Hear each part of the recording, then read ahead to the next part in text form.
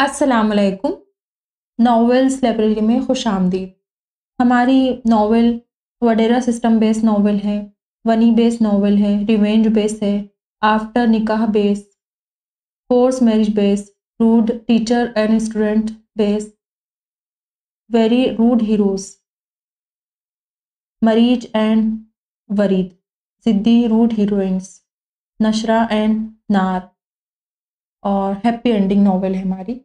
चलिए बढ़ते हैं नावल की जाने। मिल गया तुम्हें सुकून और तनफुर से उसे देख रही थी। यही चाहते थे तुम? मकसद पूरा कर ही लिया आखिरकार। उसकी दबी दबी मुस्कुराहट नशरा को और भी ज़्यादा सेखपा कर रही थी। अभी कहाँ पूरा हुआ है बीबी? अभी तो बहुत सी मसाफत और तय करनी है। सीने पर हाथ बांधे उसके सजे रूप पर तन से भरी निगाह डालकर वो कमरे से जा चुका था। उसके मुतमिन अंदाज पर वो गुस्से से अपने गिर्द लिपटे सरताज दुपट्टे को एक झटके से अपने तन से जुदा करके बेड पर फेंकते मुठिया भेज गई थी। तो फिर जान लो कि आज के बाद तुम्हारी ज़िंदगी को मज़ीद जहन्नुम बनाने में मैं सबसे ज़्यादा पेश पेश हूँ। उसके होले से दांत पीस कर वो मुखातिब हुई थी। निकाह कर लिया है मगर बीवी हूँ। मेरी जूती भी तुम्हारी बीवी ना बने। उसका गुस्सा किसी तौर कम होने में नहीं आ रहे था। गुस्से से बेड से उठकर शीशे के सामने खड़े होकर पर्पल दीदा जेब काम वाले सूट में अपने सजे सोने रूप को देखा। हम्म, उस मनहूस के लिए तैयार हुई थी मैं। तेज़ी से सब जेवर उतारा। गुस्सा शदीद था।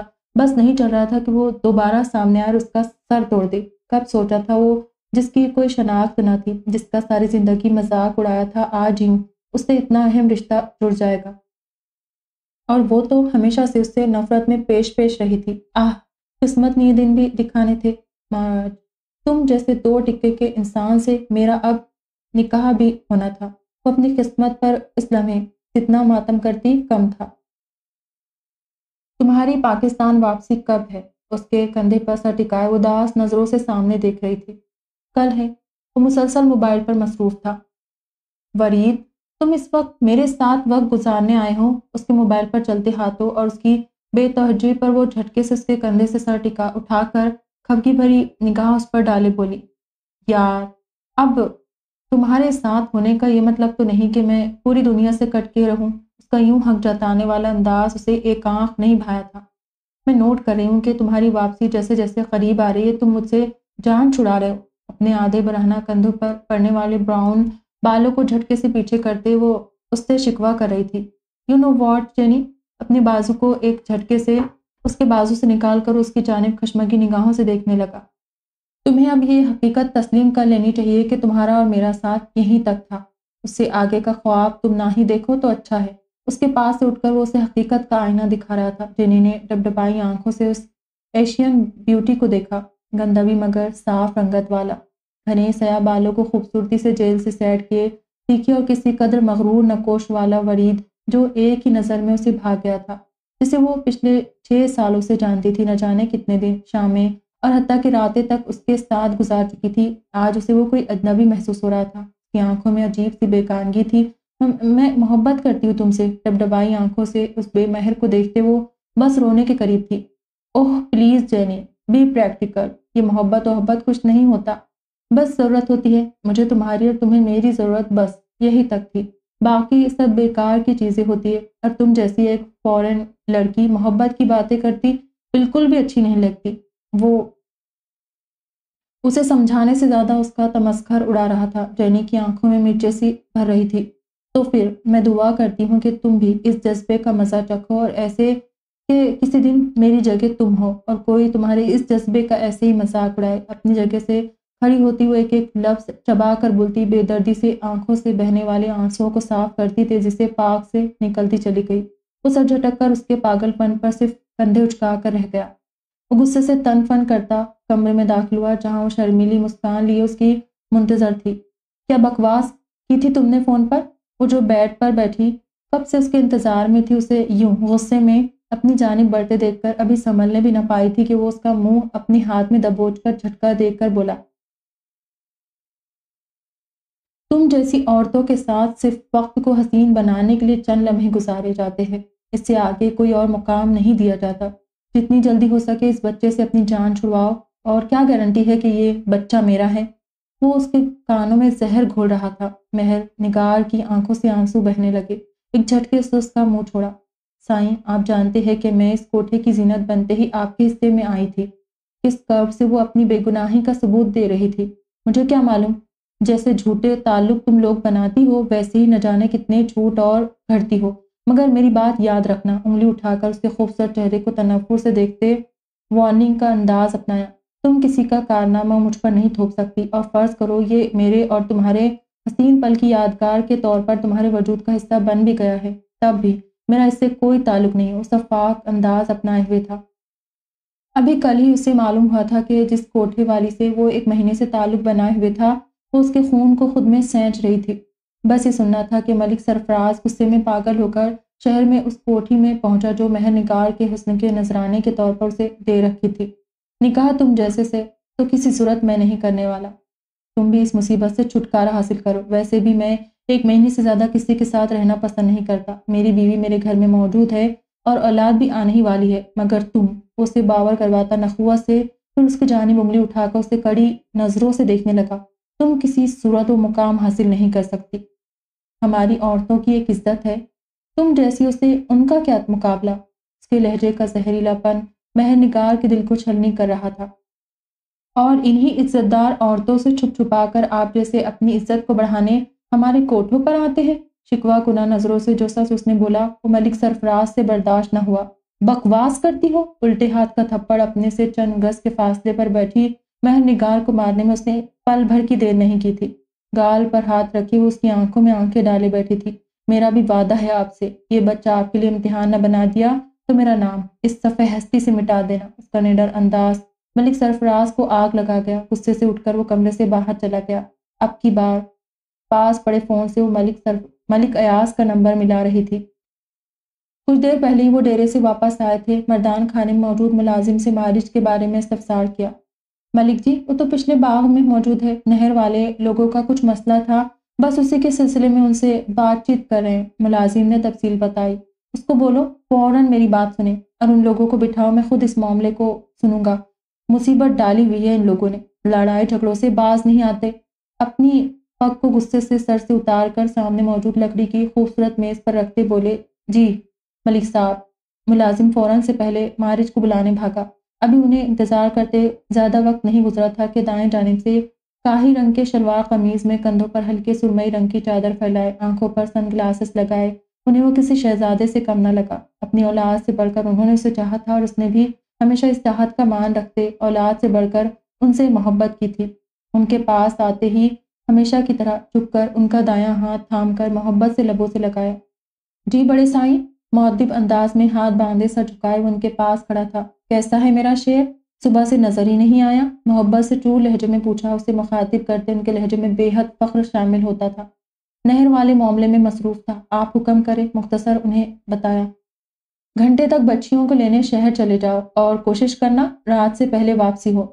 नशरा जिद करे तो मुझे फ़ोन कर देना। वो जानते थे अपनी ज़िद्दी बेटी को। शुरू से बाकी घर वालों की तरह वो भी मारिश से शदीद नफरत करती थी और अब तो ये नफरत और भी बढ़ चुकी थी। जो हुक्म बड़े साई मौदबाना अंदाज में सर को होली से झुकाकर वो हवेली के अंदर की जानब बढ़ा। घंटे बाद उसकी हिजारों हवा से बातें करती हुई शहर की जानब बढ़ गई। अपनी अड़ियल मनकोहा से तो वो भी अच्छी तरह वाकिफ था और उसे राह रास्त पर कैसे लाना था, उससे भी वाकिफ था। और फिर उसने अपना कहा पूरा कर दिखाया। मह निकार इंतज़ार ही करती रह गई, मगर उसने नहीं आना था, वो नहीं आया। हर तरह का ताल्लुक वास्ता वो ख़त्म कर चुका था। सिर्फ़ ये एक कोठी उसके नाम थी, वरना शायद वो उसे यहाँ से भी दरबदर कर देता। कोठी बेच कर वो एक छोटा घर ले चुकी थी। वो वापस कोठी जाना नहीं चाहती थी, वजह उसकी अपनी ज़ात नहीं, बल्कि वो बच्चा था जो वो अपनी प्यार या शायद भूल की निशानी समझकर सीने से लगा चुकी थी। इस सब में वो फिर भी पीछे हटने वाली नहीं थी। उसके इरादे इतने मज़बूत थे कि वो अपनी औलाद को इसका हक दिलाने के लिए मलिक अयाज तक उसी दिन पहुँच गई, जिस दिन मलिक सरफराज अपनी ही औलाद को झुटला कर गया था। मलिक अयाज ने उसके वादे पर सब मख्फी रखते ना सिर्फ़ उससे, मलिक सरफराज की इस बेराह रवि पर माजूरत की थी, बल्कि उसका और उसके बच्चे का खर्चा पानी भी उठा लिया था। मलिक सरफराज की इस हरकत की तस्दीक मलिक अयाज ने उसके ख़ास बंदों से उगलवा कर कर ली। और जब इस बात में कोई शक ना रहा कि महर निगार के कोख में पलने वाला बच्चा उसके भाई का ही है, तब वो खुद को महर निगार की मदद करने से रोक ना पाए। इस बच्चे को नाम भी मलिक अयाज ने दिया था मारिज। उन्हें अपने बेटों सा ही लगता था। इसीलिए उसकी हिफाजत और उसकी परवरिश में उन्होंने कोई कसर न उठा रखी थी। आ गया मेरा शेर? चौधरी वजाहत अली उसे गले लगाकर उसकी पीठ थपथपा कर बोले। कैसे आप अब्बा साईं मोहब्बत से उनके हाथ चूमकर आँखों से लगाते हुए बोला। मैं फिर से जवान हो गया हूँ। उसके चौड़े कंधों को थाम कर मुस्कुराती आँखों से अपने खूबरू बेटे को देखा, जो बाहर की दुनिया में जाकर भी अपने असल रंग नहीं भूला था। कुछ देर पहले ही उनका बड़ा बेटा चौधरी वलीद उसे एयरपोर्ट से लेकर आया था और चंद घंटों बाद ही नहा धोकर वो उनकी खिदमत में हाजिर हो गया था। सफ़ेद, कड़कड़ाता शलवार कमीज पहने अपनी मखसूस खानदानी चादर कंधों के गिर्द ओढ़े उनका वरीद। उनकी आँखों को ठंडक पहुँचा रहा था। आप हमेशा से ही जवान हैं। वो भी भारी मूछों तले उनाबी होंठों पर मुस्कुराहट लाकर बोला, चलो कोई रोटी टक्कर खाते हैं। फिर अपने शेर से विलायत के किस्से सुनेंगे। वो उसके कंधों के गिर्द बाजू का घेरा बनाकर उसी अपने शाहाना कमरे से बाहर निकले। दोनों का रुख खाने वाले कमरे की जानब था। तो फिर तुम कब से यूनिवर्सिटी ज्वाइन कर रहे हो? खाने के दौरान वली से छोटे हुदैद ने सवाल किया। भाई, इंशाल्लाह अगले हफ़्ते से, वो नैपकिन से मुँह साफ़ करके बोला, ले, अभी तो तू आया है और अब फिर से शहर चला जाएगा। माँ को बस तरसा कर उसके साथ वाली कुर्सी पर मौजूद सुगरा बेगम लहजे में उदासी लिए बोली बस कर ये दूसरी की चाकरी।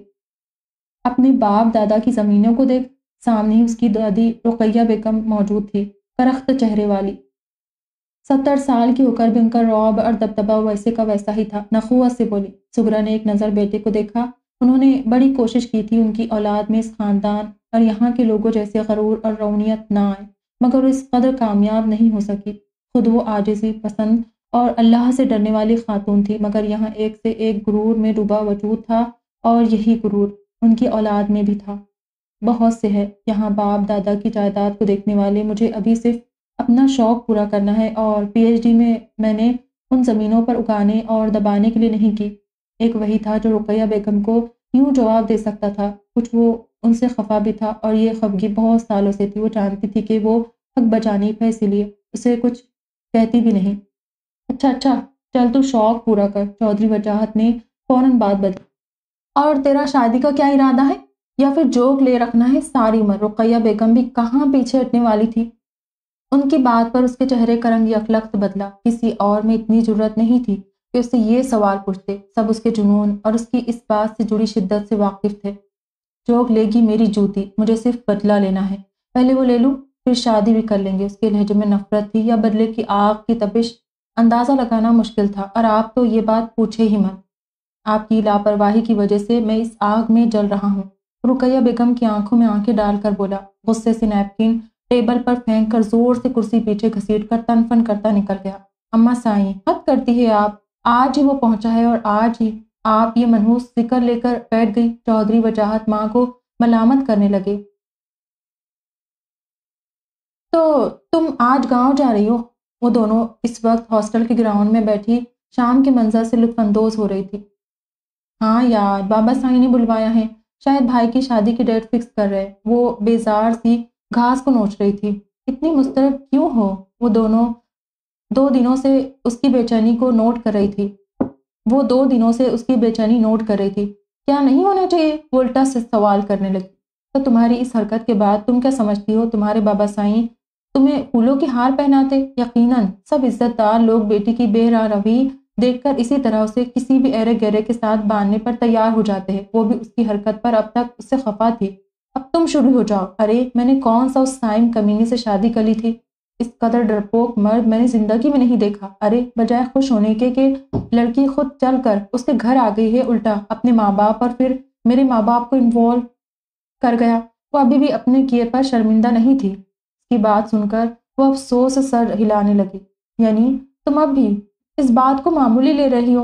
और जितना उसकी अकल पर अफसोस करती कम था। नार, तुम भी ना? हाय दे यार, कितना बड़ा एडवेंचर कर रही थी मैं। अब वो बुजदिल मेरे बाप की हैसियत से डर गया। अब बाबा साई ने भी पकड़कर उस नीच शख्स के पल्ले बाँध दिया। उसके लहजे में भी अभी भी मारिज के लिए नफरत थी। नार के दिल को कुछ हुआ। बस एक नज़र उसे देख कर रह गई। वो मारिज से अच्छे से वाकिफ थी। कई बार उसे उन्हें हॉस्पिटल लेने आते देखा था।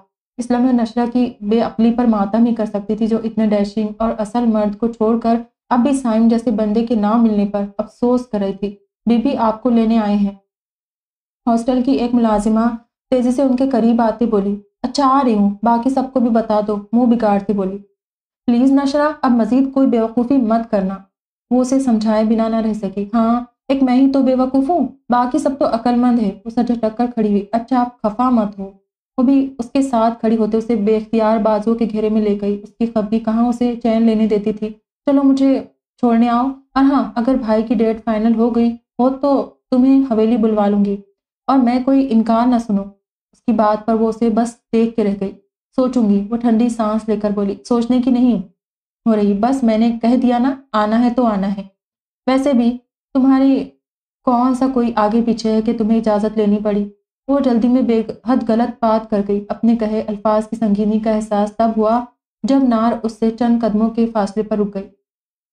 चंद कदम लेने के बाद उसे एहसास हो अकेली चल रही है। मुड़कर नार को देखा तो एहसास हुआ, कुछ गलत बोल गई है। आई एम सॉरी नार। एकदम वापस आते उस वो मुलतजी लहजे में बोली। वो बमुश्किल अपने आँसू पीकर मुस्कुराई। कोई बात नहीं।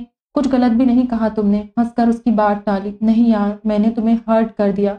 वो उसके कंधों पर हाथ रखकर बोली, अब पछताई के क्यों बिना सोचे समझे बोलती है?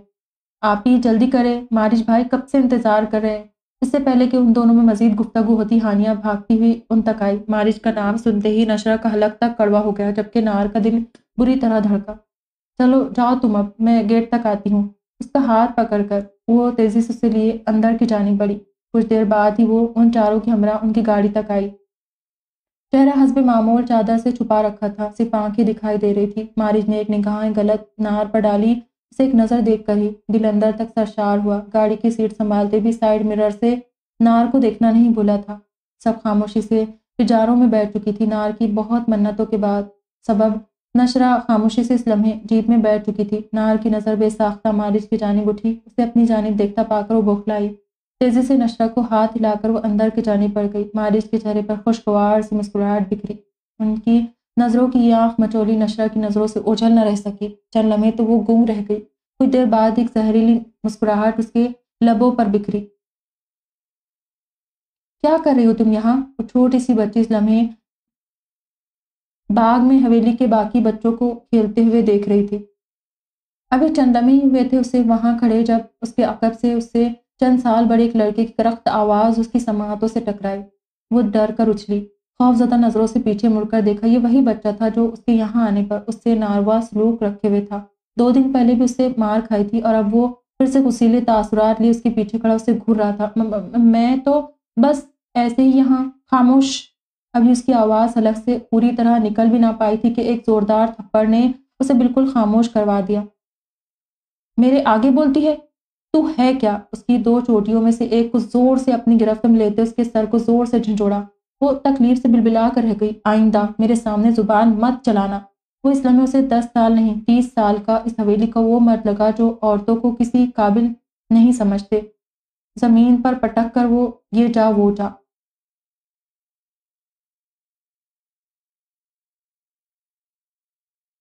नन्ही सी आठ साल की कली इस जुल्म पर किसी को अपनी मदद के लिए बुला भी नहीं सकती थी। उसका यहाँ था ही कौन? वक्त ने उन जालिमों को उसका हाकिम बना डाला था। अब वो जैसे चाहे उसे इस्तेमाल करते अपनी हिचकियों पर बमुश्किल काबू पाते अपना ना सा वजूद घसीट कर जामुन के दरख्त के तने से लगकर सुकर सिमट कर बैठी, न जाने कितनी देर रोती रही।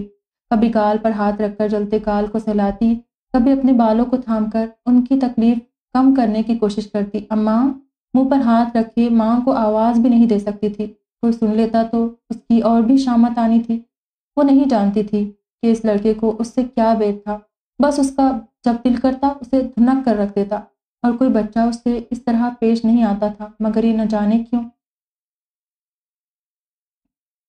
मत मारो मुझे मैं, मैंने अम्मा मैंने क्या बिगाड़ा है तुम्हारा? वो ज़ोर ज़ोर से चिल्ला रही थी बिलक रही थी मगर वो वहशी बिना उसे अपनी वहशत का निशाना बिना सुने उसे अपनी वहशत का निशाना बना रहा था। बकवास बनकर, कमीनी कहेंगी, तू है, तेरी वजह से उसका थप्पड़ इस कदर जोरदार था कि उस बेचारी के होंठ फट गए मगर वो किसी सूरत उस पर रहम करने को तैयार ना था। बेटा, वो वो तुम्हें बताना था, एकदम मंजर बदला, कोई फ़ोन पर उसे इतला दे रहा था। क्या है? जल्दी बोले। वो बेजारी से बोला, अभी तो शल्टन के, वो करीब हुआ ही था कि मनहूस फ़ोन ने रख ना डाला, फ़ोन कान से लगाए मखमूर निगाहों से वो शर्टन के बिजलियाँ गिराते हुस्न को देख रहा था। वो वो ना दूसरी तरफ़ से जो बात उसे बताई गई, ना उसे शर्टन याद रही, ना कोई और।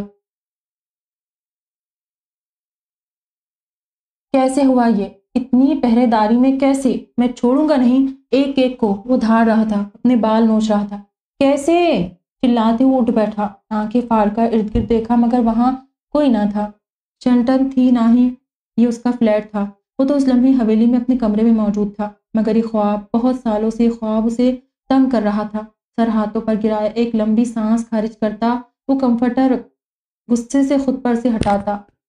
जल्दी से उठा साइड टेबल से मोबाइल उठाकर वहाँ से वक्त देखा। रात के ढाई बज रहे थे, हर सिम तो सन्नाटा था। मोबाइल वापस पटक कर सिगरेट और लाइटर उठाकर बालकनी की जानिब रुक गया। नवंबर के खून हवा ने उसके जलते दिमाग को पुरसकून किया। सिगरेट सुलगाकर बाग में मौजूद किसी गैर मरई नक्ते को न जाने कितनी देर देखता रहा। इसतराब कम होने के बजाय बढ़ता जा रहा था। ढूंढ निकालूँगा तुम्हें, जहाँ कहीं भी तुम हो। छोड़ूँगा नहीं, एक बार मिल जाओ। तुम्हारे किए की बहुत गड़ी, कड़ी सजा दूँगा तुम्हें। सिगरेट के एक एक एक दो और कश लगाकर ज़मीन पर फेंक कर पाँव से उसे ऐसे मसला जैसे सिगरेट नहीं, उसे तकलीफ़ देने वाला वो शख्स हो। मुबारक हो, अल्लाह ने आपको दो बेटियों से नवाजा है। वो जो कब से मुस्तरब सा इधर से उधर चक्कर काट रहा था, डॉक्टर के बाहर आकर खुशखबरी सुनाने पर थम सा गया। उसे आज थी कि शायद बेटा हो, मगर अब उसके बाद आपकी वाइफ दोबारा बच्चा कंसीव नहीं कर सकती। लिहाजा अब दोबारा आप ऐसा कुछ मत कीजिएगा, वरना उनकी ज़िंदगी की हम गारंटी नहीं दे पाएँगे। अब भी केस बहुत पेचीदा था, मगर अल्लाह ने इन दोनों की ज़िंदगी रखी थी, इसीलिए ये दुनिया में आई। डॉक्टर की बात पर उसके कंधे झुक कर रह गए। पिछले छः सालों से उसके साथ यही हो रहा था।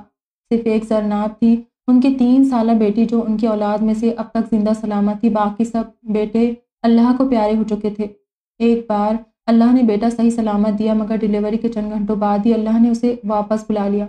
न जाने किसकी बदुआएँ मेरे बच्चे की खुशियाँ खा गई। इशरत बेगम रोते हुए मलिक सरफराज के कंधे के साथ लगकर चहको पहको रोने लगी। किसी की बदुआएँ नहीं, इंसान के अपने अमाल कभी कभी उसकी राहें खोटी कर देते हैं। शुक्र करो, अल्लाह ने औलाद से नवाजा है। मलिक अयाज ने गला खंकार कर एक हाथ से भाई का कंधा थपथपाया।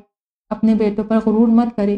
भाई की बात वो बर्दाश्त न कर सका। हाथ झटक कर नखुआ से बोला, मैं अपने बेटों पर गुरूर नहीं करता। यही फ़र्क है मुझमें और तुम में। अपनी पगड़ी दुरुस्त करके वो वहाँ से जा चुके थे। चंद दिन बाद ही मारिज को लिए वो हवेली में दाखिल हुए। कौन है ये बच्चा? गंदमी रंगत का प्यारा सा सात साल का बच्चा। मलिक अयाज के हमरा आते देखकर रसिया माया को तख्त पर एहतियात से लिटा कर खड़ी हुई इशरत बेगम और जरीना के भी तासुरात रजिया से मुख्तलिफ़ नहीं थे। ये मेरे दोस्त का बेटा है। माँ बाप दोनों ज़िंदा नहीं है, इसलिए मैं उसे यहाँ ले आया। अब से ये यही रहेगा। मलिक अयाज की बात पर हॉल में आते सरफराज के कानों में खड़ी थी। भाई साहब, ऐसी कहानियाँ बहुत पुरानी हो चुकी है। बताइएगा जरा, कौन से दोस्त का बेटा है ये? जब से पगड़ी मलिक अयाज को मिली थी, तब से मलिक सरफराज वैसे ही भाई से जल रहा था। अब भी इसी जलन के तहत वो जानबूझकर बाप जैसे भाई पर इल्ज़ाम लगाने लगा। उसकी बात पर वहाँ मौजूद तीनों खातन के चेहरे के तासरात लम्हा भर के लिए बदले। तुम नहीं जानते उसे। बड़ी मुश्किल से भाई की बात को बर्दाश्त करते उन्होंने अपना लहजा एतदाल पर रखा। अगर वह निगार ने उन्हें कसम न दी होती तो ज़रूर इस वक्त मलिक सरफराज को इस बात का अच्छे से जवाब देते। ये खूब कही आपने? ऐसे कैसे हम किसी भी अरे गहरे को अपने घर में रख ले? क्या आप अपनी रिवायत भूल चुके हाँ? यहाँ हमारी बेटियाँ भी हैं जिन्होंने कल को जवान होना है। एक ऐसे लड़के को हम कैसे यहाँ रहने की इजाज़त दे सकते हैं जिसका ना आगा, पता ना पीछा? क्यों अम्मा? गलत कहा क्या मैंने? उसने रौनियत से कहते, माँ को भी बीच में घसीटा और वो तो हमेशा उसकी अच्छी बुरी बात की तायद करती थी, इसीलिए तो बिगड़ा था। सरफराज ठीक कह रहा है, बेटे, हमारे यहाँ बच्चियाँ गैरों से पर्दा करती है, कल को ये उसी के साथ यहाँ बड़ी होगी। हम कैसे लोगों को जवाब देते फिरेंगे? तुम किसी यतीम खाने में उसे भिजवाओ, उन्होंने भी सफाकी से कहा। जिनका आगा पीछा हो, करतूत तो कभी कभी उनके भी ठीक नहीं होते। खानदान और हसब नसब से अगर शराफत आनी होती है तो इज्जतदार लोग कभी कोठों पर ना जाते। मलिक अयाज ने अब की बार अपनी संजीदा नज़रें भाई की आँखों में गाड़ते जैसे उसे कुछ पावर करवाया। मलिक सरफराज की ज़ुबान एकदम तालू से चिपक गई। वो किस बात का हवाला दे रहे थे? कुछ चौंक कर उसने मारिच की तरफ़ देखा। उस चेहरे ने किसी की याद बड़ी शिद्दत से दिलाई। रंगत इतनी साफ़ नहीं थी, मगर आँखें वो बहू वही थी। इशरत बेगम के दिल में मारिश के हवाले से शक आ चुका था। वो उसे रखने को तैयार नहीं थी। बहुत देर मलिक अयाज और उनमें बहस चलती रही। मलिक सरफराज तो ऐसा चुप हुआ कि कुछ देर बाद वहाँ से चला ही गया। रात में जिस वक्त मलिक अयाज अपनी ख्वाबगाह में आए, जरीना को बैठ पर गुमसुम सा बैठे देखा। आहिस्ता रवि से चलते वो बैठ पर उनके मुकाबले बैठे। जरीना की महवियत टूटी। क्या आपको भी मुझ पर शक है? उनके लहजे में एक आस थी। जरीना हौले से मुस्कुराई। क्या आपका यह सवाल करना बनता है कि इतने सालों में इतना ही जाना है मुझे? उनके चेहरे का इतमान देखकर उन्हें ढारस मिली। बंदा बशर है। लोगों की बातों में आ भी सकती है। उनके चेहरे पर भी आसुदा मुस्कुराहट बिखरी। अगर ये आपकी भी औलाद होती तो मुझे इस बच्चे से कोई परखाश नहीं थी। हर इंसान अपने किए का जिम्मेदार खुद है। अगर आप गुनाह के मरतकब होते तो अल्लाह ही आपके लिए काफ़ी है। हम इंसान अपने अमाल के जिम्मेदार है, दूसरों के नहीं। बस मुझे तकलीफ़ हो रही है कि लोग गुनाह का रिश्ता बनाते क्यों भूल जाते हैं? जो जान इस सब की पादाश में दुनिया में आती है, वो किन तकलीफ़ों से गुजरती है? मैं कोशिश करूँगी कि मारिज को मेरी जानब से ऐसी कोई तकलीफ़ सहनी ना पड़े, मगर बाकियों का मैं कुछ नहीं कह सकती। वो सरीना की समझदारी और ख़ुद से मोहब्बत से बहुत अच्छे से वाकिफ़ थे। आज भी उन्होंने अपने शोहर को मायूस नहीं किया था। दुआ करो, मैं उसे पढ़ा लिखा कर इस काबिल कर दूँ कि वो हमारा मोहताज ना रहे। उन्होंने सदके दिल से शोहर की बात पर आमीन कहा। पूछोगी नहीं, इस बच्चे की असल हकीकत क्या है? उनके हाथ थामते उन्होंने फरमाइशी अंदाज में पूछा, कुछ हकीकतें मालूम ना हो तो ही बेहतर होता है। लोगों के असल चेहरे अगर नज़र आ जाए तो अतमाद उठ जाता है। मैं चाहूँगी कि आप सरफराज भाई के इस को कभी फाश न करें। अल्लाह बेहतर हिसाब लेने वाला है। जरीना की बात सुनकर वो गूंग रह गए। आपकी कोठी वाली बात पर सरप्राइज़ भाई का चुप होना शायद और किसी को महसूस ना हुआ हो, मगर मैंने इस खामोशी से बहुत कुछ अखस कर लिया। नज़रें उठाकर उन्होंने शोहर की हैरान नज़रों में झांका। वो वाकई बहुत जान दीदा औरत थी। आज मलिक अयास को इस बात का यकीन हो गया। अल्लाह, आप अल्लाह का इनाम है मेरे लिए। बेख्तियार उन्हें खुद में समोते हुए सरगोशी नुमा आवाज़ में बोले, अल्लाह सबकी पर्दापोशी करे। उनके सीने पर सरकते जरीना ने सच्चे दिल से दुआ की।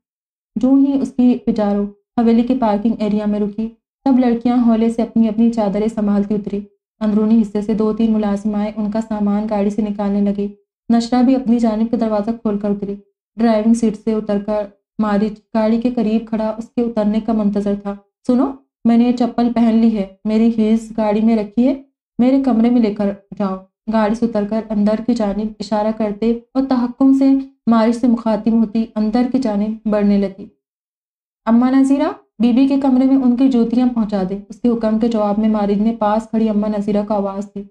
अपनी हुक्म अदुली पर वो भुन्ना कर मुड़ी और उसके करीब पहुंचकर उसके सीने पर उंगली रखकर बोली, तुम लेकर आओगे मेरे कमरे में। समझे? मगरूर लहजे में उसे उसकी हैसियत बावर करवाने लगी। उसकी बात और हरकत पर उजिज करने वाली मुस्कुराहट उस पर उछाल कर दाएँ हाथ से गिलासेस उतार कर कमीज की अगली जेब में रखते, ऐसे मसरूफ था जैसे वो उससे नहीं, किसी और से मुखातिब हो। मुस्कुराती नज़रों से एक नज़र अपने मुकाबले गुस्से से लाल चेहरा ली नशरा को देखा। काश कि मैं अम्मा नज़ीरा होता, आपका हुक्म बचा लाने में एक सेकंड की भी ताखिर ना करता। वैसे आज मलिक अयास साहब से, मलिक साहब से पूछ लेता हूँ कि आज से बीबी के हर काम आप मेरे ज़िम्मे लगा दे, हत्या के गाड़ी में बिठाने और गाड़ी से उतार कर उनके कमरे तक पहुँचाने का अमल भी। कहें तो मैं अपने इन नातवा बाजू से अंजाम दे दिया करूँ, ताकि बीबी को पैर ज़मीन पर रखने की भी जहमत ना करनी पड़े।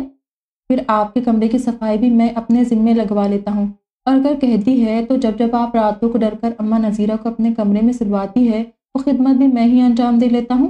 और हाँ रुकिए, आपके बालों में ब्रश भी आज से मैं ही कर दिया करूँगा। और जब आप वॉश बंद करो अपनी बकवास। वो जो न जाने क्या क्या खिदमतों को अपने नाम लिखवाने के दर पर हो रहा था नशरा को उसकी गुल अफसानियों को टोकना ही पड़ा।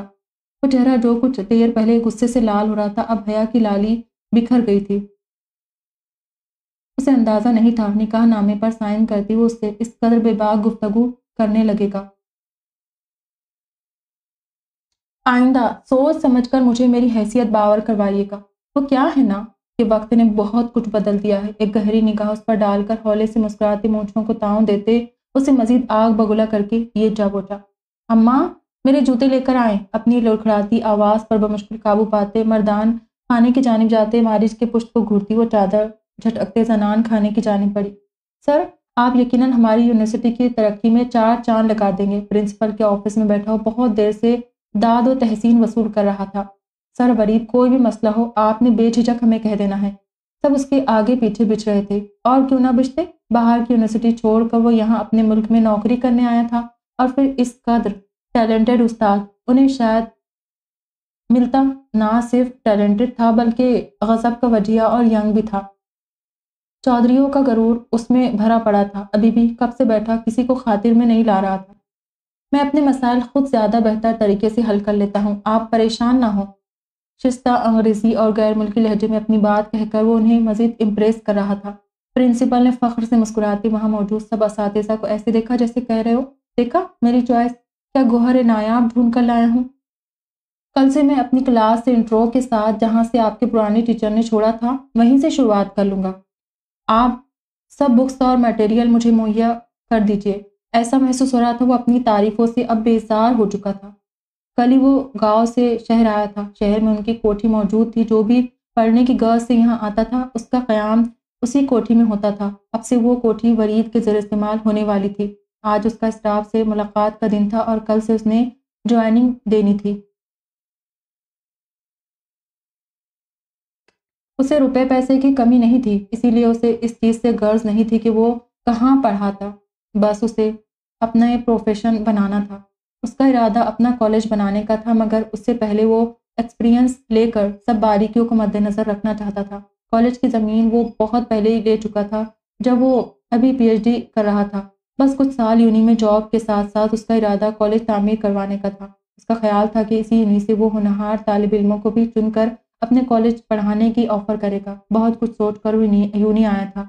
तो के एन मुताबिक हर कोई उससे मरूब नज़र आ रहा था। एक तो उसकी अपनी शख्सियत भी फिर बाहर की डिग्री का टैग दोनों ने मिलकर उसे इन सब में नुमाया कर दिया था। यहाँ आकर चंद एक पुराने स्कूल के दोस्तों से रबता भी किया, वो सब उससे मिलने को बेताब थे। अगले दिन यूनिवर्सिटी क्लासेस के बाद उसने दोस्तों से गेट टुगेदर का फैसला किया था।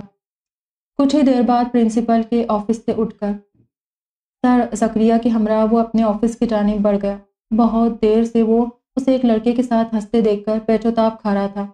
घुसेली नज़रें नकाब में छुपे चेहरे को बुरी तरह घूर रही थी, जैसे ही वो लड़का यूनिक के अंदर की जानी बढ़ा, वो तेज़ी से गाड़ी घुमाकर उसके सामने ले आया।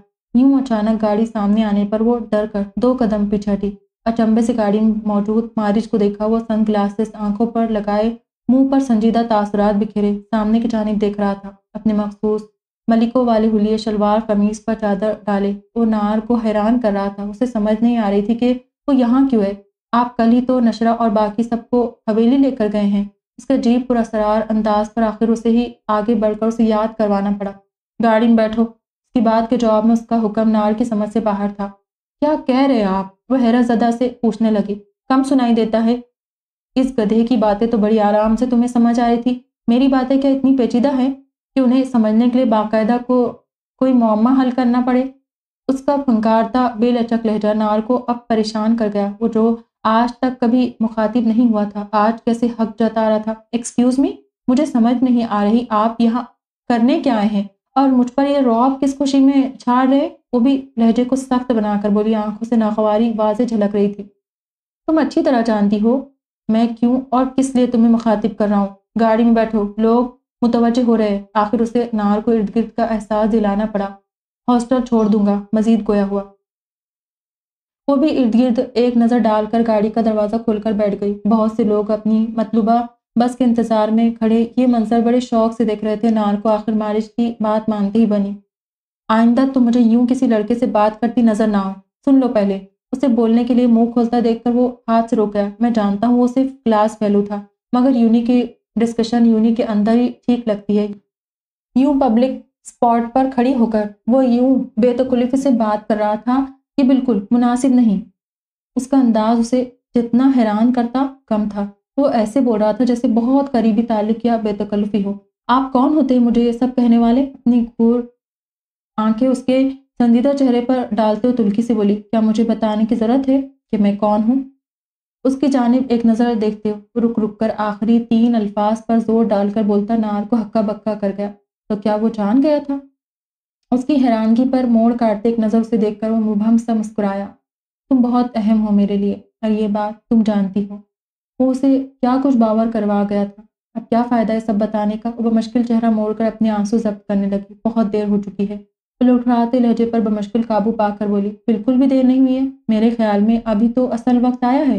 तुम जैसे कहोगी मैं वैसा ही करूँगा। एतबार करो मुझ पर। वो उसे यकीन दिलाता हो बोला किस पर यकीन नहीं है। किसी पर भी नहीं, अब किसी पर एतबार नहीं। वो नफ़ी में संलाते बोली, आँसू टूट कर उसके नकाब में जज्ब हो रहे थे, लहजे में बरसों को की मसाफत थी। मैं तुम्हारा यकीन और मान कभी नहीं तोड़ूँगा। वो हर मुमकिन तरीके से उसे यकीन दिलाना चाहता था। मुझसे दूर रहें आप। वो लहजा सख्त करके बोली, ये नामुमकिन है। वो भी अटल लहजे में बोला। क्या बताएँगे किसी को? कौन हूँ मैं आपकी? वो उसे चैलेंज करने वाले अंदाज में बोली, जो हकीकत है वो बता दूँगा। डरता नहीं मैं किसी से, और इतने अरसे में इस बात का तो अंदाज़ा हो गया होगा तुम्हें।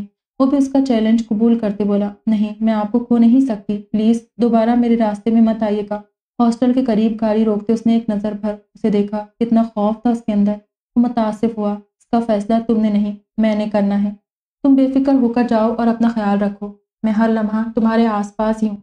उसे यकीन दिलाता हुआ उसे जाने का इशारा करने लगा। नार ने बेबस नज़रों से उसे देखा, वो ज़िद्दी था। ये तो वो जानती थी। खामोशी से गाड़ी से उतरकर मरे मरे कदमों से अंदर जाने लगी। कितना चाहा था उसने कि वो उसे ये सब छुपा ले, मगर वो नाकाम रही थी। अब उसे नशरा की फ़िक्र हो रही थी, अगर जो उसे ये सब मालूम हो जाए, उसका रिएक्शन क्या होगा? किसने बताया भाई साहब को मेरे और महर निकार के बारे में? वो अपने तमाम ख़ास मुलाजमिन को लाइन हाजिर कर चुका था। गुस्से से धारता और पागल हो रहा था। उसकी एक और कमज़ोरी उसके भाई के हाथ लग गई थी। साहब साहब, मेरी इतला के मुताबिक महर निकार ने खुद बड़े मलिक को फ़ोन किया था। शेरू ने डरते डरते उसे इतला दी। तो तब मुझे बता नहीं सकते थे तुम सब? इतने साल छुपा कर रखा और अब वो सैपोलिया यहाँ इस हवेली तक पहुँच गया है। वो गाली खुद कहाँ है? वो फंकारते हुए बोला। चेहरा लाल, सुर्ख हो रहा था। आँखों से शोले निकल रहे थे। वो वो, साहब, वो मर गई है। उसने फिर से हौले से बोलते गोया ऐसे कहा जैसे अपने जुर्म का एतराफ़ कर रहा हो। अच्छा हुआ, उसे भी अब मर जाना चाहिए। गुस्से से उसके नाक के नतने बुरी तरह से फूले हुए थे। बस नहीं चल रहा था। मारिज को अभी के अभी मार देता। उसे कल से बाड़े की रखवाली के लिए रखो। आगे का काम मैं खुद करूँगा। कुछ सोच कर उसने बाकी मुलाजमीन को जाने का शरा किया। शेरू को पास बुलाकर सरगोशी के से अंदाज में कहा, साहब जी, बड़े मलिक साहब ने उस बच्चे से ऐसे कोई भी काम लेने से मना किया है। वो फिर से खौफ से थर थर कांपते हुए बोला, ठीक है, कल मैं शिकार पर जाना हूँ। वो भी मेरे साथ जाएगा और इस बार मैं कोई ना ना सुनो। जैसे भी बंदोबस्त कर सकते हो, करो। अपनी गुसीली निगाहें शेरू पर जमाता हुआ एक एक लफ्ज पर ज़ोर देकर बोला, जी सरकार, मैं कुछ करता हूँ। जानता था उसकी बात ना मानने का क्या नतीजा हो सकता था, इसीलिए शेरू को मानते ही पड़ी। अगले दिन जैसे तैसे मलिक अयाज को मनाकर शेरू ने मलिक सरफराज के हमरा भेजा था। दो मुलाजमीन के साथ मारिश भी था। वो जानता था कि मलिक सरफराज उसका बाप है। उसकी माँ ने उससे कुछ नहीं छुपाया था ताकि उसकी हकीकत भी। अभी वो नाजायज़ लफ्ज़ के मानी समझने की उम्र में नहीं था। मगर ये ज़रूर जानता था कि उसका बाप उसके लिए दिल में कोई एहसास और जज्बा नहीं रखता। मगर इतनी नफरत रखता है, ये अंदाज़ा उसे आज हो जाना था। जंगल में कुछ दूर ही अभी वो पहुँचे थे कि मलिक सरफराज ने दोनों मुलाजमीन को गंज देकर एक मकसूर जगह पर रुकने का कहा। तुम लोग यही इंतज़ार करो, मैं आगे जाकर शिकार करके आता हूँ। वो दोनों हुक्म के गुलाम थे, लिहाजा जैसा मालिक ने कहा, वैसे ही क्या? चलो तुम मेरे साथ मुड़कर गाड़ी में बैठे मारिश को बादल नखास का मुखातिब करते गाड़ी से उतरने का शरा किया वो चुपचाप गाड़ी से उतर गया। उसे लिए वो काफ़ी आगे आ चुका था। मारिश को समझ नहीं आ रही थी कि आखिर ये किस किस्म का शिकार है जिसमें वो दोनों बस चलते ही चले जा रहे वो आगे एक पहाड़ी है। भाग कर देख कर आओ, वहाँ मुर्गाबियाँ मौजूद है या नहीं? अगर हो तो मुझे बताना, मैं आकर वहाँ उनका शिकार करूँगा। एक जगह रुकते उसने सामने मौजूद टीले नुमा पहाड़ी की जानब इशारा करते मारिश को मुखातिब किया। वो सरीला था, एक जानब दौड़ने लगा। मलिक सरफराज ने उसे दौड़ते देखकर अपनी गन निकाल कर उसकी टांगों का निशाना लिया। अभी वो इतनी तेज़ी नहीं भाग सकता था कि पल में उसकी नज़रों से ओझल हो जाता। वो बड़े सुकून से उसका निशाना ले चुका था। ठा की आवाज़ के साथ उसे मारिश गिर कर रोता नज़र आया। उसकी बिलबिलाहट पर वो जहर खुन मुस्कुराहट घनी मोछू तले लबों पर सजाए वहाँ से हट चुका था। न जाने क्यों, शेरू को मलिक सरफराज के तेवर ठीक नहीं लगे। मारिच को उसके साथ भेज तो दिया, मगर वो अंदर से खौफजदा था। डरते हुए मलिक अयास के पास गया। जान की अमान पाऊँ तो कुछ अर्ज़ करनी है। हाथ जोड़े वो मलिक अयाज से मुखातिब हुआ, जो मर्दान खाने में मौजूद मुंशी को पास बिठाए ज़मीन का हिसाब किताब करने मसरूफ थे। एक नज़र शेरू को देखकर मुंशी को वहाँ से जाने का कहा। शेरू उनका वफादार बंदा था, मलिक सरफराज, के बहुत से काले कामों से वो उन्हें आगाह करता था। इस तरह के उसका नाम कभी नहीं आया था। कहो, गले में मौजूद चादर ठीक करते उससे गोया हुए। छोटे मलिक साहब के तेवर ठीक नहीं लगते। वो उस बच्चे को ले तो गए हैं, मगर मुझे डर है कि वो अपना अंदेशा उन्हें बताने लगा। साथ ही साथ उस दिन की गुफ्तगु भी मन मन सुनाए। तो तुम्हें ने उसकी सिफारिश की थी कि उसे ले जाने दे। वो एक कड़ी निगाह उस पर डाल कर बोले जी, अपनी गलती का शिद्दत से एहसास हो रहा है। न जाने क्यों दिल कह रहा है, वो इस बच्चे के साथ कुछ बुरा करने वाले उसका खौफजदा लहजा उनकी भी पेशानी पर तफकरात की लकीरें खींच गया। मेरी जीप निकालो। कुछ सोच कर एकदम वो उठे। कुछ ही देर में वो दोनों चंद और गार्ड्स के साथ उसी जंगल में पहुँच चुके थे। सामने ही मलिक सरफराज को मरगाबियाँ पकड़कर गाड़ी में रखते हुए देखा। मारिज, उन्हें कहीं भी नज़र नहीं आया। मारिज कहाँ है? उसे ना पाकर वो गुस्से से मलिक सरफराज की जानी बढ़ी जो कुछ गड़बड़ाता हुआ नज़र आया। यही कही था, शायद खेलते खेलते आगे निकल गया हो। उसे खिलाते देखकर उन्हें अंदाज़ा हो गया कि शेरू का शक सच में बदल चुका है। शेरू सफदर वजाहत, सब फैल जाओ इस जंगल में। जब तक मारिज नहीं मिलेगा, कोई इस जंगल से एक कदम बाहर नहीं निकालेगा। मलिक सरफराज पर एक तीखी नज़र डालते हुए चिल्लाए। कुछ ही देर बाद शेरू के बाजों में खून से लथपथ बेहोश मारिज को देखकर उनका दिल किया। मलिक सरफराज को यही ज़मीन में गाड़ दे। मलिक साहब से गोली लगी बहुत खून बह रहा है। वो हाँपता हुआ, उन तक पहुँचा। इतने से बच्चे का ये हाल देखकर मलिक अयाज आगे बढ़कर सब मुलाजिमाओं की परवाह के बगैर एक जोरदार थप्पड़ मलिक सरफराज के दाएँ गाल पर चढ़ चुके थे। एक हाथ से शशतर मलिक सरफराज का गिरबान पकड़ा। तुम बाप नहीं, वो सांप हो जो अपने मतलब के लिए अपनी औलाद को निगलने से भी दरीक नहीं करता। दुआ करना है, बच्चा बच जाए नहीं तो अपने अंजाम की फ़िक्र कर। सरगोशी नुमा आवाज़ में उससे अच्छी तरह बावर करवा दिया कि मारिज उनके नज़दीक क्या हैसियत रखता है? मुलाजमीन की वजह से उनकी आवाज़ इतनी धीमी थी कि उन दोनों के अलावा कोई और इस सच को ना सुन सके। झटके से उसका गिरबान छोड़कर शेरू को गाड़ी में बैठने का इशारा करते हुए खुद भी जीप में सवार हुए थे। मलिक सरफराज के मुँह पर धूल उड़ाते वहाँ से निकले। सुना है हमारे इस सेमेस्टर में नए सर आए हैं। फॉरन क्वालिफाइड है। और बाहर की उन्हीं की जॉब को लात मारकर यहाँ पढ़ाने के लिए आए हैं। वो दोनों इस वक्त कैफ़े में बैठी थी जब जरवा ने उसे इतला दी। अच्छी बात है यार, हमारा टैलेंट हमें फ़ायदा पहुँचाए। ना कि बाहर वालों को। वो हमेशा की तरह नकाब मलबूस थी। इस वक्त भी वो दोनों नोट्स बनाने के साथ साथ बातें भी कर रही थी। नशरा की वापसी का क्या सीन है? वो जानती थी कि नशरा उसके ज़्यादा क्लोज है। यार, रात को बात हुई थी। कह रही थी कि इस वीकेंड पर उसके भाई की शादी के फ़ंक्शन शुरू हो जाएँगे। लिहाजा अगले पंद्रह दिन तक। तो वो नहीं आएगी नार की बात पर वो मुँह बनाकर रह गई।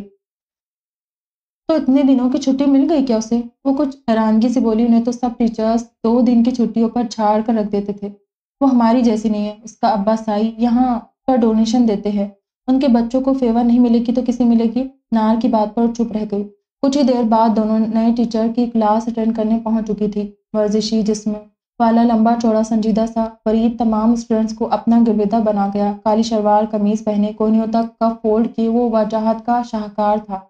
रोल नंबर 201 पंद्रह दिन की लीव। क्यों? क्या आप में से कोई उनकी इतनी लंबी गैरहाजिरी की वजह जानता है? वरीद एक ताराना निगाह सामने बैठे स्टूडेंट्स पर डाल कर बोला, आज उसका यहाँ क्लास के साथ पहला दिन था। अपने इंट्रो के बाद उसने अटेंडेंस लगानी शुरू की। नकाब में मौजूद एक लड़की ने हाथ खड़ा किया, जी उसने उसे बताने का इशारा किया। सर, वो गाँव गई है। उनके भाई की शादी है। उसकी बात पर वो सर हिलाकर रह गया। भाई की शादी पर इतनी लंबी छुट्टी, अपनी शादी पर क्या करेगी? उसकी बात पर क्लास में कह कहा लगा। नार को उसकी बात नागवार घुसी आँखों से छलकती नागवारी वरीद की जीरक निगाहें से छुप नहीं सकी। बैठ जाए। उसने इग्नोर करते उसे बैठने का इशारा किया। थोड़ी देर बाद वो तमाम क्लास से उनका इंट्रोडक्शन ले रहा था। मेरा नाम नार एहसान है। इतने मुख्तसर तारुफ पर वरीद ने दाएँ आँख की अबरू उठाकर ऐसे देखा, जैसे कहा, ये क्या था? बस, अपनी हैरत को अल्फाज पहनाए। जी सर, मेरी ज़ात ही मेरा तारुफ है। उससे ज़्यादा तारुफ फ़िलहाल मेरा नहीं है। उसकी बात ने वरीद को मखमसे में डाला। वो लड़कियों से अजीब सा मुआमा लगी। कंधे उचकाए। कोई एम्बिशन नहीं है आपकी ज़िंदगी में? इस डिग्री के बाद क्या करेगी? न जाने क्यों उससे बात करने को दिल किया। अभी सबसे बड़ा एम्बिशन ये डिग्री है। और नबे फ़ीसद पाकिस्तानियों की तरह डिग्री के बाद अच्छी नौकरी, अहम गोल है ज़िंदगी में। उसकी बात पर मुतासर कन मुस्कुराहट उसके चेहरे पर बिखरी। मतलब आप हकीकत पसंद हैं। अच्छी बात है, मुतासर हुए बगैर ना रहा। नकाब में मौजूद कम ही लड़कियों को इतना कॉन्फिडेंट उसने देखा था, वरना अमूमन घबराई हुई होती। अब की बार उसने गहरी निगाह, उसकी काली सयाघोर आँखों पर डाली। नार ने सरस से निगाहों का जाविया बदला। हकीकत पसंद होने से ज़िंदगी आसान हो जाती है और उम्मीदें नहीं बनती, ना टूटती है। ना तकलीफ़ देती है। सब मज़े से उनकी गुफ्तगु सुन रहे थे। कूट अच्छा लगा ये जानकर के मेरी क्लास में इतने फिलासफर मौजूद है। न जाने उसने तारीफ़ की थी कि मज़ाक उड़ाया था। कुछ लोग दबा दबा हंस रहे थे। नार को तो ऐसा ही लगा कि ये तारीफ़ नहीं, मज़ाक उड़ाना था। अब की बार वो खामोशी रही। इसी खामोशी से अपनी सीट पर बैठ गई। अजीब एलमैनर्ड है। भाई, बात का जवाब दिया है। इस पर मज़ाक उड़ाने की क्या बात है? सरगोशी नुमा आवाज़ में जरवा से मुखातिबी अरे नहीं, उन्होंने वैसे ही कहा है। वो बात टालने वाले अंदाज बोली, तुम अभी से उनकी चमचागिरी करने लगी। एक आँख नहीं भाया मुझे ये बंदा। वो खुशमगी निगाहों से देख कर बोली तो किसने कहा एक आँख से देखो? दोनों से देखो भा जाएगा। उसे नॉर्मल करने के लिए मसाहिया अंदाज बोली, वैसे तुम्हें भाने से क्या कर तुम्हें कौन सा? इससे पहले कि उसके मुँह से कोई अजीम बात निकलती नार ने उसे ज़ोर से कोनी मारकर खामोश करवाया। मुझे शॉपिंग करने शहर जाना है। मज़े से सरीना की गोद में सड़क के लेटी नाज उठवा रही थी। अच्छा शाह से कहती हूँ, तुम्हें ले जाए। उसके बाल संवारते बोली, क्यों, अब मैं मारिज की ज़िम्मेदारी हूँ? वही लेकर जाएगा मुझे? वो मज़े से उन्हें टोक कर बोली, जरीना ने एक जोरदार थप्पड़ से उसके कंधे की सेवा की। क्या है माँ? वो कंधा सहला कर बोली, शर्म कर, बेशरम कही की पता नहीं नशरा तुझे कब अकल आएगी? कैसे मुँह फाड़ के शोहर का ज़िक्र कर रही है और उसके साथ सैर सपाटे के प्रोग्राम बना रही है? जरीना का कम कम ही जब्त जवाब देता था। अगर देता था तो नशरा के हाथों वो खूब इकलौती बेटी के होने के फ़ायदे उठाती थी और शायद उसी वजह से बिगड़ी हुई थी, वरना उनके बेटे इस कदर बेरारवी का शिकार न थे। आप बस मुझ पर तशद करती रहा करे। एक तो आप सबकी वजह से उस नाजैस वो तेज़ी से उठकर बैठती उनके सामने होते तू बदू बोली। उसकी बात पर पूरी होने से पहले जरीना उसके मुँह पर हाथ रखकर आँखें निकाली। आइंदा मारिज के लिए कोई बकवास की तो ज़ुबान खींच दूँगी। अपनी दादी और फुप्पियों की ज़ुबान मत बोलो। मैंने तुम्हें कितनी बार समझाया और तुम कौन होती हो उसे ये ताना देने वाली? उनका बस नहीं चल रहा था, उसका मुँह थप्पड़ों से लाल कर देती बहुत अच्छा किया, तुम्हारे बाबा साई ने जो तुम्हारा निकाह मारिज से कर दिया। मैं तो कहती हूँ, जल्दी से रुखसती भी कर दे। जान छूटे मेरी तुम्हारी इतनी बेबाक और निडर गुफ्तगु से। कभी अपने भाइयों को देखा है मारिज के साथ ऐसी कोई बात करते, उनसे सबक सीखो। हम अपने किए के जिम्मेदार खुद है, कोई और नहीं। लिहाजा दूसरों की बातों में आकर उसे गलत जज मत करो। वो उसे अच्छी तरह लुटाड़ रही थी। अब वही लेकर जाएगा तुम्हें बाज़ार। बिल्कुल सही करता है वो तुम्हें। किसी खातिर न लाकर। वो अच्छे से जानती थी मारिज को और उसकी शराफत को। वही तो था जिसने साइम के साथ उसके चक्कर चलने का मलिक अयाज को बताया था। यूनिवर्सिटी जाते उससे गोया तो गोया पर लग गए। अपने क्लास पहलू साइम को पसंद करने लगी। वो भी उसकी खूबसूरती से मुतासर हुआ। एक दो बार मारिज शहर किसी काम से आया। वहीं उसने किसी रेस्टोरेंट में उसे साइम के साथ देख के बड़े स्वभाव से मलिक अयाज को बताया कि वो भड़के नहीं। यहाँ मलिक अयाज ने नशरा से बात की। वही वो इस सब का कुछ और मतलब निकालते जिद में आकर एक रात सब छोड़ छाड़ कर साइम के घर जा पहुँची कि उससे निकाह कर ले। वो सबको उसके लिए छोड़ आई है। साइम इससे सिर्फ़ वक्त गुजारे के लिए दोस्ती कायम रखे हुए था। इतनी आगे का तो उसके वहम गुमान में भी ना था। उसके माँ बाप मलिक अयाज को अच्छे से जानते थे। उन्होंने भी अपने बेटे को अच्छा लुताड़ा और फ़ौरन मलिक अयाज को फ़ोन कर दिया। उनके फ़ोन से पहले ही मारिद ने इतला उनको पहुँचा दी कि नशरा घर छोड़कर भाग गई। उसने कुछ दिनों से अपने कुछ बंदे उसके पीछे लगाए हुए थे, जो उसकी एक एक रिपोर्ट मारिज को देते थे। वो हवेली की सभी लड़कियों के लिए इतना ही एहसास था, मगर ये सब करते उसके भी वहम गुमान में ना था कि नशरा को साइम जैसे आवारा सिफत लड़के से बचाते बचाते खुद भी फंस जाएगा। मलिक अयाज उसी रात गुस्से में नशरा को हवेली लेकर आए आते ही उसका निकाह मारिज से करने का फैसला किया। जरीना तो किसी हद तक मुतमिन हो गई, मगर ख़ानदान के बाकी सब लोगों ने एतराज़ किया कि जिस लड़के को बचपन से नाजायज़ बच्चे के हवाले से जानते थे, यूँ हवेली की लड़कियों से कैसे देते, मगर मलिक अयाज के फैसले के सामने कोई चू भी नहीं करता था और यूँ सबके एतराज़ के बावजूद नशरा और मारिज का निकाह होकर रहा। तब से नशरा ने उससे और भी बैर मान लिया। सफूरा खाला, ये छोटे चौधरी मुझ पर इतना गुस्सा क्यों करते हैं? कुछ देर पहले ही वो उसके कमरे में सफ़ाई के लिए भेजी गई थी। उसकी किताबें देखकर वो उनकी जानब अभी बढ़ी ही थी कि पीछे से कोई तेज़ी से कमरे में आया और आने वाला भी कोई और नहीं, कमरे का मालिक था। तुम? तुम यहाँ क्या कर रही हो? अव्वल तो वो उसे अपने कमरे में देखकर ही भन्ना गया था और उस पर मुस्तजाद। वो उसकी बुक रैक के करीब खड़ी, इश्तियाक से उसकी किताबें देख रही थी। मैं तो मैं तो यहाँ सफ़ाई के लिए, उसे अपनी जानब खुंखवार नज़रों से देखकर वो हिकलाते हुए बोली, ओह शट अप मेरी किताबों का सफाया करने आई थी। बताओ, क्या चुराए यहाँ से? बोलो। उसे इस लम्हे पागल ही लगा था जो बिना सोचे समझे बस उस पर गुस्सा उतारने के बहाने ढूंढता था। साहब, मैंने कुछ नहीं चुराया। रोते हुए अपने छोटे छोटे हाथों को उसके सामने जोड़ते हुए बेबस थी। शदीद बेबस, कब सोचा था ज़िंदगी में कभी ऐसे हालात का सामना करना पड़ेगा? नाजो नाम में पलने वाली आज यूँ रुल रही थी। दफ़ा हो जाओ मेरे कमरे से। इसके दोनों गालों पर ये पैर दर पे थप्पड़ों की बरसात करते भूल गया था कि जो गुस्सा वो उस पर निकाल रहा है, वो उसके हकदार नहीं। वो हाँपती कांपती वहाँ से भागी, सीधी मुलाजिमों के बने हुए हिस्से की जानी पाई। सफूरा खाला उसका लाल चेहरा देखकर समझ गई कि ऊपर से छोटे चौधरी से मार खाकर आई है। तो क्यों गई वहाँ? एक वही यहाँ उसके दुख समेटने वाली थी, वरना तो कोई, किसी को कुछ फ़र्क नहीं पड़ता था। मुझे मुझे बड़ी बेगम चौधराइन ने भेजा था। उनका कमरा साफ़ करने के लिए। वो रोते हुए रोते खुद पर बीती रोदात बता रही थी। दूसरी जानब सोहरा बेगम अपने बेटे को ऐसा दरिंदा सिफत देखकर उसे टोके बिना ना रह सकी। क्यों तुम उसे यूँ बेदर्दी से मारते हो? इंसान है वो। उस बच्चे की निकलती वो उसके कमरे में मौजूद थी। अम्मा साई, मत उसकी साइड लिया करे। वो अपनी उम्र से कहीं बड़ा उन्हें लगा। मैंने मैंने खून में नहाया अपना भाई देखा था। आपने नहीं, वो अपनी लहू छलकाती आँखों से एक नज़र उन्हें देख कर रह गया। वो मेरा भी बेटा था। मैंने मुआफ़ कर दिया सबको। वो रोते हुए उसे कंधों से थाम कर अपने साथ लगाते हुए बोली, कैसे कर सकती है आप? उन्हें माफ़ कैसे? मैं नहीं कर सकता। उनके हाथ झटक कर दूर हुआ, वैसा ही सफाक था। बस कर दो। फरीद, ये मेरे हाथ जुड़े हैं। वो बच्ची मर जाएगी। रोज़ तुम उसे मारते हो। यही सीख रहे हो अपनी पढ़ाई से? अब की बार उसे गुस्से से डांटने लगी थी। हाँ हाँ बुजदिल बना दे उसे। अपनी तरह न जाने किस लम्हे रुकैया बेगम कमरे में आई। उन्हें पता नहीं चला।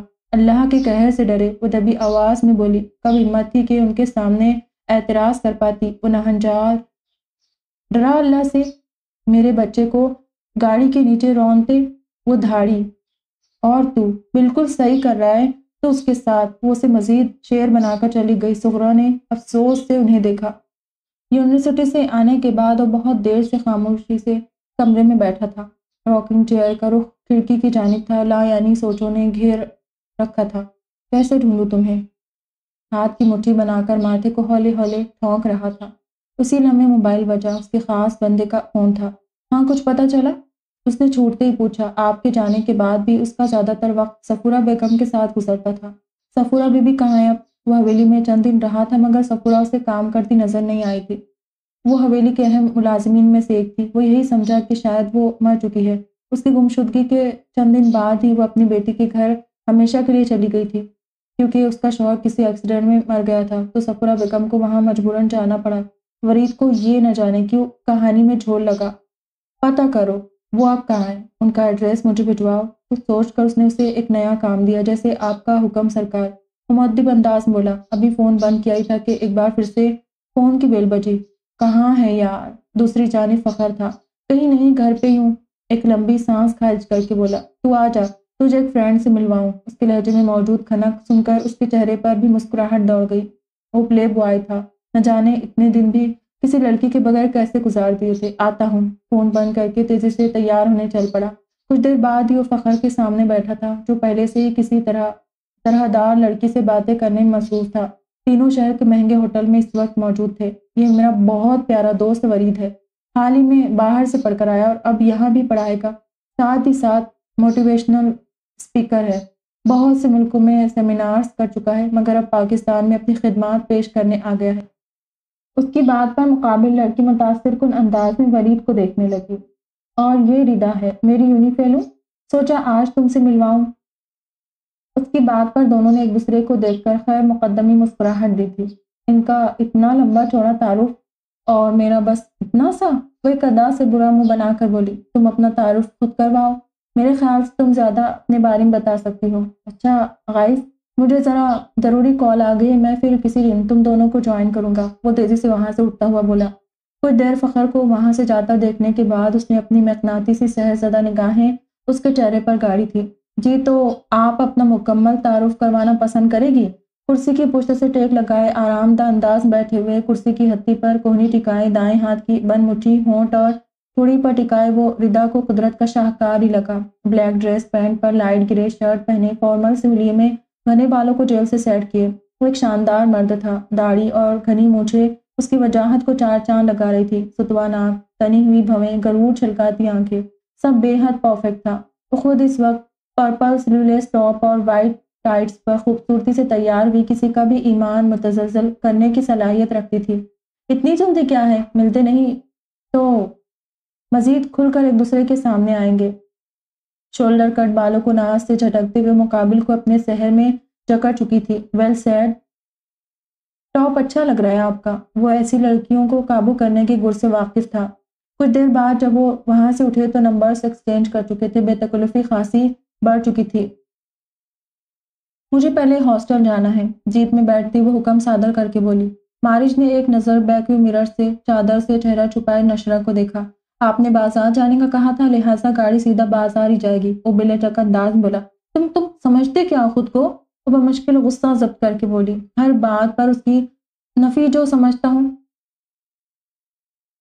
वो हैसियत आप मानने को तैयार नहीं। मुस्कुराहट दबाता हुआ इस लम्हे उसे शदीद जहर लगा। अपनी लुक्स मुझे दिखाने की ज़रूरत नहीं है। उसके पुरकशिश चेहरे से बमुश्किल नज़रें छुड़ाई, वरना दिल ने वारदात शुरू कर दी थी। अब मुझे अपनी सब लुक्स सिर्फ़ आपको और आपको अपनी सब लुक्स सिर्फ़ मुझे ही दिखाने की ज़रूरत है। वो कहाँ हारने वाला था? भरपूर जवाबी कार्रवाई कर रहा था। पता नहीं किस लम्हे तुम्हारे साथ आने का कह दिया। अब उसे अपनी गलती का शदीद एहसास हुआ। उसने तो सारे रास्ते उसका बीपी हाई करवा देना था। इसीलिए कहते हैं, कुछ फैसले सोच समझ के करने चाहिए, वरना पछतावा ही हाथ आता है। वो ना, वो नासे बना उसे समझा रहा था। अच्छा तुमसे मशवरा नहीं मांगा? वो तड़क कर बोली, मांग लेती तो अच्छा होता। बैक्यू मिरर से एक बार फिर उसकी ब्राउन आँखों को देखा। नशरा अब की बार खामोश रही। वो उसे जेर करने लगा था और यह उसके लिए ख़तरनाक था। यूँ उसे खुद पर हावी नहीं होने दे सकती थी। ये नामुमकिन था उसके लिए, उसकी पुरसोच, नज़रें दूर तक खेतों में उलझ रही थी। वो जितना उसे जिज करने की कोशिश करती, उससे ज़्यादा खुद हो जाती। सुनो, तुम्हें कोई लड़की पसंद है क्या? न जाने दिमाग में क्या समाये। कुछ देर बाद फिर से भीड़ों के छत्ते को छेड़ा। हुई भी तो आपसे कोई बेतकल्लुफी नहीं कि आपसे शेयर करता फिरूं। इसकी बात पर माथे पर बल वाजे नमदार हुए। देखो, अगर है तो मैं तुम्हारी शादी करवा दूँगी। सीरियसली मज़ाक नहीं कर रही। वो हर तरह से उससे जान छुड़ाना चाहती थी। बीबी, आपका और मेरा मज़ाक है भी नहीं। बेहतर होगा जो फासले शुरू से कायम है, वो कायम ही रहे। अब की बार वो उसे शटअप कॉल दे रहा था। तो तो इस निकाह मुसीबत का मैं क्या करूँ? झुल्लाई इतने मुकदस रिश्ते के साथ ऐसे अल्फाज लगाने मुनासिब नहीं है। वो उसे टोक कर बोला अच्छा उस्ताद साहब उसे झटक गई। ये तो मारिज भी नहीं जानता था कि उनके इस रिश्ते का अंजाम क्या होगा। उसने तो मलिक अयाज के एहसानों का बदला चुकाने की छोटी सी कोशिश की थी। पिछले दो घंटे से हॉस्टल में, हॉस्पिटल में मौजूद थे। अब तक उसकी हालत नहीं संभली थी। बड़े मलिक साहब, आप हौसला रखें। अल्लाह बेहतर करेगा और मुसलसल उनका हौसला बना उनके साथ मौजूद था। अगर उसे कुछ हुआ, मैं उसकी माँ को क़यामत के दिन क्या मुँह दिखाऊँगा? उससे वादा किया था कि मैं उसे हर मुसीबत और हर आफत से बचा कर रखूँगा। क्या पता था उसका बाप उसकी जान लेने के दर पे आ जाएगा। सही कहते गुनाहों की दलदल इंसान में हर तमीज़ ख़त्म कर देती है। दिल काला होने लग जाता है। वो मुस्तरब से अधर उधर चक्कर काटते, फिर चंद लम्हों के लिए कॉरिडोर में रखे बेंच पर बैठ जाते, मगर सुकून नहीं मिल रहा था। कुछ ही देर बाद डॉक्टर ऑपरेशन रूम से बाहर आया। गोली तो निकाल दी है, मगर बच्चे का खून बहुत बह गया है और इसके लिए खून की बोतलें लगाई गई है। दुआ करे, माजूरी ना हो जाए उसमें कोई। डॉक्टर की बात पर वो ढेर गए। हड्डी बुरी तरह मुतासर हुई है, मगर कोशिश करेंगे कि बच्चा ठीक हो जाए। डॉक्टर की बात पर उनके चेहरे पर परेशानी की साएँ लहराए। जितना भी महँगा इलाज हो, कुछ भी हो, आप प्लीज़ उसे माजूरे से बचा लें। मैं पानी की तरह पैसा लगा दूँगा। मडिको को यूँ बेबस, उस डॉक्टर ने पहली बार देखा था। बस बच्चे को होश आ जाए एक्सरे रिपोर्ट्स आ जाए, फिर कुछ बेहतर कहा जा सकता है। यहाँ इलाज मुमकिन ना भी हो सका तो आप उसे शहर ले जाइएगा। वहाँ यकीनन बेहतर अंदाज में डॉक्टर आपकी मदद करेंगे। बाकी सब अल्लाह के हाथ में है। डॉक्टर अपनी बात मुकम्मल करके चला गया। फ़िक्र न करें, बड़ी मलिक साहब। अल्लाह बेहतर करेगा और फिर वाकई उन्होंने बेदरीग पैसा लुटाया। मुझ पर इतने मुलाजिमों के सामने मेरे भाई ने हाथ उठाया। छोड़ूँगा नहीं मैं किसी को। ड्राइवर को बाहर निकाल कर वो अकेला ही गुस्से से पागल होते जंगल से निकला था। रैश ड्राइविंग उसने ज़िंदगी में कभी नहीं की थी, मगर इस लम्हे वो आपे में नहीं था। डैशबोर्ड के खुफिया खाने से शराब की बोतल निकाल कर आधी एक ही सांस में खाली की। समझता क्या ये? यहाँ का बड़ा बन गया तो हम सब का खुदा बन बैठा। जैसा कहेगा, जो कहेगा, हम करते चले जाएँगे। गलत फहमी उसकी। मैं मैं ऐसा जाल बिछाऊँगा कि सब मरतबा और मकाम छीन लूँगा उससे। गुस्से ने उसके होश हवास सलब कर दिए। तेज रफ्तार से वो पगडंडी पर जीप दौड़ा रहा था। नशे में धुत सामने से आते बच्चे को वो देख ही नहीं पाया। गाड़ी के साथ साथ उसे भी उड़ा ले गया। साथ ही बाग में खेलते उसके भाई, दौड़ते हुए उसके करीब आए, मगर वो खून में नहा चुका था। बच्चे के टकराने पर उसने जीप रोकी। बौखलाकर गाड़ी से बाहर झांका। कोई और नहीं चौधरियों का पोता था। उसके कार्ड भी आ चुके थे। हालात बिगड़ते देखकर गाड़ी मजीद रोकने की बजाय भगा ले गया। पकड़ो से वरीद भाई की लाश देखकर चिल्ला रहा था। दस साल का वरीद रो रहा था, चिल्ला रहा था। फरीद, आँखें खोलो। गार्ड्स फ़ौरन लिए गाड़ी में बैठे, जीप की पिछली सीट पर भाई का सर गोद में रखे, वो मुसलसल उसे पुकार रहा था मगर वरीद ज़िंदा होता तो सुनता। हॉस्पिटल पहुँचने पर डॉक्टर ने मायूसी का इजहार करते उसके एक्सपायर होने की तस्दीक की। वरीद ने रो रो कर पूरा हॉस्पिटल सर पर उठा लिया था। जी सर, आपने बुलाया मुझे? उन्हें एक हफ़्ता हो चुका था वरीद से पढ़ते हुए। बहुत से स्टूडेंट तो उससे बेतकल्लुब भी हो चुके थे जिनमें बड़ी तादाद लड़कियों की थी चंद एक को छोड़कर बाकी सभी वरीद की गिरविदा थी। जी नार आइए प्लीज़ वो मसरूफ से अंदाज में अपने ऑफ़िस में बैठा, बहुत सी फाइल्स अपने आगे फैलाए, इसका मुंतज़र भी था। ये कल के लेक्चर के नोट्स है। मैंने सारी क्लास के लिए कॉपीज़ निकलवा ली हैं। आप सब में डिस्ट्रीब्यूट कर दें और इन्हें बता भी दे कि नेक्स्ट वीक इसी में से टेस्ट आएगा। कागज़ों का एक लंदा उसकी जानी बढ़ाते हुए सादा से अंदाज बोला, लेकिन सर, मैं क्लास की सियाह नहीं हूँ। बेहतर है कि आप उन्हीं को ये काम दे। वो अंदर आकर यूँ ही खड़ी थी। उसके इशारा करने के बावजूद बैठी नहीं थी। दो टोक अंदाज पर वरीद का असाइनमेंट चेक करता हाथ रुका। कुर्सी के साथ टेक लगाकर फुर्सत से उसे देखा। उसकी निगाहों के गहरे इर्तिकाज पर जुजबुज हुई नज़रें झुकी हुई उसकी टेबल पे मौजूद पेपर्स पर थी। क्या मैंने आपसे पूछा कि एक क्लास की सीआर कौन है और क्या एक हफ़्ते बाद भी आपको ऐसा लगता है कि मुझे ये मालूम नहीं होगा कि सीआर कौन है? वो सीआर पर ज़ोर देते तंजिया अंदाज बोला तो सर, मुझे ये काम देने का मकसद उसने बहुत से टीचर्स के बारे में सुन रखा था, जो उम्र का लिहाज ना करते अपने स्टूडेंट्स पर डोरे डालते। बहुत सौ से तो वो वाकिफ भी थी, इसीलिए कुछ टीचर्स के पास वो कभी अकेली नहीं जाती थी। हमेशा नार, नशरा और जरवा इकट्ठे ही जाती थी, मगर आज दोनों ही उन्हीं नहीं आई थी। लिहाजा से मजबूरन अकेले आना पड़ा। आप मेरी स्टूडेंट है, और ये मेरी मर्ज़ी कि मैं किसी भी स्टूडेंट को कोई भी काम दे लूँ। इज़ दैट क्लियर अब की बार वो नागवारी से बोला, उसे डिक्टेट करने वाले लोग बुरे लगते थे तो उसे वो कैसे बर्दाश्त करता? और आइंदा टीचर से बहस मत कीजिएगा।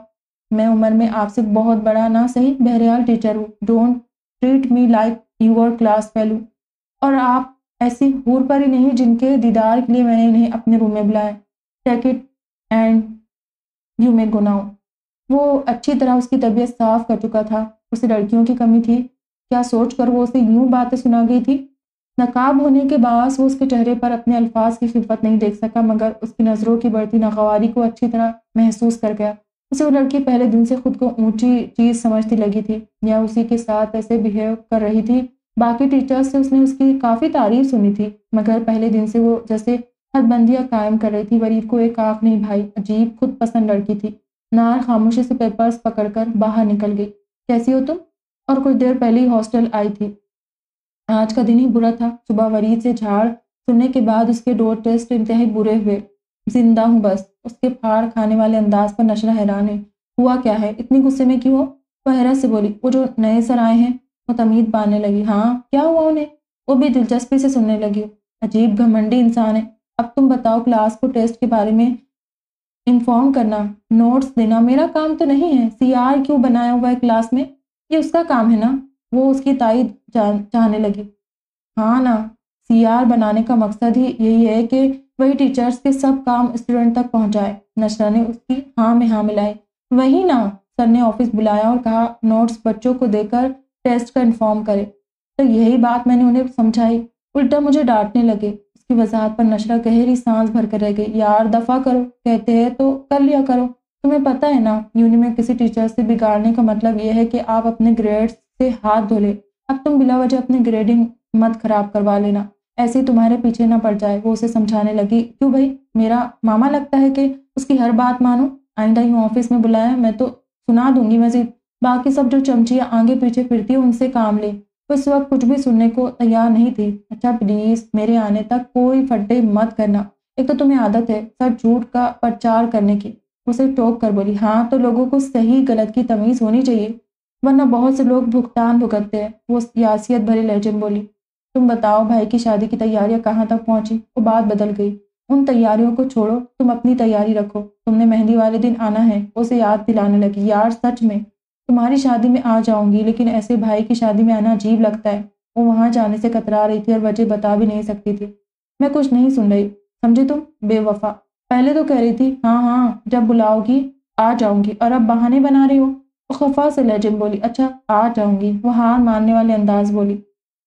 सर इस रिपोर्ट पर साबिर इंडस्ट्रीज़ ने फीडबैक दिया है, आप फ्री हो जाए तो मैं आपको ईमेल कर देती हूँ। फ़खर के सामने इस वक्त उसकी ऑफिशियल मैनेजर किसी नए प्रोजेक्ट को डिस्कस करने के साथ साथ एक पुराने प्रोजेक्ट के बारे में मुतला कर रही थी। ठीक है मिस एहसान आप ही वाले प्रोजेक्ट की डील फाइनल समझे। गेती से कहें, एक ईमेल उन्हें हमारे रिस्पॉन्स और मीटिंग की कर दे जिसमें हम प्रोजेक्ट पर साइन करेंगे। और साइबर इंडस्ट्रीज़ के इश्यूज़ के मुतालिक रिपोर्ट मुझे भिजवाएँ, ताकि उन्हें भी जल्द ही देखा जाए, क्योंकि आधी पेमेंट वो हमें कर चुके हैं। हमारा क्लाइंट ख़राब नहीं होना चाहिए। एक हाथ से मुसलसल होने वाले फ़ोन को उठाकर रिसीवर कान से लगाते उसे ज़रूरी हिदायत दे रहा था। ठीक है सर वो उसे मसरूफ देकर उठने ही वाली थी। जब दूसरी जानब बात करते उसने उसे बैठने रहने का इशारा किया। चुपचाप बैठ कर उसके फारिग होने का इंतज़ार करने लगी। जी कहती दूसरी जानब उसकी सेक्रेटरी थी।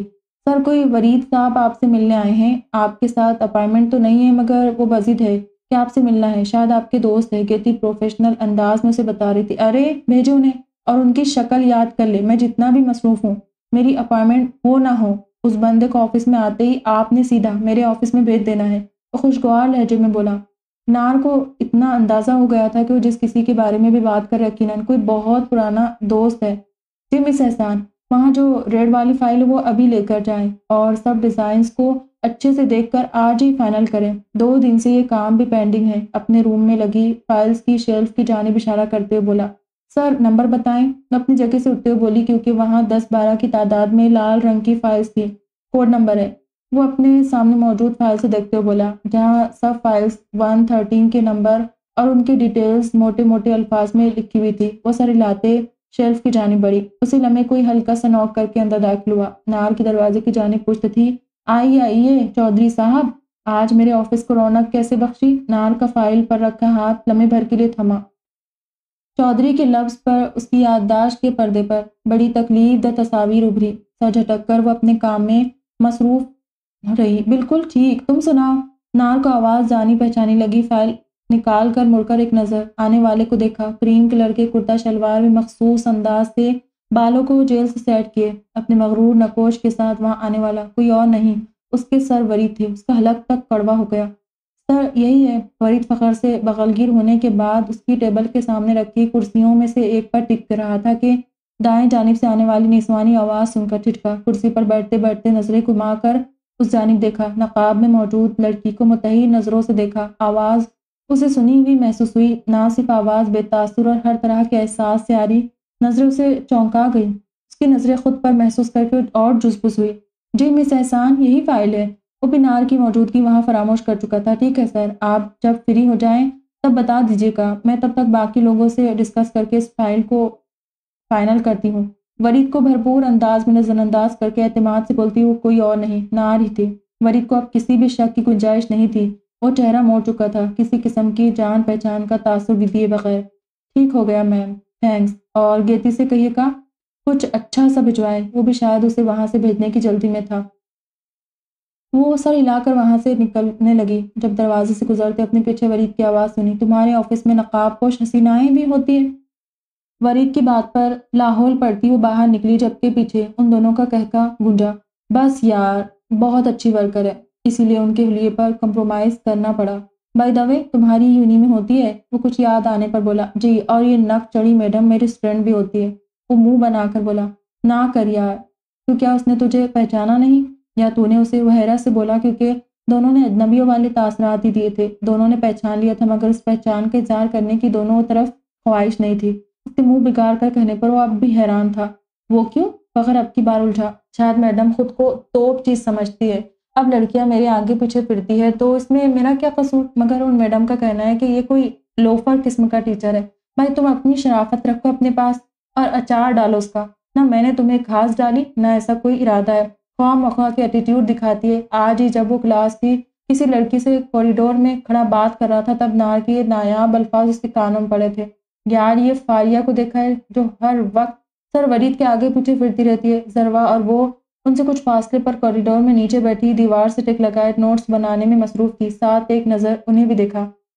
ऐसे लोफर टीचर्स होंगे तो यूनी का यही माहौल होगा। वो दिल की भड़ास उस पर निकाल रही थी। उसकी आवाज़ इतनी ऊँची ज़रूर थी कि वरीद तक पहुँच जाती। वो अपनी जगह जल कर रह गया। तुम सच में अपने ग्रेड्स खराब करवाओगी। जरवा से टोक कर बोली, अगर टीचर्स की खुशामदे करके ही ग्रेड लेने हैं तो इससे बेहतर मैं डिग्रेड में मास्टर करूँ। वैसे भी मैं अपने वर्ड बढ़ाने के लिए डिग्री ले रही हूँ, वरना तुम जानती हो कि मुझे इसकी ज़रूरत नहीं हो। साफ़ गो इसे बोली हाँ हाँ यानी तेरी स्टूडेंट तुझे लोफर समझती है। इंटरेस्टिंग उसकी पूरी बात सुनकर फखर अपना कहका ना रोक सका। तू जानता है, मुझे ऐसे लोग सख्त बुरे लगते हैं जो खुद को अलग ज़ाहिर करने के दर पे हो। चार मीठे बोल, उससे तो बोलूँ तो ये मैडम भी और लड़कियों की तरह आगे पीछे फिरती नज़र आए। वो अलग बात है कि ऐसियों को मैं मुँह ही नहीं लगाता। वो रऊनत भरे अंदाज बोला, इतना बड़ा बोल नहीं बोलते, आगे आ जा। फ़खर ने न जाने उसे नसीहत की थी मज़ाक में कहा था, वो सर झटक कर रह गया। वैसे कब से मैडम काम कर रही यहाँ? वो पूछे बगैर नहीं रह सका, यार, असल में बाबा के किसी दोस्त की जाने वाली है तो बाबा ने उसे दो साल पहले यहाँ रखा है। माँ बाप है नहीं, हॉस्टल में रहती है बस और इससे ज़्यादा कुछ नहीं पता उसके बारे में। मेहनती बहुत है और टैलेंटेड भी। उसकी बात पर वो महज सर हिला करेगा उसे कोई ख़ास दिलचस्पी नहीं थी। और तो सुना, तेरे हालात कहाँ तक पहुँचे? वो जिस जाने इशारा कर रहा था, उसे समझ कर मुबम सा मुस्कुराया बहुत फास्ट लड़की है भाई। कल तो मेरे घर आने पर तैयार हो गई थी। मैंने ही रोका कि हौस, ज़रा हौसला करो। बेडरूम तक भी ले जाऊँगा, वो तफसील बताने लगा। आई टोल्ड यू बंदी बहुत फिट है। उसे आँख मार कर बोला, दोनों का कहका भरपूर था। ये क्या कर दिया तुमने? कुछ देर पहले वो मारिज को शहर के हॉस्पिटल छोड़कर हवेली आए थे। शेरू को वो मारिज के पास ही छोड़ाए थे ताकि वो उनकी गैर मौजूदगी में उसका ध्यान करे, मगर हवेली आते ही एक नई मुसीबत उनकी मुंतजर थी। मुझे समझ ही नहीं आई वो कब गाड़ी के आगे आ गया। नशे से चूर लहजे ही मलिक अयास को समझा गया कि किस वजह से इस बच्चे को देख नहीं पाया और फिर वही हुआ जिसका उन्हें डर था। शाम से पहले पहले जरगे के मोजीन उनके घर मौजूद थे। आपके भाई ने बिल्कुल अच्छा नहीं किया। कल उस बच्चे के कुल है। परसों वो जरगा बैठेगा। अगर उसने भागने की कोशिश की तो कुफारा आपको भरना पड़ेगा। उनकी बात पर तफक्र की लकीरें उनके माथे पर नमदार हुई। आप फ़िक्र मत करें, मैं और छोटे मलिक जरगे में आएँगे। जो फैसला भी चौधरीों की जानब से आएगा, हमें मंजूर होगा। उनकी बात पर वो सब कुछ देर बैठने के बाद उड़ गए। अब क्या होगा? चिरके के लोगों के साथ ही इशरत बेगम ने कहा, उन सबको ही अंदाज़ा था कि अब क्या हो सकता है, या तो खून के बदले खून या फिर वनी। मुझे क्या पूछ रही है? उसको पूछा जो नशे में दूध गाड़ी चला रहा था, वो भी धाड़े सब औरतें जनान खाने में मौजूद थी। मैं मैं नशे में नहीं, गुस्से में धुत था। भूल गए क्या? क्या किया था आपने? वो भी गुर्रा कर बोला, क्या किया था मैंने? हाँ बोलो। एक मासूम पर गोली चलाते शर्म नहीं आई तुम्हें? वो भी दुबदु हुए। एक कमी कमीन के लिए आपने मुझे मुलाजिमों के साथ ने मारा। मेरा गिरबान पकड़ा और कह रहे कि क्या किया है मैंने? वो बदलिहाजी से बोले, बस कर दो तुम दोनों। इशरत बेगम ज़ोर से बोली ये परसों जरगा जाएगा और अगर इस बार आपने उसके गुनाहों की पर्दापोशी करने की कोशिश की तो अच्छा नहीं होगा। वो माँ को तंबिया करके गुस्से से मलिक सरफराज को देखते वहाँ से निकल गए। सुनो सनान खाने के करीब से गुजर रहा था जब नशरा की आवाज़ सुनकर रुका। पुश्त पे हाथ बाँध कर नज़रें झुकाए खड़ा रहा। कितने शरीफ लगते हुए इस तरह खड़े हुए, मासूम से, जिसके मुँह में ज़ुबान भी ना हो। इस लम्हे यूँ खड़ा हो उसे वाकई बड़ा मासूम सा लगा। मारिश के चेहरे पर मखसूस सी मुबहम मुस्कुराहट उभरी। जो बाकियों को तो बेहद अच्छी लगती थी, मगर नशरा को आग लगा देती थी। क्या मेरी तारीफें करने के लिए आपने मुझे रोका है? प्लीज़ जितनी भी करनी है ज़रा जल्दी करें। मुझे ज़रूरी काम है। उसको चिढ़ाने का कोई मौका वो हाथ से जाने नहीं देता था। इतनी ही तुम क्रिस एवेंस को मुँह बिगाड़ कर बोली, ओह, यानी इंडियंस मूवीज़ के बाद अब आपने हॉलीवुड की मूवीज़ भी देखना शुरू कर दी है? वो जानता था। अब वो मज़ीद भड़केगी। हाँ देखूँगी और शायद एक दिन फ़िल्मों में काम भी करने लगूँ। तुम्हें क्या तकलीफ़ है? जिस बात के लिए रोका था, वो तो अब कहीं पीछे रह गई थी। दोनों की असली दुश्मनी शुरू हो चुकी थी। उसके जवाब पर अब की बार मारिज के चेहरे पर नागवार तासरात उभरे। नज़रें उठाकर सुलगती नज़रों से उसके हसीन मुखड़े को देखा। अब आप में मलिक अयास की बेटी नहीं है सिर्फ़, मेरी मनकुहा भी है, सोच समझ कर बोला करे।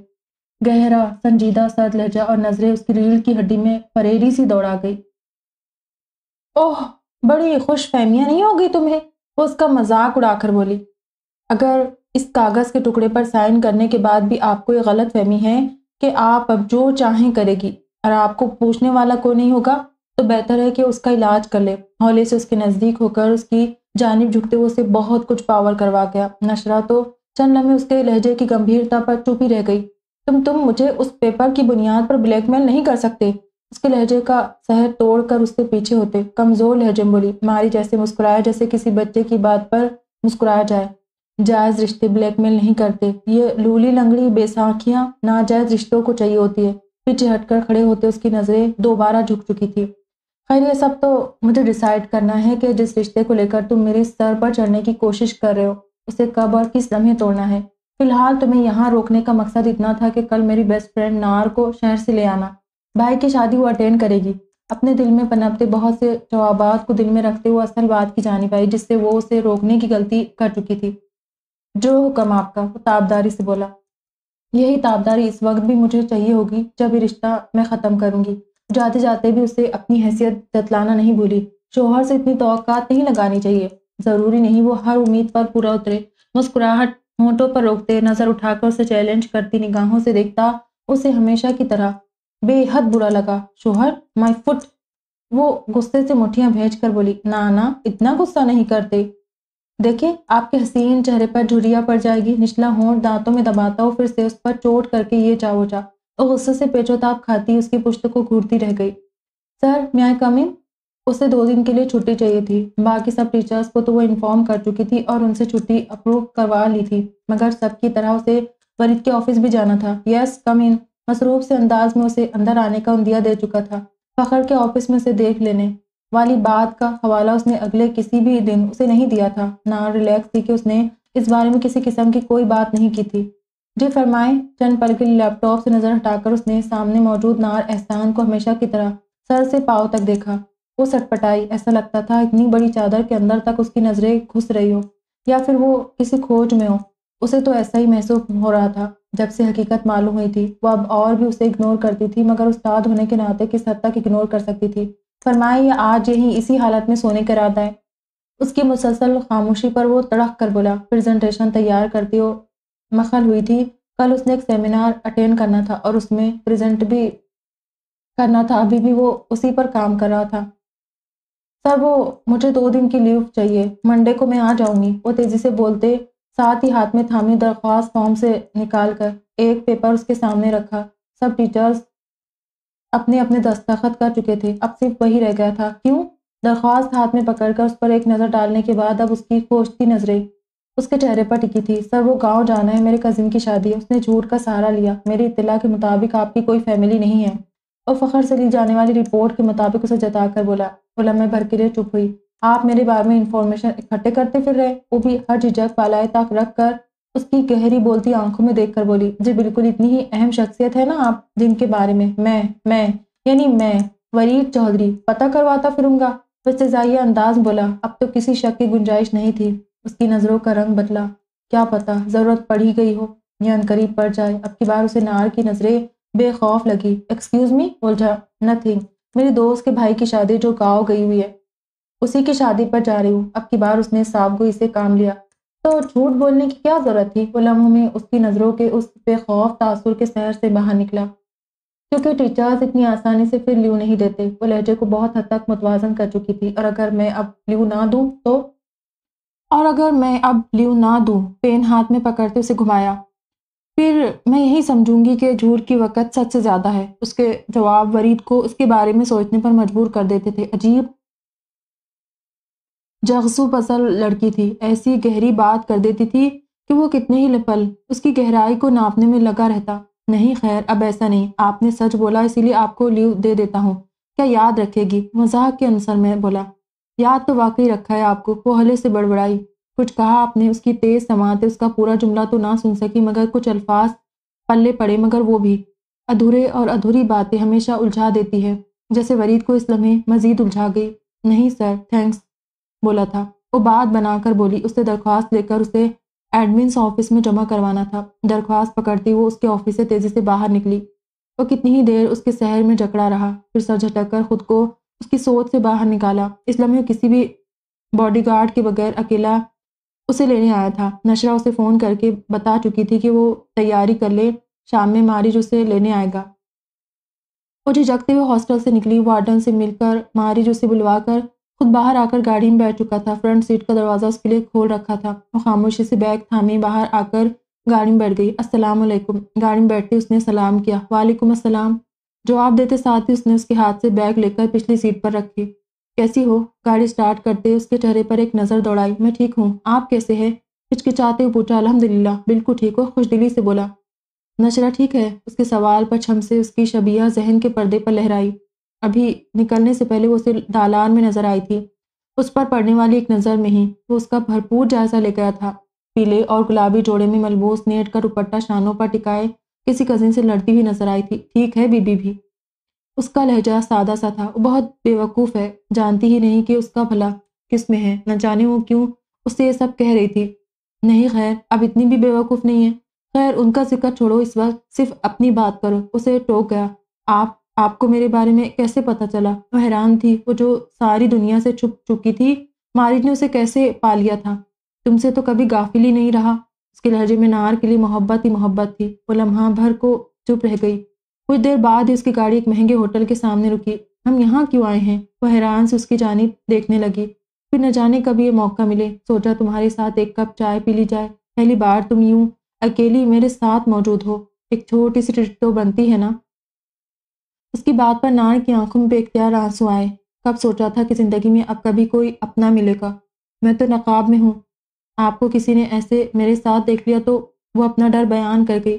मुझे तो कभी भी इस बात से डर नहीं लगा कि अगर हमारा रिश्ता डिस्क्लोज हो गया तो क्या होगा? तुम अपने इस बेमानी डर को फंसे पुछ डाल लो और इस वक्त को इंजॉय करो। उसे समझाने वाले अंदाज बोला, उसके लहजे का मान नार को मजीद कुछ कहने से रोक गया। चलो उसे उतरने का इशारा किया। थोड़ी ही देर बाद वो दोनों होटल के अंदर मौजूद दो कुर्सियों वाली टेबल पर आमने सामने बैठे थे। चाय के साथ सैंडविचेस का ऑर्डर देकर वो दोनों इधर उधर की बातें करने लगे। खैरियत, आज बड़े दिनों बाद तुमने याद किया है। न जाने की उन्हीं से आने के बाद एक पल को भी वो नज़रें उसके जहन से नहीं हटी थी। क्यों दिल उसकी जानब खिंच रहा था, उसे समझ ही नहीं आ रही थी किसी आँखों पर वो यूँ दिल हार जाएगा। उसके कभी वहम गुमान में भी ना था। आखिर तन आकर तंग आकर उसने रिदा को फ़ोन किया। हाँ सोचा आज शाम की चाय तुम्हारे साथ पी जाए। उसकी बात पर वो खिल सी उड़ गई। सिर्फ़ चाय? उसके सवाल पर वो बेजार सा हुआ था। नहीं मतलब आज की तमाम शाम उसने तस्वीर की। ओके, वक्त और मुकाम बता दो, मैं आ जाऊँगी। वो फ़ौरन तैयार हुई। कुछ ही देर बाद स्टाइलिश सी ब्लैक शलवार कमीज में बालों को जेल से सेट किए। नक्सक था वो तैयार था। दोनों मकर वक्त पर पहुँच चुके थे। तुम शलवार कमीज इतनी क्यों पहनते हो? हेलो हाय के बाद उसे सवाल किए बिना न रह सकी। गो के उसे ये लिबास बहुत ऑकवर्ड लगता था, मगर वरीद पर ऐसा जचता था कि वो सराय बिना ना रह सकी। मेरा पसंदीदा लिबास है। कुछ हम फेडरल लार्ट्स कितने भी पढ़ लिख जाए, कुछ चीज़ें हमारे खमीर में पेवस्त हो जाती है, जिन्हें चाह कर भी हम छोड़ नहीं सकते। तुम यही समझ लो, इनमें से एक चीज़ मेरा शलवार कमीज़ पहनना भी है। वो जहात देने के साथ साथ एक ताराना निगाह इर्द गिर्द भी डाल रहा था। जब एक मखसूस आवाज़ ने उसे अपनी जानब देखने पर मजबूर किया। उनकी टेबल के दाएँ जानब दो कुर्सियों वाली टेबल पर उसी की उम्र के लगभग मर्द के साथ वो कोई और नहीं, वही मौजूद थी जिसने सुबह उसे तंग कर रखा था। मारिज की पुश्त उसकी जानब थी, जबकि नकाब में मौजूद वो आँखें, वरीद को फिर से अपनी जानब खींचने लगी। नार भी उसे देख चुकी थी, मगर हमेशा की तरह नज़रों में अजनबी तासुर मौजूद था जो वरीद को खौला कर रख गया। क्या हुआ? उसे मुसलसल खामोशी से दाएँ जानब टुक टुक की बाँध कर देखने पर टोक गई। रिदा ने कुछ चौंक कर साथ वाली टेबल पर मौजूद नकाब वाली लड़की को देखा। वो ये सोचना भी नहीं चाहती थी कि ऐसी कोई बैकवर्ड लड़की में वरी दिलचस्पी ले सकता है।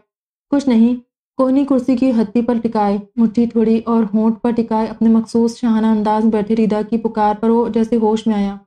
तुम ऑर्डर करो। अब की बार सीधा होकर बैठा। दोनों बाजू टेबल पर टिकाकर मेनू कार्ड अपने सामने किया। रिदा भी सर झटक कर मेनू कार्ड की जानी मुतवजह हुई। वरीद ने उसे मसरूफ देखकर एक बार फिर दाएँ जानब नज़र दौड़ाई। वो दोनों अब उठ रहे थे। मर्द ने उसके गिरद बाजू फैलाकर गोया उसे अपने हिसार में लिया। वरीद की गोया तन बदन में, आग सी लग गई। कौन है आखिर ये? जो इस कदर इस्तेकाक जता रहे उसके मुताबिक तो आज वो नशा के भाई की शादी अटेंड करने जा रही थी। फिर यूँ एक मर्द के साथ उसने शोलाबार निगाहों से उन दोनों की पुष्ट को घुरा। ठीक है ये मैनू। रिदा शायद उससे कुछ पूछ रही थी। हाँ हाँ ठीक है। वो चौंक कर उसकी जानी मुतवजह हुआ। मुझे तुम्हारी तबीयत कुछ ठीक नहीं लग रही उसे मुसलसल गुमगु कैफियत में देख कर आखिर उसे कहना पड़ा, नहीं, मैं ठीक हूँ। पेशानी रगड़ते वो उसे टालने वाले अंदाज बोला। फ़ौरन खुद को कंपोज किया। उस दिन के बाद से सुगरा बेगम की कोशिश रही कि वो बच्ची दोबारा वरीद के सामने ना आए। इन्हीं दिनों उसको पढ़ने के लिए बाहर भेज दिया गया, ताकि ना वो यहाँ रहे, ना मजीद किसी गुनाह का मरतकब हो। मैंने बात कर ली है, तुम बाहर मामू के पास पढ़ने जा रहे हो। वीकेंड पे जब वो हॉस्टल से हवेली आया, उसे इत्तला देने लगी थी। ठीक है उसने माँ की बात को नॉर्मल अंदाज में लिया। मुझे फ़ोन पर उसके बारे में अपडेट करती रहेगा वो अपनी किताबें सामने फैलाए, बोला सुगरा ने कुछ उलझ कर उसे देखा कि वो किस बारे में बात कर रहा है। वही जो मेरे लिए वनी होकर आई है। उसने सर उठाकर माँ को नहीं देखा था, मगर उसका लहजा उन्हें बुरी तरह लर्जा गया। तुम उन बातों से दूर रहो। उसके कपड़े अलमारी में ठीक करते नज़रें चुरा कर उसे टोक गई। क्यों? मेरा तो बहुत गहरा ताल्लुक है उन बातों से। वो वाकई अपनी उम्र की नस्बत बहुत बड़ी बातें करता था। इस लम्हे भी उन्हें दस ग्यारह साल का वरीद नहीं लगा। अब तुम अपनी पढ़ाई पर तवज्जो तो बस। वो फिर से सपाट लहजे में बोली, मुझे वापस आकर वो यही नज़र आनी चाहिए। अब की बार माँ की पुष्ट को देखकर वो एक एक लफ्ज पर ज़ोर देकर बोला, वो यही है, कहीं नहीं जा रही ना? ना जा सकती है? वो चिड़कर मुड़ी, गुस्से से उसकी जानिब देखा। वो सर चटक कर अपनी किताबें खोल चुका था। जिरगा फैसला करने के लिए तैयार बैठा था। एक जानब मलिक के लोग बैठे थे तो दूसरी जानब चौधरी। आमने सामने बैठे चौधरी मलिक सरफराज घूर रहे थे। तो आप लोगों का क्या फैसला है? आखिर जरगे के मोजिन में से एक ने चौधरीों से सवाल किया, आप जानते ही है कि ये सब वाक़ कैसे और किस तरह पेश आया? उनकी जानब से एक बंदे ने तमीज शुरू की। जी, मेरा ख्याल है सब दोहराने का फ़ायदा नहीं है। हम सब आपके दुख में बराबर के शरीक है। इस वक्त हम सब सिर्फ़ आपका फ़ैसला सुनने के लिए बैठे हैं। आपने सलाह मशवरे से जो भी फैसला किया है, मलिकों को कबूल करना होगा। उन्होंने एक तीखी नज़र, मलिक सरफराज और मलिक अयाज पर डाली। मलिक अयाज ने सर हिलाकर उनके फैसले को, की गोया तायद की।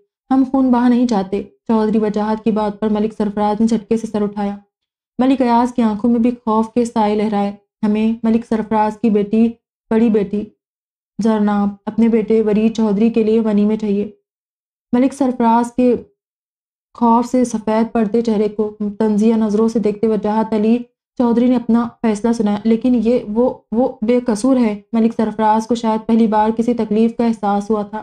पहली बार उसके दिल पर हाथ पड़ा था। अपनी चार साल बेटी जरनाम का चेहरा नज़रों में लहराया। उसे तो मालूम भी नहीं था। ऐसी गंदी रसूमात का बेकसूर तो मेरा बेटा भी था। गुर्राए हमने अपना फैसला सुना दिया है। और आपने ही कहा था कि मलिक को हमारे फैसले पर एतराज़ नहीं होगा। अभी तो शुक्र करे, एक ही बच्ची वनी के लिए मांगिए दो नहीं। उसके सफाक अंदाज पर मलिक सरफराज भड़क गया। बकवास बंद करो, मुँह तोड़ दूँगा मैं तुम्हारा। वो गुस्से से चिल्लाया। मलिक अयाज ने उसके कंधे पर हाथ रखकर शांत किया। गुस्से से काम मत लो। हमें आपका फैसला मंजूर है। इस वक्त यहाँ जंग को जदर करने का मतलब हालात मजीद बिगाड़ना था। आपकी बेटी नहीं है ना? इसीलिए तकलीफ़ नहीं हो रही है। वो उनका हाथ झटक कर फंकारा। औलाद चाहे अपनी हो या किसी और की, तकलीफ़ एक सी होती है। तुम तो अपनी अयाशियों में गुम थे। तुम्हारी औलाद को भी तुम्हारे हिस्से का प्यार मैंने दिया है। उनकी आवाज़ मौजूद नमी महसूस कर खामोश हो गया। शायद किसी की आह लगी है। चेहरा नीचे की ओर एतराफ़ किए बना ना रह सका। आँखें बंद करती महर, निगार और मारिज की शबिया लहराई। रात तक जरनाब बनी बनकर चौधरीों की हवेली में उनके अताप सहने पहुँच चुकी थी। जबकि मलिकों की हवेली में आज मातम कसा समा था। रीदा के साथ पूरी शाम गुजारने के बाद भी वो नॉर्मल नहीं हो पा रहा था। क्यों? मैं उसे सर पर सवार कर रहा हूँ। कमरे में नीम तारीकी किए बेड पर बेचैन सा, सर हाथों पर गिराए बैठा था। बेड के सामने मौजूद एलईडी पर गानों का कोई चैनल लगा रखा था। किसी चीज़ में सुकून नहीं मिल रहा था। है ही क्या उसमें जो मुझे बेचैन कर रहा है? गुस्से से खुद से सवाल जवाब कर रहा था। वो मेरा स्टैंडर्ड नहीं है। खुद को जैसे याद दिला रहा था।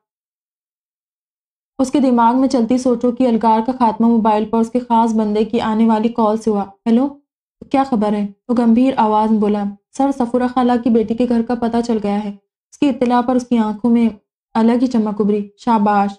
घनी मूछों तले भरे भरे होंठों पर बड़ी मखसूस और महजूस कुन मुस्कुराहट रहेंगी। सवाद के करीब एक गाँव है, इस्लामपुर। वहीं उनका घर है। उसने तफसील बताई, तुम एक चक्कर लगा कर आओ, फिर मैं खुद जाऊँगा। उसने मजीद हिदायत दी। जैसे आपका हुक्म चौधरी साहब, वो हुक्म बजा लाया। मैं जानता था सफुरा खाला पठान है उसकी दादी एक बार अपनी जवानी में सवाद गई। वहीं सफुरा खाला उन्हें मिली और वो उनके माँ बाप को राज़ी करके उन्हें अपने साथ हवेली ले आई। यही उनकी शादी की, मगर उन्होंने अपनी बेटी की शादी अपनी बरदरी में की थी। वो अक्सर सवात आती जाती रहती थी। तुम्हें तो ढूंढ के रहूँगा। उजर नाम के होले से मुखातिब हुआ। तखयल में वही छोटी बच्ची थी। उस दिन उन दोनों की आँख मचोली का खेल नशरा भूल चुकी थी, लेकिन आज मारिज को अकेले नार को लाते देखकर वो फिर से शक में पड़ चुकी थी।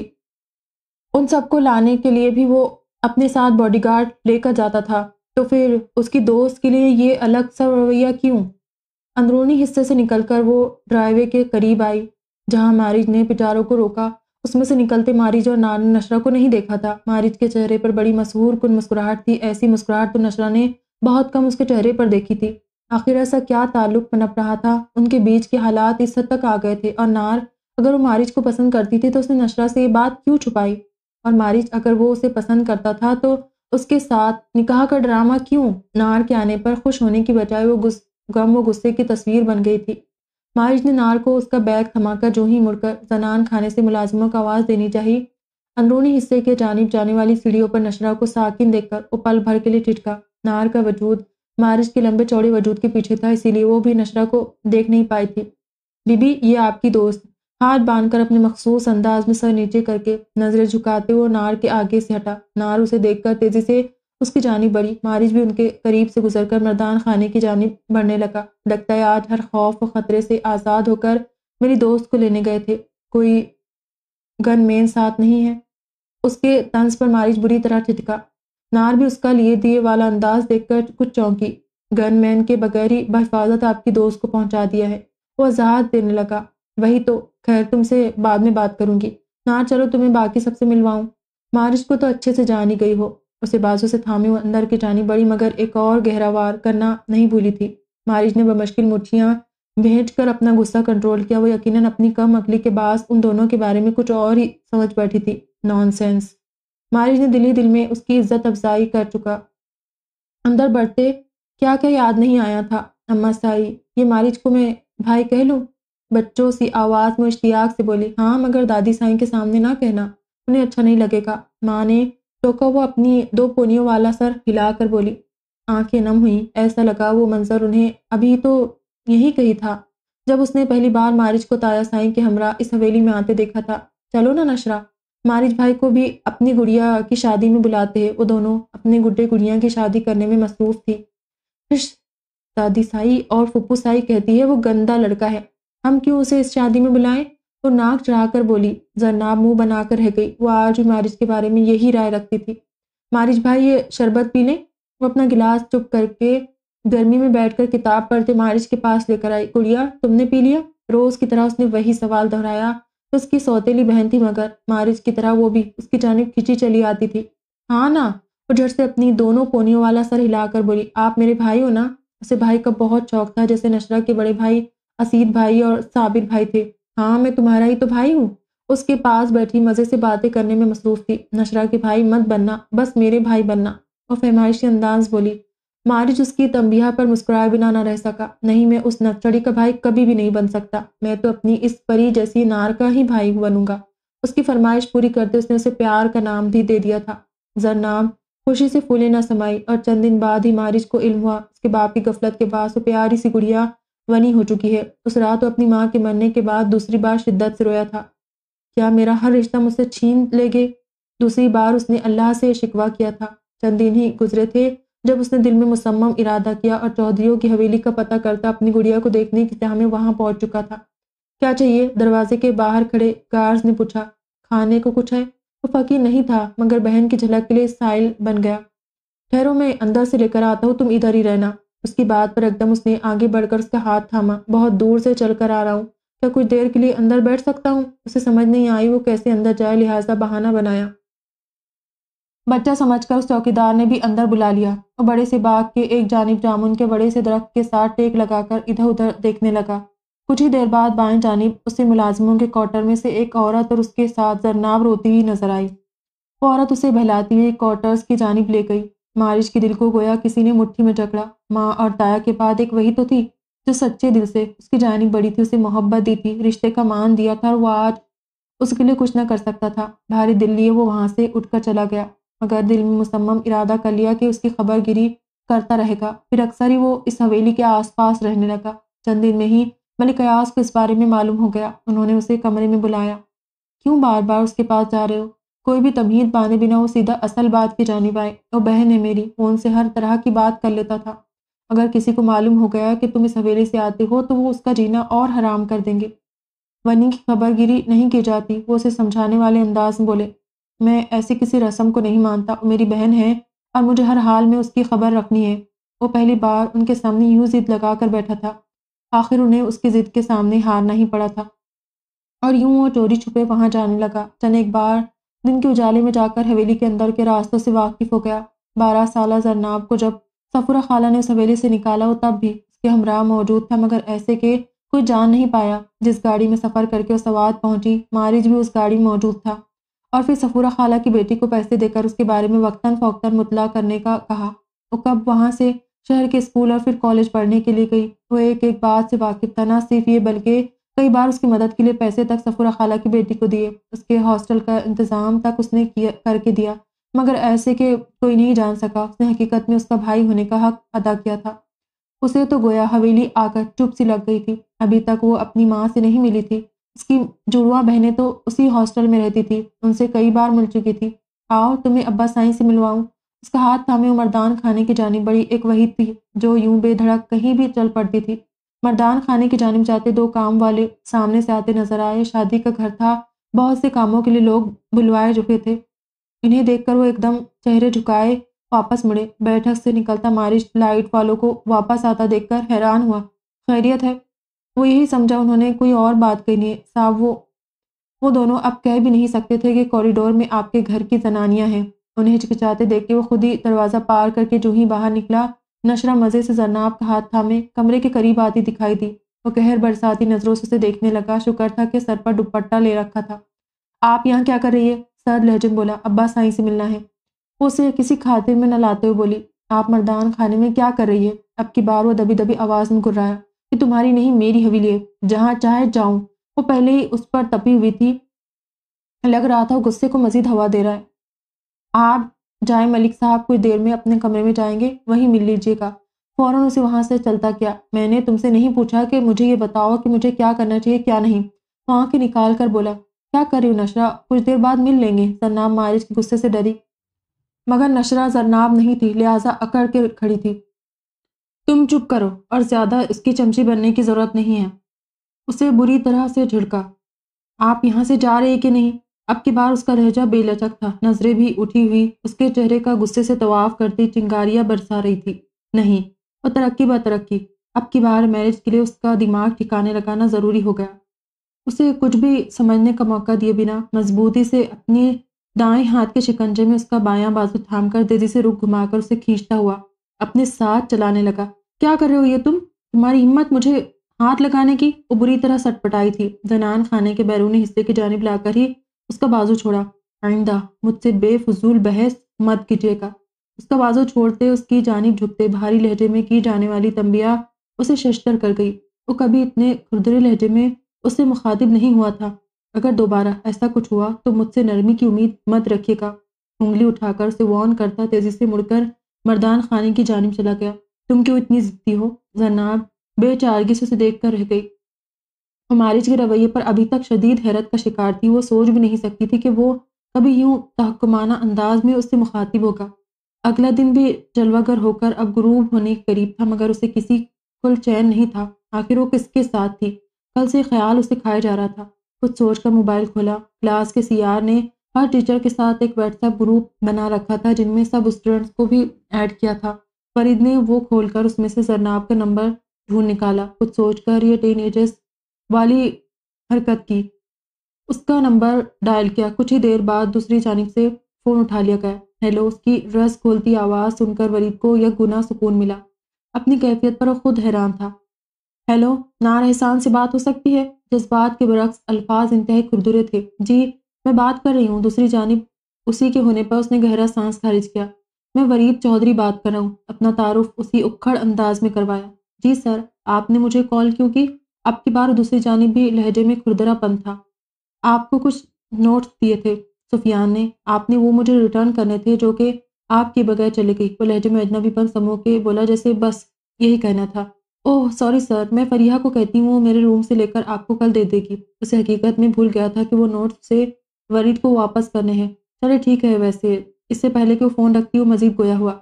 शादी का बहाना करके आप तो टी पार्टीज़ कर रही है। मुझे तो अब भी यकीन नहीं कि आपने अपनी लीव की जो वजह बताई, वो सही भी है। ये मजीद कोई झोल है। उसकी इतनी पर्सनल बात पर सेखपा हो गई, वो समझ गई, वो कल का हवाला दे रहा है जब उसने उसे मारिज के साथ देखा था। एक्सक्यूज़ मी सर मैं अपने पर्सनल मैटर्स ना किसी के साथ शेयर करती हूँ, ना किसी को इजाज़त देती हूँ कि उनमें से दखल अंदाजी करें। उसकी ठीक ठाक इज़्ज़त अफजाई कर गई। और आप पहले भी एक बार पर्सनल हो चुके हैं कि बात वरीद को तर्ज दिला गई। आप जैसे स्टूडेंट्स पर चेक रखना बहुत ज़रूरी होता है, वरना हमारे इदारे का नाम ख़राब होगा। यहाँ आप जैसी लड़कियाँ पढ़ती है जो शादी के बहाने बनाकर लड़कों के साथ डेट्स अभी उसकी बात पूरी नहीं हुई थी जब वो चिल्लाई, आप होते कौन है मुझ पर ऐसे रकीक इल्ज़ाम लगाने वाले? बेहतर है कि पहले अपनी तरबियत करे, फिर दूसरों को सबक पढ़ाए। वो भी उसे बेनुक्त सुनाकर फ़ोन बंद करके, घटिया इंसान, ऐसे लोग कभी नहीं बदलते, फ़ोन बंद करके बड़बड़ाए। अगले दिन शाम में मेहंदी से पहले वो उसे अपने साथ लिए मलिक अयाज के कमरे में मिलवाने पहुँची। मैं आ जाऊँ? अब बस आई। दरवाजे पर नाक करके अंदर आने की इजाज़त मिलते ही दरवाज़ा वॉक करके अंदर जाने से पहले पूछा, आ जाओ बेटे। भारी मर्दाना आवाज़ पर नशरा के पीछे खड़ी जनाब का दिल भर आया। काश उसका बाप भी आज ज़िंदा होता तो वो कम अज़ कम उसे देख तो पाती। आँसू पीते नशरा का हाथ थाम कर अंदर दाखिल हुई।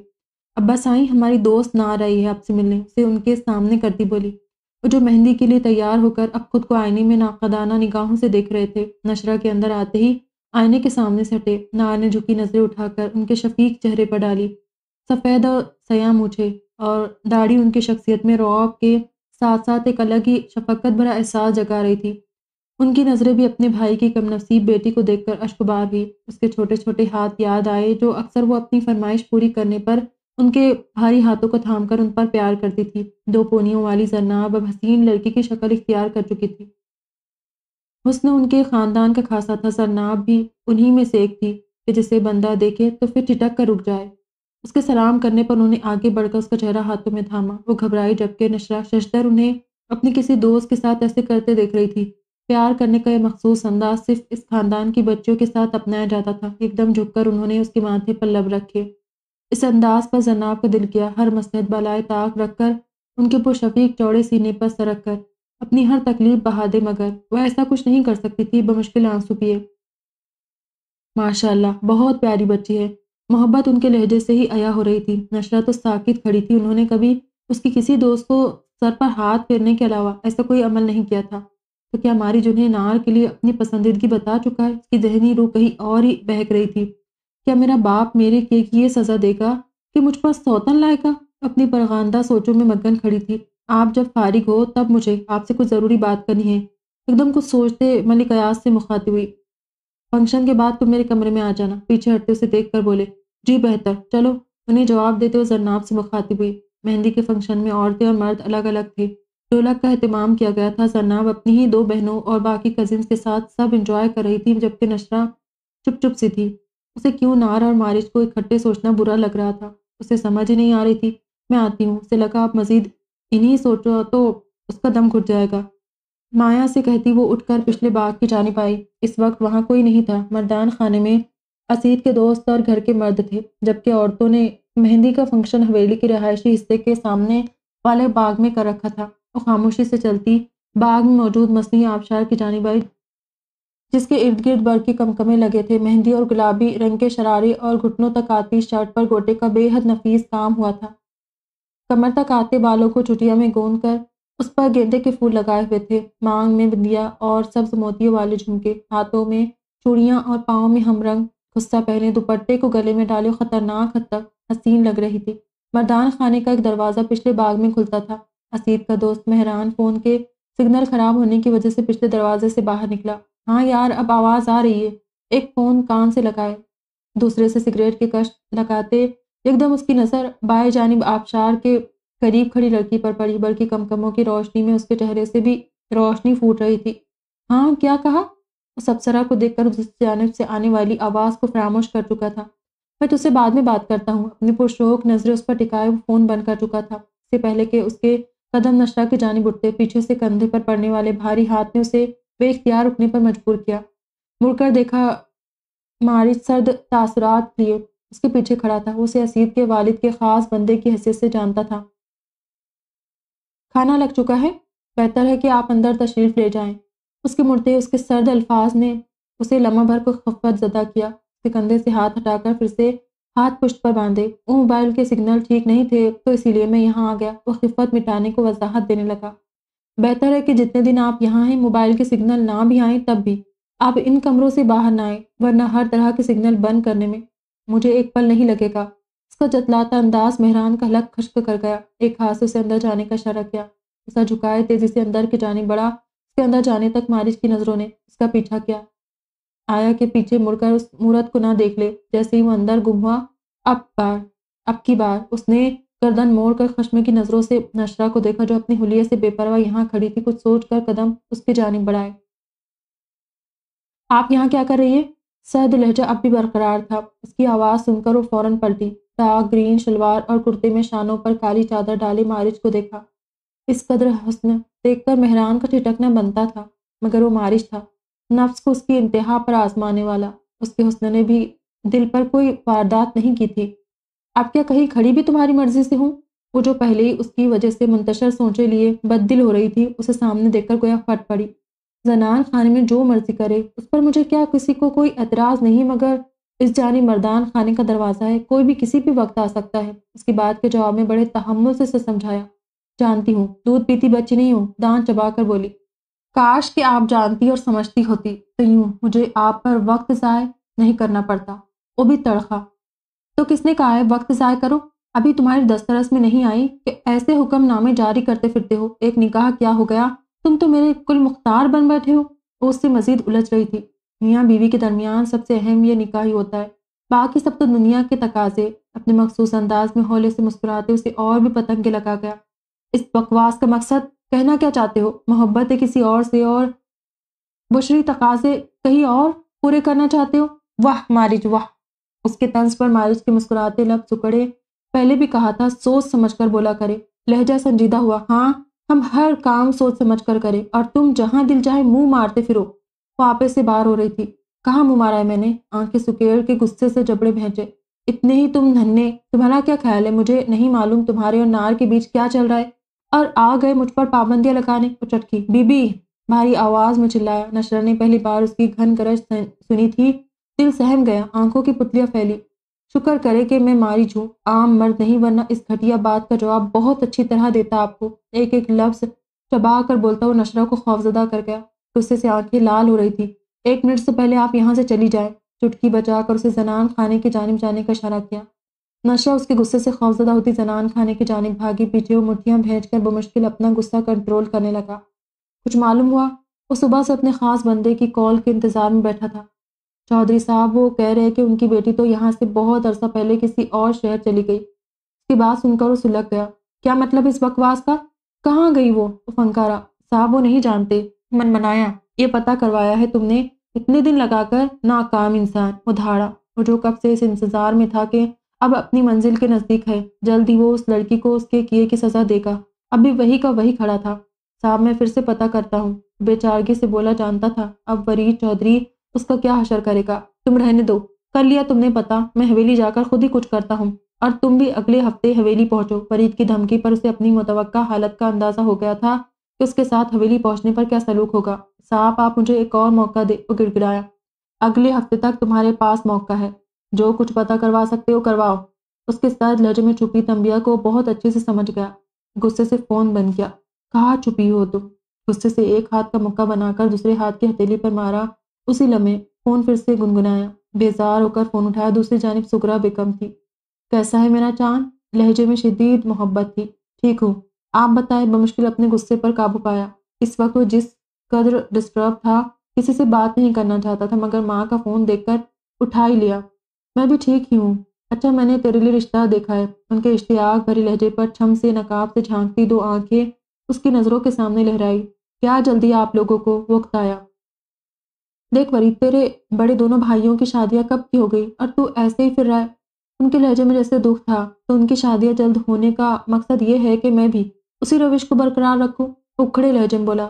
अभी सिर्फ़ रिश्ता पक्का कर देते हैं, जब तू कहेगा, शादी कर देंगे। उसे मनाने लगी। आप जानती है, एक और भी मेरे नाम के साथ जुड़ी है, पहले उसे ढूंढ लूँ। वो इस हकीकत को झुटला नहीं सकता था ना ही कोई और। उसकी बात पर सुगरा बेगम लम्हा भर को चुप रह गई। वो वनी थी बेटा, और वनी से नस्लें नहीं चलाई जाती। वो दुखी लहजे में हकीकत कहने लगी। तो मैंने कब उसे बीवी समझता मुझे उसे ढूंढ कर उसकी इस ज़रूरत की सज़ा देनी है, जो उसने मेरे पीछे से हवेली से भागने की की है। उसके लहजे का सर्दपन उन्हें परेशान कर गया। बेटे, छोड़ दो उसे, उसके हाल पर। उन्होंने उसे अपने इरादे से हटाने की कमज़ोर सी कोशिश की। आप तैयारी करें, मेरी मंगनी की, मगर मुझे अपने इरादे से हटाने की कोशिश मत कीजिएगा वह अजनबी लहजे में बोला। लड़की कौन है? एकदम ख्याल आने पर पूछा, मेरे चचा की नवासी है, बाप एमपी है और शहर में ही होती है, शायद तुम्हारी यूनिवर्सिटी में पढ़ती है, उन्होंने तफसील बताई। नाम वगैरह सब बताया मैं पता करवाता हूँ। उसके मान जाने पर वो खुश होकर उसे मज़ीद बताने लगी, हेलो, अभी मेहंदी का फ़ंक्शन ख़त्म हुआ ही था वो कमरे में आकर कपड़े तब्दील करके सोने की तैयारी कर ही रही थी, जब अनजान नंबर से कॉल आई कुछ सोच कर फ़ोन उठा लिया, दूसरी जानी फरिया थी। फरिया तुमने इतनी लेट कॉल की, सामने घड़ी एक बजा रही थी। हाँ यार, असल में मेरा बैलेंस नहीं है और घर का वाईफाई भी ख़राब है। मैं सर को कॉल करके बताना चाह रही थी कि उनके नोट्स मैंने सर बाकिर को दे दिए थे, क्योंकि सर आज यूनि से जल्दी चले गए थे तो मैं चाह रही थी उन्हें इन्फॉर्म कर दूँ। मगर भाई के नंबर से शायद कॉल कर रही हूँ और वो अननाउन नंबर देखकर शायद पिक नहीं कर रहे। फरिया ने उसे फ़ोन करने की वजह बयान की। तो अब तुम ऐसा करो कि सर को कॉल करके बता दो कि सर बाकिर से नोट्स ले ले। या अगर ले लिए है तो कंफर्म कर दे। वो मज़ीद गोया हुई। तो यार मंडे को पूछ लेंगे। उस शख्स को फ़ोन नहीं करना चाहती थी। यार, कल सर का सेमिनार है, तुम्हें याद नहीं? उन्होंने कहा था उन्हें वो नोट्स उसके लिए चाहिए। और अगर उन तक ना पहुँचे तो तुम्हारा और मेरा हशर कर देंगे। सभी वरीद की इंसल्ट करने की आदत से डरते थे। वो बहुत बुरी तरह बेइज्जत करता था। अच्छा यार, देखती हूँ। मुँह बनाकर बोली इस नापसंदीदा शख्स से बात करना उसे इम्तिहान लगता था। प्लीज़ यार मुलतजी हुई। अच्छा ठीक है। फिर से घड़ी में वक्त देखते हामी भरी। उसका फ़ोन बंद होते ही उसने वरीद का नंबर मिलाया। तीसरी ही बेल पर फ़ोन तो उठाया गया, मगर आगे से किसी निस्वानी आवाज़ पर वो लम्हा भर के लिए। खामोश हुई। कौन है भाई? तीखे लहजे में पूछा गया। वो सर वरीद से बात हो सकती है। वो अपनी हैरत छुपाती बोली। वेट। दूसरी जानब से बेजार लहजे में कहा गया। कौन है? उसे वरीद की आवाज़ सुनाई दी। तुम्हारी कोई स्टूडेंट है शायद? अजीब है। इतने मैनर्स नहीं कि किसी के पर्सनल टाइम में उसे डिस्टर्ब नहीं करते। फ़ोन को होल्ड करने की जहमत के बिना वो जो कोई भी थी, अपने नादिर ख्याल का इजहार कर रही थी। क्या उसने शादी कर ली? जिस इस्तेकाक से उस लड़की ने फ़ोन उठाया था और जो जुमानी बात कही थी, इससे तो जरनाब को यही अंदाज़ा हुआ। उस जैसी लड़की ये सोच नहीं सकती थी कि मियाँ बीवी के रिश्ते के बगैर भी लड़का लड़की इस इस्तेकाक के साथ, इस लम्हे एक दूसरे के साथ रात के इस पहर मौजूद हो सकते हैं। हेलो, कुछ ही देर बाद उसकी भारी सहर भग बिखेरती आवाज़ फ़ोन में उभरी। हेलो, सॉरी सर, मैंने इस वक्त आपको डिस्टर्ब किया। असल में फरीहा ने आपके नोट्स सर बाकिर को दे दिए थे। क्या उन्होंने आपको दे दिए हैं? उसने सीधे साधे अंदाज में पूछा था। फरीद के वहम गुमान में भी नहीं था। इसलिए में वो उसे फ़ोन करेगी, जिसके ख्यालों से पीछा छुड़ाने को, वो रिदा को शाम में ही अपने साथ घर ले आया और इस वक्त वही उसके साथ मौजूद थी। वो वॉशरूम में गया ही था, जब उसका फ़ोन बजा। रिदा ने बिना इजाज़त उसका फ़ोन उठा लिया था। वॉशरूम से बाहर आते उसके हाथ में अपना फ़ोन देखते उसे नागवार गुजरा, मगर फ़ोन पर उभरती आवाज़ सुनकर उसकी सारी नागवारियत कहीं जास हुई थी कि क्या हो रहा था उसके साथ। वो परेशान होकर रह गया। नहीं, उन्होंने मुझे कोई नोट्स नहीं दिए। इंतहा गैर जिम्मेदार है आप और आपकी दोस्तें भी। जिस वक्त मैं यूनी में था, तब उसने मुझे नोट्स क्यों नहीं दिए? न जाने किस बात का गुस्सा निकालते उस पर उलट पड़ा। एक्सक्यूज़ मी सर आप इस तरह मुझे इंसल्ट नहीं कर सकते। उसे शदीद सुबकी महसूस हुई थी। और इस वक्त अब आप फ़ोन करके अपने मजीद गैर जिम्मेदार होने का सबूत दे रही है। उसका गुस्सा कम होने का नाम ही नहीं ले रहा था। शायद ये गुस्सा सरनाब के लिए उसके दिल में पैदा होने वाली हैसियत का असर ज़ाहिर करने के लिए था। फरिया का कोई इशू था, वो आपको कॉल नहीं कर पाई। इसीलिए उसने मुझे कहा फिर आपकी वाइफ से भी इस वक्त कॉल करने पर एक्सक्यूज़ कर चुकी हूँ। आपसे भी कर लेती हूँ। उसे खुद भी इस वक्त फ़ोन करना अच्छा नहीं लग रहा था। पता होता, इतनी बेइज्जती करेगा, कभी भी कॉल ना करता। वाइफ उसे सी का लफ्ज़ हैरत से दोहराया। जी, अभी आपकी वाइफ ही थी ना, वो भी उसकी हैरत पर मुतहिर हुई। नॉनसेंस वो फिर से उसे रगीद गया। फ़ोन उठाकर बालकनी में जा खड़ा हुआ, रिदा ने चुपती निगाहों से उसका अजनबी अंदाज देखा। वो मेरी बीवी नहीं है वो नहीं जानता तो उसे ये वजाहत क्यों दे रहा है। तो फिर वो इस वक्त, वो अपनी हैरत छुपा नहीं पाई और बेतुकी बात कह गई। जैसे ही अपनी बात समझ आई, खुद ही खामोश हो गई। सिर्फ़ दोस्त है वो। मजीद वजाहत देने लगा। मुझे क्या हुआ? आपकी जो भी हो। आप मुझे क्यों वजाहत दे रहे खैर, मुझे आपको इन्फॉर्म करना था बस। और जल्दी से बात समेटने लगी। मुझे क्या ज़रूरत है आपको वजाहत देने की? वो बात को तूल दे रहा था। मुझे भी जानने में कोई इंटरेस्ट नहीं है। वो झुंझलाई और मुझे भी हर किस इंटरेस्ट नहीं है आपको बताने में। वो झुंझलाया। ओके सर बाय उसने अब की बार मजीद कोई बात करने से इज्तनाब करते फ़ोन बंद किया। उफ, ये इस किस्म के है। फ़ोन बंद करते माथे पर हाथ रखा। मैसेज की बिपर फ़ोन की जानब चौंकी। वाकई इल मैनर्ड है आप। अगली जानब से भी ग्रेटेंस सुनने के बाद फ़ोन रखते हैं। उसकी हिदायत पर वो इस्तेसाइया मुस्कुराई। अजीब इंसान है। मेरी कोई बहुत रिश्तेदारी है। कि मैं पूरी फॉर्मेलिटी के साथ फ़ोन बंद करूँ, वो हूँ करके रह गई। रिश्ता तो है, दिल के किसी कोने से आवाज़ आई। जी, अब्बा आई उनके पैगाम भेजने पर उनके कमरे में मौजूद थी। जी बेटा, आपको कोई बात करनी थी? उसने कमरे पे नज़र दौड़ाई, माँ अभी मौजूद नहीं थी। उसने सुख का सांस लिया, यानी वो आसानी से उनसे बात कर लेगी। मुझे आपसे मारिज के बारे में बात करनी है। जो सामने बैठ के दाएँ जानिब अपने मखसूस सोफे पर बैठे थे, उसकी जानी पूरी तरह मुतवजह हुए बैठो अपने सामने बैठ पर उसे बैठने का इशारा किया। मेकाने के अंदाज में उनके सामने बैठ पर टिक गई नज़र झुकी हुई थी। कहो, उसे बोलने का दिया दिया, मारिज किसी में इंटरेस्टेड है। उसने गोया उन्हें बहुत बड़ी खबर दी। और ये मारिज ने आपको खुद बताया है? चंद लम्हों बाद उन्होंने गोया सवाल नहीं किया उसे। बिसात पर पेचीदा चाल में घसीटा। नहीं, मगर मैं आँखें रखती हूँ और दिमाग भी। उन दोनों का इस्तेमाल करके मुझे अंदाज़ा हुआ है। वो बड़े अतमाद से बोली। और यह अतमाद उसकी शख्सियत का खासा था। अंदाजे और मफरूज़ों पर कायम की जाने वाली राय कभी कभार शदीद पछतावे का बावस भी बनती है। उन्होंने गोया उसे वार्न किया कि कुछ गलत न बोले। मुझे यकीन है कि उसका, मेरी दोस्त के साथ कोई चक्कर चल रहा है। उसे यहाँ बगैर किसी बॉडीगार्ड के लेकर आया। ना सिर्फ़ ये, बल्कि मुस्कुरा भी रहा था और मेरी दोस्त जो अजनबियों से बात करना तोहिन समझती है, वो बड़े मज़े से उसके साथ फ्रंट सीट पर बैठ कर आ गई। अगर उन दोनों का आपस में इंटरेस्ट है तो मुझे कोई एतराज़ नहीं है। मगर मेरी इस मजबूरी के रिश्ते से जान छुड़वा दे। उसके बोलते चले जाने पर उलझे। आप किसकी बात कर है? उसके अंदाज पर और इशारों पर बुरी तरह चौंके। वही मेरी दोस्त नार, जिसे शाम में मिलवाया था, वो और मारिज का चक्कर। अभी उसकी बात मुँह में ही थी जब मलिक अयाज की धार पर वो पहुँच कर रह गई। ज़रूरत से ज़्यादा आगे की सोचने वाले अक्लमंद नहीं, हद से ज़्यादा बेवकूफ़ होते हैं और मुझे अफसोस है, आप ऐसे लोगों में से हैं। वो बमुश्किल अपनी आवाज़ पर काबू पाकर बोले, बेहतर है कि आप किसी के बारे में राय कायम करने की बजाय अपने काम से काम रखे। उसे दो टोक अंदाज में खामोश करवा गए, मगर वो कहाँ खामोश बैठने वाली थी? अब आई गुस्ताखी माफ़ लेकिन मैं हर चीज़ बर्दाश्त नहीं करूँगी। आपको झूठ लगता है, बुलाए मारिज को पूछे उससे भी अभी। वो किसी तौर टलने को तैयार नहीं थी। अब की बार उनके शोला बरसाती नज़रों ने उसे घूर कर देखा। पास रखा फ़ोन उठाया, किसी को कॉल मिलाई। मैरिज बेटे फ़ौरन मेरे कमरे में आए। उनकी बात सुनकर वो मसरूर हुई। अब पता चलेगा मुझे बेवकूफ़ बना रहे थे। जान छूटेगी उससे। वो दिली दिल में अपने इस इकदाम पर खुश हुई। कुछ ही देर बाद वो दरवाज़ा नॉक करके अंदर दाखिल हो चुका था। उसे देखकर लम्हे भर को ठिटका आओ बेटे। मलिक अयाज के लहजे में ज़रा भर बरहमी नहीं थी, जिसे महसूस करके वो जुजबुज हुई।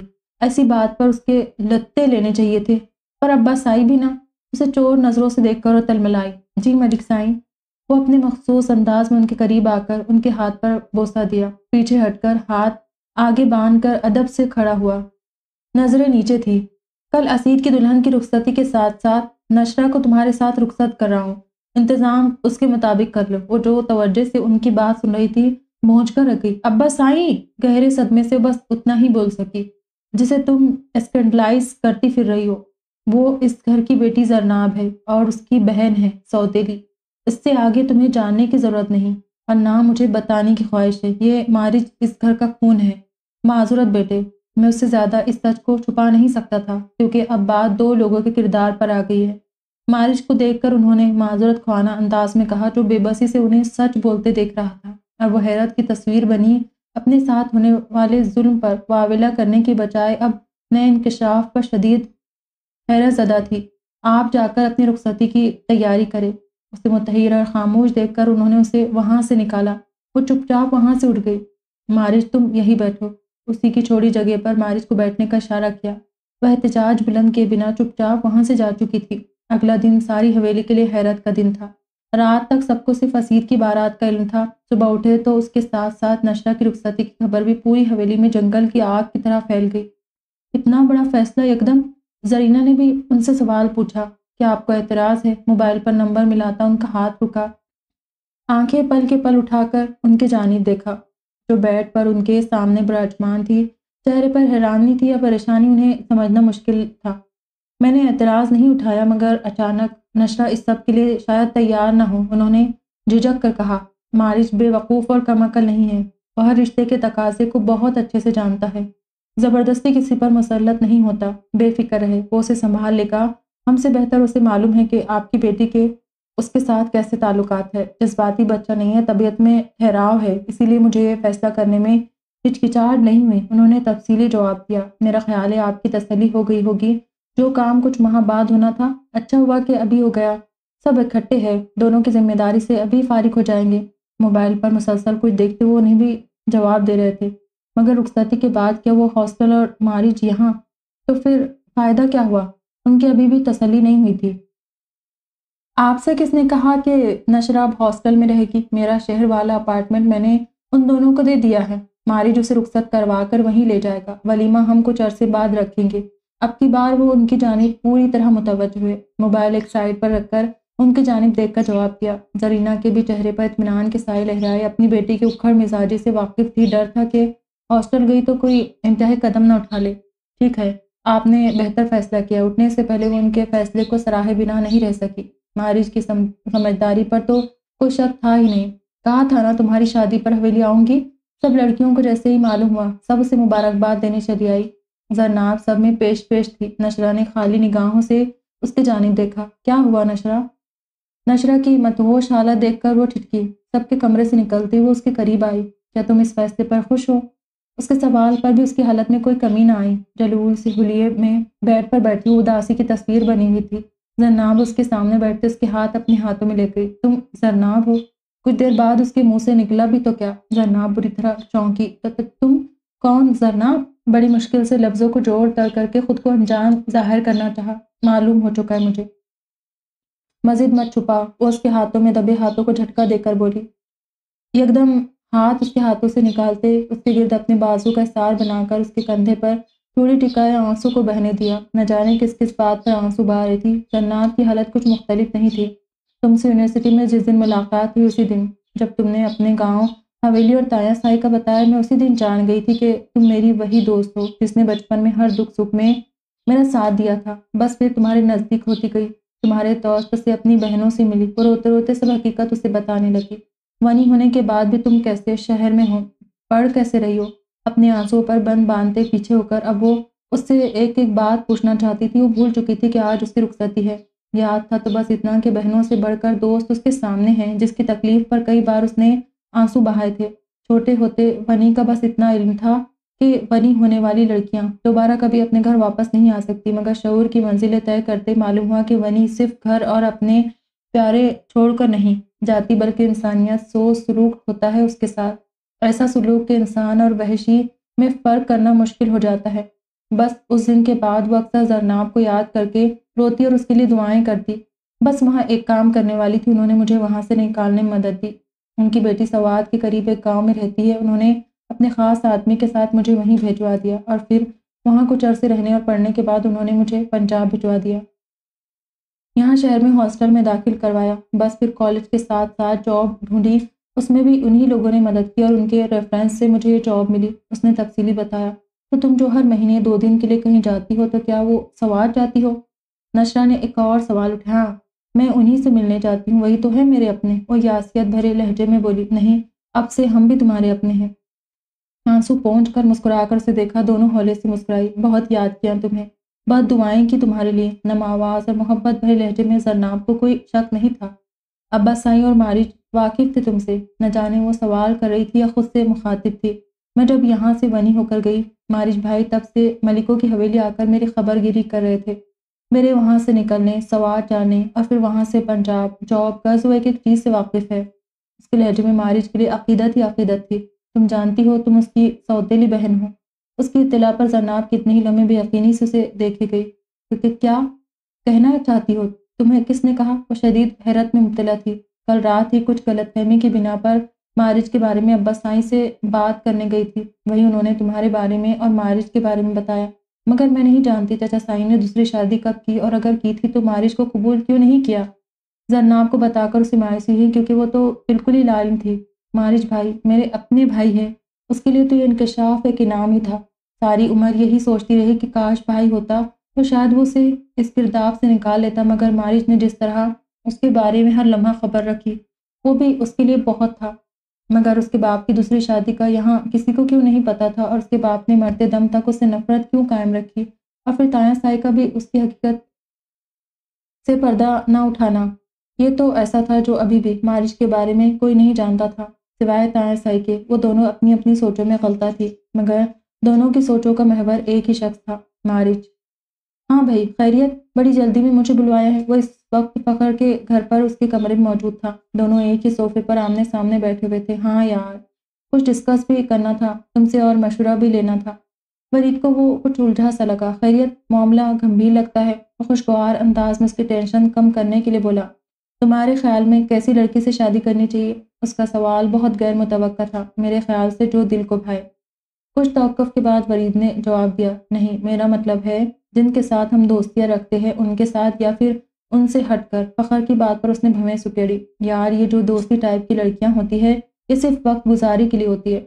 हमारी बरदरी में ऐसियों से दोस्ती तो की जा सकती है, मगर शादी तो किसी शरीफ और ऐसी लड़की से ही करते हैं, जिसे एक ज़माने ने ना देख रखा हो। हमने मखसूस, मगरूर अंदाज बोला, यार, तुम्हारे गाँव में तो वनी की रस्म भी है ना। फ़खर की जहनी रूह भटक कर कहीं से कहीं पहुँच गई। हम्म, उसने महज हंकारा भरा। और तुम्हारे साथ भी किसी को वनी किया था वो फिर से उसी से मुतालिक सवाल करने लगा। तुम अपना मसला बताओ मुझे छोड़ो। उसे फ़खर का यूँ पूछताछ करना बहुत नागवार गुजरा। यार डैडी ने एक लड़की को मेरे लिए पसंद किया है। अब वो असल मुद्दे पर आया। तो अच्छी बात है। कौन है वो? वरीद मुतजस हुआ। तुम जानते हो उसे। तुम्हारे स्टूडेंट भी है। फ़खर का लहजा सरसरी था मगर उसकी बात सुनकर वरीद को 240 वॉट का झटका लगा। क्या मतलब? मेरी स्टूडेंट अब की बार उसका लहजा कुछ तर्ज था। यार वही नार एहसान। मेरी कंपनी में जो जॉब करती उस दिन तुमने ही तो बताया था कि तुम्हारी स्टूडेंट भी है। बहुत ही बावकार लड़की है। उसके मुँह से जरनाब की तारीफ़ सुनकर न जाने क्यों वरीद का दिल किया? उसकी आवाज़ यहीं पर दबा दे। और तुम, तुम्हें पसंद है वो? अब की बार उसने लहजा अजनबी ही रखा, मगर वो जानता था वो उस मामले में अजनबियत नहीं दिखा पाएगा। ऑफ़ कोर्स यार। ऐसी बापर्दा औरत किसे पसंद नहीं होगी? और तुम्ही ने तो अभी कहा है कि शादी के लिए ऐसी लड़की होनी चाहिए। शरीफ, उसके जवाब पर वरीद को एकदम अपना दम घुटता महसूस हुआ। मेरा ख्याल है मुझे डैडी को हाँ कर देनी चाहिए। अब देखो ना, हम जितने भी मूड हो जाए, ऐसी लड़कियों को कबूल नहीं कर सकते जो बैक वक्त चार चार लड़कों से इश्क व आशिकियाँ लड़ा रही हो। जबकि हमें भी मालूम होता है कि ऐसी किसी एक के साथ सेंसियर नहीं होती। उसकी बात सुनकर वो इस्तेजाइया मुस्कुराया। और तुम? क्या तुम इस एक के साथ इंसेंसियर हो लोगे? अब तो उसने फ़खर को कटहरे में ला खड़ा किया। अरे यार, ये बाहर के काम तो चलते रहते लेकिन घर के अंदर तो जेनुइन पीस होना चाहिए। अंश हुआ एक आँख दबाकर खबास से हंसा चलो जो तुम्हें बेहतर लगता है करो। मुझे ज़रा ज़रूरी काम से जाना है, फिर मिलते हैं। उसकी बातों पर अदम दिलचस्पी का मुजाहरा करते हुए एकदम उठा। अरे, ऐसे कैसे खाना आज मेरे साथ ही खाओ? वो भी उसके अचानक उठने पर हैरान हुआ। हालाँकि जब उसने वरीद को फ़ोन करके बुलाया था, तब तक उसने यही कहा था कि आज वो बिल्कुल फ्री है। हाँ पहले प्लान था, लेकिन फिर याद आ गया। अम्मा साई ने कुछ काम कहा था। वही करने जा रहा हूँ। उसने बात बनाई। अच्छा चल, ठीक है। फिर तो क्या कहता है? मैं हाँ कर दूँ? वो भी आज उसे जिज करने पर तुला था। यार, ज़िंदगी तुझे गुजारनी है। जो बेहतर लगता है कर लेना। उसने जान छुड़ाई। अच्छा बुध की शाम ऑफ़िस में पार्टी है, तू भी इन्वाइटेड है। ज़रूर आना प्लीज़ और मैं सर हिलाकर फ़ौरन वहाँ से निकला। मज़ीद कुछ देर वहाँ रहता तो शायद वो सच अया कर देता जो अभी खुद से भी छुपा रहा था। नार एहसान से मोहब्बत का ताल्लुक शुरू हो चुका था। मलिक अयास के हुक्म पर नशरा को रुखसत करवाकर वो सीधा शहर जा रहा था, अपने और उसके फ्लैट पर, जो आज ही मलिक अयाज ने उन दोनों के नाम किया था। जीप फर्राटे भरती, सड़क पर रवा दवा थी। नशरा जो बड़ी से बड़ी बात पर भी रोती नहीं थी, इस वक्त मुसलसल अपनी किस्मत पर मातम कर रही थी। एक ऐसा शख्स जिसे सारी उम्र मुलाजिम समझा, नाजायज़ तस्वुर किया, एकदम वो उसी ख़ानदान का हिस्सा निकला। एक ऐसा शख्स जिसके लिए दिल में हमेशा से नफरत के सिवा कोई और जज्बा पैदा नहीं हुआ। वह उसके साथ सारी उम्र का साथी बन बैठा। वो रोती, ना तो और क्या करती? मारिश खुद पर कड़े पहरे बिठाए, बिल्कुल खामोश था। गाड़ी में सिर्फ़ नशा की सू सू की आवाज़ आ रही थी। सुर्ख लहंगे में दुल्हन का पूरा रूप ओढ़े भी। वो मारिश के दिल के तार बजाने में नाकाम साबित हुई थी। वो जानता था रिश्ता मजबूरी का है और मजबूरी के रिश्तों में कभी कभी गुंजाइश बड़ी मुश्किल से निकालनी पड़ती है। जो उसे मलिक अयाज की वजह से निकालनी पड़ी, वरना इतनी बेबाक और खुदसर लड़की शरीक हयात के लिए उसकी चॉइस कभी नहीं रही थी। उसे हमेशा धीमे मिजाज की शर्म और भरम रखने वाली लड़कियाँ अच्छी लगती थी, मगर वाया किस्मत, उसके हिस्से में ये नादिर पीस ही लिखा था। उसकी सू सू की आवाज़ पर एक उचटती निगाह उस पर डालकर हटा लेता। चादर में लिपटी अपने हुलिये और आपसी रिश्ते से बेनियाज वो बस रोने में मसरूफ़ थी। अगर इंसान अकल का इस्तेमाल कर ले तो ऐसे नापसंदीदा ताल्लुक हालात से ना गुजरना पड़े। आखिरकार मारिश की सर्द, बर्फ़ सी आवाज़ गाड़ी में गूंजी। तुम्हारे मशवरे नहीं चाहिए, वो भी तड़की। उसका वो हाल था, रस्सी जल गई, मगर बल नहीं गए। आपको मशवरा देने का शौक मुझे है भी नहीं, मगर ऐसे मातम करने का फ़ायदा वो सर झटक कर बोला, मैं मातम करूँ या जो भी? तुमसे मतलब रोना धोना भूल कर अब वो उससे लड़ने को तैयार हुई। चादर चेहरे से सरकाकर अपने होश रुबा रूप उसकी जानब किया। मारिज ने एक नज़र उसके दुल्हनों वाले रूप पर डाली। धड़कनों में कहीं थोड़ा सा इर्त्याश बरपा हुआ, मगर वो खुद को जल्दी अपने खोल में समेट लाया। चादर चेहरे पर डाले। इसकी बात के जवाब में तहकुम से कहा, नहीं डालती, ये लो। बाकी भी उतार कर गोला सा बनाकर पिछली सीट पर फेंकते दुरुस्त और किस कदर ना गुस्ताखाना लचे में बोली, मैं असीद और साबिर नहीं। और ना ही आपके अब्बा साई हूँ, जो आपकी बदतमीजी बर्दाश्त करे, चादर पकड़े और फ़ौरन ओढ़े। एक नागवार नज़र उसके सजे धजे सरापे पर डालकर वो फिर से दबे दबे चटकते लहजे में बोला, नहीं पहनूँगी, क्या कर लोगे? उसे चैलेंज करने वाले अंदाज बोली, मारिज ने गहरी सांस खारिज करते बमुश्किल खुद को नॉर्मल किया, वरना दिल तो कर रहा था एक थप्पड़ मारकर उसकी अकड़ निकाले, मगर वो औरत पर हाथ उठाने का कभी भी कायल नहीं रहा था, लिहाजा कुछ सोच कर गाड़ी को कच्ची सड़क पर रोक दी। तेज़ी से अपनी जानब का दरवाज़ा खोलकर बाहर निकला। ठा की आवाज़ से दरवाज़ा बंद किया। नशरा दम सादे उसके जारियाना तेवर देख रही थी। दिल सहमा गाड़ी के सामने से चक्कर काट कर वो उसकी जानब आया। ज़ोर से दरवाज़ा खोलकर हाथ थाम कर उसे बाहर निकाला। वो किसी बेजान शय की तरह उसके साथ खींचती हुई बाहर आई। यहाँ खड़ी होकर सुबह तक जिस जिसको अपना आप दिखाना है, दिखा दीजिए। मैं जा रहा हूँ। जब शौक पूरा हो जाएगा, कॉल कर लीजिएगा। रात के ग्यारह बजे इस सुनसान सड़क पर उसे यूँ तनहा छोड़कर जा रहा था। उसका बैग उसके कदमों के पास फेंका। उसका बाजू छोड़कर अपनी सीट की जाने बढ़ा। वो जो कब से खामोश और हवास बागता खड़ी थी, उसे गाड़ी स्टार्ट करते देखकर एकदम होश में आई। मारिज मारिज वो चिल्लाई। इस पहर वो अकेली यहाँ खड़ी रहती तो उसके साथ क्या क्या नहीं हो सकता था। उस सोच कर ही काँप गई। दरवाज़ा खोलो। वो अपनी जानब वाली सीट का दरवाज़ा बचाने लगी क्योंकि वो अंदर से गाड़ी लॉक कर चुका था। थोड़ी देर यूँ ही गाड़ी स्टार्ट किए खड़ा रहा और वो बेबसी से दरोते दरवाज़ा बजाती रही। अब कुछ नहीं करती। प्लीज़, दरवाज़ा खोलो। तो मुझे यूँ छोड़ कर नहीं जा सकते। रोते हुए वो चीख रही थी। खुद पर जब्त करते मारिज ने हाथ बढ़ाकर लॉक खोला। वो तेज़ी से दरवाज़ा खोलती बैग थामे, अंदर बैठी। तुम्हें ज़रा शर्म नहीं आती? तू रात के अंधेरे में मुझे यहाँ छोड़ के जाते? उसे शर्म दिला रही थी। और आपको शर्म नहीं आ रही, अपने हुलिये पर न्यू दुल्हन बनी आप मेरे साथ फ्रंट सीट पर बैठी, यहाँ से गुजरते हर बंदे को अपना आप दिखाना चाहती है। चादर में आपको, आपके बाप ने मेरे साथ बिठाया था, उस चादर का तकदस पामाल करते, क्या आपको शर्म आई? वही ठंडा ठार लहजा जो मुकाबिल को मुंजमिद कर दे। मैं डिस्टर्ब हूँ, अब की बार वो मन मनाई तो मैं तो जैसे ढोल ताशे बजाकर आपको अपने साथ ले जा रहा हूँ, मैं आपसे ज़्यादा डिस्टर्ब हूँ। अब क्या जो दिल में आए, करता फिर? गाड़ी को फिर से सड़क पर डालते हुए उससे सवाल करने लगा। जो पिछली सीट से चादर उठाकर खुद पर लपेट रही थी। ये सब जितना आपके लिए गैर मुतव है उससे ज़्यादा मेरे लिए है, क्योंकि शादी के लिए आप जैसी बद तहजीब और बदतमीज़ लड़की मेरी चॉइस कभी नहीं रही। मुझे मजबूरी में आपको झेलना पड़ रहा है। उसकी साफ़ गोई नशरों को फिर से पतंगे लगा गई। तो इनकार क्यों नहीं किया? वो नाक फुला कर बोली, आपसे कहीं बेबस मैं हूँ। मैं मलिक साय के एहसान का बदला अगर यूँ आपको खुद का नाम देकर चुका सकता हूँ तो मुझे इस रिश्ते पर कोई एतराज़ नहीं। मगर इस रिश्ते को मैं सिर्फ़ एक कागज़ की हैसियत से ज़्यादा कुछ नहीं दे सकता। उसे बहुत कुछ साफ़ साफ़ जता गया। हाँ मैं तो मरी जा रही हूँ। तुम्हारी मोहब्बतें पाने के लिए वो तड़की नहीं। मुझे ऐसी कोई गलत फहमी नहीं है। ना मैं ऐसी बातें सोचता हूँ। और आपसे हम्म, और फिर से उसे जलते तवे कोयलों पर घसीट गया। यानी वो उसके नज़दीक क्या थी कि उससे रिश्ता बनाने का सोचना भी नहीं चाहता था। नशरा ने मुठियाँ भेजकर बमुश्किल खुद को कुछ और कहने से बाज रखा वो तो आज उसकी ज़ात के बकी उधेड़ने पर लगा था। मैं खुद से मोहब्बत ना करवा दी तो कहना, वो दिल में कुछ और इरादे बाँध रही थी। ये जाने बगैर कि उससे ज़्यादा वो खुद उसकी मोहब्बत में गिरफ़्तार होने वाली है। आधी रात वो दोनों अपने अपार्टमेंट पहुँचे। उसके बाद से अभी तक उन दोनों के माबेन मजीद कोई बात नहीं हुई थी। दोनों अपनी अपनी सोचों में उलझे हुए थे। मारिज ने उसे कोई रियायत नहीं दी। वो अपना बैग घसीटती खुद उसके पीछे चल रही थी। शुक्र था कि उसने लिफ्ट से ऊपर जाने का फैसला लिया था। वरना तो उसे महसूस हो रहा था, आज अगले पिछले सारे बदले निकाल के रहेगा।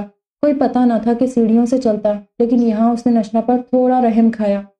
अपार्टमेंट के सामने खड़े होते की हॉल में चाबी घुमाई। छोटी सी लॉबी से गुजरकर लाउंज में दाखिल हुआ। आगे बढ़कर दाएँ हाथ पर मौजूद स्विच बोर्ड पर लगे मुख्तलिफ़ बटन ऑन किए पूरा लाउंज और लाबी डगमगा उठे। अंदर आते उसे परवाह नहीं थी कि वो उसके पीछे आ रही है कि नहीं। ऐसा महसूस हो रहा था वो अकेला है। नशरा ने सुलगती नज़रों से उसकी पुश्त देखी। अभी तक दरवाजे पर खड़ी थी, उसे आज इन हो गया था। मारिज किस बला का नाम है? वो जो अब तक लोगों को अपने आगे पीछे फिरते देखती रही थी। उसके नाज नखरे पल पल उठाए जाते थे। आज सब एक ख्वाब बन गया था। उसके बाप ने यकीनन उस रात का बदला निकाला था मार्ज से। उसका निकाह करके जब उसने अपनी बाप की इज़्ज़त मिट्टी में रोलते हुए साइम के घर अपने कदम रखे थे, कोरोना फिर से औद कराया था। वो अपना बैग घसीटती मरे मरे कदमों से अंदर दाखिल हुई। वो सामने दो कमरे हैं। उनमें से दाएँ वाला मेरा है और आप बाएँ वाले में चली जाए। उसकी जानब देखे बिना उसे हिदायतें देता, दाखिली दरवाजे के जाने मुड़ा। उसे बंद करके अच्छी तरह लॉक किया। नशरा को एकदम एहसास हुआ कि वो उसके साथ इस अपार्टमेंट में अकेली है। इस रुखसती के बाद भी आप मेरे लिए बीवी ही है। इससे ज़्यादा ताल्लुक मैं आपके साथ बनाना नहीं चाहता। लिहाजा बेफिक्र होकर रहे। सुबह आपको यूनी छोड़ने जाना है। लिहाजा मैं तो सोने जा रहा हूँ। आपका जब सदमा कम हो जाए तो आप भी सो जाइएगा। वो अच्छी तरह से उसे उसकी हैसियत जतला चुका था। ये तुम बार बार मुझे क्या जताने की कोशिश करते हो? मैंने क्या मोहब्बत की शादी की है? तुम्हारे साथ जो तुम मुझे कबूल ना करके मुझे मेरी हैसियत बता रहे हो अपने कमरे के जाने जाते उसने नशरा की भिपरी आवाज़ सुनी। नहीं मैं बार बार अपनी हैसियत खुद को याद दिलाता हूँ मुड़कर उसके सजे सोने रूप को देखा। आँखें तो रो रो कर वो साफ़ कर चुकी थी मगर होंठों पर अभी लाल सुर्खी अपनी छत दिखला रही थी। हम्म, हैसियत याद रखते तो यूँ मुझे नीचे से अपना बैग यहाँ ना लाना पड़ता। उसके हाथों ने पहली बार इतना बोझ उठाया था। उसका कुल्लाना बनता था। उसके रूहां से लहजे पे मारिज अपनी हँसी ना रोक सका। वो वाकई शायद पहली बार यूँ बेबस हुई थी। उसकी हालत मारिज को मज़ा दिला गई। जय, वो क्या है? क्या ना चाहते हुए हैसियत तो बदल ही गई है। मेरे चाहने ना चाहने से क्या होता है? अपनी जिद करने वाली मुस्कुराहट उसको उछाल कर वो कमरे में बंद हो गया। ये देखी बिना के मजीद रोने के लिए लाउंज मौजूद सोफे पर कब्जा कर चुकी है। कुछ देर रोते रहने के बाद उसे एहसास हुआ कि वो इस वक्त लाउंज में तन तनहा है। अपना बिखरा वजूद समेटे वो खड़ी हुई बैग घसीटती उस कमरे की जानी आई जिसकी तरफ़ मारिज ने इशारा किया था। दरवाज़ा खोलकर अंदर दाखिल हुई। हाथ मारकर दरवाजे के करीब स्विच बोर्ड टटोला सब बटन दबा दिए। कमरा रोशन हुआ। एक ताराना निगाह कमरे पर डालकर तसली हुई कि कमरा पूरा आसाइश था। दरवाज़ा खुलते साथ ही बैठ लगा। बेड के सामने दीवार गिर अलमारी। उसके सामने ड्रेसिंग और उसके बिल्कुल सामने दो सोफे रखे थे। वो मुतमिन होती बैग से आरामदा लिबास निकालने लगी। अलमारी के सामने छोटी सी लॉबी बनी थी। वही वॉशरूम बना था और उसके सामने खिड़की बनी थी जिस पर दबीज पर्दे पड़े थे। नशरा, लिबास लेकर वॉशरूम में बंद हो गई। कुछ देर बाद बाहर निकली। सर शदीद दर्द कर रहा था। कुछ सोचकर बाहर आई। लाउंज के साथ ही ओपन किचन था। फ्रिज खुला। खाली फ्रिज उसे मुँह चढ़ा रहा था। गुस्से से बंद करके मारिज के कमरे के दरवाजे के जाने बढ़ी। दरवाज़ा बजाया नहीं धड़ धड़ाया जो कुछ देर पहले लेटा था। अभी आग भी न लगी कि दरवाजे पर तबल जंग बजने की आवाज़ महसूस हुई। ना खुद चैन लेंगी, ना दूसरे को लेने देगी। वो बड़बड़ा कर उठा। लाइट जलाकर दरवाज़ा झटके से खोला। जी फरमाए, मजीद कितनी लड़ाई बाकी है? इसका पुरसकून मगर तंज भरा अंदाज नशरा को जलाकर राख कर गया। मुझे कोई ज़रूरत नहीं है तुमसे लड़ने की। मुझे चाय पीनी है। सर दर्द से फटा जा रहा है। सब्ज और हरे रंग के इम्तजाज का सूट पहने। चेहरा धोए, बालों की ढीली सी चोटी बांधे, दुपट्टा एक कंधे पर डाले वो वाकई ईमान खराब कर देने वाली हुसन और लापरवाह इसकी लग, रखती थी। मारी ने एक नज़र देखकर नज़रें फेरी, मगर उसके सवाल पर फिर से नज़रें उसकी जानब घुमाकर किसी कदर हैरानी से देखा, मैं आपके लिए अभी चाय बनाऊँ? हैरत का इजहार भी किया, अभी वो उसे बता चुका था कि उसका ताल्लुक अब उससे मुलाजिम वाला नहीं रहा, और वो फिर भी रौब झाड़ने आई थी। जानती हूँ, ऐसी उम्मीद तुमसे रखनी अब बस है। दूध नहीं है फ्रिज में, और मुझे चाय पीनी है। बेजान लहजे बोली। मैं फरहाद हरगिज़ नहीं कि इस वक्त आपके लिए दूध की नहर खोदूँ। उसे जिस कदर जिज कर सकता था, कर रहा था नशरा ने दांत पीसे। बाज़ार से जाकर लाओ। वो फाड़ खाने वाले अंदाज बोली। मारिज ने मुड़कर सामने दीवार पर लगी घड़ी पर वक्त देखा। तीन बज चुके थे। इस वक्त मेरे किसी रिश्तेदार ने दुकान नहीं खोली होगी। सुबह होगी तो मैं सब चीज़ें ला दूँगा। पेन किलर खा ले। वो मज़े से उसे मशवरा देकर उसके मुँह पर दरवाज़ा बंद कर गया। नशरा हैरत से मुँह खोले, उसका मशवरा सुनती उसकी बेरुखी पर फिर से रोने बैठ गई। पैर पटके अपने कमरे के जाने बड़ी रोते रोते किस लम्हे आँख लगी उसे अंदाज़ा नहीं हुआ। शुक्र यार, तुम आ गई।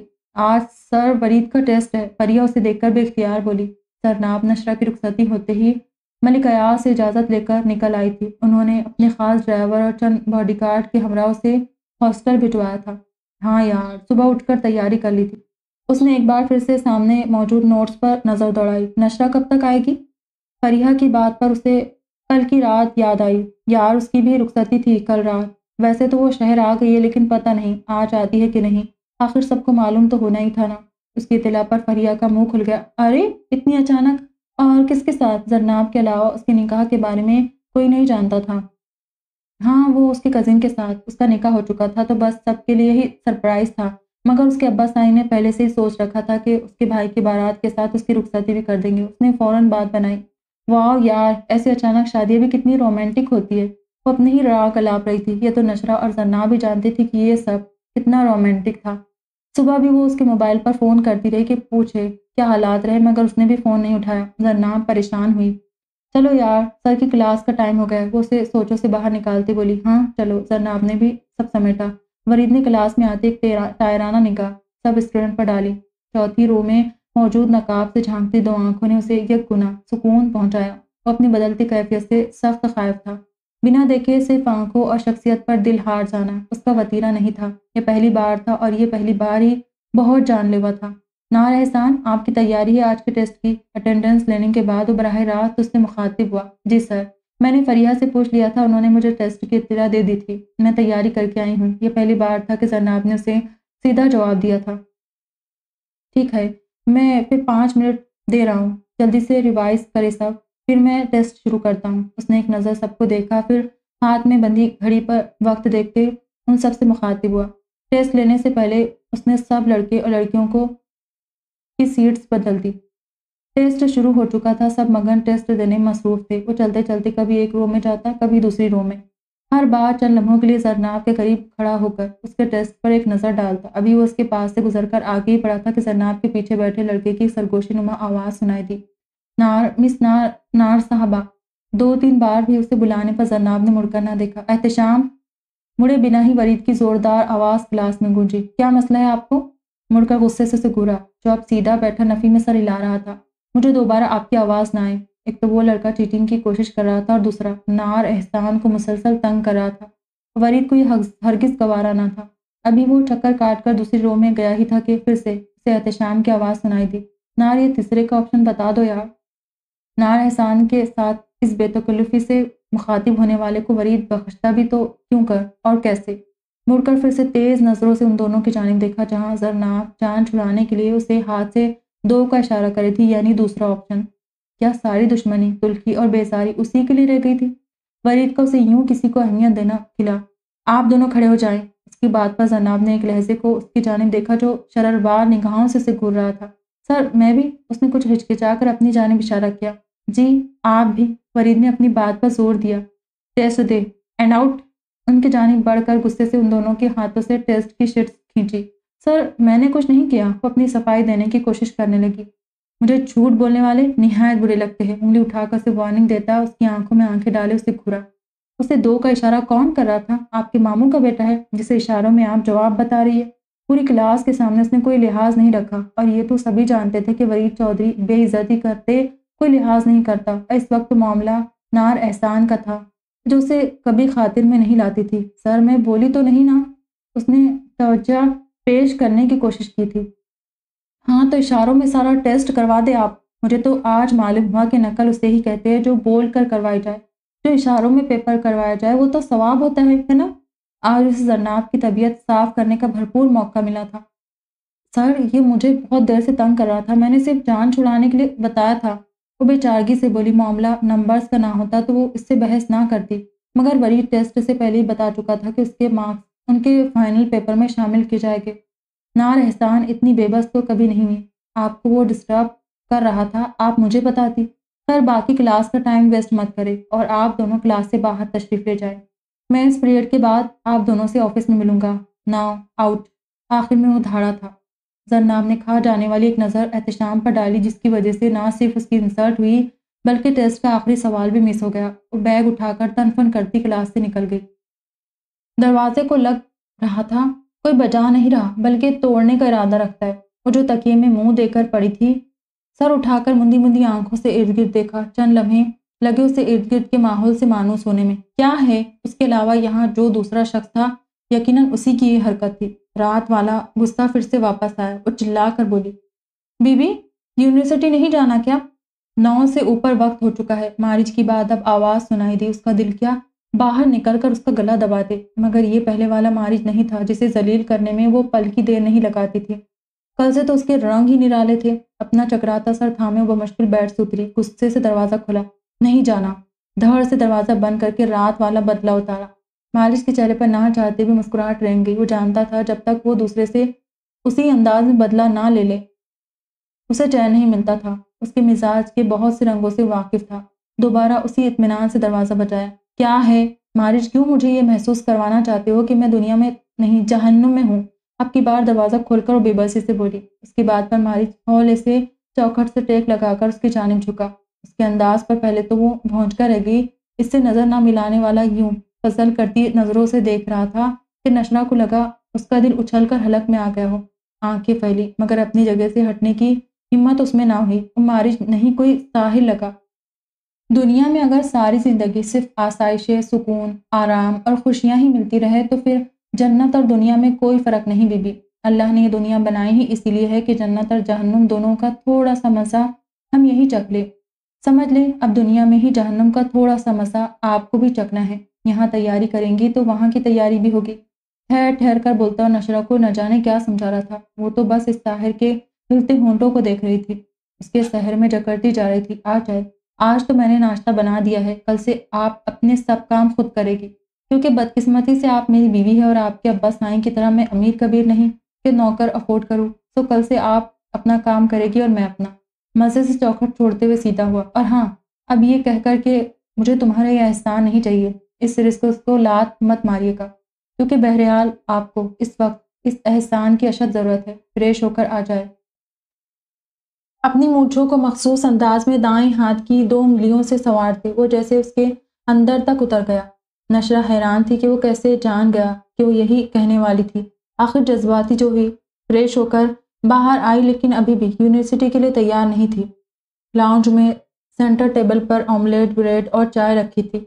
नशरा को यह सादा सा नाश्ता भी इस वक्त नेमत ही लगा। कल सुबह के नाश्ते के बाद से उसने कुछ नहीं खाया था। इस वक्त पेट में शदीद चूहे दौड़ रहे थे। खामोशी से टेबल के करीब रखे फ्लोर कुशन पर बैठकर खाना शुरू कर दिया। मारिज शायद नाश्ता कर चुका था। इस वक्त उसके सामने सोफे पर बैठा बस चाय के मग से चुस्किया ले रहा था। मैं आज यूनिवर्सिटी नहीं जाऊँगी।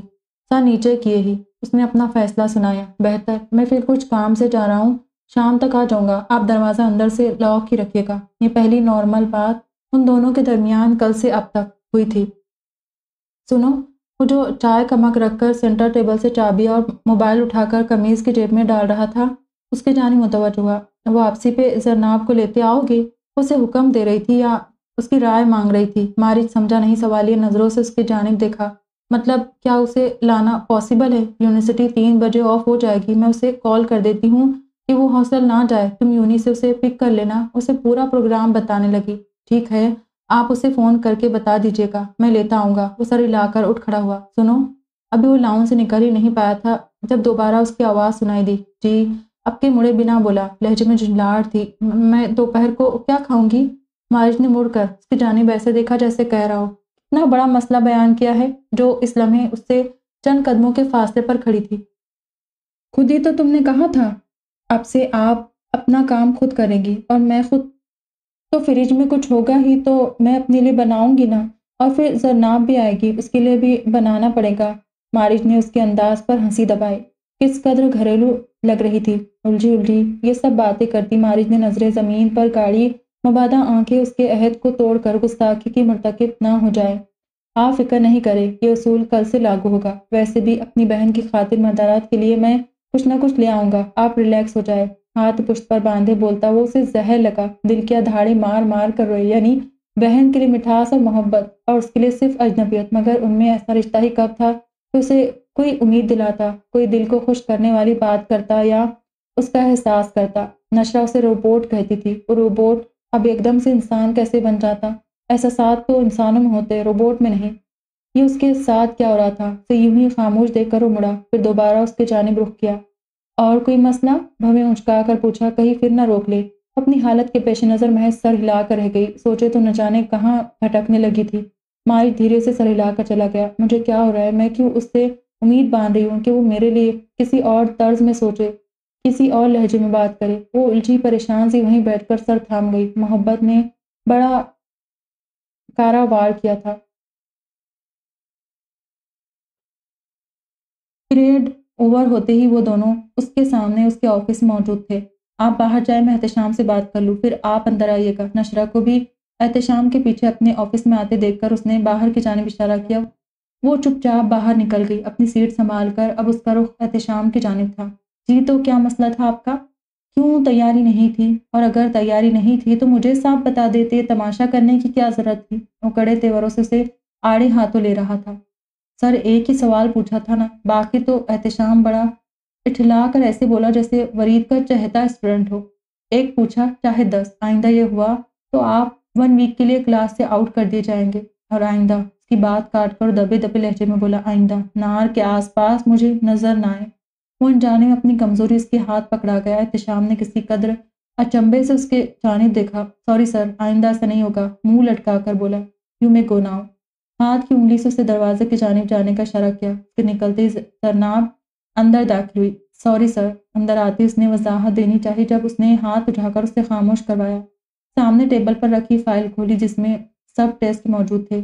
उसमें से जरनाब का टेस्ट निकाला। लास्ट क्वेश्चन आता है। उसके सवाल पर लम्हे भर को हैरान हुई। जी जी सर, सारा टेस्ट आता था। और फिर से वजाहत देने लगी। ओके, ये पकड़े और यहाँ बैठकर टेस्ट मुकम्मल करें।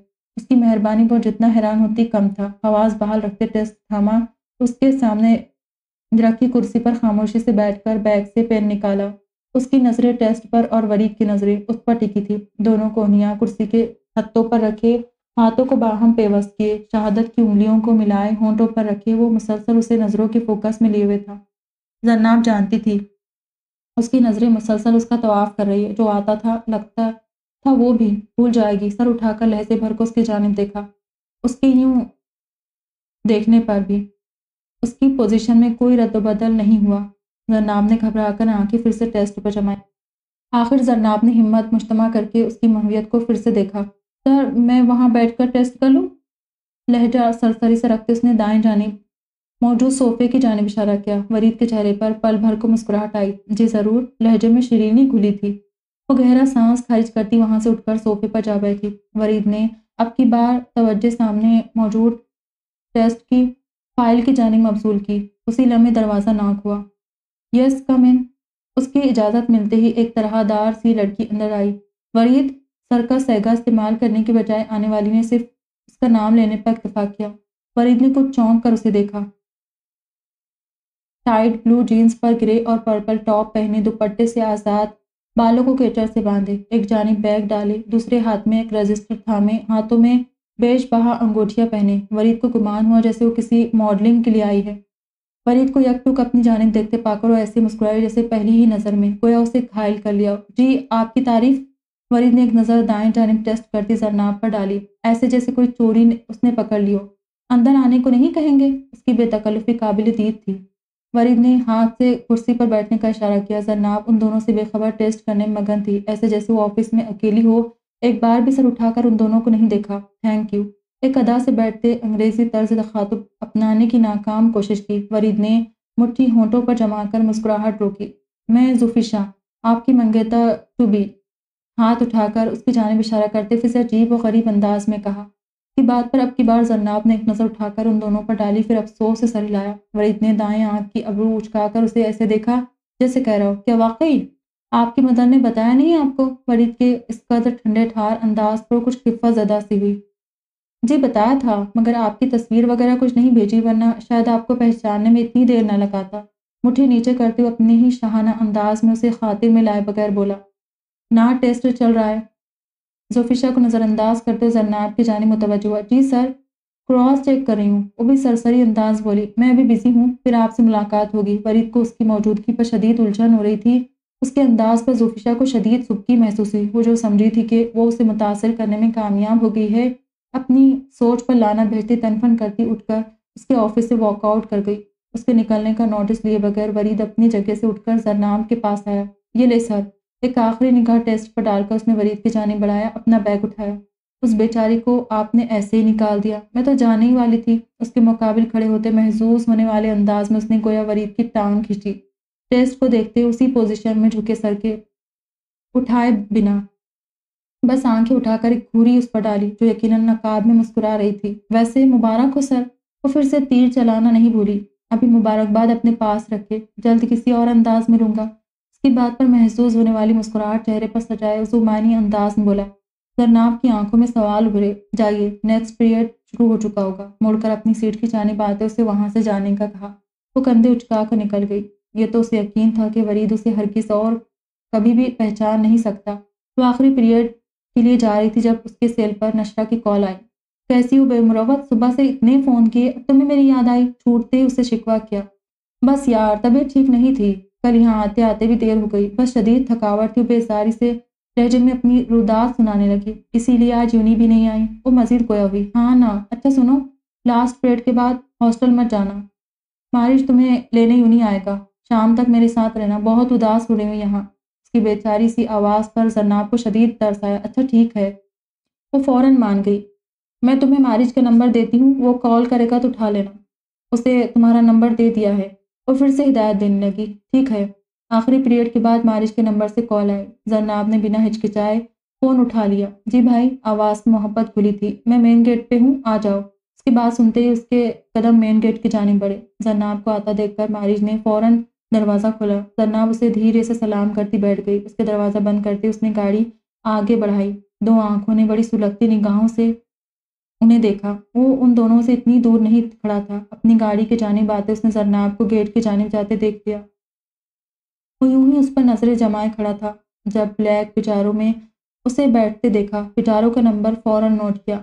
यूँ तो उसके कोई रिश्तेदार नहीं तो ये फिर कौन है? वरीद ने कुछ सोचकर मोबाइल निकाल कर नंबर डायल किया। दूसरी जानब से फ़ोन उठाते उसने बगैर सलाम दुआ के अपनी ही बात कही। एक गाड़ी का नंबर भेज रहा हूँ। पता करके बताओ किसके नाम पर है। और इस बंदे का बायोडेटा भी मुझे एक दो दिन में भिजवाओ। तहकुम से कहते, साथ ही फ़ोन बंद किया। गाड़ी का नंबर उसी नंबर पर सेंड करके गाड़ी में बैठकर जन से मेन गेट की जानी बढ़ाई। आप नशरा के साथ ठीक नहीं कर रहे। गाड़ी में बैठते उसने भाई से शिकवा किया। मैं तो कुछ नहीं कर रहा। ये तो उनकी किस्मत कर रही है। और मुबहम सा मुस्कुरा कर बोला, आप इतने लाताल्लुक क्यों बन रहे उससे? वो दोस्त की वकालत करने लगी। इन चंद दिनों में ही उसने देख लिया था कि उन दोनों के दरमियान खिंचा खिंचा ताल्लुक है। तो मुझसे छोड़ो, ये बताओ, सुबह नाश्ते में क्या खाया था? जिम्मेदार भाई की तरह पूछने लगा। असल में इस टॉपिक से हटाया था, जिसकी औराक पर लिखी कहानी, क्या से क्या करने वाली थी, वो खुद भी उससे अनजान था। आप बात बदल रहे हैं, वो घूर कर बोली, यही समझ लो, अभी हथियार डालते हो बोला भाई। क्या क्या, आप वाकई मेरे मतलब बाबा साईं के बेटे हैं और मेरे भाई? उसकी हिम्मत ना हुई उसे सौतेला भाई कहने की। मारिज ने मुस्कुरा कर सर हिलाया। क्या मैं इस हकीकत से वाकिफ हो सकती हूँ? उसके सवाल पर लब भेज कर रह गया। तुम्हें बताया किसने? वो जानता तो था फिर भी। उससे पूछने लगा, नशरा ने अपना अंदाज। अंदाज़ा सच होने पर वो महज सर हिला कर रह गया। ये कभी नहीं सुधरेगी, बीबीसी कही बड़बड़ाया मगर जन्नाब ने उसकी बड़बड़ाहट बड़े आराम से सुन ली। बुरी बात, बीवी को ऐसे नहीं कहते। बड़े बूढ़ों की तरह उसे टोका। वो बीवी नहीं। अब क्या कहूँ तुम्हारी प्यारी दोस्त के बारे में? कुछ बुरा कहते कहते बड़ी मुश्किल से चुप हुआ कुछ हकीकतों पर पर्दा पड़ा ही रहे तो बेहतर है। वो चाह कर भी बता नहीं पा रहा था। प्लीज़ भाई, प्लीज़। पहली बार किसी बात की ख्वाहिश की है। उसकी बात पर वो इमोशनल हो ही गया। मगर वादा करो, तुम किसी को भी नहीं बताओगी। अपनी प्यारी दोस्त को भी नहीं। उससे वादा लेने लगा। मुझे पता है मेरी दोस्त बहुत प्यारी है। बार बार प्यारी कहकर आप लगता है अपने दिल की बात कह रहे हैं। शरारत से बोली उसे अंदाज़ा न हुआ। वो दो बार उसे प्यारी कह गया है। जन्नाब के शरीर अंदाज पर उसे पूरी से नवासा। अच्छा अच्छा सॉरी। और मुश्किल हँसी रोक कर बोली, मारिज ने आहिस्ता आहिस्ता सब राजों से पर्दा हटाया। बाबा साई ने मरते दम तक साया साई से वादा लिया था कि वो ये हकीकत किसी को नहीं बताएँगे। उनके मुताबिक उन्होंने ज़िंदगी में तो ऐसे कोई अच्छे काम नहीं किए। लिहाजा वो चाहते थे उनकी वफ़ात के बाद लोग उन्हें बुरे अल्फाज में याद ना करें ख़ास तौर से तुम्हारी अम्मा साई। का एतबार वो मरते तोड़ जाते और ये उन्हें गवारा नहीं था। उसकी बात ख़त्म होते कितनी ही देर गाड़ी में खामोशी छाई रही। इंसान इंसानों से कितना खौफजदा रहता है। उनके सामने अपना इमेज ख़राब नहीं करना चाहता, मगर इस सब में उसे ये डर और खौफ क्यों नहीं होता कि ये तो सब मिट्टी हो जाएगी? उस अल्लाह के सामने अपना क्या मुँह लेकर जाएँगे? उसके सामने इमेज खराब होने की फ़िक्र क्यों नहीं होती? उसकी बात पर मारिज एक गहरा सांस भरकर रह गया। ये सब बताने का मतलब ये नहीं कि तुम उनके बारे में बुरा सोचो उसे तंबिया करने लगा। आपकी माँ यकीनन बहुत अच्छी औरत होगी। आप मुझे बाबा साईं का परतू नहीं लगते। तो यकीनन आप अपनी अम्मी जैसे होगे। कितनी खुश नसीब है वो, जिनकी औलाद आप जैसी है। सारी उम्र लोगों के सामने सवाल निशान बनने को तैयार है, लेकिन जिन्होंने आपको अपनाया। अपनाया नहीं, उनके लिए बुरा नहीं सुनना चाहते। और रश्क से उसे देख रही थी। ऐसे नहीं कहते जरनाब। हम सबने अपने अपने अमाल का हिसाब खुद देना है। उन्होंने जो किया उसका हिसाब अल्लाह उनसे ले लेगा। मैं बिलावजह उनसे नफरत करूँ, जबकि वो इस दुनिया में है भी नहीं तो मुझे क्या फ़ायदा? होते भी तो मैं उनसे नफरत ना करता। अगर हम लोगों की जगह खुद को रख कर उनके बारे में, उनके मसाइल को समझने लग जाए तो शायद हम लोगों से शिकवे करने छोड़ दें। न जाने वो कितने मजबूर होंगे कि वो मुझे अपना नहीं सके। उसका धीमा लहजा जन्नाब के दिल में उसका मुकाम और बुलंद कर गया। पता है, क्या मैंने कभी शिकवा नहीं किया कि मेरी दुनिया में आने की वजह क्या थी? क्योंकि उसमें मेरा हाथ नहीं था और अल्लाह तो जानता है ना, जब मैं उसके आगे सर खरू हूँ तो मुझे इंसानों के कहे जाने वाले लफ्ज़, नाजायज़ पर तकलीफ़ महसूस नहीं होती। लोग अपनी पुस्त जहनीत के मुताबिक बात सोचते, मेरी ज़ात पर फ़र्क नहीं पड़ता क्योंकि अल्लाह ने मुझे उन्हीं के घर में पाल पोस कर बड़ा करवाया। ताया साईं की बेश बहा मोहब्बत मुझे मिली। मैं किसी आसाइश और नेमत के लिए तरसा नहीं, पढ़ लिख लिया, अपना कारोबार कर रहा हूँ। बस यही बहुत है मेरे लिए उसकी बातों ने जरनाब को खुद का महासबा करवाया। हम दोनों बहन भाइयों की किस्मत एक सी है, बेनिशान आँसू उसके गालों पर लुढ़के ऐसे नहीं कहते। हम मुसल्लाह के बंदे और इतनी बड़ी शनाख्त बहुत है, मुसलमान है। कि ये काफ़ी नहीं, इस हजब नज्म में क्या रखा है? मारिज ने हाथ बढ़ाकर उसके सर पर थपथपाया। रोते रोते मुस्कुराकर उसने भाई की जानब देखा, आइंदा ऐसे नहीं कहना। वो उसका हौसला बढ़ा रहा था। रंग व बू का सैलाब था। मुकर वक्त से घंटा लेट वो फ़खर के ऑफ़िस के फ़ंक्शन में मौजूद था। एक मशहूर होटल के लॉन में सब इंतज़ाम था। वो भी सबके दरमियान कब से मौजूद किसी खास को ढूँढने में मगन था। किसे तलाश कर रहे हो? फ़खर ने भी उसकी बेचैनी भांप ली थी। किसी को नहीं, बस ऐसे ही देख रहा था। वो बात बना कर बोला, मैंने डैडी को हाँ कर दी है। फ़खर की बात पर उसने अजीब से तासुरात से उसे देखा। देखा, ऐसे जैसे उसकी बात समझने की कोशिश कर रहा हो कि वो क्या कहना चाह रहा है। अरे यार, वही नार एहसान से शादी करने वाली बात था। वो उसके तासुरात से समझ गया कि वो यकीनन भूल चुका है। वरिद कुछ देर चुप ही रह गया। वो वाकई भूल चुका था कि फ़खर ने उसके लिए पसंदीदगी और शादी करने का कुछ दिन पहले ही इजहार किया था। यहाँ वॉशरूम किस साइड पर है? उसकी बात का जवाब देने की बजाय उसने कुछ और ही कहा। हाँ वो इस तरफ़। उसके इतने रूड अंदाज पर फ़खर को अजीब सा एहसास हुआ। बजाय खुश होने या कोई अच्छी बात करने के, उस दिन भी वो वहाँ से भाग गया था और आज भी वो उसकी बात को नज़रअंदाज कर गया, उसने एक जानब इशारा किया वरीद सर हिलाकर उस में चल पड़ा। जब अंदर की जानब बढ़ते सामने से आते वजूद से तसादम होते होते बचा। फरीद ने एकदम कदमों को रोक कर खुद को सामने से आती लड़की से टकराने से बचाया, सामने वाली जल्लत में नकाब दुरुस्त करती आ रही थी। जब अंदर आने वाले से टकराते टकराती बची, नकाब सेट करता हाथ उलझा, नकाब यखलक चेहरे से गिरा। वही जो सॉरी करने के लिए सामने वाले की जानब निगाह उठा चुका था सामने खड़े वजूद की आँखों से तो न जाने कब से आशना था, मगर अपने सामने इस मुकम्मल हुसन को आज पहली बार देखकर उसे महसूस हुआ, जैसे शायद ही आज से पहले इतना मुकम्मल हुसन देखा हो। वो कोई और नहीं, जरनाब और वरीद के लिए नार एहसान थी, और जो कब से उसे ढूंढ रहा था, अंदाज़ा नहीं था, आज यूँ किस्मत उसके रूबरू लाएगी कि वो उस चाँद की चमक से आँखों को खैरा होने से नहीं बचा सकेगा। उसे नहीं मालूम था कि हकीकत में इतनी ही हसीन थी, या उसकी नज़रों ने उसे हुसन के सिंहासन पर बिठा दिया।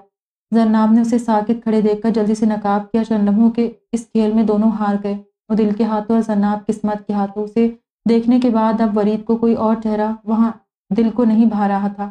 कुछ ही देर बाद वो फिर से सब में मौजूद था। जरनाब भी मौजूद थी। दोनों बहुत बार आमने सामने आए। जरनाब तो भरपूर अजनबियत का तासुर ही दिए हुए थी, मगर वरीद वो अब उस अजनबियत को बरकरार नहीं रख सकता था। उसे अब वो चाहिए थी।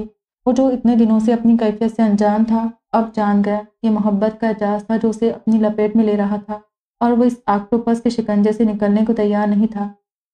उसकी खूबसूरती को आँखों में बसाए और घर सरशार सा वापस लौटा था। घर आया तो सामने ही माँ और बाप दोनों मौजूद थे।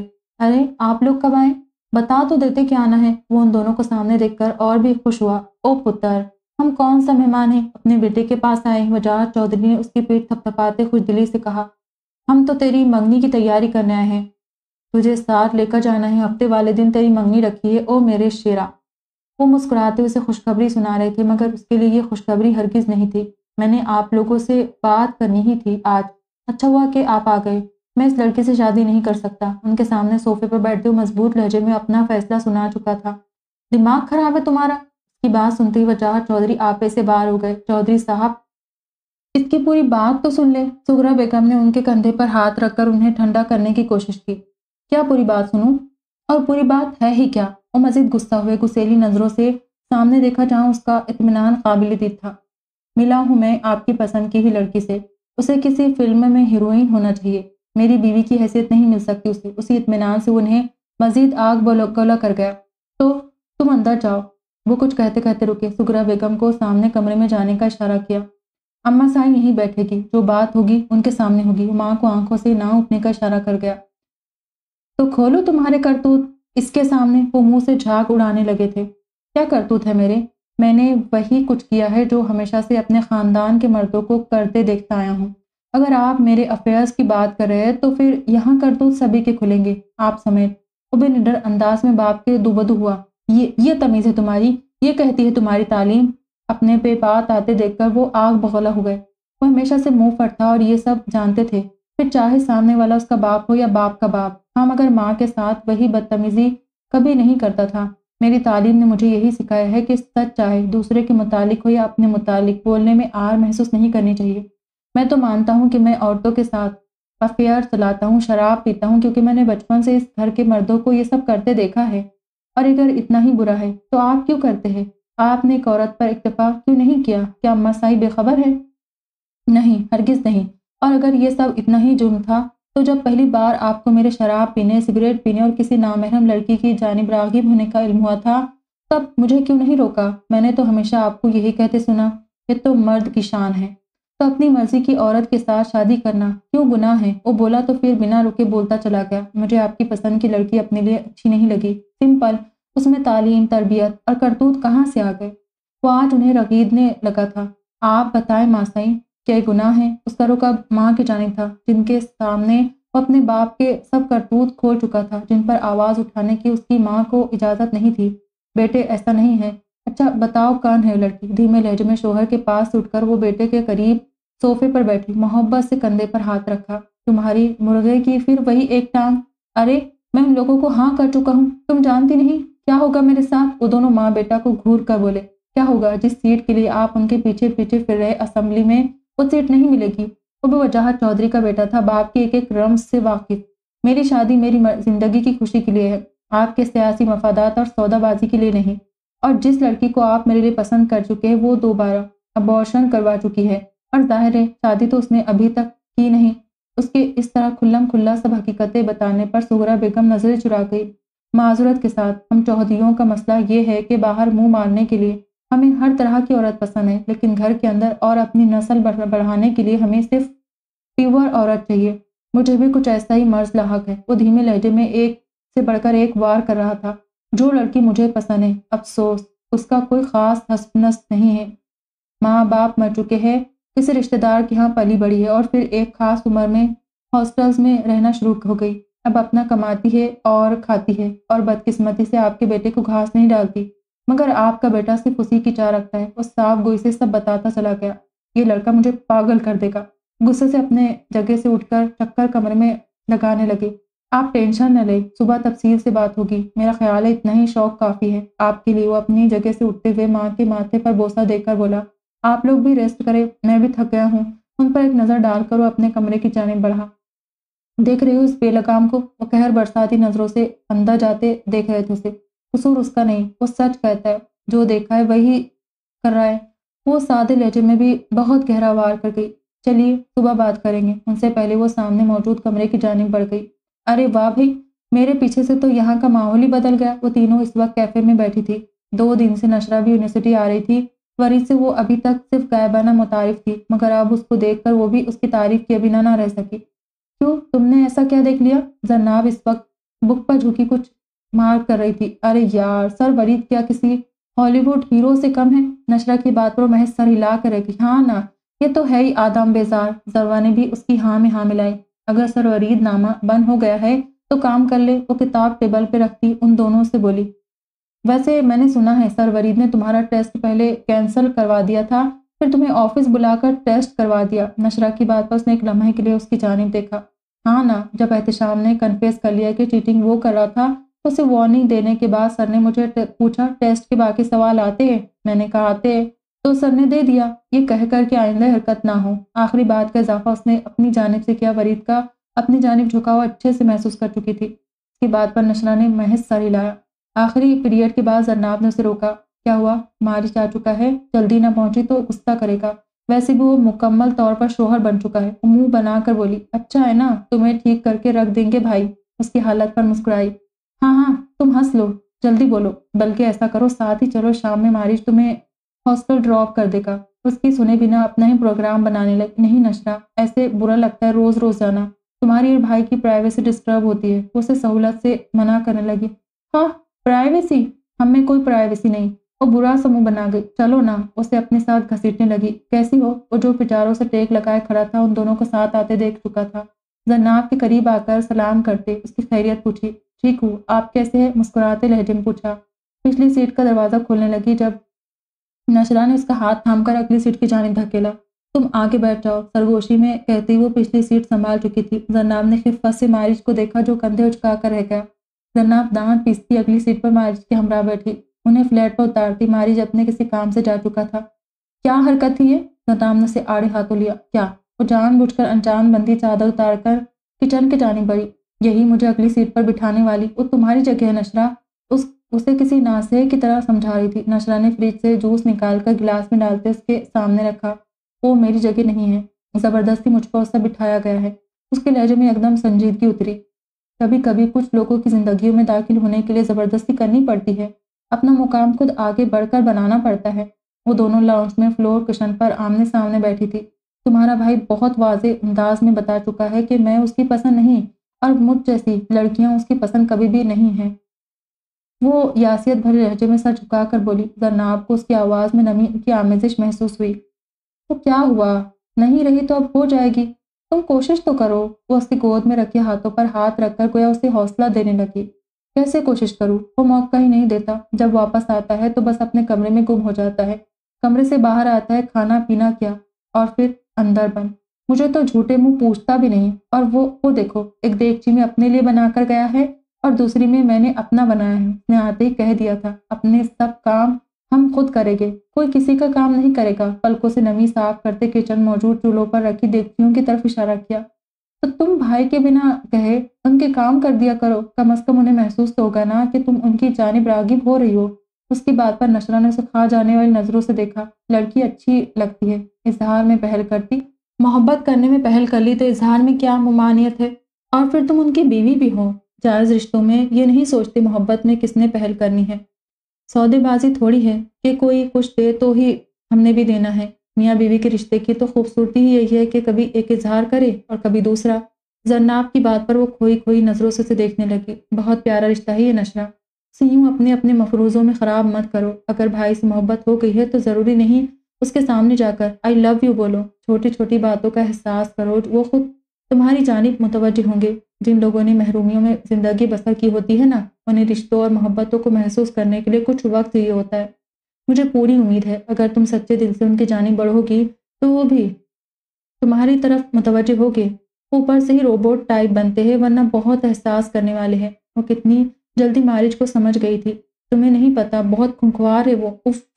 बर्फ़ की तरह ठंडा गुस्सा है और ऐसे गुस्से की मार बड़ी ज़्यादा होती है। आग जैसे गुस्से को तो पानी की बूंदों से बुझाया जा सकता है, बर्फ़ पर तो पानी भी असर नहीं करता और झझरी लेकर बोली। अब तुम कहो कि वो एक ही, दम तुम्हें बीवी बना ले, तुम्हारे आगे पीछे फिरे तो ऐसा कैसे हो सकता है? ऐसा साथ अभी तुम्हारे बदले है, उन्हें तो महसूस करवाना है वो हंस कर बोली। हाय, क्यों हो गई मुझे ऐसे सख्त बंदे से मोहब्बत? पता नहीं तो एकदम इतना अच्छा लगने लग गया है। वो बेचारगी से बोली, यही तो निकाह की तासीर है। और मोहब्बत से उसे देखते हुए बोली, अरे हाँ तुमने कोई बात बतानी थी, एकदम अपने मसलों से उलझते से ख्याल आया।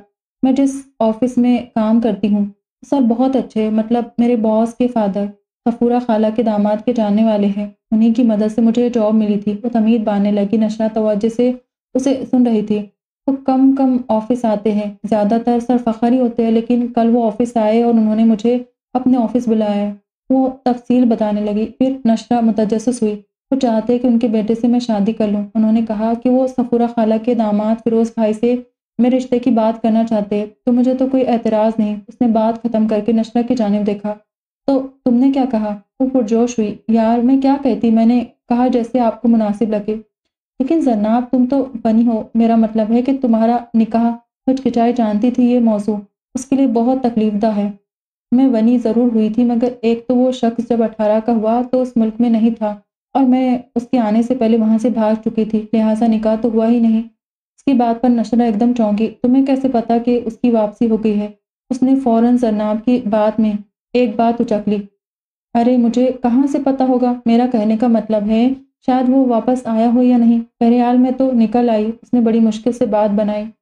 वो हरगिज़ भी नशरा को ये नहीं बताना चाहती थी कि जिस सरवरीद की तारीफ़ों में वो आज दुनिया जहाँ एक कर रही वो असल में वही है, जिसकी वो बनी है। हाँ फिर तो रिश्ता हो सकता है। वैसे वो है कैसा? नशरा ने इश्तियाक से पूछा, कौन? जनाब अभी उसके पहले सवाल में ही उलझी हुई थी अचंबे से पूछा, अरे यार, तुम्हारा बॉस, फ़खर, वैसे मेरे ख्याल में तुम्हें मारिज से बात करनी चाहिए। तुम्हारे घर वाले हम हैं, मेरे ख्याल से उन्हें हम ही से बात करनी चाहिए। नशरा की बात पर लम्हा भर को चुप हो गई। अजीब लगेगा, मैं भाई से ऐसी बात करूँ। क्या तुम बता सकती हो उन्हें? उसने मदद तलब नज़रों से नशरा को देखा। यार अच्छा चलो मैं बात करती हूँ। इनकार करते करते वो हामी भर गई। दो दिन हो गए थे। सुगरा बेगम और वजाहत चौधरी को उसके साथ सर खपाते, मगर उसकी ना हाँ में बदल ही नहीं रही थी। शाम के पहर वो तीनों लॉन की कुर्सियों पर बैठे चाय पी रहे थे और साथ साथ उसे समझाने का काम भी कर रहे थे। आप लोग क्यों नहीं समझ रहे? मुझे वो लड़की किसी भी तरह मंजूर नहीं। वो झुंझलाया हुआ था। मगर तुम्हारी पसंद कुर्दा लड़की के साथ भी मैं किसी सूरत तुम्हारी शादी नहीं करवा सकता। हम क्या मुँह दिखाएँगे लोगों को कि गाँव के चौधरी किसी गरीब और यतीम के साथ अपने बेटे का बिहा करवा रहे? वो सख्त कबीना नज़रों से उसे देख कर बोले, एक तो मुझे यह समझ नहीं आती ज़िंदगी हमारी है, मगर हमें परवाह लोगों की करनी है। वो सर झटक कर बोला, बेटे, हम इस मुआरे से कट कर तो नहीं रह सकते ना? सुगरा बेगम ने उसे समझाना चाहा, मैं, इससे पहले कि कोई जवाब देता कि उसका मोबाइल बोल पड़ा, मैं भी आता हूँ। उन दोनों की जानब देखकर वो वहाँ से उठ गया। समझ नहीं आ रही कौन है, जिसने यूँ जादू कर दिया उस पर। वजाहत चौधरी मूछों को ताव देते बिगड़े हुए लहजे में बोले, सुगरा बेगम खामोश ही रही, उन्हें तो कोई एतराज़ नहीं था वरीद की पसंद खुर्दा लड़के से उसकी शादी करवाने पर। शाम में मारिज घर आ चुका था, कुछ सोचकर उसने जरनाब की हिदायत पर अमल करते अपने और मारिश के लिए चाय बनाई। चाय के दोनों कप ट्रे में रखकर सेंट्रल टेबल पर रखते, हिम्मत मुश्तमा करके उसके कमरे के दरवाजे पर नॉक किया। कुछ ही देर बाद दरवाजे में मारिज नमोदार हुआ। जी नज़रें झुकी हुई थी। वो, मैंने तुम्हारे और अपने लिए चाय बनाई है। पी लो। कुछ बात भी करनी है। तोड़ तोड़ कर वो मुश्किल जुमला पूरा किया। मारिज ने किसी कदर हैरत से उसे अपने सामने ऑरेंज और पिंक रंगों के इम्तजाज का सूट पहने अपनी शरीर के हयात को देखा। उस पर नज़र भी बड़ी एहतियात से डालता था। जानता था कि उसके करीब भड़कता हुआ शोला मौजूद है, मगर वो इस शोले को थामने की गलती नहीं करना चाहता था। राख बनने से डरता था। आपने ऐसे ही जहमत की, मैं आ ही रहा था अपने लिए चाय बनाने। सादा से लहजे में कही गई उसकी बात नशरा को इतनी भी सादा ना लगी। बीवी हूँ, तुम्हारी अगर मेरे हाथ की बनी हुई चीज़ खा पी लोगे तो मर नहीं जाओगे। सब शर्म झिझक बालाए ताक रखकर वो उसे खरी खरी सुना गई। मर तो वैसे भी रहा हूँ रोज, आपके तेवर देखकर। निचला लब दांतों में दबाकर मुस्कुराहट रोकता उसे फिर से जिच कर रहा था। देखो, मारिच, उंगली उठाकर कड़े तेवरों से उसे देखा। देखना नहीं चाहता। हाथ सीने पर बांधकर चौखट से टेक लगाई, कम बख्त के स्टाइल। इस कदर जानलेवा है। चोर नज़रों से अपने सामने ऑफ़ वाइट शलवार, कमीज पहने, फुर्सत से खड़े मारिज को देखकर दिली दिल में बड़बड़ाई। मैं चाहती हूँ कि हम यूँ दुश्मनों की बजाय दोस्त बन के भी तो रह सकते हैं। अब ज़िंदगी तो साथ गुजारनी है जैसे तैसे भी। सही तो क्या ज़रूरी है? लड़ झगड़ कर गुजारी जाए। कहीं तुम ढल जाओ, कहीं मैं ढल जाऊँगी। मारिज ने अब की बार अपनी गहरी बोलती से आँखों से उसकी जानिब देखा। जैसे यकीन कर रहा हो कि वही है जो हवेली वालों में से सबसे ज़्यादा उसके खिलाफ बोलती थी, उसे हकीर जानती थी। वह सोचते हैं, आपकी बनाई चाय ठंडी हो जाएगी और आपको कुछ बात भी करनी है मुझसे। उसकी बात का जवाब देने की बजाय अपनी जगह छोड़ता सामने मौजूद सोफे के जानी बढ़ा। नशरा भी गहरा सांस लेकर अपना मग हाथ में लेके उसके सामने फ्लोर कुशन पर बैठ गई। मारिज ने नोटिस किया था और जब से यहाँ आए थे वो उसके सामने ज़्यादातर नीचे फ्लोर कुशन पर बैठती है, बजाय उसके साथ सोफे पर बैठने के, क्योंकि बदकिस्मती से वहाँ एक ही सोफा था, जिस पर ज़्यादातर मारिज ही बैठता था। मुझे जन्नाब के हवाले से तुमसे बात करनी है। संजीदा लहजे में बोली, क्यों? क्या हुआ? वो एकदम बुरी तरह चौंका। जिस ऑफ़िस में वो जॉब करती है, वहाँ के बॉस चाहते हैं कि वो उनके बेटे से शादी करे। वो जन्नाब का रिश्ता लेकर आना चाहते हैं। उसकी बात पर कुछ हैरान हुआ। यहाँ लेकर आना चाहते हैं? उसने मजीद हैरत का मुजाहरा किया। यहाँ कैसे लेकर आएँगे? उन्हें क्या पता मैं और तुम उसके भाई और भाभी है? वो तेज़ी में फिर से उससे जुड़े रिश्ते का बड़े आराम से इजहार कर गई। मेरा मतलब है कि मारिश की आँखों में बिखरते तबस्सुम से अंदाज़ हुआ कि वो फिर से बड़े धड़ल्ले से उसके और अपने माँ बहन रिश्ते का इजहार कर गई है। हंसना बंद करो, अपनी खिफत मिटाने को उस पर रौब झाड़ा। मैं कब हंसा हूँ? उसने हैरानी से उसका इल्ज़ाम सुना, उसके लब नहीं मुस्कुराए थे, मगर आँखें। मुझे डिट्रैक करने की ज़रूरत नहीं है। असल बात पर फोकस करो, वो फिर से उस पर चढ़ दौड़ी। सांप छुपते भी नहीं, सामने आते भी नहीं। खैर, वो कहाँ रिश्ते ले जाना चाहते? उस पर गहरा वार करके वो बात समेट कर बोला। उसकी बात पर वो भी तफसील से बताने लगी। हम्म जरनाब की किस हद तक मर्ज़ी है? चाय के मग के किनारों पर हाथ फेरते उससे बोला, मेरा ख्याल है उसे कोई एतराज़ नहीं है। वैसे वो बहुत प्रैक्टिकल बंदी है। मोहब्बत वहब्बत नहीं है उसे। मारिज जानता था वो बेबाक है और बगैर झिझके आराम से हर बात कर देती है। मगर मारिज को उसका बेझिझक अंदाज कुछ खिला। उसने सिर्फ़ मर्ज़ी जानी थी। वो मोहब्बत के मसाइल भी बीच में ले आई। मैं ताया साई से बात कर लूँ, फिर देखते हैं।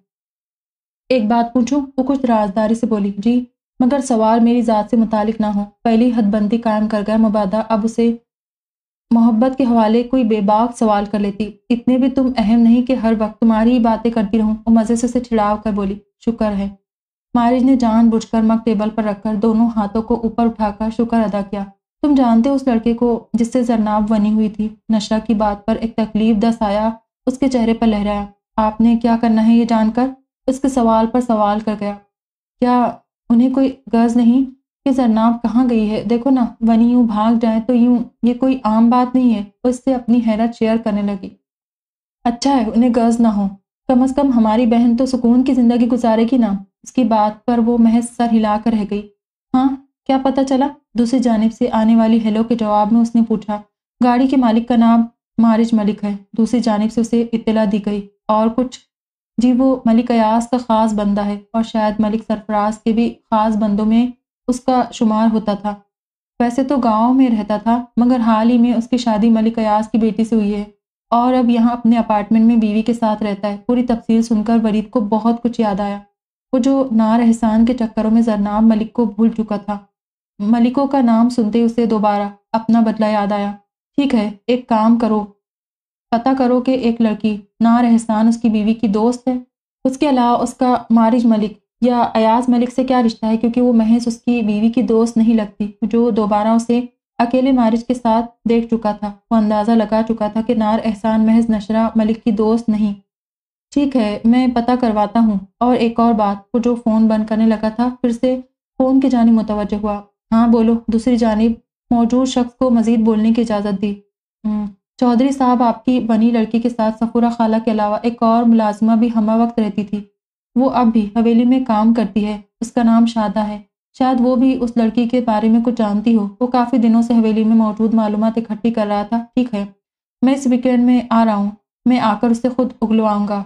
आँखें सुकेड़ कर गैर मरई नुक्ते को देखकर बोला, कुछ तो तुम्हारा कनेक्शन है मलिकों से। उसे एकदम नार एहसान की शख्सियत पर असरार सी लगी।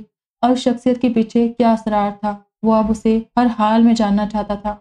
वो जरनाब तक पहुँच चुका है। नशरा को यूनिवर्सिटी ड्रॉप करके सीधा मलिक अयास के पास पहुँचा। उन्हें शहर के करीब के एक कस्बे में बुलाया था, जहाँ उनका फार्म हाउस था। वो नार एहसान तक पहुँचा है, जरनाब तक नहीं, वो उसकी तस्वीर करते हुए बोले, और आजकल वो जरनाब को ढूंढता फिर रहा है। मेरी गाड़ी का नंबर भी पता करवा चुका है। वो ना सिर्फ़ जरनाब से बाखबर था, बल्कि उसके दुश्मन से भी इतना ही बाखबर था।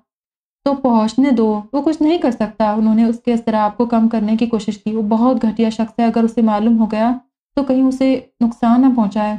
उसके चेहरे से परेशानी वाजे टपक रही थी। जनाब का हॉस्टल में रहना ठीक नहीं है। वो अपने खदशात बयान कर रहा था। वो जितना भी घटिया हो, वो नार एहसान को नुकसान नहीं पहुंचाएगा। सुगार का कश लेते हुए इतमान से बोले, कैसे हो सकता था कि कल का बच्चा मारिश तो अपनी बहन से बाखबर हो और वो अपनी बेटी से बाखबर ना रहे? हमेशा मलिक सरफराज से बढ़कर उसे चाहा था। वो उन्हें अपनी पुरसकून और तंग ना करने वाली तबीयत के बास, वैसे ही बहुत प्यारी थी। उसके बनी होने पर वो बहुत रोए थे, मगर इस वक्त वो इतने बेबस थे कि ऐसी रस्म के खिलाफ नहीं बोल सकते थे। उनकी अपनी बीवी बनी होकर आई थी। वो अलग बात थी कि उन्होंने उन्हें बीवी का दर्जा दिया, बाकायदा निकाह किया, लेकिन जब वो वनी लेकर आए थे तो कैसे बने की रस्म को तब रोक पाते? आप क्या कहना चाह रहे वो समझ कर भी उनकी बात समझना नहीं चाहता था। दिल कह रहा था, ये झूठ हो जो वो सोच रहे वो अपने माँ बाप के सामने जरनाब और नार एहसान से शादी का कह चुका है। ना सिर्फ़ कह चुका है, बल्कि लड़ रहा है। मुस्कुराते उसे देखने लगे। मुझे वरीद की एक आदत बहुत पसंद है। वो जितना भी बुरा, सही शराबी और औरतों के पीछे वाला सही, मगर जब वो किसी से मोहब्बत करता है तो पूरी जी जान से करता है। चाहे फिर वो उसकी माँ ही क्यों ना हो, या नार एहसान, शशतर उनकी बातें सुन रहा था आप ये सब कैसे जानते हैं? उसने तो अपने किस, कुछ खास बंदे उसके पीछे लगा रखे थे, मगर साया साई उससे भी ज़्यादा बाखबर कैसे थे? वक्त आने पर पता चल जाएगा। उसे अभी इस इश्क की आग में जलने दो। ये मेरा दावा है कि वो नार एहसान को कभी कोई नुकसान नहीं पहुंचाएगा। और जहाँ मुझे ज़रा सा भी शक गुजरा, तुमसे पहले मेरी बंदूक की गोली से वो मरेगा। उनके लहजे में यफलक चट्टानों की सी सख्ती दर आई और जब वो जरनाम के बारे में जान लेगा, आप क्यों चाहते हैं कि वो जरनाब तक पहुँच जाए? उसका बस नहीं चल रहा था कि जरनाब को वरीद की नज़रों से कहीं छुपा ले, वो जानता था। वो इंसान ही दरिंदा था जिसने दस साल की उम्र में उसे मारने से दरेक नहीं किया था। अब तवाना मर्द बनकर वो कैसे उसे नुकसान न पहुंचाता? मगर मलिक अयाज न जाने ये बात क्यों नहीं समझ रहे थे? क्योंकि ये जरनाब की ख्वाहिश है कि वो अपनी पूरी कोशिश करे और फिर उस तक पहुँचे। उसमें उसकी क्या मसलहत है? मैं भी तुम्हारी तरह अनजान हूँ। मेरी बेटी ने आज तक मुझसे कुछ नहीं मांगा, मगर ये ख्वाहिश उसने बड़ी चाह से की है। उनकी बात पर वह हक तक उनका चेहरा देख रहा था। यानी जरनाब ने इस सब के बारे में बराह रास्त मलिक अयाज से बात की थी। जरनाब ने जैसे ही उसे पहचाना था, उसने मुझे फ़ोन करके सब बता दिया। अब एक राज से पर्दा हटा रहे थे, मगर अभी बहुत से राज जानने बाकी थे। वो जानता था कि जब मलिक अयाज की मर्ज़ी होगी तभी वो कि लिहाजा उन्हें कुरेदना बेवकूफ़ी है। इसीलिए वो चुपचाप उनसे इजाज़त लेकर चला गया। वो कुछ देर पहले क्लास लेकर अपने ऑफ़िस आया था। जब कुछ देर बाद वो भी उसके पीछे उसके ऑफ़िस में मौजूद थी। इस रात के फ़ंक्शन के बाद आज वो दोनों आमने सामने हुए। वरीद तो उस दिन के बाद से उसके चेहरे के शहर से बाहर ना आ सका था। मैं आई कमिन सर। दरवाज़ा नॉक करके वो अंदर आने की इजाज़त मांग रही थी। उसकी मुतरनम आवाज़ फरीद के दिल पर फुवार की सूरत बरसी। यस प्लीज़ अंदर आने की इजाज़त मिलते ही वो उसकी टेबल के सामने आकर खड़ी हुई। अंदाज कुछ लड़ने कसा था। क्या मैं पूछ सकती हूँ? उस दिन एहतशाम को आपने क्या कहा था? वरीद ने कुछ ना समझने वाले अंदाज में उसकी खूबसूरत आँखों की जानब देखा जो नकाब से नज़र आती, उसके दिल को रोज एक नए ही अंदाज से घायल करती थी। किस दिन? वो तो उसे रूबरू देखकर हर चीज़ फरामोश कर जाता था। फिर एहतशाम क्यों कर याद रहता? जिस दिन टेस्ट के दौरान आपने उसे चीटिंग करते पकड़ा था और ऑफ़िस बुलवाया था, वो ज़ोर देकर बोली, कुछ भी नहीं, बस यही कहा था कि आइंदा ऐसा ना हो। उसे बस इतना ही याद रहा था। नहीं सर, आपने सिर्फ़ ये नहीं कहा था। आपने उसे मुझसे दूर रहने का कहा था। क्या मैं पूछ सकती हूँ कि क्यों? और किस हवाले से आपने उसे ये वार्निंग दी थी? उसकी आवाज़ ऊँची नहीं थी, मगर सख्त लहजा। उसके शदीद गुस्से का पता दे रहा था। वो अच्छा इंसान नहीं है, कुछ खास अच्छी कंपनी नहीं है उसकी, इसीलिए वार्न किया था।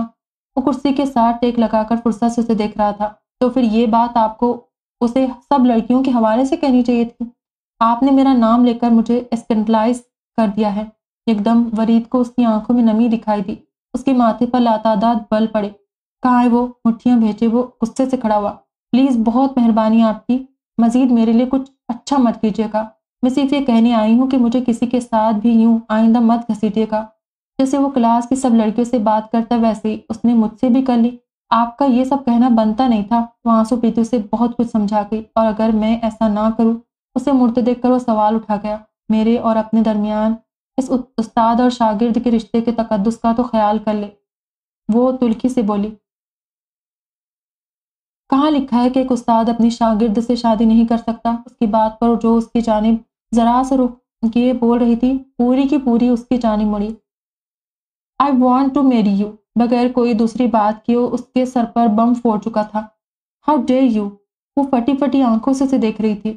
What do you mean by this किसी से शादी का इजहार करने में क्या बुराई है या गुनाह है? उसका अंदाज वरीद को नागवार गुजरा। एक्सक्यूज मी सर आपके दोस्त सरफराज का रिश्ता मेरे लिए आ चुका है और बहुत जल्द मैं उसके लिए हाँ भी करने वाली हूँ। वो बड़े इतमान से अब उसके सर पर बमबारी कर रही थी। आप ऐसा कुछ नहीं करेगी। और जबड़े भेज कर बमुश्किल खुद पर जब्त करता बोला, और मैं ऐसा क्यों नहीं करूँगी? उसकी आँखों से उसे खुद का मज़ाक उड़ाती लगी थी। इसीलिए कि वह आपके साथ सेंसियर नहीं है। वो मुझे बता चुका है। वो कहीं से भी आपको सूट नहीं करता। अपनी बात पर ज़ोर देकर बोला, एहतशाम, बुरा लड़का है, सर, फखर बुरे हैं। ना वो मुझे सूट करते हैं, ना ये। तो क्या आप इतने ही अच्छे इंसान हैं कि आप मुझे सूट करते हैं? नकाब से झांकती आँखें उसका इम्तिहान ले रही थी। जी, क्योंकि वो दोनों आपसे मोहब्बत के दावेदार नहीं, और मैं उनमें, और मुझमें यही सबसे बड़ा फ़र्क है कि मैं आपसे मोहब्बत करता हूँ। चंद कदम उठाकर उसके मुकाबले आया, दोनों बाजू सीने पर बांधे। कितने दिन के लिए? वो भी जरनाब थी, उसे पूरी तरह जानती थी। मेरी अब तक की जो भी ज़िंदगी थी, मैं उसे छोड़ने को तैयार हूँ। बड़े मज़े से उसे अपने इरादों से आगाह किया। आप मुझे इस वक्त ऐसे शख्स की तरह लग रहे हैं जो किसी मुसलमान औरत से शादी करने के लिए खुद को मुसलमान के रूप में ढाल लेता है और जब वो मिल जाए तो वापस अपना चोला पहन लेता है। खुद पर जबर मत करे, मैं आपके काबिल नहीं। आप अपने जैसी लड़की डिजॉर्व करते हैं। इस्तजाइया अंदाज में से आईना दिखाकर मुड़ने लगी। जब इसका बाजू वरीद की रफ्त में आ गया गुस्से से बाजू छुड़वाया। आई एम सॉरी वो अपनी हरकत पर शर्मिंदा हुआ। यू शुड बी वो दांत पीस कर बोली। प्लीज़ मेरी बात तहमुल से सुन लो। प्लीज़ नार, मुलतजी अंदाज बोला कि ये वही वरीद था जो बचपन में उसके वजूद को इतना मारता था कि वो अदमुई हो जाती थी और आज वो उसके आगे गिड़गिड़ा रहा था। क्या खूब इंसाफ किया था अल्लाह ने। वो यही देखना चाहती थी। इसीलिए उसने मलिक से कहा था कि उसकी असलियत उसके सामने ना आए। उसके सामने आए। और फिर वो देखे कि जिस नार एहसान से मोहब्बत का दावेदार है जरनाब को देखते ही क्या करेगा? अभी उसकी एक ख्वाहिश पूरी हुई थी वरीद चौधरी को अपने सामने गिड़गिड़ाते देखने की। वो जानती थी कि वो उससे मोहब्बत कर बैठा है, वो इसीलिए फ़खर वाले रिश्ते के लिए हामी भर रही थी कि सारी ज़िंदगी उसे तड़पाए जब जब वो फ़खर से मिले, उसकी बीवी की हैसियत से नार एहसान को देखकर शोलों की जद में आए। आप मेरे बारे में जानते ही क्या है? जो इतना बड़ा दावा कर रहे, उसकी हालत पर महसूस हुई। सब कुछ जानता हूँ तुम्हारे बारे में और मुझे तुम्हारे बैकग्राउंड से कोई मसला नहीं है। तुम्हारा मेरी तरह ऊँचा ख़ानदान नहीं है, मुझे इससे भी कोई फ़र्क नहीं पड़ता। मुझे सिर्फ़ तुम चाहिए हो। वो किसी भी सूरत उसे मना लेना चाहता था। अपने एहसास उस तक पहुँचा देना चाहता था कि वो भी उस आँच को महसूस करे। प्लीज़ सर, अपने मुकाम से इतने नीचे मत आइए। ये आपको सूट नहीं करता। मुझसे दूर रहे तो बेहतर है, वरना कहीं पछताना ना पड़े। उसकी रात समय गहरी सोगवार नज़रें वरीद को मुंजमद कर गई। उसकी मजीद कुछ भी सुने बिना उसके ऑफ़िस से जा चुकी थी। उसके ऑफ़िस से बाहर निकलकर रोते हुए सीढ़ियाँ उतरकर यूनिवर्सिटी के कदरे खामोश और कम रश वाले हिस्से की जानिब आई। वो इस वक्त किसी का सामना नहीं कर सकती थी और इस तरह रोते हुए तो कभी भी नहीं। उसे लगा था उसके एक एक जख्म पर वरीद के लफ्ज़ों ने फाय रखे हो। उसका हर गिड़गिड़ाया लफ्ज़ उसके लिए तरसता हर एहसास उसके ज़ख्मों को सी गया था। क्या अजीब था, ज़ख्म देने वाला ही मसीहा बना था। नकाब गिराए हुए चेहरा हाथों में दिए बिलक बिलक कर रो रही थी। उसने अल्लाह से दुआ मांगी थी कि वो शख्स एक बार उसकी ज़िंदगी में उसके सामने आए, वो उससे बदला ले सके। और इससे बेहतरीन बदला क्या था कि वो जो उसे अपनी नफरत का निशाना बनाता रहा था, आज उसकी मोहब्बत के लिए कासा फैलाए, भीख मांग रहा था। क्या खूब इंसाफ किया था अल्लाह ने, मगर नहीं, अभी वो सिर्फ़ नार एहसान के सामने गिड़गिड़ाया। ये सो जाती ही रोते रोते खामोश हुई। अपने आँसू सख्ती से गालों से रगड़े, अब तुम्हें जरनाब के आगे भी यूँ ही गिड़गिड़ाना होगा। अभी मेरा बदला पूरा नहीं हुआ वरीद चौधरी। तकलीफ़ और अजियत तुमने जरनाब को दी थी तो माफ़ी भी उसी से मिलेगी। मोहब्बत और धुतकार ने का हक भी जरनाब को है। नार एहसान को नहीं, ये ये नार तो कुटपुतली है। असल किरदार के सामने तुम्हें आना होगा। आँसू साफ़ करते सफाकी से सोच रही थी वरीद चौधरी से मुखातिब थी, मगर इतनी जल्दी नहीं। अभी नहीं। अभी तुम और तड़पो, नार एहसान की मोहब्बत में। फिर जरनाब के इश्क में तड़पता हुआ तुम्हें देखूँगी तो कहीं इस दिल और वजूद की अजियतें कम होगी। तुम बेरहम थे तो मैं भी अब बेरहम हूँ। तुम्ही से ये गुर सीखा है। और सामने देखते मुसलसल उसकी हेवले से मुखातिब थी, और फिर कभी कभी किसी से मिलने वाले दुख इस कदर जानलेवा हो जाते हैं कि इंसान पत्थर बन जाता है। शायद जरनाब भी पत्थर बन चुकी थी, जिस पर वरीद की मोहब्बत शायद कभी असरअंदाज नहीं होने वाली थी और यही शायद वरीद की सज़ा थी। रात ही वो वरीद के बारे में आगा हुआ था। अपनी परेशानी में सुबह अपना खाना बनाना याद न रहा। मलिक अयाज से मिलने के बाद नशरा को यूनिवर्सिटी से पिक और ड्रॉप करने के बाद वो वापस अपने ऑफ़िस जा चुका था। कोई नहीं जानता कि मलिक अयाज ने बहुत पहले मारिज को मलिक सरफराज के हिस्से में से कुछ जायदाद दे दी थी। जिसे बेचकर वो शहर में अपना कारोबार शुरू कर चुका था। अब वो मलिक अयाज का मोहताज नहीं था, मगर वो फिर भी उनके साथ जुड़ा हुआ था। कुछ दिन वो शहर में इस अपार्टमेंट में बहुत अरसे से रह रहा था। और कुछ दिन वो मलिक अयाज के पास उनकी हवेली रहता था। अपने बेटों से ज़्यादा अपने मामला के लिए वो उस पर इन्हसार करते थे। वो भी उन्हें बाप का सामान देता था। रात में जिस वक्त वो अपने अपार्टमेंट वापस आया नशरा उसके और अपने लिए खाना बनाने में मगन थी। किचन के करीब आकर उसे सलाम किया, तुम चेंज कर लो खाना रेडी है। मसरूफ से अंदाज बोली, मारिज ने चौंक कर उसे देखा। आपने क्यों बनाया मेरे लिए? उसकी बात पर नशना ने गुस्से से देखती का ढक्कन वापस रखकर मुड़कर कड़े तेवरों से उसके करीब आई। अगर मैं चीज़ों को नॉर्मल करने की कोशिश कर रही हूँ तो तुम्हें क्या मुसीबत है? दोनों हाथ कमर के दाएँ बाएँ रख के उससे गुज कर रही थी। मुझे इतनी इनायतों की आदत नहीं है, बीबी। वो सुबह से डिस्टर्ब था। इसलिए मैं उसे तंग या जिद नहीं करना चाह रहा था। सादे से लहजे में अपना मसला बयान किया। मुझे भी ये सब करने की आदत नहीं थी, मगर कर रही हूँ। उस दिन भी कहा था, कुछ तुम ढलो, कुछ मैं ढल जाऊँगी। ज़िंदगी आसान हो जाएगी। मैं इतनी बुरी नहीं मारिज जितना तुम मुझे समझते हो। अपनी सफ़ाई देते आँखें नम ही, जिन्हें उस बेहिस से छुपाने के लिए वो नज़रें झुका गई। यही पूछ रहा हूँ, आप क्यों ढल रही है? मैं आपका मियाँ नहीं हूँ, बीबी। ना कभी हो सकता हो। मैं इस हकीकत से बहुत अच्छी तरह वाकिफ हूँ। आप खुद को यूँ हल्कान मत करें। अपनी पढ़ाई करें और फिर जिससे चाहेगी मैं खुद आपकी शादी करवाऊँगा। इस वक्त सिर्फ़ इसीलिए चुप हूँ कि आप अपनी पढ़ाई मुकम्मल कर ले और मलिक साई को भी अभी मैं किसी अजियत से गुजारना नहीं चाहता। कुछ ऐसे बाद आपको छोड़ने और आपकी शादी कहीं और करवाने के बाद मैं उन्हें कायल कर लूँगा। वह हैरत से मुँह खोले, उसके नादिर ख्याल सुन रही थी। तुम गुस्से से उसके बाजू पर हाथ मारकर उसे खामोश करवाया। तुम इस काबिल नहीं कि तुम्हारे लिए इंसान कुछ सोचे। तुम क्या समझते हो? अगर मुझे किसी और से शादी करनी होगी तो तुम्हारे लिए यूँ खवार होगी? तो चीखी मैंने इसीलिए आज आपको सब बात क्लियर कर दी है। अगर आप ये समझते हैं कि मलिक साई की वजह से आप मजबूर है तो मैं मजबूर नहीं हूँ। मैं आपकी हर तरह की मदद के लिए तैयार हूँ। वो बेचागी से बोला, कैसे समझाए उसे कि वो अपनी औकात जानता है और उससे बाहर निकलने का सोच भी नहीं सकता? वो कैसे उसे बीवी बना ले जिसने अपने लफ्ज़ों से हमेशा उसे घायल किया था? अभी शायद वो इस तन्हाई और इस रिश्ते के जेर असर उसे वो मुकाम दे दे। मगर क्या गारंटी है, जब इस नाम निहाद मोहब्बत का खुमार उतरे तो वापस उसे ज़मीन पर ला पटके। तुम जैसे मर्द ना, मर्द कहलाने के लायक नहीं, जो अपनी औरतों को दूसरों को देने के लिए तैयार बैठे हैं। वो गुस्से में उसकी गैरत को निशाना बना गई। बीबी, मारी धाड़ा, तुम्हें नज़र नहीं आ रहा? मैं सब क्यों कर रही हूँ? तुम बदला लेने चाहते हो ना मुझसे? मैं जो तुम्हें हर लम्हा जलील करती थी तुम इस सब का बदला ले रहे हो ना मुझसे? तुम जानते हो कि मैं मोहब्बत कर बैठी हूँ तुमसे। तुम जान बुझ कर मुझे और नीचा करना चाहते हो।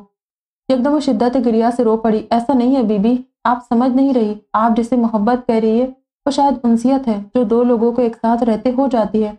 जब इस मोहब्बत की पट्टी आपकी आँखों से उतरेगी, तब मैं आपको वही मारिज नज़र आऊँगा।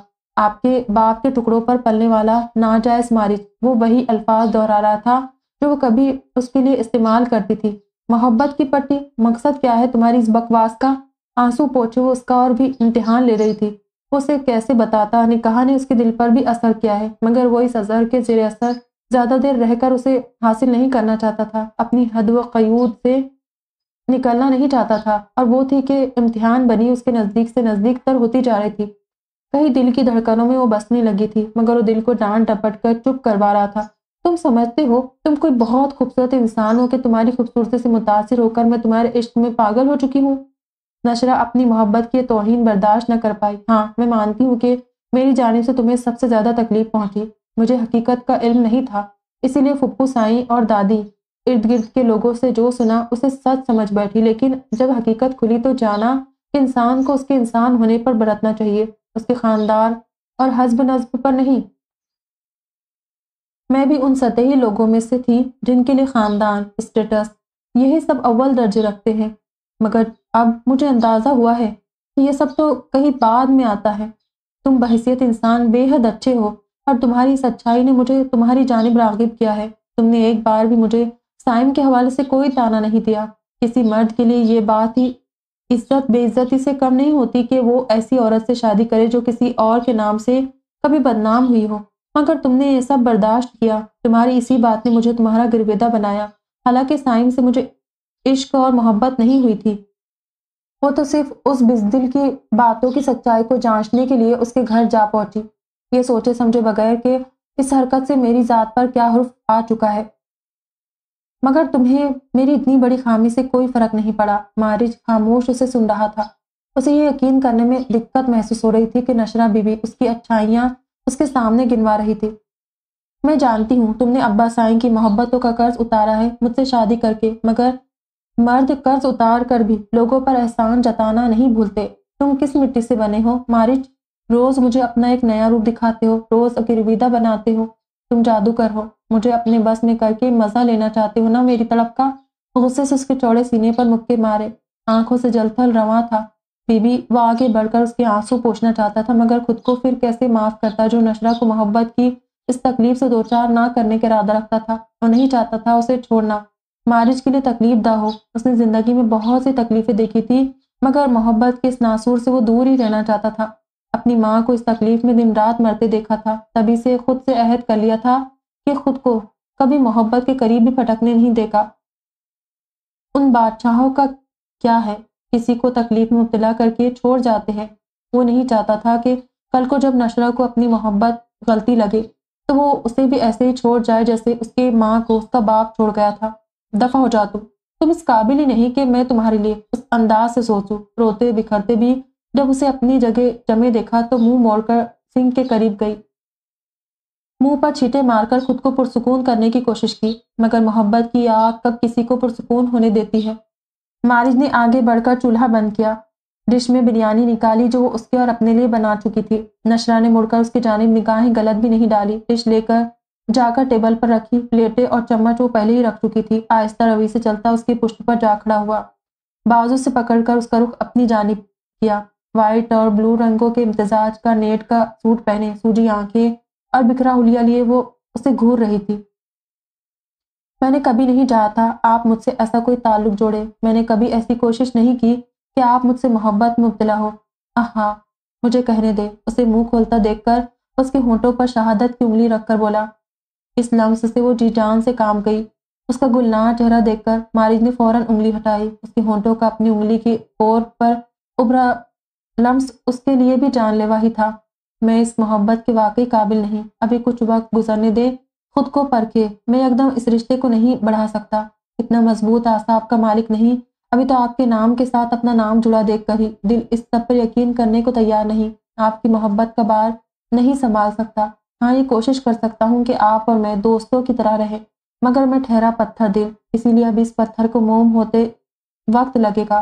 तब तक सिर्फ़ इतनी सी दरख्वास्त है, खुद पर जुल्म ना करे। आप बुरी नहीं हैं। आपको हमेशा मोहब्बत और अतमाद ही इतनी मिली कि आपने बस उसका नाजायज़ फ़ायदा उठा लिया, वरना आपकी शराफत पर कोई शक नहीं। मैं जानता हूँ, साइम वाला मामला में आप उतनी कसूरवार नहीं है, इसीलिए मैंने मलिक साय को बताया, जानता था कि आप सिर्फ़ उसकी चिकनी चुपड़ी बातों में आ गई है, वरना आपका मैार दस लड़कियों को भुगताया हुआ शख्स नहीं हो सकता था। इसीलिए आपको ठोकर लगने से पहले बचाने की अदना सी कोशिश की और आपकी नफरत का रुख अपनी जानी मोड़ लिया। धीमे लहजे में बोलता हुआ नशरा की दिल की धड़कनें बढ़ा रहा था। और फिर आँखों का नरम गरम तासुर उसकी मोहब्बत में मुबतला ना होती तो क्या करती? तीर चलाने के गुर रखते हुए भी वो मासूम बनता था कि उसने उसे मोहब्बत मुबतला करने की कोई कोशिश नहीं की। खैर, मैं कमजफ मर्द नहीं, जो आपको ऐसे घटिया ताने दूँ, मैं अपना मुकाम अच्छे से जानता हूँ।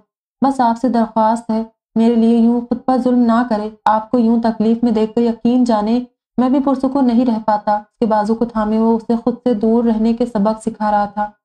आहिस्ता से हाथ बढ़ाकर उसकी पलकों की नमी को उंगलियों की पोरों पर चुना, फिर एकदम हाथ खींचा। अब सब कुछ छोड़कर फ़िलहाल खाना खाएँ। बिरयानी लगता है बहुत दिल से बनाई है आपने। आए, खाते फिर चाय मैं बनाऊँगा। हौले से मुस्कुराते उसका हाथ थामे, टेबल तक लाया। नशरा तो उसके हाथ में दबे अपने हाथ को ही हसरत से देख रही थी। अभी बाजू। और आँखों पर उभरता उसका लम्ब क्या कम था जो हाथ भी उसने कैद में कर लिया था? खाने के दौरान वो इधर उधर की बातें पूछता, उसे नॉर्मल कर गया था। मैं गाँव जा रहा हूँ, मारिज मलिक के फ्लैट का जायजा लेते रहना। कोई भी गैर मामूली हरकत हो, तुमने मुझे फ़ौरन आगाह करना है। वो कपड़े बैग में रखने के साथ साथ फ़ोन पर किसी से मुँह गुफ्तगु था। अपने बाप की पसंद करदा लड़की तो वो रिजेक्ट कर चुका था और अपने फैसले में भी अटल था। इसीलिए वजह चौधरी को उसके आगे घुटने ही टेकने पड़े। इस वक्त वो उन दोनों को वापस छोड़ने भी जा रहा था। और जन्नाब का मालूम करने के लिए भी। अपनी ही हवेली के एक और मुलाजमा जो सफूरा खाला के साथ होती थी, उसकी, उसने निशानदही कर ली थी। अब वो उसी से पूछ गूछ के लिए गाँव जा रहा था। जी साहब, आप बेफिक्र होकर जाए। यहाँ कोई भी गैर मामूली हरकत होगी, मैं फ़ौरन आपको मुतला करूँगा। समीर ने उसे मुतमिन किया। ठीक है फिर। अल्लाह हाफिज। बैग की जिप बंद करते उसने फ़ोन भी बंद किया। बैग उठाए, कमरे से बाहर गया। उसे यूनिवर्सिटी से लेकर वापस आकर अपने कमरे में बंद हो चुका था। ये पहली बार हुआ था, वरना उसे फ्लैट की बिल्डिंग के आगे उतारते ही वो किसी काम के लिए निकल जाता था। नशरा नहीं जानती थी कि रोज़ वो क्या करने और कहाँ जाता है, ना उसने कभी बताया। कुछ देर बाद ही वो कमरे से बरामद हुआ। नशरा चाय बनाकर टेबल पर रखते उसे बुलाने का सोच ही रही थी जब वो बाहर आ गया। चाय पी लो। दोस्ताना अंदाज में उसे बाहर निकलते देखकर कहा, थैंक्स, वो भी शुक्रिया अदा करते कप लिए सोफे पर बैठ गया। कुछ देर खामोशी से सिप लेता रहा। बीबी, आप यहाँ बैठ जाया करे। मुझे यूँ अजीब सा लगता है। वो जो फ्लोर कुशन पर बैठी थी उसकी बात सुनकर हौले से मुस्कुराई। मारिज ने उसके चेहरे पर खिलती खूबसूरत मुस्कुराहट से नज़रें चुराई। मुबादा किसी गुस्ताखी के लिए दिल उकसा था। वो तो अभी दोस्ती का ही रिश्ता कायम करना चाहता था। उससे आगे नहीं, मैं यहाँ ज़्यादा रिलैक्स होकर बैठती हूँ। तुम आज मुझे छोड़कर कहीं गए नहीं? वैसे रोज़ कहाँ जाते हो? उसे अपनी मर्ज़ी बताकर आखिर आज पूछ ही लिया कि वो रोज़ाना इतने घंटों के लिए कहाँ गायब हो जाता है। मैं ऑफ़िस जाता हूँ, उसने सादे से अंदाज में सच बताया, नशरा ने बमुश्किल चाय का घुट हलक में उतार कर उसे हैरान नज़रों से देखा। तुम ऑफ़िस, किसके ऑफ़िस? उसकी बात पर अब के मारिज के चेहरे पर खूबसूरत मुस्कुराहट उभरी। अपने ऑफ़िस, बीबी, मज़े से बताया। क्या काम करते हो? वो मजीद कुरेदने लगी। गाड़ियों का शोरूम है। उसके जवाब पर नशरा की होंठ वाव के अंदाज में हिले कब से अपने शोहर के बिज़नेस का उसे आज पता चला था। यही कोई छः सात साल हो गए नशरा ने हौले से सरी लाया अच्छा एक ज़रूरी बात कहनी थी। उसे एकदम कुछ याद आया। गाँव में नहर की ज़मीनों पर झगड़ा चल रहा है। मुझे आज ज़रूरी वहाँ जाना है। रात को मैं नहीं आ सकूँगा। तो ऐसा है कि मैं जन्नाब को आपके पास छोड़ जाता हूँ। कल की आप दोनों छुट्टी कर ले। कल दोपहर तक इनशाला मेरी वापसी हो जाएगी। वो अपना प्रोग्राम बताने लगा। तो हम दोनों अकेली कैसे रहेगी? वह हैरानी से सवाल करने लगी। तो फिर आप अपना कोई जोड़ा रख ले। मैं आपको जन्नाब के पास उसके हॉस्टल छोड़ाता हूँ। वैसे यहाँ सब सेफ़ है। सिक्योरिटी का कोई इशू नहीं और मैंने सीसीटीवी कैमरा भी लगवाया हुआ है। कोई डर की बात नहीं है। उसने नशरा की तसल्ली करवाई। चलो ठीक है, फिर जन्नाब को छोड़ जाओ। एक रात की तो बात है। वो मुतमिन हो गई। हॉस्टल जाने का उसका मूड नहीं था। ठीक है, मैं जन्नाब को पिक करके यहाँ छोड़ जाता हूँ। चाय का खाली कप टेबल पर रखते उठा। और मैं कांटेक्ट करता रहूँगा। आप परेशान नहीं होइएगा। मोबाइल और वॉलेट कमीज की पॉकेट्स में रखता हुआ उसे और भी तसली देने लगा। नशरा के चेहरे पर उसके इतने केयरिंग अंदाज पर मुस्कुराहट बिखरी। मारिज, मैं इतनी डरपोक नहीं हूँ। वो हँसते उसे जताई। इसकी बात पर सीधा होता, उसे देखते खुद भी मुस्कुराया। जी, आप डराती है, डरती नहीं। होले से अपना हाथ उसके बाजू पर थपथपा कर गोया जाने का उंदिया दिया। उसके लम्स पर एक खूबसूरत एहसास उसके साथ लिपटा। वो खामोश उसे दरवाजे से निकलता देखती रही। शाम में सबसे मिलकर वो फिर से कहीं जाने को तैयार था। अब कहाँ जा रहे हो तुम? सुगरा बेगम ने उसे तैयार देखकर पूछा। वो तो उसके लिए रात के खाने में अहतमाम करवा रही थी। मैं आज रात फार्म हाउस पर रहूँगा। मुझे कुछ काम है वहाँ। एक दो मुलाजमीन को भेज दे। वो जो उसके कमरे में उसके पीछे आई थी, उसकी बात सुनकर मायूस सी हुई। बस हवा के घोड़े पर सवार रहते हो। आखिर कब मेरे पास भी चंद घड़ियों के लिए सुकून से रहोगे? उसके वजीहा चेहरे पर हाथ फिरते ममता का मजबूर सा लहजा लिए बोली, आप दुआ करें, कुछ कामों को निपटा लूँ, फिर कुछ अरसा फुर्सत से आपके पास रहूँगा। अपने चेहरे पर रखा उनका हाथ, अपने हाथों में थाम कर उसकी पुश्त पर बोसा देते, मोहब्बत से लबरेज लहजे में बोला, कैसी है वो लड़की? उन्हें भी तो इस बारे में बात करने का मौका मिला था।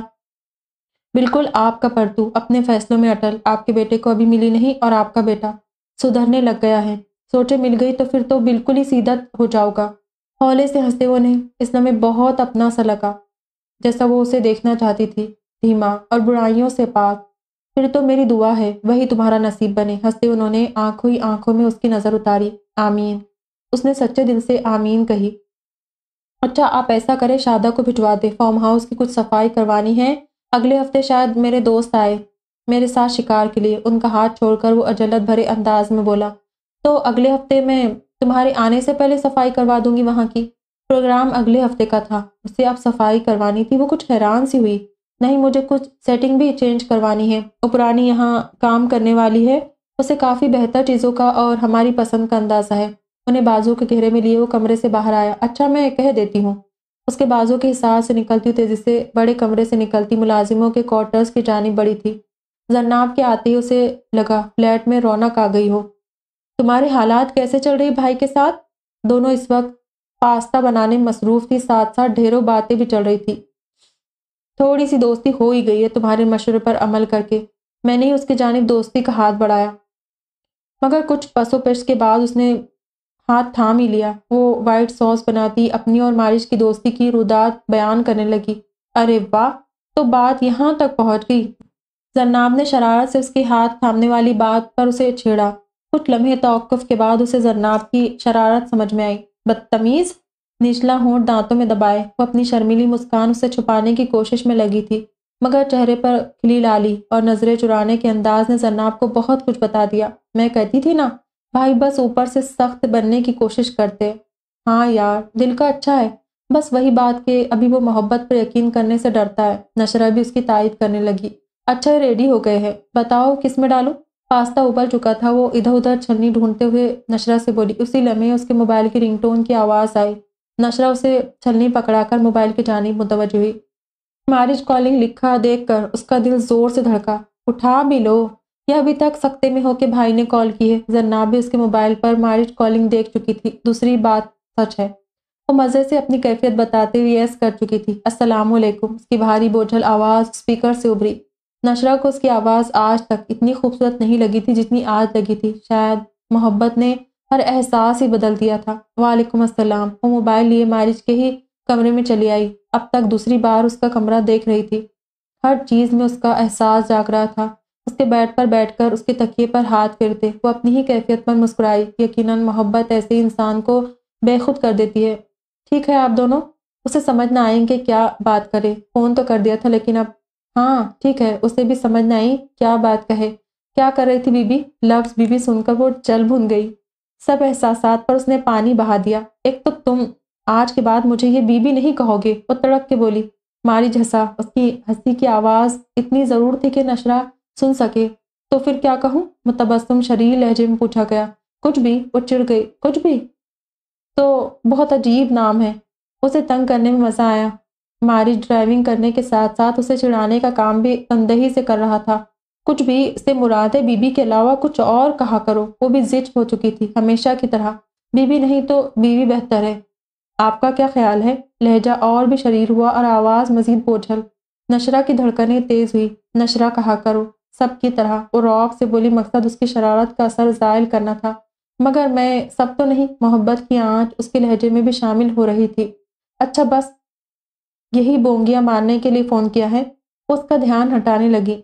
नहीं, आपकी खैरियत पूछनी थी, क्योंकि मेरे फ्लैट से निकलते हुए कोई डर रहा था। जाते वक्त उसका डरा सा चेहरा तस्वुर में लाते बोला, मैं नहीं डरती वरती और जल्दी काम ख़त्म करो, तुम पहुँच गए हो गाँव उसे झुटलाने लगी।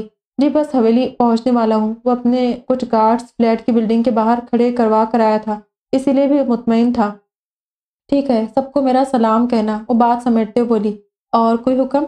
मौतिब अंदाज में बोला, नहीं, बस इतना ही काफ़ी है। बाकी की हुक्म फिर कभी? वो नाज से बोली, ओके, अपना ख्याल रखिएगा। वो भी बात समेट कर फ़ोन बंद कर गया, बताओ, कहाँ है सफूरा खाला? कुछ देर पहले वो शादा और कुछ मुलाजमीन के साथ फार्म हाउस पहुँचा था। बाकियों को काम पर लगाकर शादा लिए एक कमरे में आया, दरवाज़ा लॉक किया, वो घबरा गई। क्या कर रहे हैं साहब? वो उम्र में वरीद से चंद एक साल ही बड़ी थी। एक सवाल पर वह आहिस्ता से चलता उसके मुकाबिल आया। उसके सवाल को नज़रअंदाज करके जो वरीद ने कहा, उस पर शादा के चेहरे पर बदहवासी फैली। मुझे क्या पता? वो तो शायद मर चुकी है। उसके लहजे की लड़खड़ाहट वरीद को बहुत कुछ बता गई। देखो, मैं शराफत से तुमसे पूछ रहा हूँ कि सपूरा खाला कहाँ है? मुझे झूठ से और झूठों से सख्त नफरत है। मैं तुम पर कोई सख्ती नहीं करना चाहता। लिहाजा आराम से मुझे उनके बारे में बता दो। आँखें निकाल कर हर लफ्ज से चबा चबा कर बोला। मैं सच कह रही हूँ साहब, अभी उसकी बात पूरी नहीं हुई थी कि उसका मुँह वरीद के हाथ की सख्त गिरफ्त में आ चुका था। क्या बकवास कर रहा हूँ मैं? दबे दबे लहजे में चिखा। साहब, मैं वो तकलीफ़ से बिलबिलाई। झूठ नहीं वो अब की बार धाड़ा। वो जी वो सवाद के करीब एक गाँव में है। वहाँ अपनी बेटी और दामाद के साथ रहती है। वो एक झटके ही से सब उगल गई, मगर वहाँ मालूम करने पर वो कह रहे कि वो तो वहाँ से कहीं और चले गए। उसका मुँह छोड़ता अब उसने उसे बाजू से थाम कर सीधा खड़ा किया, जो वो आज़ाद होते हुए तकलीफ़ से दोरी हुई थी। साहब, वो वही है। झूठ बोला होगा। कब, अभी कुछ दिन पहले मैं उससे मिलकर आई हूँ। उसकी बात पर वरीद की आँखों में खून उतरा। उनकी बेटी के खदोखाल कैसे? उसके सवाल पर उसने कुछ नक्शा बताया। रुको वरीद ने एक हाथ उसे रोक कर अपना वॉलेट निकाला। कमीज की जेब से एक पेंसिल निकाली। वॉलेट से एक तहशुदा कागज़ निकाला, उसे सीधा किया। बैठो और बताती जाओ। उनके दामाद को देखा है कभी? उसे एक सोफे पर बैठने का इशारा किया। कमरे में मौजूद दूसरे सोफे पर खुद बैठा। उसके आगे टेबल रखा था। उस पर वो कागज़ रखते उससे सवाल किया। नहीं जी हम मर्दों को नहीं देखते, वो कुछ बुरा मना कर बोली अच्छा चलो उनकी बेटी का नक्शा बताओ। उसकी बात पर वो उसका नक्शा बताती गई और वो स्केच बनाता गया। जिस लड़की को मेरे साथ बनी किया था, वो भी वही होती है। स्केच को तह करते सरसरी सा पूछा, उसका मालूम नहीं साहब, मैंने उसे वहाँ कभी नहीं देखा। तो सफूरा खाला के मरने का क्यों मशहूर किया हुआ है? उसने अबरूज खाकर फिर से सवाल किया, पता नहीं, खाला ने ही कहा था कि हवेली में बता देना कि मैं मर गई हूँ। उसकी बात में इस बार सदाकत लगी थी। ठीक है, मैंने यहाँ जो कुछ तुमसे पूछा है, वह अगर इस कमरे को पार करने के बाद किसी को बाहर पता चला तो तुम सोच सकती हो कि मैं तुम्हारे साथ क्या करूँगा। अभी मैंने मारपीट नहीं की, बहुत सस्ते में तुम्हें बख्शा। लेकिन अगर तुमने इतनी सी भी बात सफूरा खाला या हवेली में किसी को बताई तो मेरे पाले हुए जानवरों को तुम्हें खाने में कोई आर महसूस नहीं होगी सफाक लहजे में उसे वार्निंग दी। जी साहब, कभी नहीं। उसकी बात सुनकर ही दहशत से उसकी आँखें बाहर आने को बेताब हुई। शाबाश, सफ़ाई करो। अपनी जगह से उठकर वो कमरे से बाहर चला गया। तुम और भाई अलग अलग कमरों में ही रहते हो। खाना खाने के बाद चाय की मगली दोनों नशरा के ही कमरे में आ मौजूद थी। ज़ाहिर है, अभी इतनी फ्रेंकनेस नहीं हुई। अच्छा तुम मुझे छोड़ो, ये बताओ कि फखर वाले मामले का क्या बना? मैंने तुम्हारे भाई से पूछा था, मगर उसने कोई खातिर का रिस्पॉन्स नहीं दिया। नशरा को एकदम याद आया। मेरी बात हो गई थी भाई से। वो कह रहे कि मैं उनकी सफ़र खाला और उनके दामाद से मुलाकात करवा दूँ। उसकी बात पर नशरा ने चंद लम्हे उसके चेहरे पर कोई एहसास खोजा, लेकिन नाकाम रही। एक बात पूछूँ? बेड के साथ टेक लगाई। हाँ पूछो। तुम्हारी कितनी खुशी शामिल है इस रिश्ते में? उसकी बात पर जरनाब चंद में कुछ कह न पाई, फिर फीका सा मुस्कुराई। उसमें खुशी का क्या ताल्लुक है? शादी तो करनी ही है। आज या कल किसी के साथ तो होनी है। कोई गिड़गिड़ाता हुआ तस्वुर में आया। उसने सर झटक कर गोया उसके तस्वुर से जान छुड़वाई। शादी का ताल्लुक ही खुशी से होता है, वरना तो वो एक कारोबार ही है, जिसे हम बाकी के कारोबार करते हैं। हाँ शादी खालिस्तन अपनी जात की खुशी का मामला है।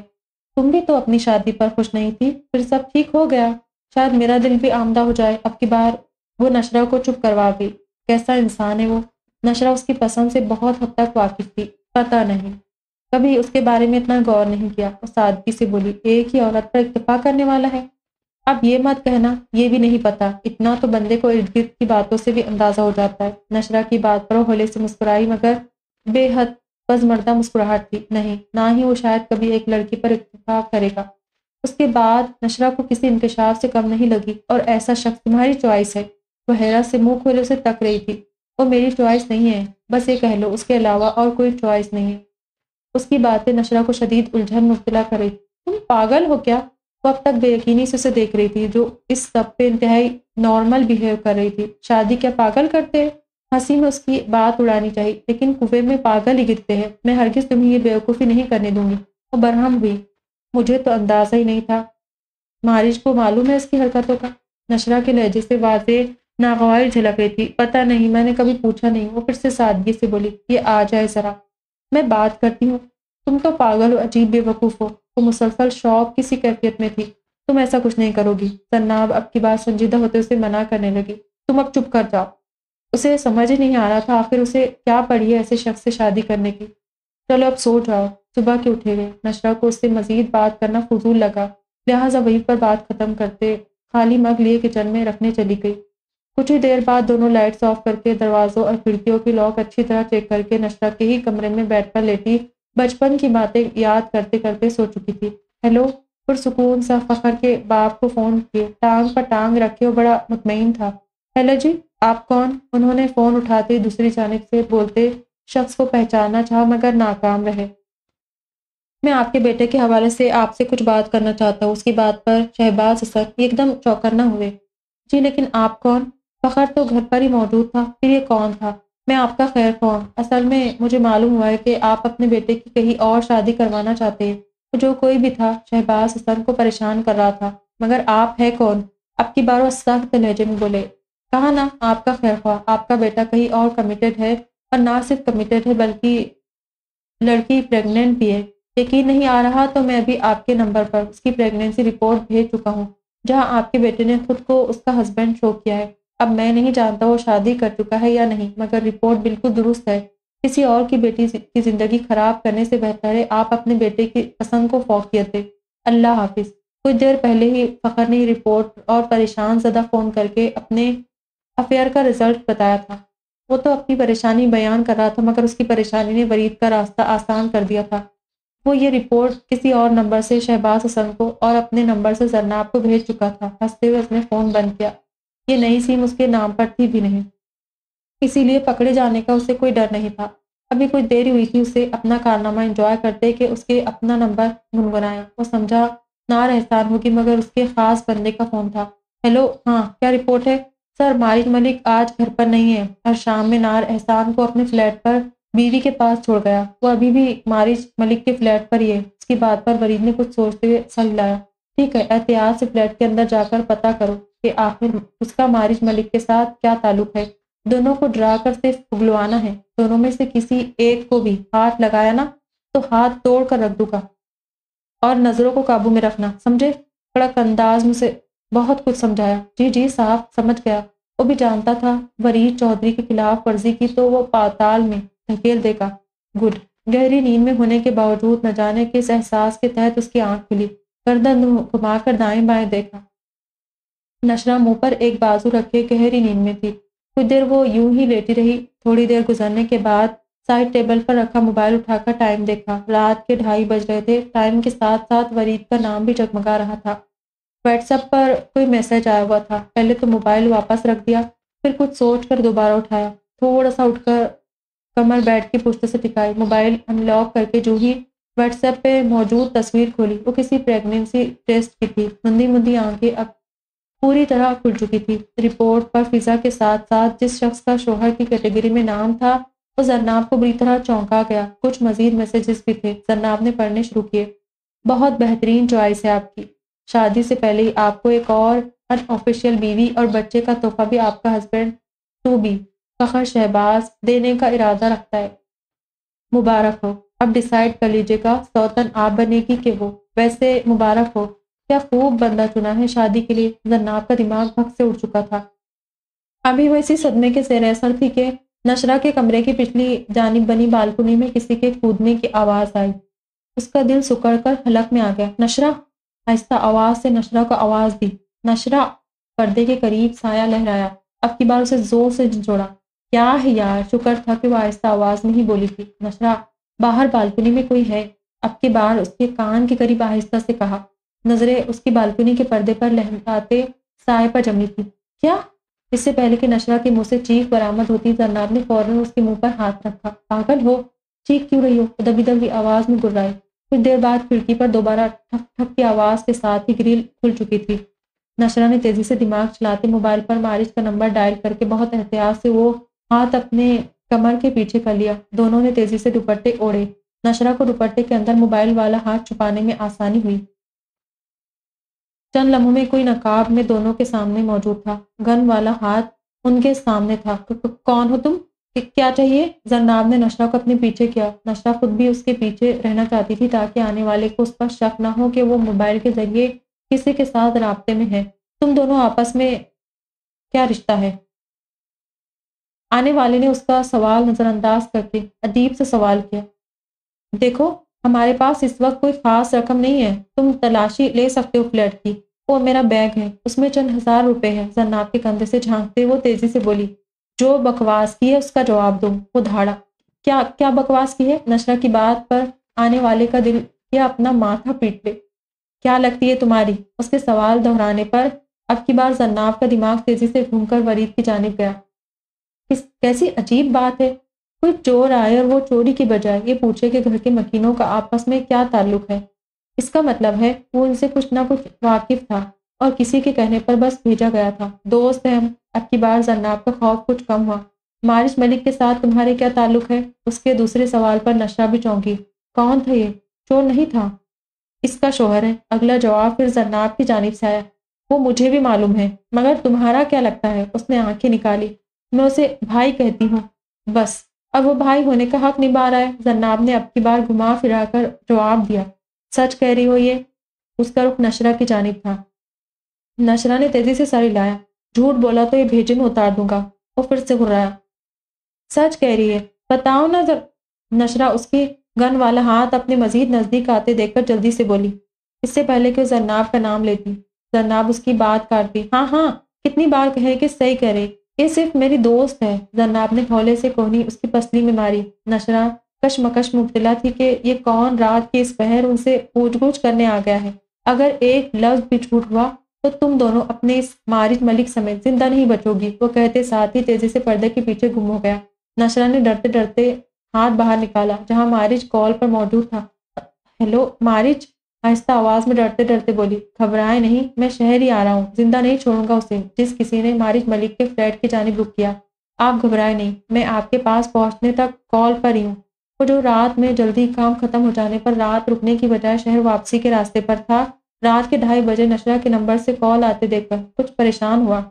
फ़ोन उठाने पर उसके खदशात सच साबित हुए। किसी ने उसके फ्लैट पर आने की शदीद हिमाकत की थी और बातों से साफ़ महसूस हो रहा था कि वरीद चौधरी का बंदा है, जो जरनाब की तलाश या फिर नार एहसान के सच को जानने की कोशिश में था। गाड़ी की स्पीड इस वक्त वो जितनी तेज कर सकता था, कर चुका था। शुक्र था कि उन्हें कोई भी नुकसान पहुँचाए बिना वो जा चुका था, लेकिन अपनी कम वक्ती को आवाज़ दे दी थी। हेलो, वो कब से इंतज़ार में था? जन्नाब मैसेजेस पढ़ चुकी थी, मगर फ़िलहाल वो उसे कॉल या मैसेजेस मजीद नहीं करना चाहता था। क्या हुआ? अपने बंदे के फ़ोन का वो बेताबी से इंतज़ार कर रहा था। साहब, वो उनकी महज दोस्त है। दोनों का बयान एक जैसा था। फिर मायूसी से कहा, ठीक है, तुम अब अपने अड्डे पर जाओ, फिर बात होगी। फरीद ने कुछ सोच कर फ़ोन बंद किया। अगले दिन उसने सवाद के लिए निकलना था। इस वक्त एक पुरसकून नींद की उसे अशद ज़रूरत थी, मगर मोबाइल पर आने वाले मैसेज ने उसकी सारी नींद फिर से उड़ा दी। फ़खर अगर ऐसा ही हुआ है, तब भी मेरी चॉइस कोई और शख्स होगा, मगर आप कभी नहीं। जन्नात की जानब से आने वाले मैसेज ने उसका सुकून बुरी तरह से गारत किया। अमूमन बड़े बड़े दावे करने वालों को अपने ही दावों का भुगतान भरते देखा है। इसीलिए सोच समझ कर दावा करो। अपनी सारी खोलन मैसेज में निकाल कर मुस्कुराया। गोया उसे चिढ़ाने में कामयाब हो गया हो। फिर तो आप इस किस्मत के चक्कर में मुझसे पहले आने वाले हैं। देखते हैं किसके दावे उसके सामने आते हैं, मेरे या आपके। उसके जुमानी बात वरीद को फिर से वर्त हैरत में डाल गई। वो क्या कहना चाहती थी? उसे समझ नहीं आई थी। कुछ ही देर में वो फ्लैट पर मौजूद था। दरवाज़ा खोलकर तेज़ी से अंदर की जानी बढ़ा। वो दोनों परेशान से नशरा के कमरे में मौजूद खिड़की से बाहर देख रही थी। ठीक है, आप दोनों? उसके कदमों की तेज आवाज़ पर वो मुड़ी। मारिज? उसे अपने सामने देखकर दोनों ने सुकून का सांस लिया। एकदम दोनों जज्बाती सहारे के लिए उसकी जानी बढ़ी वो भी उन्हें अपने सामने सलामत देखकर, यह गुना सुकून में आया। हाथ बढ़ाकर दोनों को खुद से लगाया। डोंट वरी मैं आ गया हूँ। जरनाब तो कुछ देर बाद उससे अलग हो चुकी थी मगर नशरा। वो जरनाब की नस्बत ज़्यादा डर गई थी। अरे, आप तो इतनी बहादुर है। मुझे तो डर था। जरनाब ज़्यादा डरपोक है, मगर यहाँ तो उल्टा हिसाब लग रहा है। उसे खुद से अलग करना चाहा जो इससे अलग होने को तैयार नहीं थी। अगर वो अपनी गन चला देता, उसके कंधे के साथ लगे लगे उसने खौफ से जरनाब को और फिर एक नज़र, सर उठाकर मारिज को देखा। ऐसे कैसे चला देता? मारिज के माथे पर शिकने नमूदार हुई। वो हमें मारने के इरादे से नहीं आया था। जरनाब की बात सुनकर वो मारिज से अलग होती, अब उसके करीब गई। तुमने इस वक्त भी मुझे कोहनी मारी थी, जब मैं तुम्हें जरनाब कहने लगी थी। और फिर मारी से तुम्हारे ताल्लुक को उसने पूछा, हमारे दरमियान मौजूद रिश्ते को। इसका मतलब है कि वो चोरी की नीयत से नहीं सिर्फ़ हमारा आपसे ताल्लुक पूछने आया था, वो अब कड़ी से कड़ी मिला रही थी। उन दोनों के चेहरों पर इतनी परेशानी नहीं झलक रही थी जितनी परेशान वो थी। तुम दोनों क्या वाकिफ हो कि वो कौन था, बल्कि किसका बंदा था? अब के उसने मशकूक नज़रों से उन दोनों को देखा, जिनकी चुप उसकी बात की तस्दीक कर रही थी? कौन है वो? उसने बारी बारी दोनों को देखा जो एक दूसरे को खामोश नज़रों से देख रहे थे। वरीद चौधरी, आपका सर और वो शख्स जिसके साथ जरनाब बनी हुई थी। मारिज ने मस्तरब अंदाज में बालों में हाथ फेरते हुए बताया। फिर उनसे हटकर बालकुनी की जानब बढ़ा। यानी वो शख्स वाकिफ था कि मारिज के बंदे फ्रंट साइड पर खड़े हैं। और दूसरी और अहम बात, वो ये भी जानता था कि पिछली जानब कैमरा नस्ब नहीं था। मलिक अयाज ने ठीक कहा था, वो नार एहसान को कोई नुकसान नहीं पहुंचाएगा। जिनसे मोहब्बत की जाए, उनकी मुश्किल और मुसीबतों को कम किया जाता है। उनके लिए मसाइल पैदा नहीं किए जाते। वरीद भी नार से ऐसी ही मोहब्बत कर चुका था। उन दोनों को मुतमिन करवाकर उन्हें सोने के लिए भेजा। खुद वो अभी भी परेशान था। जब वरीद पर हकीकत खुली के जरनाब ही नार है फिर तो वो उसे किसी भी तरह का नुकसान पहुँचा सकता है। क्या गारंटी थी कि नफरत पर मोहब्बत हावी आए? या मोहब्बत पर नफरत आने वाले कल का तो किसी को नहीं पता था। कुछ सोच कर टाइम देखा। फजर का वक्त करीब था, यानी मलिक तहजद के लिए उठ चुके होंगे। कुछ सोच कर उसने उनका नंबर डायल किया। वो लाउंज में ही मौजूद था। खैरियत बेटे, इस वक्त फ़ोन किया। शहर पहुँच चुके हो, वह हकीकतन उसकी कॉल से परेशान हुए। जी, मैं कुछ देर पहले ही शहर पहुँचा हूँ। आपको एक अहम बात बतानी थी। आहिस्ता आहिस्ता उसने कुछ देर पहले का तमाम वाक़ उनके गोश गुजार किया। अब पानी सर से ऊँचा हो रहा है। कल वो सवाद पहुँच जाएगा और अगर उनकी हकीकत खुल गई तो वो जरनाब को कोई भी नुकसान पहुँचा सकता है। उसकी ज़रूरत को तोड़ना बहुत ज़रूरी है। उसकी हिम्मत कैसी मेरे फ्लैट तक रसाई हासिल करने की? वो शदीद गुस्से में था, जिनकी इज्जतों को गैर नज़र भर कर देखने की ज़रूरत नहीं कर सकते उसकी बीवी और बहन को। कोई आधे घंटे तक देखता रहा। वो भी इतने करीब से। मारिज का बस नहीं चल रहा था। उस शख्स की आँखें निकाल ले। तुम वरीद तक अभी नहीं पहुंचोगे। हाँ जिसने तुम्हारे फ्लैट तक आने की हिम्मत की है, उसकी चाहो तो आँखें निकाल दो। हाथ तोड़ दो, अपाहिज कर दो। मुझे कोई मसला नहीं, लेकिन तुम अपने गुस्से को अभी वरीद तक नहीं पहुँचने दोगे। उन्होंने बड़े तहमुल से उसके गुस्से को कम किया, लेकिन इससे पहले कि कुछ कहता, उन्होंने उसे चुप करवाया। मैंने कहा, है ना? अभी नहीं, उसका जुल्म सरनाब ने अकेले सहा था तो उसका बदला भी मुझसे और तुमसे पहले, उसे लेने का हक है, और जन्नाब से कहो, तैयारी करे, कल वो सवाद में मौजूद होनी चाहिए। अब वक्त हो गया है कि वो उसकी वनी की हैसियत से उसके सामने जाए। मैं अपने कुछ भरोसे के बंदे भिजवा रहा हूँ। गाड़ी समेत जन्नाब उनके हमरा सफूरा बी के पास जाएगी। उनकी बात पर बहस करने की कोई गुंजाइश नहीं थी, ना ही वो कोई गुंजाइश छोड़ते थे। जी बेहतर, हमेशा की तरह फरमा बरदारी से उसने उनकी हाँ में हाँ मिलाई थी। शाबाश, नमाज़ पढ़कर तुम भी सो जाओ, कल बात करते हैं। से हिदायत देते वो फ़ोन बंद कर चुके थे। अगले दिन वो अपने बॉडीगार्ड के हमरा उस घर के आगे मौजूद था, जहाँ सफूरा खाला के मौजूदगी का उसे कामिल यकीन था। तुम लोगों ने यही रहना है, मैं कुछ देर में आता हूँ। अपने गार्ड्स को घर के कुछ करीब रुकने का कहते हुए उस घर के करीब गया। अच्छा डबल स्टोरी घर था, बहुत पुरतईश नहीं मगर बहरहाल इस इलाके के हिसाब से काफ़ी बेहतर हालत थे, जिससे अंदाज़ा हो रहा था कि उनका दामाद अच्छी आमदन रखता था। जी साहब, किससे मिलना है? वो जो घर को देखते अभी बेल देने का सोच ही रहा था, एक नौजवान लड़का उसके करीब आकर उसे दरियाफ्त करने लगा। मुझे फिरोज खान से मिलना है। उसने अपने वहाँ खड़े होने की वजह बयान की। आप कौन? उस लड़के ने गौर से उसे सत्ता पाव देखा। मुझे शादा ने भेजा है। कुछ ज़रूरी पैगाम देना था सफूरा खाला को। उसने फ़ौरन सोची समझी स्कीम के तहत इधर उधर देखते राजदारी से कहा। उस लम्हे वो अपने मखसूस, कड़कते, शानदार शलवार कमीज की बजाय आम से शलवार कमीज पर चादर लिए, आम से लिए मौजूद था, ताकि वहाँ के मकीनों को शक न हो। सफूरा खाला ने उसे कभी बचपन में ही देखा था, उसके बाद से वो उससे अनजान ही थी। वो कौन सा उसे पहचान लेती? ये खत भी देना है शादा की जानब से उन्हें।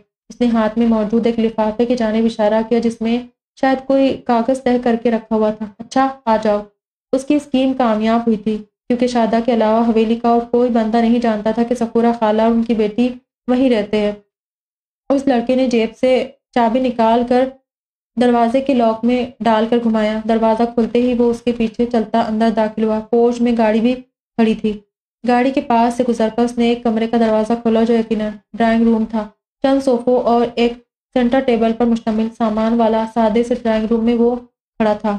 आप बैठे मैं नानों को भेजता हूँ, यानी वो लड़का सफूरा खाला का नवासा था वरीद ने सर हिलाया, दिमाग तेज़ी से चल रहा था।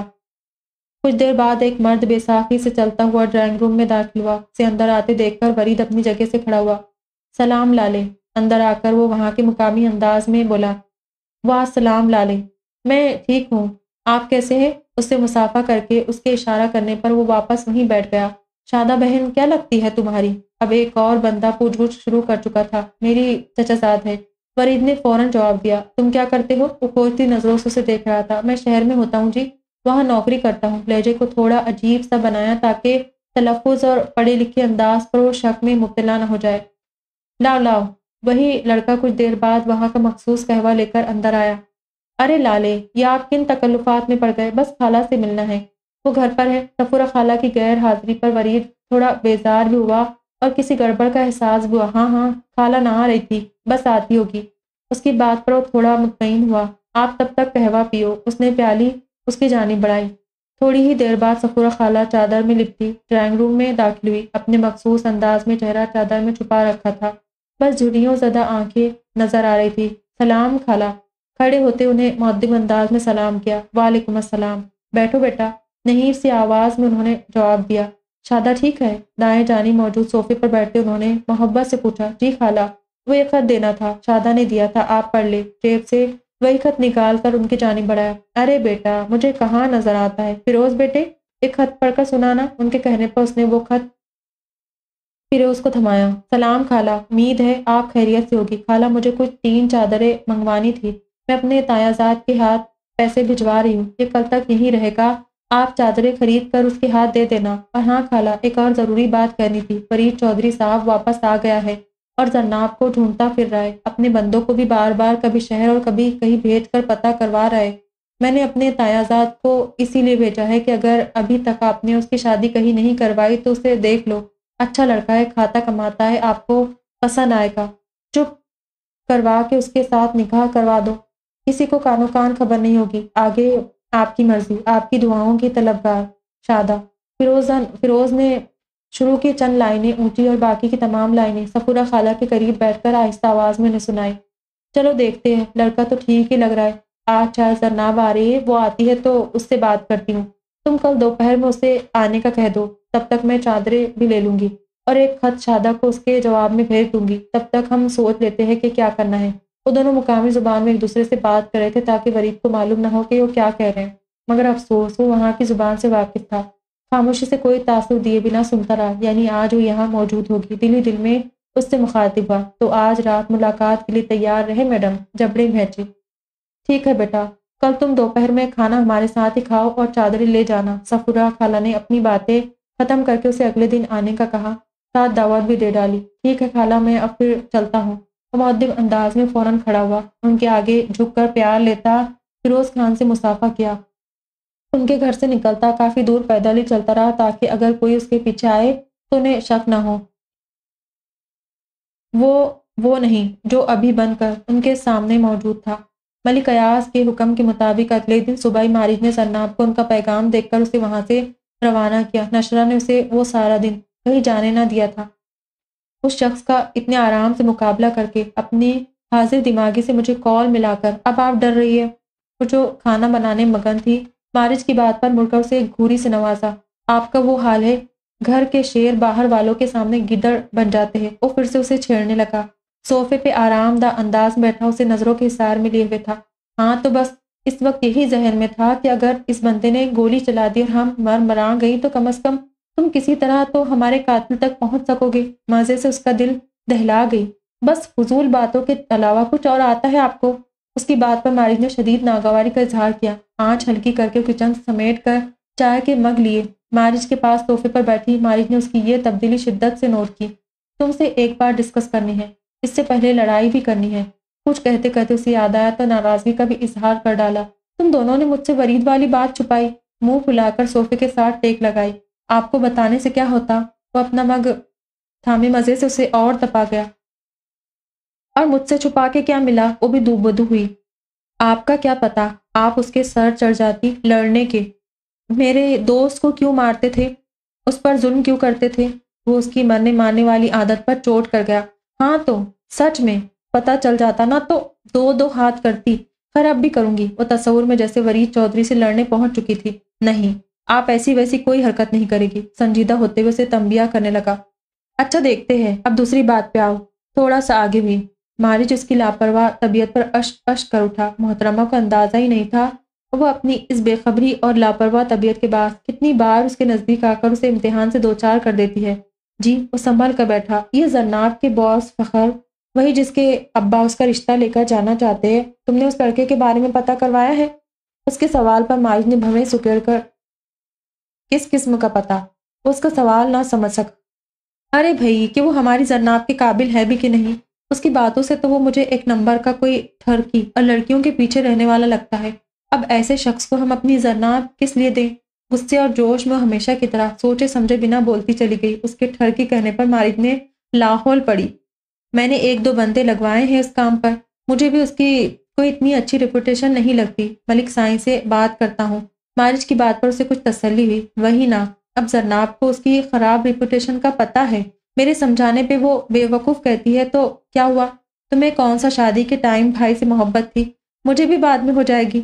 अपनी ही रो में और अपनी आदत से मजबूर वो क्या इतराफ़ किसके सामने कर गई? उसे इल्म ही नहीं हुआ। उसकी बात पर आखिरी घूट भरते मारिज को शदीद अच्छू लगा। क्या हुआ? मासूमियत से उससे पूछा। अभी भी कुछ होना बाकी है, वो उल्टा उससे बोला।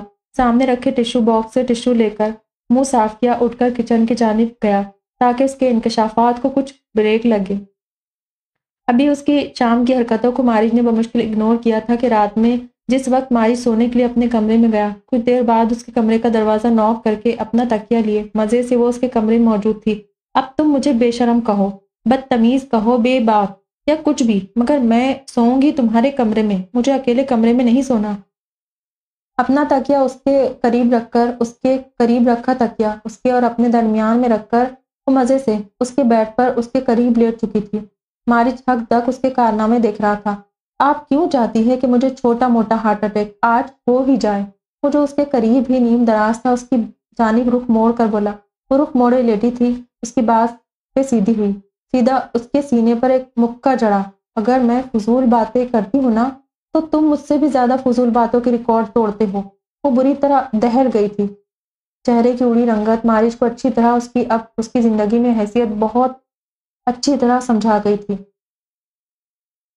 इतना खूबसूरत एहसास था कि वो उसे चाहने लगी थी। अब उसके मरने पर भी कोई रोने वाला तकलीफ़ महसूस करने वाला होगा। वो जो बेनाम और बगैर रिश्तों की ज़िंदगी गुजार रहा था। कोई उसके दिल के करीब आने और उस दिल में रहने का ख्वाहा था।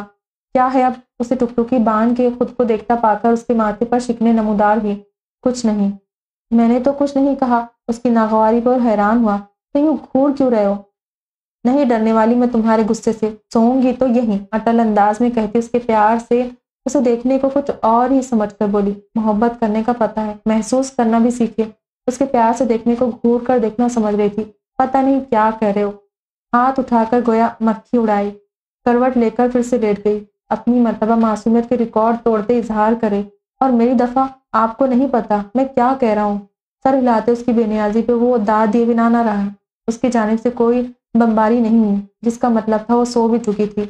पिछली रात की टेंशन के बाद उसकी नींद बहुत बुरी तरह खराब हुई थी, लिहाजा अब सोने में एक सेकंड भी नहीं लगाया। मारिज कुछ देर उसकी पुष्ट को देखता रहा।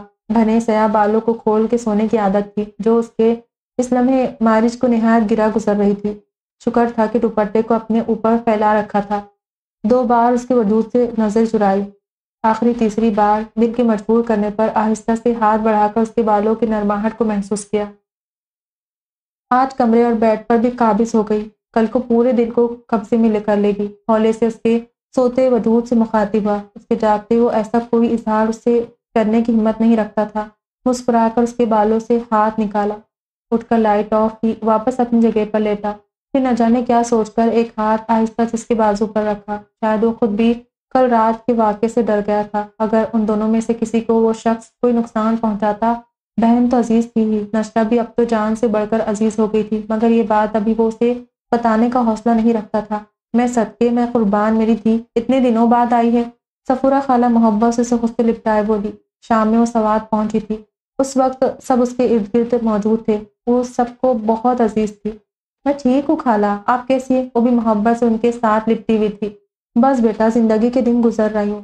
तुम्हें किसी मज़बूत हाथों में दे जाऊँ तो सुकून से मर सकूँ। कोई आसियत से बोली ऐसा ना कहे। आप ही तो मेरा सब कुछ है। वो मोहब्बत से उन, उनके गिर्द बाजू लपेट कर बोली अभी तक उसने उन्हें मलिक अयाज मारिज और नशरा से मिलने के बारे में नहीं बताया था।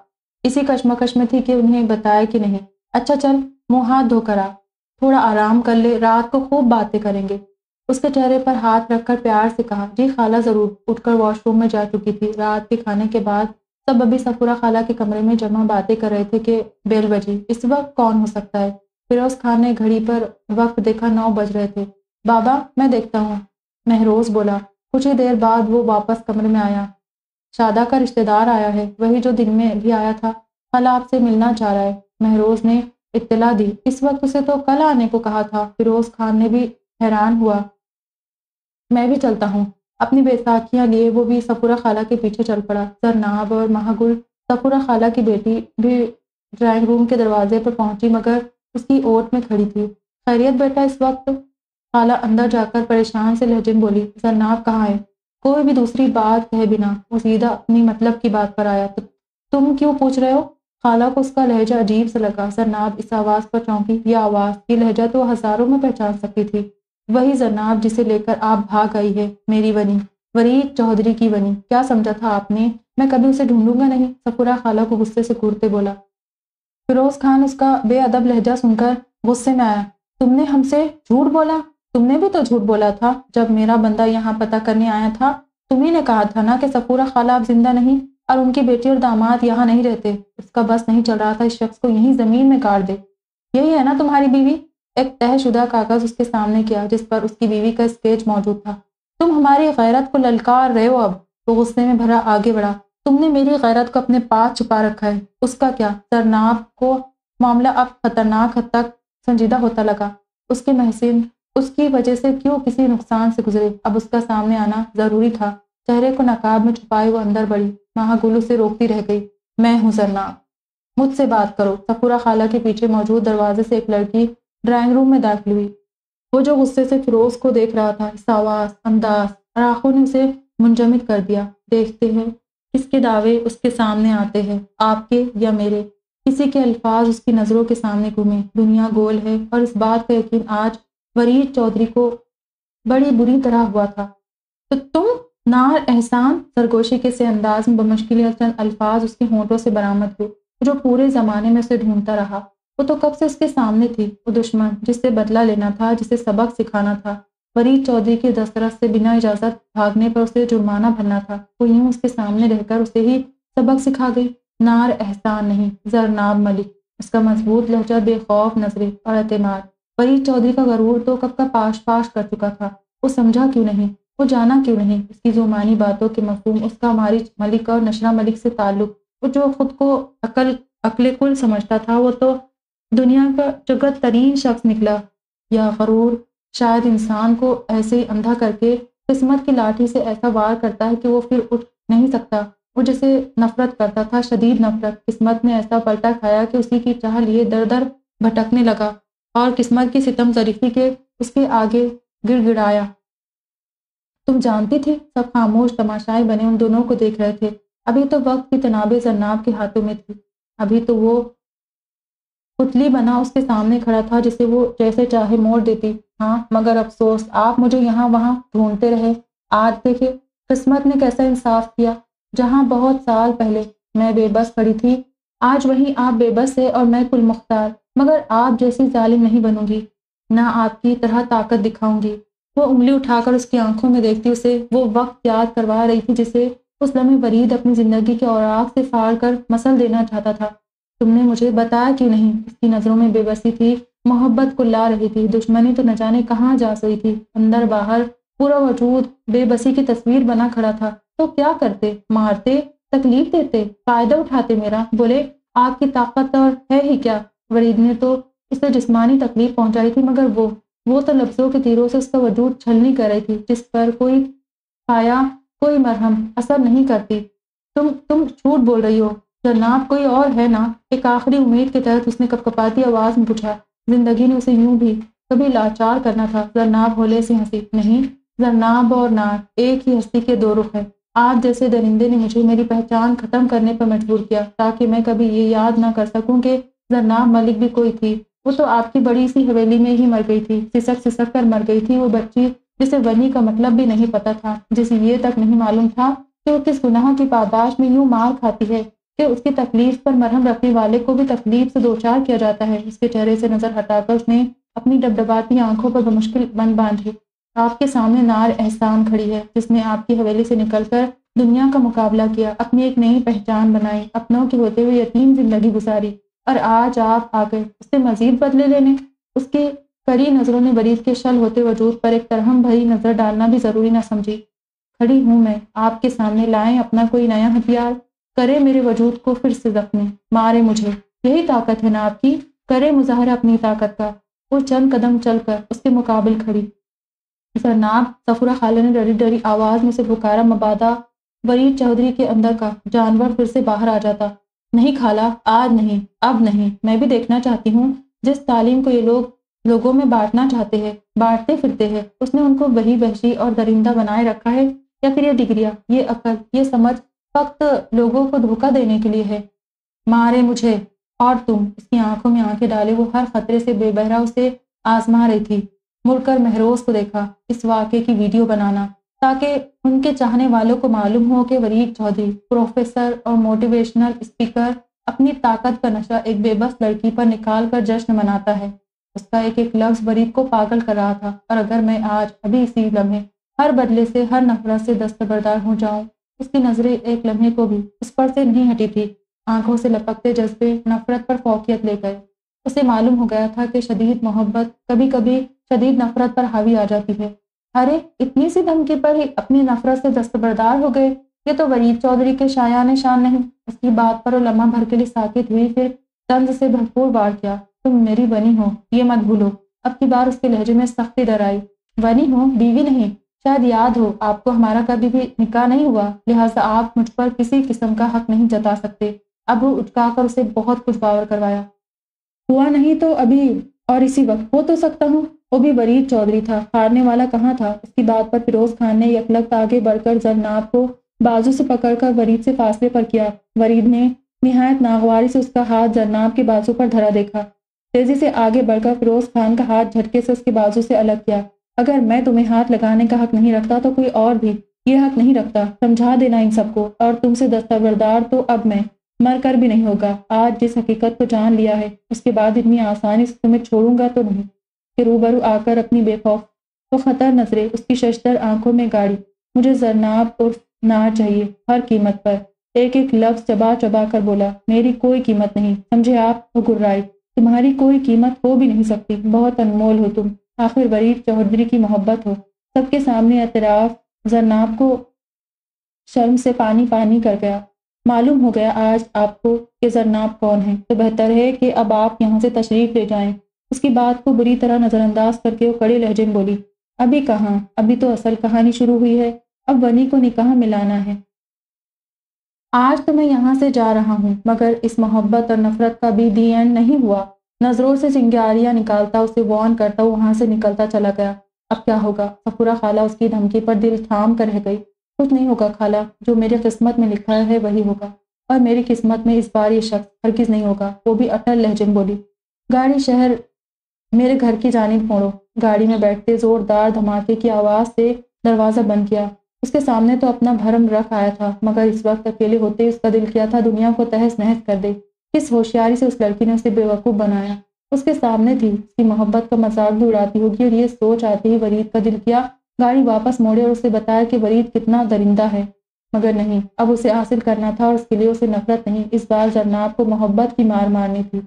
उसे खुद से करीब करना था, दूर नहीं। मुस्तरब अंदाज में हाथ बालों में फेरा। मोहब्बत तो उसे थी जरनाब को नहीं। फिर वो क्यों कर उसे अपना आप सौंपे थी? दुनिया को तस्वीर करने वाला आज संफ नाजुक के सामने बेबस हो गया था। वो उसे कैसे तस्वीर करता? जो नाकाबिल तस्वीर बनी पल पल उसका इम्तिहान ले रही थी।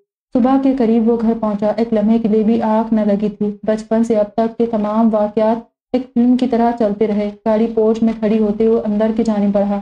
वो खोलन जिस पर वो अब तक काबू किए बैठा था, आखिर तो उसे निकालना था। कमरे में आते ही पूरा कमरा तहस नहस कर दिया। कैसे? कैसे तुमने मुझे बेवकूफ़ बना दिया। वो चिल्ला रहा था। मोहब्बत यूँ तकलीफ़ से दो चार करेगी, उसे अंदाज़ा ना था। तब कैसे वो उस ऑक्टोपस में जकड़ा गया।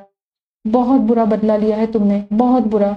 तुम अब किसी सूरत मेरी ज़िंदगी से नहीं निकल सकती। चाहे जो भी कर लो, उसके तस्वुर से मुखातिब था। वॉशरूम में जाकर वॉश बेसिन का नल खोलकर पानी के छींटे, चेहरे पर मारे। अंदर की तपिश कम होने का नाम नहीं ले रही थी। यही मोहब्बत का कमाल था कि उसकी नफरत की आग को सबर से बुझा रही थी।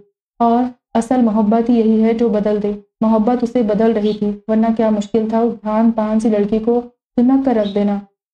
अपनी ताकत और ज़ोर बाजू पर अपने गार्ड्स की मदद से उसे वहाँ से उठवा लेना। मगर नहीं, उसने उसे हाथ तक नहीं लगाया था। मोहब्बत ने उसकी दरंदगी खत्म कर दी थी। उसका गरूर खत्म कर दिया था।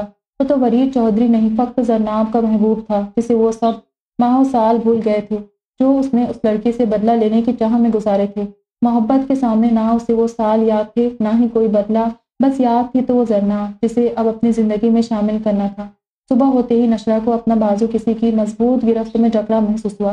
हैरान होते करवट मारिच की जानब ली वो उसके करीब ही तकिए पर बाजू धरे। बाएँ हाथ से उसके बाजू को जकड़े सो रहा था। नशरा का दिल बुरी तरह धड़का। चंद पल उसे ये यकीन करने में लगे कि आज पहली बार मारिच ने कोई पेशकदमी की है। वरना तो उसे महसूस हो रहा था वो सारी ज़िंदगी इसी आस में गुजार देगी कि वो कभी तो उसकी जानी मुतवजह हो। वो था भी तो बस अपने आप में रहने वाला। अपनी सोचों के ताने बाने बुनने में ही मसरूफ थी कि उसी लम्हे मारिच के मोबाइल की टोन बजी। मगर वो भी शायद दो रातों का थका हुआ था, मोबाइल की आवाज़ खासी ऊँची थी, मगर वो फिर भी नहीं उठा। नशरा ने आहिस्ता से अपना बाजू उसके फौलादी हाथ के शिकंदे से निकाला। मारिच, दो तीन बार उसे आवाज़ दी, मगर बेसुध। अब के नशरा उठकर बैठी। मारिच, उठ भी जाओ जिट होकर बोली। आखिर झिझकते हुए कंधे पर हाथ रखकर ज़ोर से हिलाया। सारा दिन भी आंधी तूफ़ान बनी रहती है और उठाती भी है, झक्कड़ की तरह। उसके ज़ोर ज़ोर से हिलाने पर वो बल आखिर उठ गया। मगर नींद से जागते भी हाजिर जवाबी गजब की थी। और वाकई मज़बूत आसाब का था, नहीं तो हड़बड़ा ज़रूर जाता। कौन बज रहा है आपका, कब से? उठाओ। उसके पैर से उठते दुपट्टा दुरुस्त करती उठी। एक सरसरी सी नज़र उस पर डाली तो सीधा होते नींद के खुमार से लाल होती आँखों से उसे अभी भी घूरने में मसरूफ था। रात से घूरे जा रहे हो, मारूँगी अब। और उसकी गहरी बोलती नज़रों से खपा होती, मुँह फुलाकर उसके पास से गुजरी। आपको कोई बेवकूफ़ ही घूरने की गलती कर सकता है? और मैं बेवकूफ़ हरगिज नहीं। उसका जुमानी लहजा अब के उसे वहाँ से भागने पर मजबूर कर गया। उसकी तेज़ी देखकर वो मुस्कुराए बिना ना रह सका। नशरा के कमरे से जाते उसने साइड टेबल पर रखा, मोबाइल उठाया। जरनाब की कॉल थी। फ़ौरन कॉल बैक की। हेलो, तुम ठीक हो? वो जानता था रात वरीद उससे जरनाब की हैसियत से मिल चुका था। मिल चुका है। मलिक अयास के बंदे मुसलसल फिरोज खान के घर के आसपास थे, ताकि किसी भी गलत सूरत हाल के पैदा होने से पहले हालात को काबू में रख सके।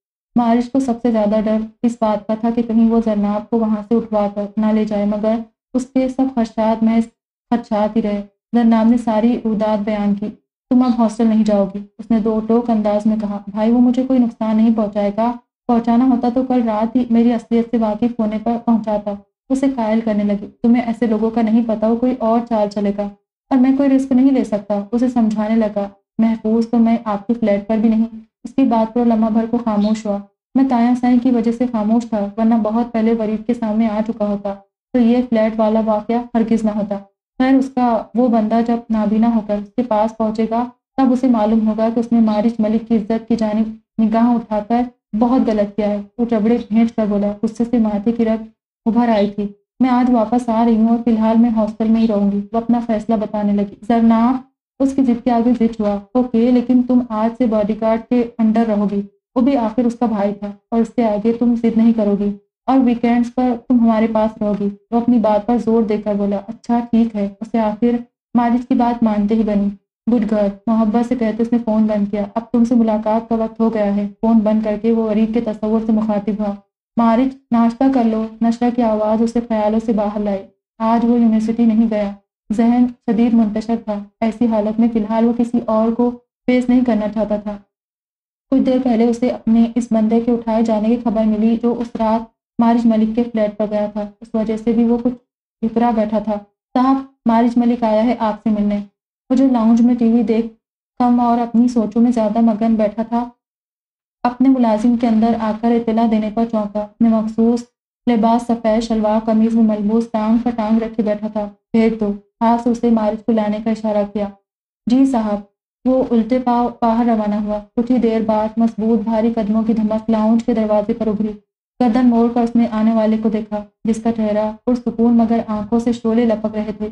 आओ भाई, उसे दरवाजे के ही करीब खड़े देखकर अंदर आने का इशारा किया। अपनी जगह से खड़ा हुआ। सताइशी नज़रों से वरीद ने सलवार कमीज में मलबूस, ऊँचे लंबे मारिज को देखा। दोनों के कद एक जितने ही थे। चलता हुआ उसके मुकाबिल खड़ा हुआ। अच्छा किया तुमने आ गए, वरना बहुत जल्द मैं तुम तक आने वाला था। दोनों पुष्ट पर हाथ बांधे एक दूसरे को देख रहे थे। वरीद के चेहरे पर महसूस कुल मुस्कुराहट थी, जबकि मारिश का चेहरा इंतहाई संजीदा। अपने बंदे की खबर तो मिली गई होगी तुम्हें? उसकी बात पर वरीद हौले से हंसा। अंदाजिज करने वाला था, मगर मुकाबिल भी मारिश था। बर्फ़ की मानिन, ठंडे मिजाज का। बिल्कुल, तुम्हारी फुर्ती की दाद देनी चाहिए। वो हौले हौले पर हिलाता गया उसे सराहा रहा था, और तुम्हारी हिम्मत की भी। कि मेरी बहन तक पहुँचने की गलती की मारिश की बात पर उसके मुस्कुराते लग टुकड़े अल्फाज का इस्तेमाल दुरुस्त करो। गलती नहीं, तुम्हारी बहन की बेहतरी के लिए पहुँचा। वरना वो तो फखर जैसे शख्स से शादी करने चली थी, जो उसे आम मर्दों की तरह सिर्फ़ एक शोपीस बनाकर रखता। उसकी आँखों में आँखें गाड़े उसे जता कर बोला उसके लिए दुनिया में एक वही और एक तुम ही नहीं रह गए। दाएँ आँख की अबरू उठाकर वो भी उसे जताए बगैर न रहा। मगर मेरे लिए एक वही है। ये बात खुद भी समझ जाओ और अपने बड़ों को भी समझा दो। बहुत जल्द मेरे घर वाले रिश्ता लेकर आएँगे। उसकी बात पर मारिज के पथरीले तासरात में दरार पड़ी। हल्का सा कहका उसके मुँह से बरामद हुआ। बनी हुई लड़की के लिए रिश्ता नहीं लेकर जाया जाता। हाँ दस्तबरदार ज़रूर हुआ जाता है। बात खत्म करने तक उसकी आँखों में सख्ती दराई दस्तबरदार होने के लिए मेरा इस दुनिया में ना होना ज़रूरी है।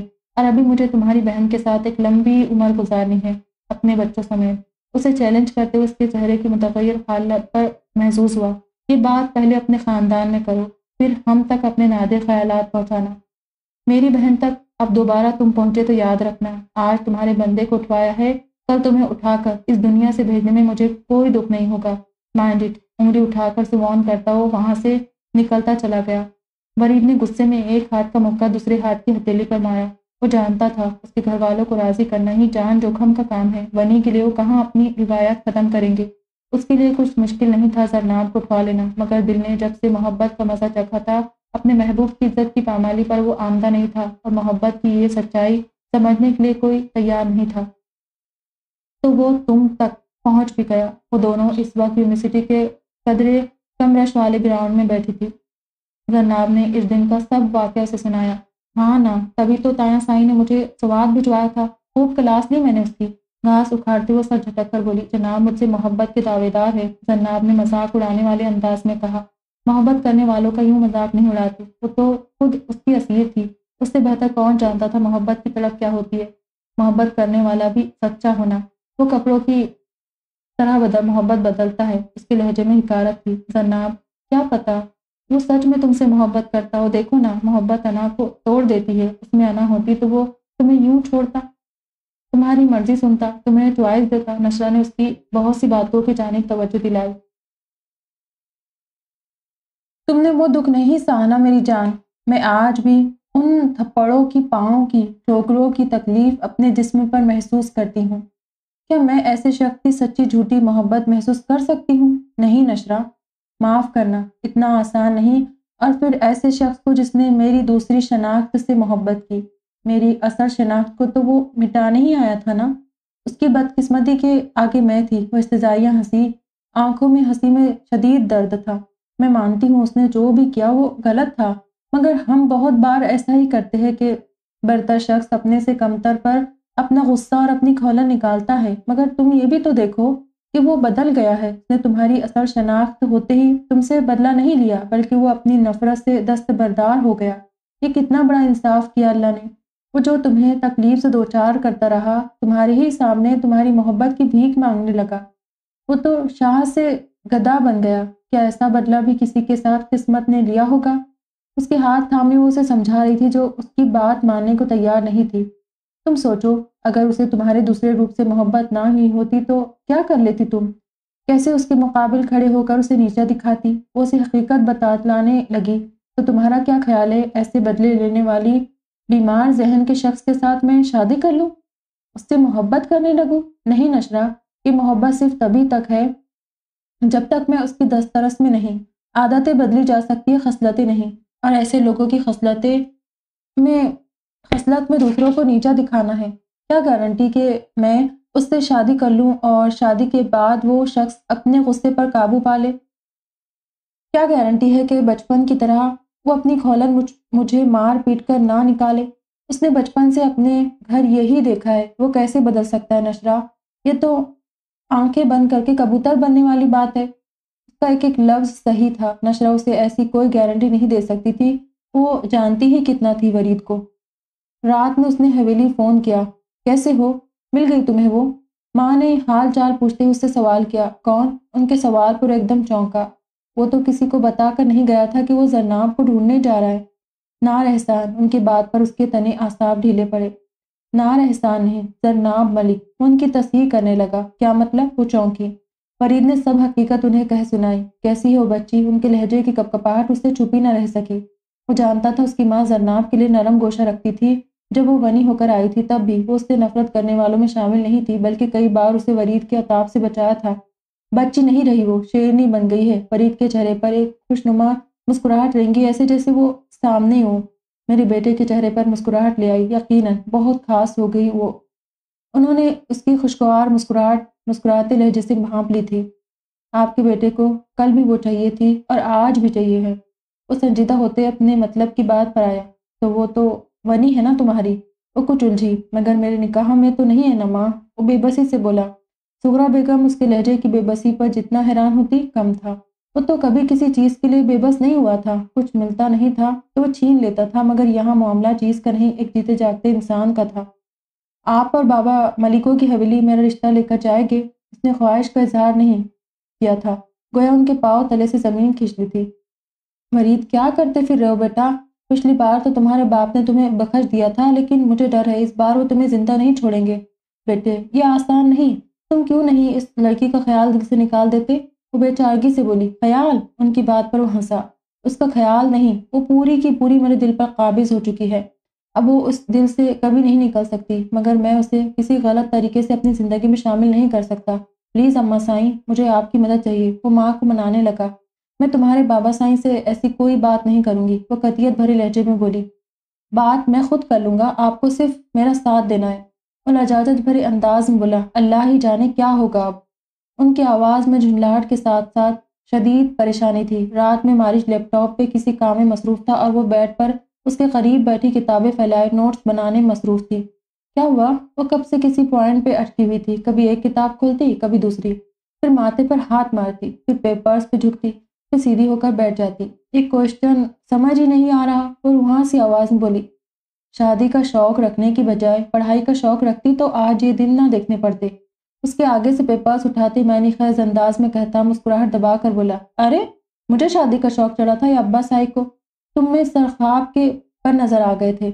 और वो भी ऐसे कि मेरी एक न सुनी। वो मुँह फुला कर बोली, इतना आसान? क्वेश्चन देखकर उसने लैपटॉप साइड पर रखा और रुख उसके जानिब किया। तुमने खड़ा क्या हुआ है? उसे तेज़ी से क्वेश्चन सॉल्व करते देखकर वो थोड़ी के नीचे हाथ और कोहनी घुटने पर रखकर बोली एमबीए वो इतना ज़रूर जानती थी कि मारिज पढ़ रहा है, मगर ये मालूम नहीं था कि एमबीए कर रखा है। इसीलिए मैं एम इकनॉमिक्स को आसानी से पढ़ा सकता हूँ। चेहरा उठाकर शरीर नज़रों से उसे देखा, तभी इतनी जल्दी जल्दी हल कर रहे हो। वो भी इम्प्रेस हुई और खुश भी कि उसका शरीक हयात पढ़ा लिखा था।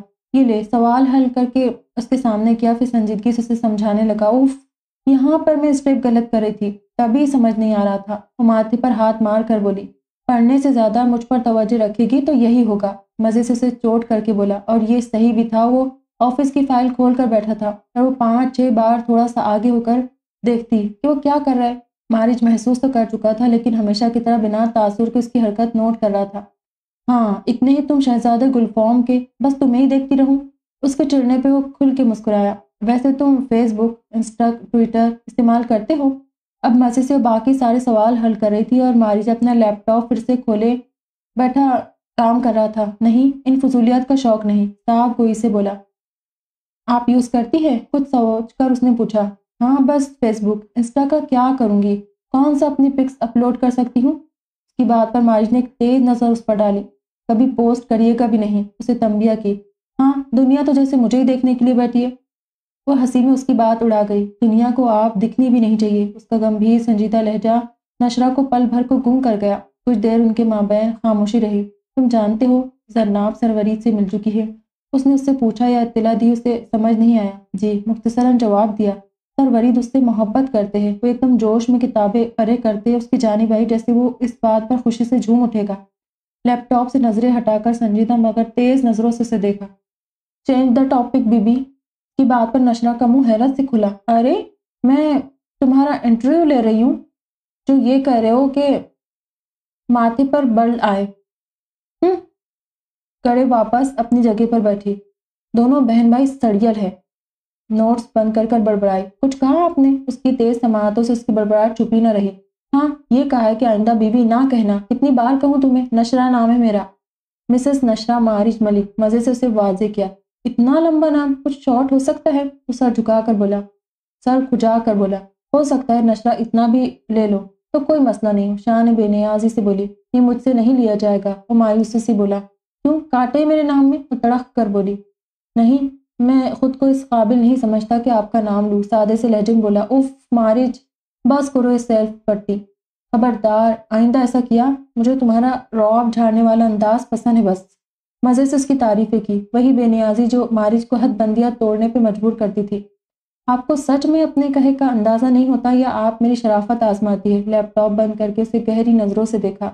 अब अगर शोहर की तारीफ़ ना करूँ तो किसी गैर की करूँ? हाथ उठाकर बोली, बिल्कुल करे, मगर आपके अंदाज बहुत जानलेवा है। उसके बोझल लहजे पर उसके हाथों के तोते उड़े। अच्छा सुबह मुझे जल्दी निकलना है, एक असाइनमेंट फ़ोटो स्टेट करवानी है। वो फ़ौरन उसका ध्यान हटाने लगे। जो हुक्म, उसका मुतबसम शरीर लहजा उसे बहुत अच्छे से समझा गया कि उसके बाद बदलने को जान गया है। ये लड़का मेरा दिमाग खराब करके छोड़ेगा। पता नहीं क्यों आ गया वापस। वही दफ़ा रहता तो बेहतर था। कुछ देर पहले ही वरीद का फ़ोन आया था और उसकी ख्वाहिश सुनकर वजह चौधरी का भड़कना फितरी था। कुछ कुछ गलत भी नहीं कहा उसने। मैं बेड पर बैठी उन्हें कमरे में इधर से उधर चक्कर काटते देख रही थी। क्या बकवास की तुमने? एकदम मुड़कर आँखें निकालते वो उनकी जानिब आए।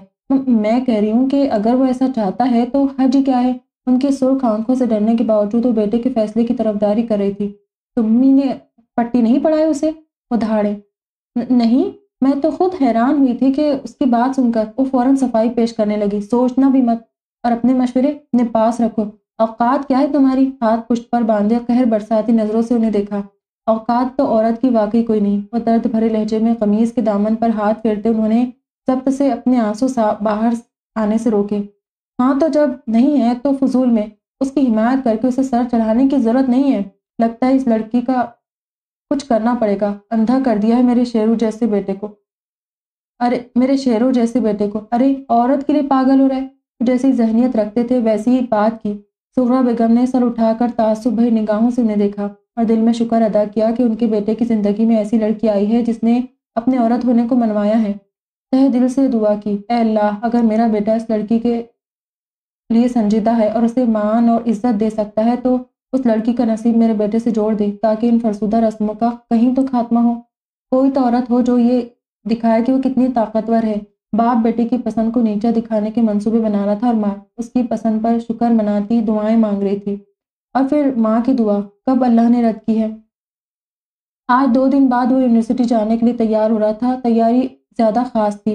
अब तो महबूब सामने था उसे देखने, अपने इर्द गिर्द महसूस करने की तो अब बात ही और थी। मुस्कुराते हुए बालों में जेल लगाकर बाल सेट किए। अपने मखसूस लिबास डार्क ग्रे, शलवार कमीज पर लाइट ग्रे, चादर ली। अपनी वजाहत पर चार चाँद लगवाता और पूरी तरह महबूब को जेर करने के लिए तैयार था। आईने में देखकर ऐसे मुस्कुराया जैसे सामने उसकी शबिया नहीं, जरनाब की शबिया हो, देखते हैं। आप कब तक जुटलाती हमें? उसके अक्स से मुखातिब हुआ। उसी लम्हे मोबाइल बजा। ब्रश रखकर, ड्रेसिंग पर रखकर मोबाइल उठाया। बाप की कॉल थी। यकीनन मेरे ख्याल जानकर कल रात आपकी नींद उठ चुकी होगी। वो भी उनका बाप था। उनके रग रग से वाकिफ। देखो बेटे, मैंने सारी रात बहुत सोचा। तुम्हें लड़की चाहिए ना? तो क्या ज़रूर है कि तुम उसे बीवी ही बनाओ? अरे, ऐसी लड़कियों को उठवाना क्या मुश्किल है? मैं कल ही उसे तुम्हारे पास भिजवा दूँगा। जितने दिन रखना है रखो, फिर मार मोड़ के फेंक दो। कड़े जब्त से गुजरते उसने बाप की इंतहाई नीच बात तहमुल से सुनी।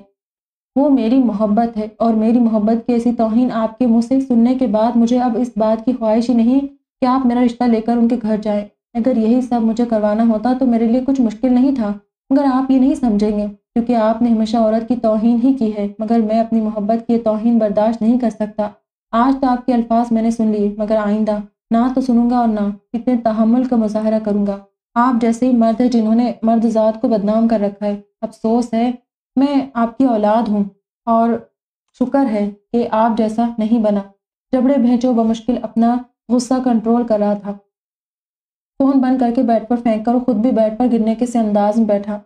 सर हाथों पर गिराए बमुश्किल अपना गुस्सा कंट्रोल करने लगा। उससे घिन आ रही थी खुद से। अपने बाप से इस वक्त से जब जब वो भी औरत को टिश्यू पेपर की तरह परत चुका था और शायद इसी बात की उसे सजा मिल रही थी कि आज एक पाक दामन औरत उसका वो चेहरा तक देखने की रवादार नहीं थी, जिस पर वो गुरूर करता था।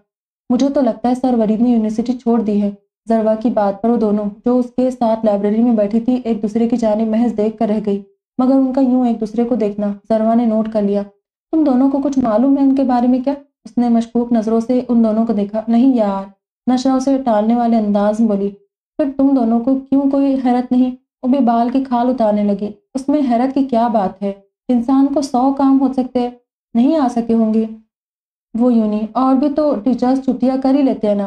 अब की बार जरनाब आहिस्ता आवाज़ में बोली हाँ मगर उनका पता चल जाता है लेकिन सर के बारे में कोई नहीं जानता कि वो कहाँ है। वो जो मुख्तलिफ़ टीचर्स और एडमिन से पूछ चुकी थी और सबने लालमी का मुजाहरा किया था, इस बात पर वो हैरान थी। और अगर छोड़ भी दी है यूनी तो अच्छी बात है जरनाब एकदम सर झटक कर बोली। उसी लम्हे लाइब्रेरी का दरवाज़ा खोलकर कोई अजलत में अंदर आया। शुक्र, सर आ गए हैं। दरवा का दरवाजे की जानब रुख था, उसे अंदर आता देखकर वो खुशी से बोली। वो लाइब्रेरियन के पास खड़ा कुछ बात कर रहा था। सरनाम ने बेख्तियार गर्दन मोड़ कर देखा। गिरे शलवार कमीज पर मौसम के हिसाब से चादर लिए वाकई एक शानदार मर्द था, मगर अफसोस जरनाब उसकी अंदरूनी बदसूरती से वाकिफ थी। लो, सुकून कर लो तुम नशरा की बात पर जरवा होले से हँसी। वैसे कहीं तुम भी उन्हीं लड़कियों की फहरिस्त में शामिल तो नहीं, जिन्हें सर पर करश है? नशरा की बात पर खूबसूरत रंग जरवा के चेहरे पर आकर ठहरा। जरनाम ने हैरत और अफसोस उसे देखा, हर चमकती चीज़ सोना नहीं होती। न जाने कब हमारे मुल्क की लड़कियों को ये बात समझ आएगी। जरनाम ने अफसोस से सर हिलाते कहा जब तक आप जैसी लड़कियाँ इस मुल्क के नौजवानों को समझाने के लिए पेश पेश नहीं होगी, उसकी आहिस्ता आवाज़ में कही बात उसकी तेज समातों ने बड़ी आसानी से सुन ली।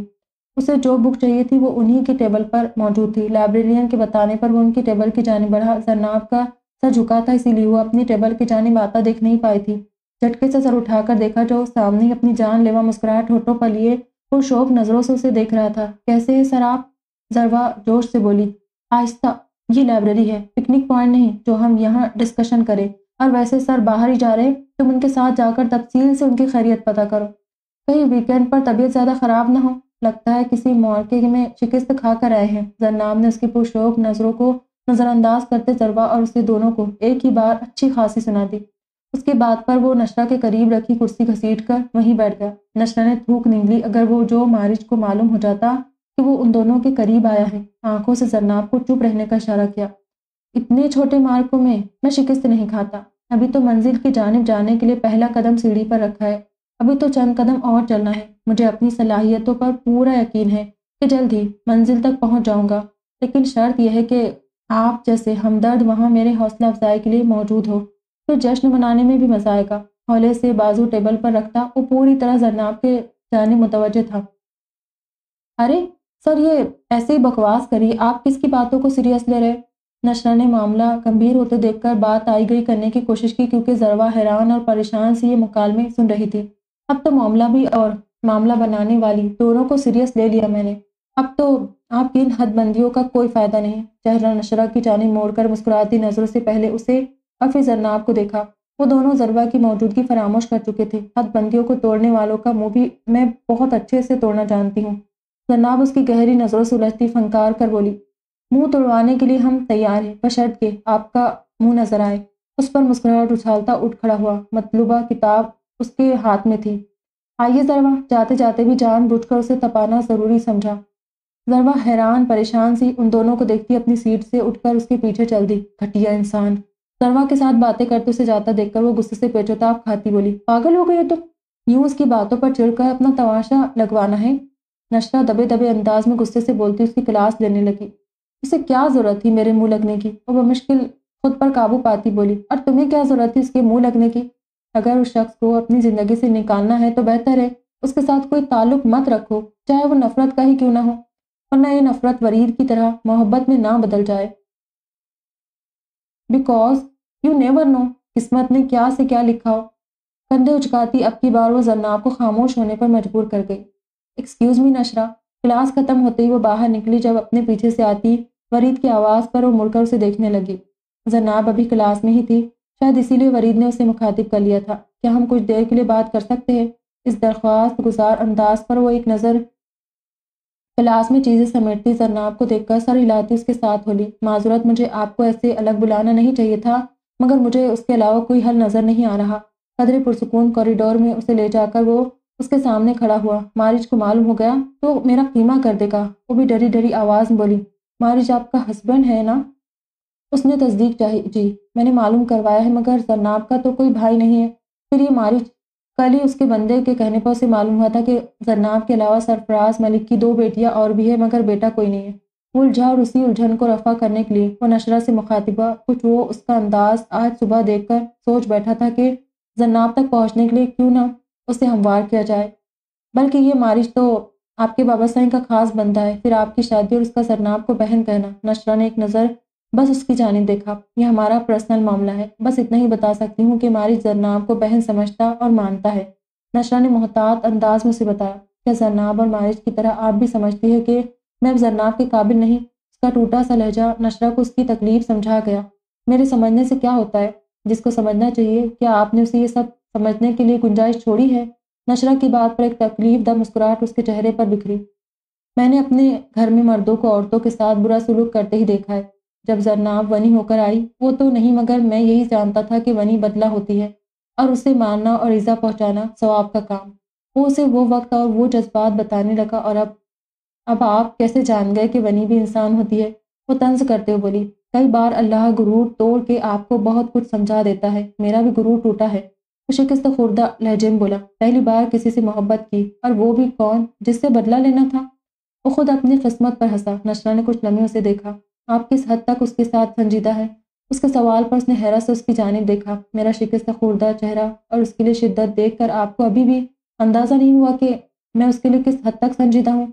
उल्टा उसी से सवाल करने लगा, मैं उसके लिए अपने बाप तक के दुबदू हो चुका हूँ। क्या अब भी कोई गुंजाइश बचती है मेरी शिद्दतों पर यकीन ना करने की? उसने एक और सवाल उठाया, क्या गारंटी है कि उसके हसूल के बाद आप उससे फिर कभी उस सलूक नहीं करेंगे? इस्लामी उस नाम की सोच की तर्जुमानी कर रही थी। क्या ये गारंटी काफ़ी नहीं कि मैं इन दिनों को किसी भयानक ख्वाब की तरह हमेशा के लिए भूल जाना चाहता हूँ, जब मैंने बेखबरी में उस पर जुल्म किया? किसी बोसीदा किताब के सफ़ात की तरह उन दिनों को अपनी ज़िंदगी की किताब से फाड़ देना चाहता हूँ। क्या ये गारंटी काफ़ी नहीं कि आज सुबह जब मेरे बाप ने उसे उठवाने का और बगैर निकाह के साथ रखने का ऑप्शन रखा, तब मुझे अपने बाप से घिन आई। क्या ये गारंटी काफ़ी नहीं कि ताकत रखने के बावजूद मैं इतना कमज़ोर हूँ कि मैं उसे उसकी इजाज़त के बगैर छूना तक नहीं चाहता? मुझे अपनी इस शनाख्त से नफरत होती है जिसने उसे मुझसे दूर किया। उसका एक लफ्ज़, दर्द में डूबा हुआ था। नशरा का दिल पसीज गया। मैं आपके लिए सिर्फ़ दुआ कर सकती हूँ कि आप अगर इतने ही सच्चे हैं तो उसका दिल आपके लिए पिघल जाए। वो बेबसी से बोली, उसके हाथ में तो कुछ नहीं था। न मारी जिसकी बात सुनता था, न जरनाब बस आपकी दुआ भी बहुत है, शायद किसी की दुआ मुझे लग जाए। हौले से ऐसे मुस्कुराया जैसे अपनी बेबसी पर अपना ही मज़ाक उड़ाया हो। खैर, बहुत शुक्रिया वक्त देने का। हो सके तो जन्नाब को समझाइएगा, वो इसी दरख्वास्त के लिए उसे यहाँ तक लाया था। मैं कोशिश करूँगी, उसे दिलासा देने वाले अंदाज बोली। मोहब्बत यूँ भी होनी थी, तुमसे तर्स खाती, कासार फैलाती, तुम्हारी नज़रों की मुंतज़र। तुम्हारी भीख की आस लिए मोहब्बत यूँ भी होनी थी, खुद की नफ़ी करती, अना का बुत चुकाती, खुद को मिट्टी करती, मोहब्बत तुम ही से होनी थी और मोहब्बत यूँ ही होनी थी। वो जो पढ़ने में मगन थी, मोबाइल की टोन पर उसकी जानी मुतवजह हुई। सरवरी का नंबर देखकर गुस्से से मैसेज पढ़कर डिलीट करना चाहा। जब दूसरी जानब से उसके पढ़ने की तस्दीक करके व्हाट्सएप पर उसके नाम के नीचे टाइपिंग लिखा आया क्या माफ़ी मांगने से तुम्हारी तस्कीन होगी? क्या तब तुम्हारे मिलने की उम्मीद होगी? लफ्ज लफ्ज में शिद्दत तड़प रही थी। आप मेरा पीछा क्यों नहीं छोड़ देते? हज़ारों लड़कियाँ हैं, किसी से भी शादी कर ले। तो जान छुड़ाने वाले अंदाज में बोले, हज़ारों हो, लाखों हो, या करोड़ों जन्नाम मलिक उनमें से एक भी नहीं है। उसकी बात पर वो चंड में गुंग रह गई। लड़कियों को बेवकूफ़ बनाने के हुए मुझ पर मत आजमाए। बदला लेना था, ले लिया आपने। ये झूठ बोलने का, कि आपको मुझसे मोहब्बत है, मगर अफसोस मैं इस जाल में नहीं फंस सकती। बस अब यही बात तड़पा रही है आपको। वो खूब कारीवार कर गई, बेवकूफ़ होती तो वरीद चौधरी तुम्हारे पीछे कभी खवार न होता। सिर्फ़ एक मौका दे दो, एक ठंडी आ भरकर उसने टाइप किया, मुझे अफसोस है कि आपका हर नया डायलॉग मेरे लिए कोई हैसियत नहीं रखता। उसे झटक कर आखिरी उसका नंबर ब्लॉक कर गई। वरीद ने जवाबी मैसेज करना चाहा, मगर जैसे ही मालूम हुआ, वो ब्लॉक कर चुकी है। मोबाइल गुस्से से साइड मेज पर पटका। आज कुछ बनाया नहीं आपने? शाम में यूँ ही किचन में पानी पीने आया।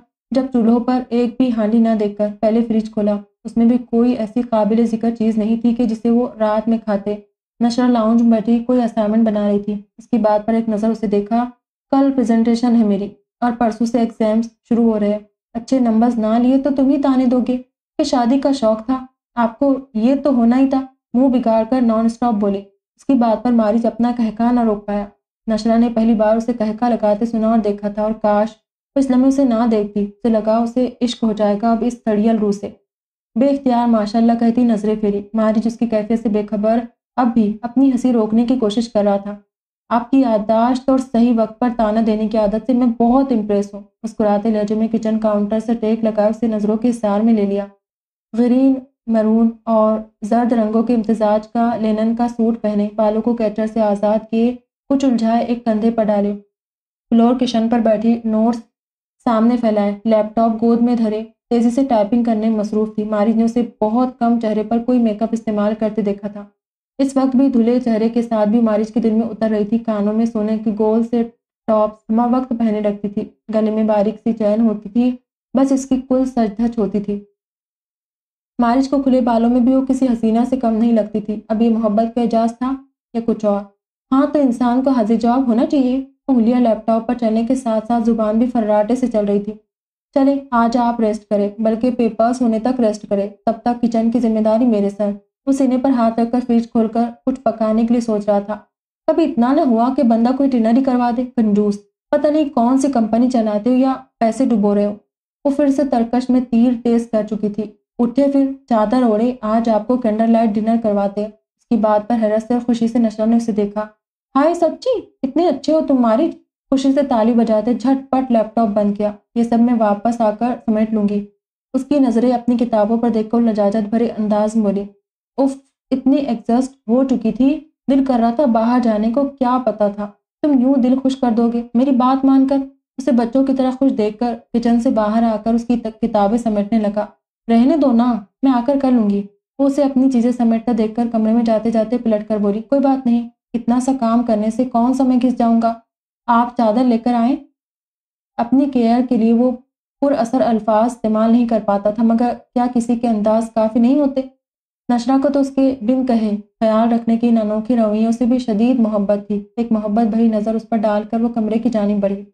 कुछ देर बाद दोनों गाड़ी में बैठे नशरा के पसंदीदा रेस्टोरेंट की जानब जा रहे थे। तुम्हारी गाड़ी में गाने लग सकते हैं? इधर उधर हाथ मारते सिस्टम को चेक करने लगी। आपके, मेरी ज़िंदगी में आने के बाद वो सब कुछ हो सकता है जो पहले कभी नहीं हुआ। उसकी बात पर नशरा ने हाथ रोककर तिरछी नज़रों से उसे देखा जो दिल मोह लेने वाली मुस्कुराहट होठों पे सजाए। एक नज़र उसे देखकर फिर सामने देखने लगा। कि तुम मुझ पर तंज कर रहे हो? ये शुक्र करने का कोई नया तरीका है? वो भी नशरा थी। आपकी दूसरी बात दुरुस्त है। मोड़ काटते उसकी बात पर मुस्कुराती, उस पर मुस्कुराती नज़र डाली। मगर तुम्हें तारीफ़ करने का ढंग नहीं आया। वो उसकी गहरी नज़रों को बहुत आसानी से खुद पर महसूस करती थी अब। आपकी संगत में वो भी सीख ही जाऊँगा गुद्दी सहला कर बोला, उसके जवाब पर नशरा के दिल की धड़कनों ने ले बदली। नशरन जो ही रिकॉर्ड ऑन किया, गाड़ी में गूंजने वाले अल्फाज दोनों को अपने शहर में जकड़ गए। आखिरी लाइन पर मारिश ने नज़र भर कर उसे देखा जो नकाब किए खिड़की से बाहर देखती शायद अपनी धड़कनें शुमार कर रही थी। हाथों की उंगलियाँ इसतराब या घबराहट में मरोड़ रही थी। मारिज ने आहिस्ता से बाया हाथ बढ़ाकर उसके हाथ अपनी मज़बूत गिरफ्त में लिए। नशरा ने चौंक कर उसकी जानी हैरत से देखा उसे ज़रा उम्मीद नहीं थी मारिज खुद से कभी वो पेशकदमी करेगा। पता नहीं कब आपने दिल में जगह बनाई। शायद शादी की पहली रात जब सरदर्द लिए चाय की फरमाइश करती, आप मेरे कमरे के दरवाजे पर खड़ी थी, या शायद तब जब आपने रोते मुझे पत्थर कहा था। शुरू से यही समझता था कि आप बेबाक हैं। रिवायत को तोड़ने वाली मगर आपके साथ रहते मालूम हुआ आप बस पुरमाद है। और उसमें कभी कभी आप इस अतमाद का इस्तेमाल गलत कर जाती है, वरना आप वो सब नहीं हैं, जो तासुर मुझे इतने साल देती रही। वो पहली बार वो यूँ उस पर अपना आप आश्कार कर रहा था और नशरा को और असीर कर रहा था। मैंने सोच रखा था, कभी ज़िंदगी में किसी को अपने इतने करीब आने ही नहीं दूँगा, कि वो मुझसे धोखा करे या मेरा एतबार मिट्टी में मिलाए। तो मैं अपनी माँ की तरह तकलीफ़ से दो चार हूँ। मोहब्बत, प्यार, ये सब मेरी ज़िंदगी में कहीं नहीं था। एक गहरी सांस लेकर उसने फिर से एक नज़र नशरा पर डाली जो आँखें खोले उसके इंकशाफ सुन रही थी। लेकिन आपने मेरे सब इरादों पर पानी फेर दिया। मसनू तासुब से सर हिलाते वो मलामती निगाह उस पर डालकर फिर से विंडो स्क्रीन के पार देखने लगा। यही तो मेरी खूबी है, वो मज़े से गर्दन अकड़ा कर बोली। खूबी नहीं, ये आपकी धौस है। उसकी तस्दीक करने लगा। नशरा मुँह बना गई। मेरी कभी कमज़ोरी मत बनिएगा आपने मुझे ताकत और जो मान बख्शा है, मैं उम्मीद करता हूँ ये कभी ना टूटे। मैं अपनी माँ जैसी अजियत बर्दाश्त नहीं करना चाहता। उसके लहजे में जो दुख धाड़े मार रहा था, नशरा का दिल भी उस तकलीफ़ को महसूस करने लगा था। हम मान और एतबार भरा रिश्ता बनाएँगे। उसके हाथों में दबे अपने हाथ को ज़ोर से भेजते हुए उसे अपना एतबार सौंप गई। थैंक्स। उसके लिए फ़क्त इतना ही बहुत था कि वो अपने खोल से बाहर तो आ गया। उसकी हैसियत तो कबूल की। उस रात ना सिर्फ़ मारिज ने उसे डिनर करवाया, बल्कि शॉपिंग भी करवाई। अब आपको यकीन आ गया होगा कि आपका शोहर एक कामयाब बिजनेसमैन है। घर की जानब गाड़ी का रुख मोड़ते उसे छेड़ने लगा। हाँ अगर तुम हफ़्ते में एक बार इस किस्म की शाख खर्ची कर लिया करो तो मुझे हमेशा के लिए इस बात पर यकीन आ जाएगा। नशरा भी शान बेनियाजी से बोलती, हंस पड़ी। बंदा आपके हुक्म का गुलाम। सीने पर हाथ रखे, अपने मखसूस अंदाज में बोलता, वो भी उसकी हँसी का साथ देने लगा।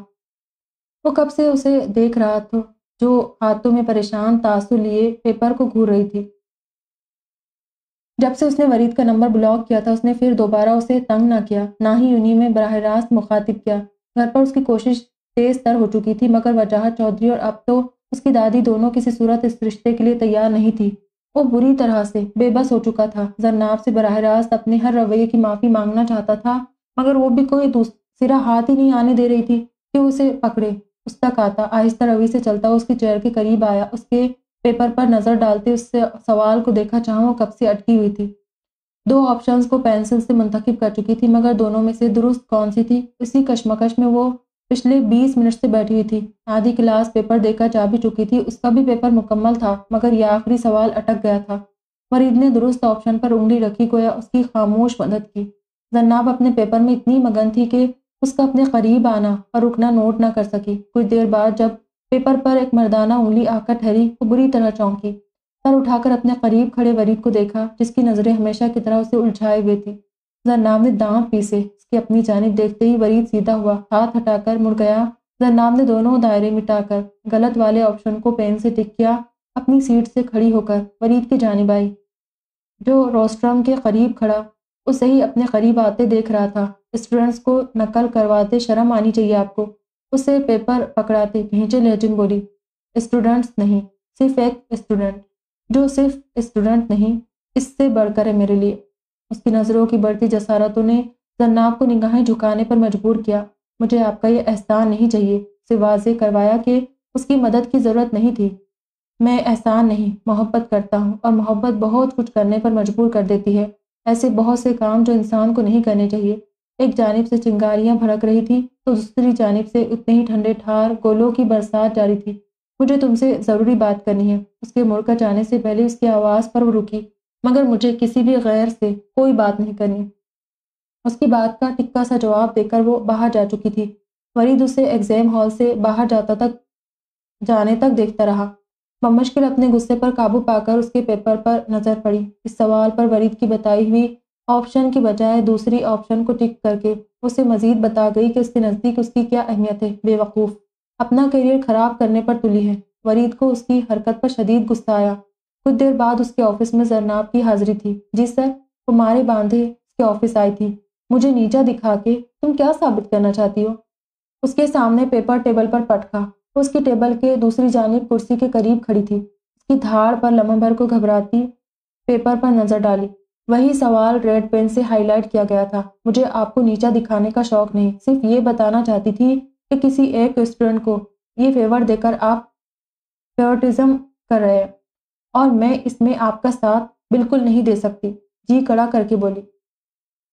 वरना उसकी खशूनत भरी नज़रें देखकर दिल घबरा ज़रूर रहा था। तो फिर किस चीज़ में आप मेरा साथ दे सकती है? उसके चेहरे के तने जाविये यकलक बदले। आँखों में मखसूस चमक नुमाया थी जो जरनाब को जेर करने की पूरी कोशिश करती थी। बस इतनी ही बात करनी थी आपने। उसने मुकम्मल तौर पर उसके जज्बे लुटाती आँखों के तासुर को नज़रअंदाज किया। नहीं, बहुत सी बातें करनी है, मगर तुम मुझे मौका दो। वो फिर से अपने मकसद पर आया और मैं आपको कह चुकी हूँ कि इस हवाले से मैं आपकी कोई बात नहीं सुनूँगी। वो कतियत भरे लहजे में बोली, तुम अभी बात जॉब कर रही हो? फखर के पास उसकी बात के जवाब में वो फिर से पर्सनल हुआ जन्नाब आपके माथे पर बल पड़ी, इससे आपका कोई ताल्लुक नहीं। उसे साफ़ जवाब देकर वो मुड़ी, मेरा तुम्हारे हर मामले से ताल्लुक है, अभी से नहीं, बहुत सालों से। फखर की नौकरी तो उसकी असलियत मालूम होती वो छोड़ चुकी थी। कुछ मलिक अयाज और मारिज ने ज़ोर दिया था कि अब उसे ये नौकरी करने की ज़रूरत नहीं है। मलिक अयाज ने उसका खर्चा पानी सब उठा लिया था। शायद बहुत जल्द वो उसे हवेली ले जाकर उसकी असल हकीकत भी सबको बताने का इरादा रखते थे, मगर मसला उसके वनी वाले मामले का था। अगर पंचायत को खबर हो जाती कि वनी हुई लड़की वहाँ से भागने के बाद ज़िंदा सलामत है तो कभी भी उसे मलिक अयास के पास सुकून से रहने न देते। इसीलिए अभी वो मसलहतन खामोश थे, मगर जन्नाब की अब पूरी तरह से खबर रखते थे। मैं ऐसे किसी ताल्लुक को नहीं मानती जो ज़बरदस्ती के जोड़े जाए। वो फिर से उसकी नफ़ी करती, अब की बार मुड़े बगैर वहाँ से निकलती चली गई। एक बात पूछो, वो दोनों इस वक्त बालकुनी में बैठे मौसम की खुनकी इंजॉय कर रहे थे साथ साथ कॉफ़ी भी पी रहे थे। नशरा कब से पढ़ाई में मगन थी? खाना भी पेपर की तैयारी करते हुए खाया था। आखिर मारिज ने उसे थोड़ी देर फ्रेश करने के लिए कॉफ़ी बनाई और उसके ना ना करने के बावजूद उसका हाथ थाम कर उसे लाउन से उसकी मखसूस जगह फ्लोर कुशन से उठाया। इतना पढ़कर क्या करेगी? सारा सेमेस्टर पढ़ा होता तो एक रात में तैयारी की टेंशन ना होती। हमेशा की तरह अपनी बातों से उसका दिल जलाया। तुम कुछ ज़्यादा मुझे अंडरस्टिमेट कर रहे हो। असाइनमेंट्स और प्रेजेंटेशन में टॉप स्टूडेंट में नाम है मेरा। वहाँ के सुकेड़े उसकी शरारती अंदाज देख कर रही बोली दोनों इस वक्त कैन की कुर्सियों पर साथ साथ बैठे, चाँद की रोशनी को देखने के साथ साथ कॉफ़ी पीते एक दूसरे को जलाने में मसरूफ थे। और मैं इन निकम्मे स्टूडेंट में से नहीं, जो एक रात में तैयारी करे। वो हमेशा की तरह उसकी गैर संजीदा बातों पर संजीदा हो गई। आपको इसीलिए यहाँ लेकर आया हूँ कि दिमाग को थोड़ा फ्रेश करे। मुसलसल पढ़ पढ़ कर भी कभी कभार पेपर्स अच्छे नहीं होते, क्योंकि हम इतना लोड ले लेते हैं कि एग्जेस्ट हो जाते हैं। के पेपर में सब गुटमुट हो जाता है। ख्याल रखने का वही अनोखा अंदाज। तुम्हारे मुँह में खाक, उसकी मोहब्बत पर मुतासर होते हुए भी वो उसकी बात से पेपर अच्छा ना होने वाली बात उचक कर सदमे में जा चुकी थी। नहीं, अभी तो मेरे मुँह में ये कॉफ़ी जा रही है। खाक फ़िलहाल नहीं आ सकती। वो भी उसकी बात का बुरा मनाए बगैर मज़े से उसका तलमलाना इंजॉय कर रहा था। नशरा ने मुँह बिगाड़ा, फिर कुछ सोच कर उससे सवाल किया, जी, ज़रूर पूछे। मगर ये मत पूछेगा कि मेरा पेपर कल कैसा होगा, क्योंकि मैं आलिम बाबा हरगिज़ नहीं। नशरा उसकी बात पर सर पर हाथ मार कर रह गई, क्योंकि प्रेजेंटेशन की तैयारी के दौरान उसे सुनाते उसने मारिश से गलती से पूछ लिया था कि उसके मुताबिक उसकी प्रेजेंटेशन को कितना रेट करना चाहिए, और फिर जो जो फरमुदात मारिज ने बताया उसके बाद नशरा ने कानों को हाथ लगा लिया कि आइंदा उससे ऐसी कोई बात नहीं पूछेगी। जी, मैं जानती हूँ, और तुमने मेरा दिल जलाने के लिए कोई फजूल तरीन बात करनी है। और मैं हरगिज़ नहीं चाहती कि तुम्हारी कोई फजूल बात सुनकर बस शुगुनी करवाऊँ। उसे झटक कर बोली अच्छा अच्छा पूछे से बुरा मनाते देख कर वो हँसी रोकते बोला, अगर कोई शख्स अपने किए पर शर्मिंदा होकर माफ़ी मांगे तो क्या हमें सब भूल नहीं जाना चाहिए? कब के सिरे पर उंगली फेरते वो सामने आसमान की जानब देखते हुए पूछने लगी, अगर आप मुझसे माफ़ी मांगना चाहती है तो इसकी ज़रूरत नहीं है, मैं बहुत सखी हूँ। मैंने आपकी हर बुरी बात फरामोश कर दी है। कुछ देर संजीदगी से सोचने के बाद जो बोला नशरा को भड़का गया। तुम कुछ संजीदगी से जवाब दे सकते हो? उसके मज़बूत कंधे पर अपना नाजुक हाथ थप्पड़ के अंदाज से मारती हुई पेचोताप खाने लगी। आप अपने हथियार काबू में करें, मैं संजीदा हो जाता हूँ। उसके लंबे नाखून उसे शर्ट के अंदर से भी चुभे थे। मज़े से उसका हाथ पकड़कर नाखून आगे करते उस पर चोट करने लगा। तुम्हें नोचने के लिए रखे। वो उसके हाथ में दबे हाथ की उंगलियों को मोड़ कर बोली रात में आपकी हथियार काटूँगा, उसे धमकी देने लगा। हाथ अभी भी उसके हाथ में था, जिसे दोनों हाथों में दबाए। मोहब्बत भरा लम्स बखश रहा था, नशरा की धड़कनें मुंतशर हो रही थी। खबरदार जो मेरे नील्स काटे तुम्हें गंजा कर दूँगी नहीं तो। वो खुंखार बनी उसके लम्स का असर ज़ाहिर करने की कोशिश कर रही थी। मारिज, प्लीज़, बताओ ना। उसके हाथों से हाथ खींचा। आप क्यों इन खूबसूरत लम्हात में एक बिल्कुल भी मकसद टॉपिक छेड़ना चाहती है? उसके हाथ छोड़कर उसकी कुर्सी के पुष्ट पर बाजू टिकाते मखमूर नज़रों से उसके चेहरे का तवाफ़ किया। उसकी बात पर वो शशदर सी चंद पल आँखें खोले उसे देखती रही, वो किस कदर उसे जानने लग गया था। लगता था, उसकी नस नस में बसने लगा हो जैसे, माफ़ कर दो, तुम और जन्नाब उसे, समझ गया था। वो वरीद का ज़िक्र करिए आप आइंदा उसकी कोई बात नहीं सुनेगी। वो ये तक कैसे जान गया था? तुम, तुम्हें कैसे पता? उसने उसी हैरानी से पूछा। आप और जरनाब यूनी में होते हुए भी मेरी नज़रों में रहती है। अब उसे क्या बताता कि उसके बंदे वहाँ हम वक्त मौजूद रहते थे? वो ये तक जानता था कि कब और कितनी बार फरीद ने जरनाब को अपने ऑफ़िस में बुलवाया है। मैं तो समझती थी कि तुम्हें पता चला तो मेरा कीमा बना दोगे। वो अपना डर उस पर वाजे करने लगी। चले, आए फिर आपका कीमा बनाऊँ उसके कंधे पर हाथ रखकर आँखों मसनू गुस्सा लाते उसे घूर के बोला, जी नहीं। नशरा ने डर कर अपने कंधे से उसके हाथ हटाया और कुर्सी भी घसीट कर उससे फासले पर की। उसके डर पर मारिश का कहकहा बेसाख्ता था। इतना डरती है आप मुझसे? इतना खौफनाक तो नहीं। आँखों में नरम सा तासुर लिए उसे देखता अपनी जगह से उठा। देखो मारिश खबरदार जो मुझे मारने वारने की कोशिश की। वो हकीकत में उसके गुस्से से डरती थी। उंगली उठाकर उसे वॉर्न करते कुर्सी की हत्ती को मजबूती से थामा। मारिच पंजों के बल उसके सामने बैठा। नज़रें मुसलसल उस पर टिकी थी। उनसे लपकते जज्बे नशरा को खैरा किए दे रहे थे। उसने नज़रें झुका ली। मुझ पर इतना ही एतबार है? हाथ उसके बाजू पर रखकर पूछा। वो तो उसके ज़रा से देखने पर पिघल जाती थी। कजा की गुर्बत साँसें ना हमवार हुई, तुम पर एतबार है। मगर तुम जन्नाब वाले मामले में जितने टची हो, उस हिसाब से कुछ भी कर सकते हो। वो भी साफ़ गोई से बोली, इतना भी टची नहीं कि आप पर हाथ उठाऊं। मैं ऐसा मर्द नहीं, इतना तो जान ही गई होगी आप। उसके कलून से उठती महक नशरा की हवासों पर सवार हो रही थी। आइंदा इस मामले में कोई बात हमारे दरमियान नहीं होगी, जिसे माफ़ करना चाहिए और जिसका वो असल कसूरवार है। अगर वो माफ़ नहीं करेगी तो मैं कभी भी उसे माफ़ नहीं करूँगा। ये कोई फ़िल्म या कहानी नहीं कि विलन को हीरो बना दी जाए। उसने जितना बुरा जरनाब के साथ किया जरनाब जो कुछ उसके साथ कर रही है, वो कुछ भी नहीं है। इस तकलीफ़ के आगे जो उसने सही है, आप मेरे मारने पर खौफजदा हो गई सोचे, उसने उसकी मार सही है। बाकी दिलों के हाल अल्लाह जानता है। अगर इस सबसे उसे अकल आ चुकी है तो अच्छी बात है, लेकिन आखिरी फैसला जन्नाब का है और मैं हमेशा उसके साथ हूँ। मरीज़ जैसे मर्दों का अंजाम, उससे भी भयानक होना चाहिए, जो औरत को कमज़ोर समझकर अपनी ताकत ऐसी घटिया मर्दानगी की सूरत दिखाते हैं। धीमे अंदाज में बोलता हुआ उसके दिल में उतर रहा था। नशरा ने सर उठाकर उसे देखा। मर्दानगी औरत को तहफ़ देने में है। उसकी सांस छीन कर उसे बेसरोसामा करने में नहीं। मर्दानगी औरत से मोहब्बत करने में, उसे मोम की गुड़िया की तरह ट्रीट करने में है। जानवर या बेजान शय समझकर उसे ईज़ा पहुँचाने में नहीं है। दुनिया के सर्द गर्म से बचाने के लिए है। ना कि खुद से खौफजदा करने में। अपनी नाकामियों का बदला औरत से लो। अपने मामला उलझे तो घर की औरत को धुनक कर रख दो। अल्लाह ने औरत को इसीलिए मर्द की कफालत में नहीं दिया। न जाने हमारे यहाँ कफालत का मतलब ये क्यों समझते हैं कि औरत के साथ जो मर्ज़ी करो, उसकी अल्लाह ने इजाज़त दे रखी है। अगर उसका भाई मरा था, मेरे बाप की वजह से तो उसमें जन्नाम का क्या कसूर था? मर्दानगी तो ये होती कि वो मेरे बाप को सूली पर लटकाते। कि कहाँ का इंसाफ था कि उनकी बेटी को ले जाकर तकलीफ़ देकर ये समझते हैं कि मेरा बाप तकलीफ़ में रहेगा, क्या वो ज़िंदा है इस तकलीफ़ को महसूस करने के लिए? नहीं। तो क्या फ़ायदा हुआ? उन्होंने अपने अमाल खराब करवाए और लम्हा भर को रुका। नशरा ने उसके कंधे पर हाथ रखा, यकीनन वो बेहतरीन मर्दों में से एक था। अब वो जरनाब से माफ़ी का खवाए। तो क्या फ़ायदा है? उसने तो बेकसूर तकलीफ़ सही, उसके लहजे में शदीद तकलीफ़ थी। तुम बहुत अच्छे हो मारिज वो बेख्तियार बोली, चेहरे पर उसके लिए मोहब्बत ही मोहब्बत थी। नहीं। मैं इतना अच्छा नहीं, बस इंसान को इंसान समझता हूँ, चाहे वो औरत हो या मर्द। इसीलिए कभी मेरे बारे में ऐसा मत सोचेगा मुझे पल भर के लिए अपने मर्द होने पर अफसोस हुआ था, जिससे मेरी बीवी डरती है। मैं कभी भी आप पर हाथ नहीं उठा सकता, ना उठाऊँगा। उसके हाथ को अपने हाथ में थाम कर फिर से तसल्ली दी। चंद पल उसकी आँखों में देखता रहा, फिर बढ़कर उसके माथे पर मोहब्बत भरा मान बख्शा। नशरा उसकी हरकत पर साकित रह गई। माथे पर आज अनोखा ही एहसास जागा था। औरत बहुत ख़ास होती है। मर्द के लिए चाहे वो माँ की सूरत हो, बहन, बीवी या बेटी, और आप बहुत ख़ास है मेरे लिए। मेरी ज़िंदगी में रंग ही आपकी बदौलत है। आपसे पहले मुझे नहीं मालूम था रूठना, मनाना चिड़ाना और मोहब्बत करना क्या होता है। ये सब रंग आपके दम से है। उसके माथे से माथा टिकाए बोझल आवाज़ में नशरा के हवासों पर छा रहा था। मेरे लिए लफ्ज़ बहुत ख़ास है। हर तारीफ़ से बढ़कर, आँखें बंद करके वो हौले से मुस्कुराई। जी तो आज हमारे साथ वरीद चौधरी मौजूद है। वो आजकल की इकोनॉमी के हालात और उनको बेहतर करने के कुछ खातिर ख्वाह तरीके हमारे साथ शेयर करेंगे। यकीनन आप में से बहुत से नौजवान महँगाई और बेरोज़गारी से तंग है। वरीद साहब, आप सबके लिए एक नई मोटिवेशन लेकर आज हमारे दरमियान है।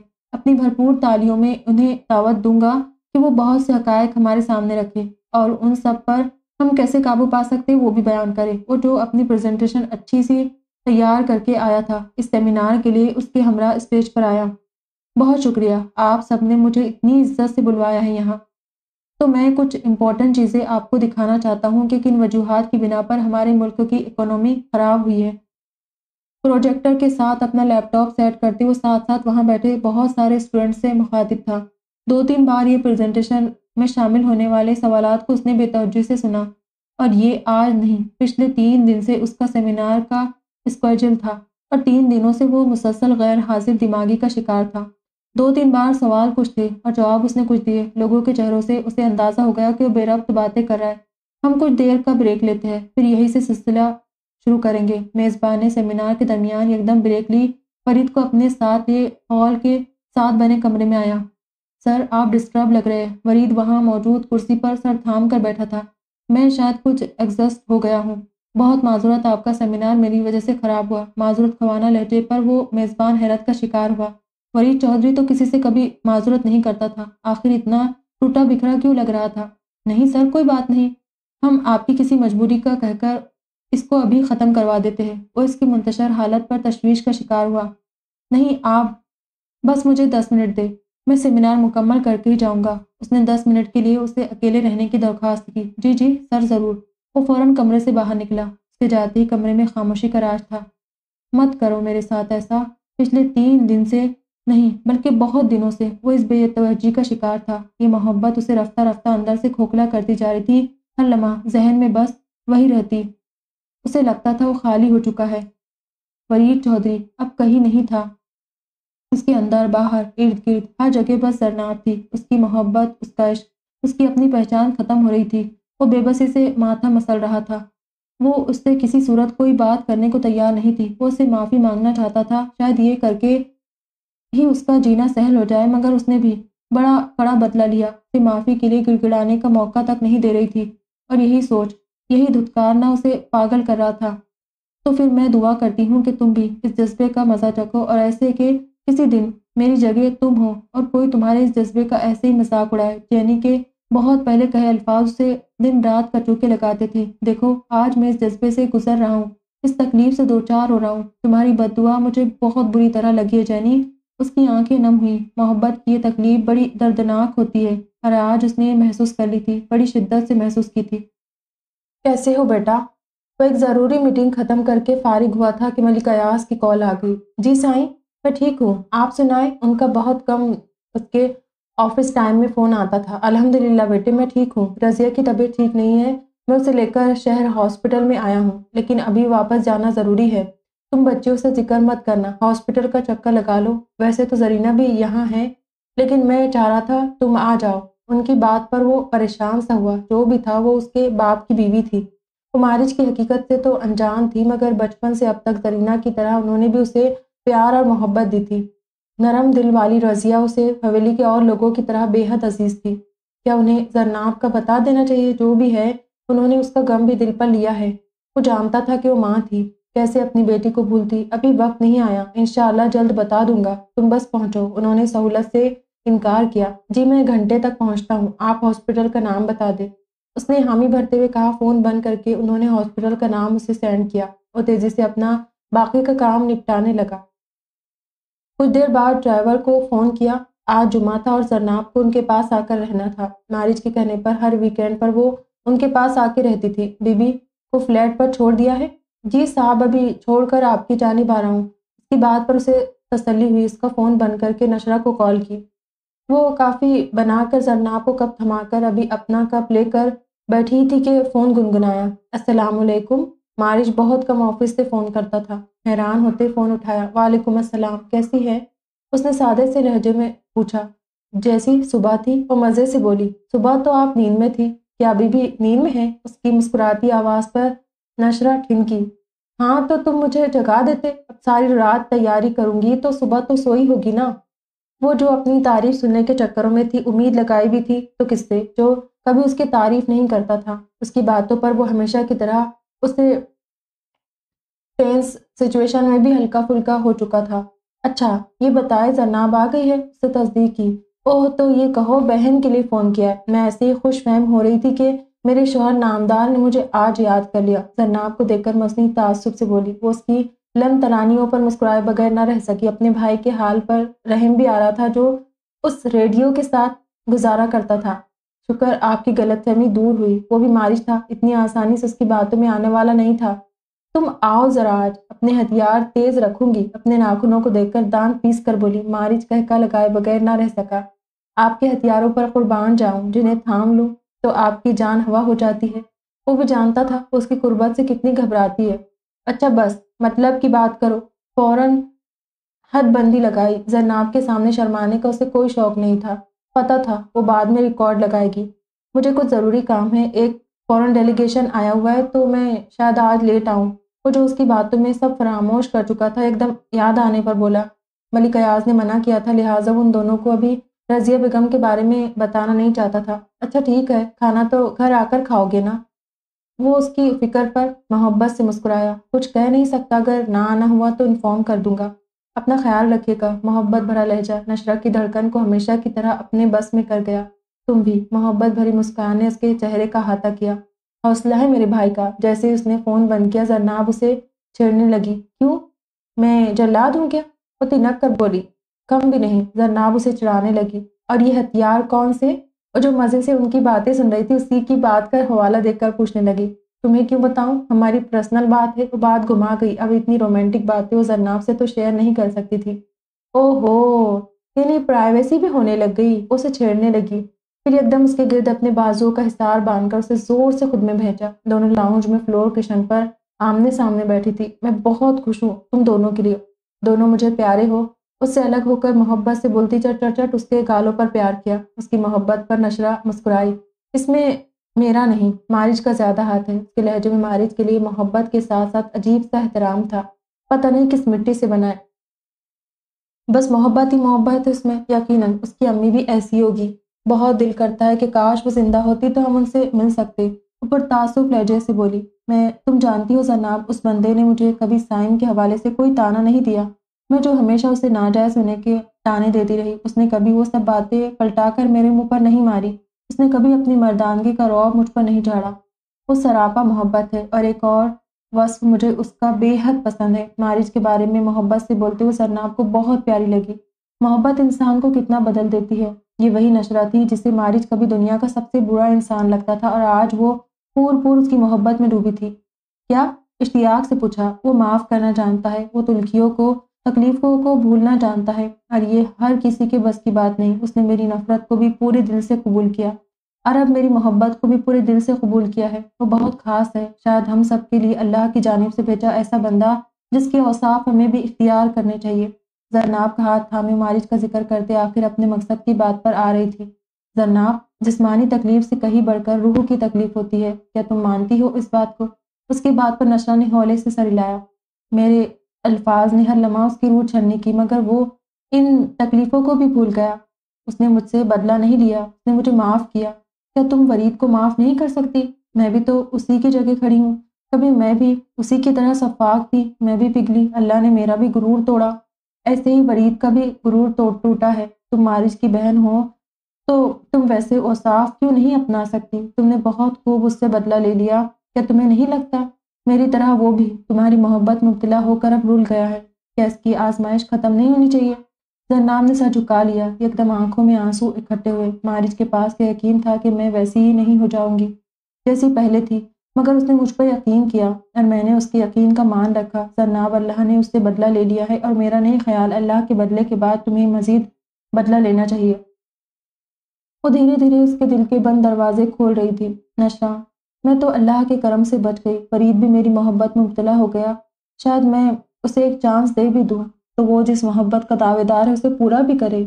मगर क्या गारंटी है कि वनी की इस रस्म में हर लड़की की किस्मत मुझ जैसी हो? तुम्हें नहीं लगता? अब ऐसी रसूमात का खात्मा होना चाहिए, जिसमें औरत की इतनी तजलील की जाती है कि वो बेगुनाह होते तकलीफ़ सहती है। क्या किसी मर्द को अल्लाह ने हुक्म दिया है कि वो मर्द होने के मरतबे पर किसी भी औरत को यूँ इस्तेमाल करे, उसका एक एक लफ्ज़ दुरुस्त था, मगर ये सब मेरे और तुम्हारे हाथ में नहीं। इन रस्मों को मैं और तुम ख़त्म नहीं कर सकते। तो बेचागी से बोली तो ये मर्द तो कर सकते हैं ना? उसकी बात पर नशर ने उलझ कर उसे देखा। इससे पहले कि कुछ पूछती, डोर बेल बजी। मारिज ने तो रात को आने का कहा था, और फिर उसके पास तो चाबी होती थी, वो खुद ही अंदर आ जाता था। उसे टेंशन नहीं थी, क्योंकि की होल से वो बासानी देख सकती थी। उठकर दरवाजे की जानब जा ही रही थी कि मोबाइल बजा। मोबाइल उठाकर वो खुद भी अपनी जगह से खड़ी हुई। मोबाइल पर सरवरी कॉलिंग देखकर वो लम्हा भर को वहीं खड़ी रही। हेलो? फ़ोन उठाया। अस्सलाम वालेकुम दूसरी जानब से सलामती भेजी गई। वालेकुम अस्सलाम। खैरियत? एक नज़र मुड़कर जरनाब को देखा जो सवाली नज़रों से उसकी जानब देख रही थी। मैं आपके फ्लैट के दरवाजे पर खड़ा हूँ। जरनाब आपके पास है। क्या मैं उसे चंद मिनट्स के लिए बात कर सकता हूँ? मैं जानता हूँ आपके अलावा इस लम्हे मैं और किसी को मदद के लिए नहीं पुकार सकता। वो मुझे कोई बात कहने का मौका नहीं दे रही। मुझे उससे माफ़ी मांगनी है। मुझे उम्मीद है आप मेरी मदद करेगी। प्लीज़ नशा, इनकार मत करिएगा। समझे एक मरते इंसान की आखिरी ख्वाहिश पूरी कर रही है।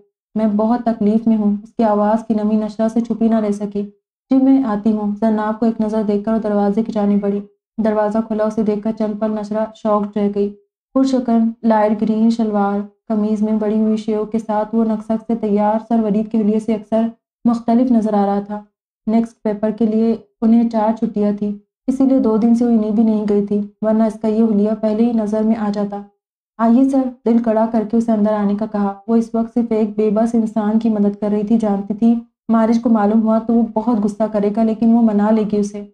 लेकिन प्लीज़ मैं ज़्यादा देर आपको यहाँ रह नहीं सकती। उसे साहब को इसे बताया। मैं ज़्यादा वक्त नहीं लूँगा। तशक्कर भरी नज़रों से उसे देखता बोला, आइए। उसे अपने पीछे आने का कहती आगे बढ़ी। कौन है नश नशरा को देखते जैसे ही उसकी नज़र उसके पीछे उठी, वो कितने ही लम्हे साकित रह गई। प्लीज़ जनाब, आज मुझे मौका दे दो। उसे अपनी जानब देखता पाकर लाचारी से बोला, टूटा, बिखरा, ले जा। और कुछ नशरा की कुछ देर पहले की कही बातें, वो बस एक नज़र उसे देख कर रह गई। उसके सामने फ्लोर कुशन पर बैठ गया। सर, आप प्लीज़ सोफे पर बैठे। नशरा को उसका यूँ बैठना अच्छा नहीं लगा। फ़ौरन आगे बढ़कर बोली, प्लीज़ उसने हाथ उठाकर उसे कुछ और कहने से मना किया। सर झुकाए जरनाब के रूबरू था। नशरा उसके पीछे खड़ी जरनाब को उसकी बात सुनने की दरख्वास्त कर रही थी। कहाँ से शुरू करूँ? आवाज़ में वाज लड़खड़ाहट थी। जिस लम्हे मेरा भाई तुम्हारे बाबा साईं की गाड़ी से टकराया। मैं उसके साथ ही खेल रहा था। उसे खून में लथपथ मैं ही गार्ड्स के हमरा हॉस्पिटल लेकर गया।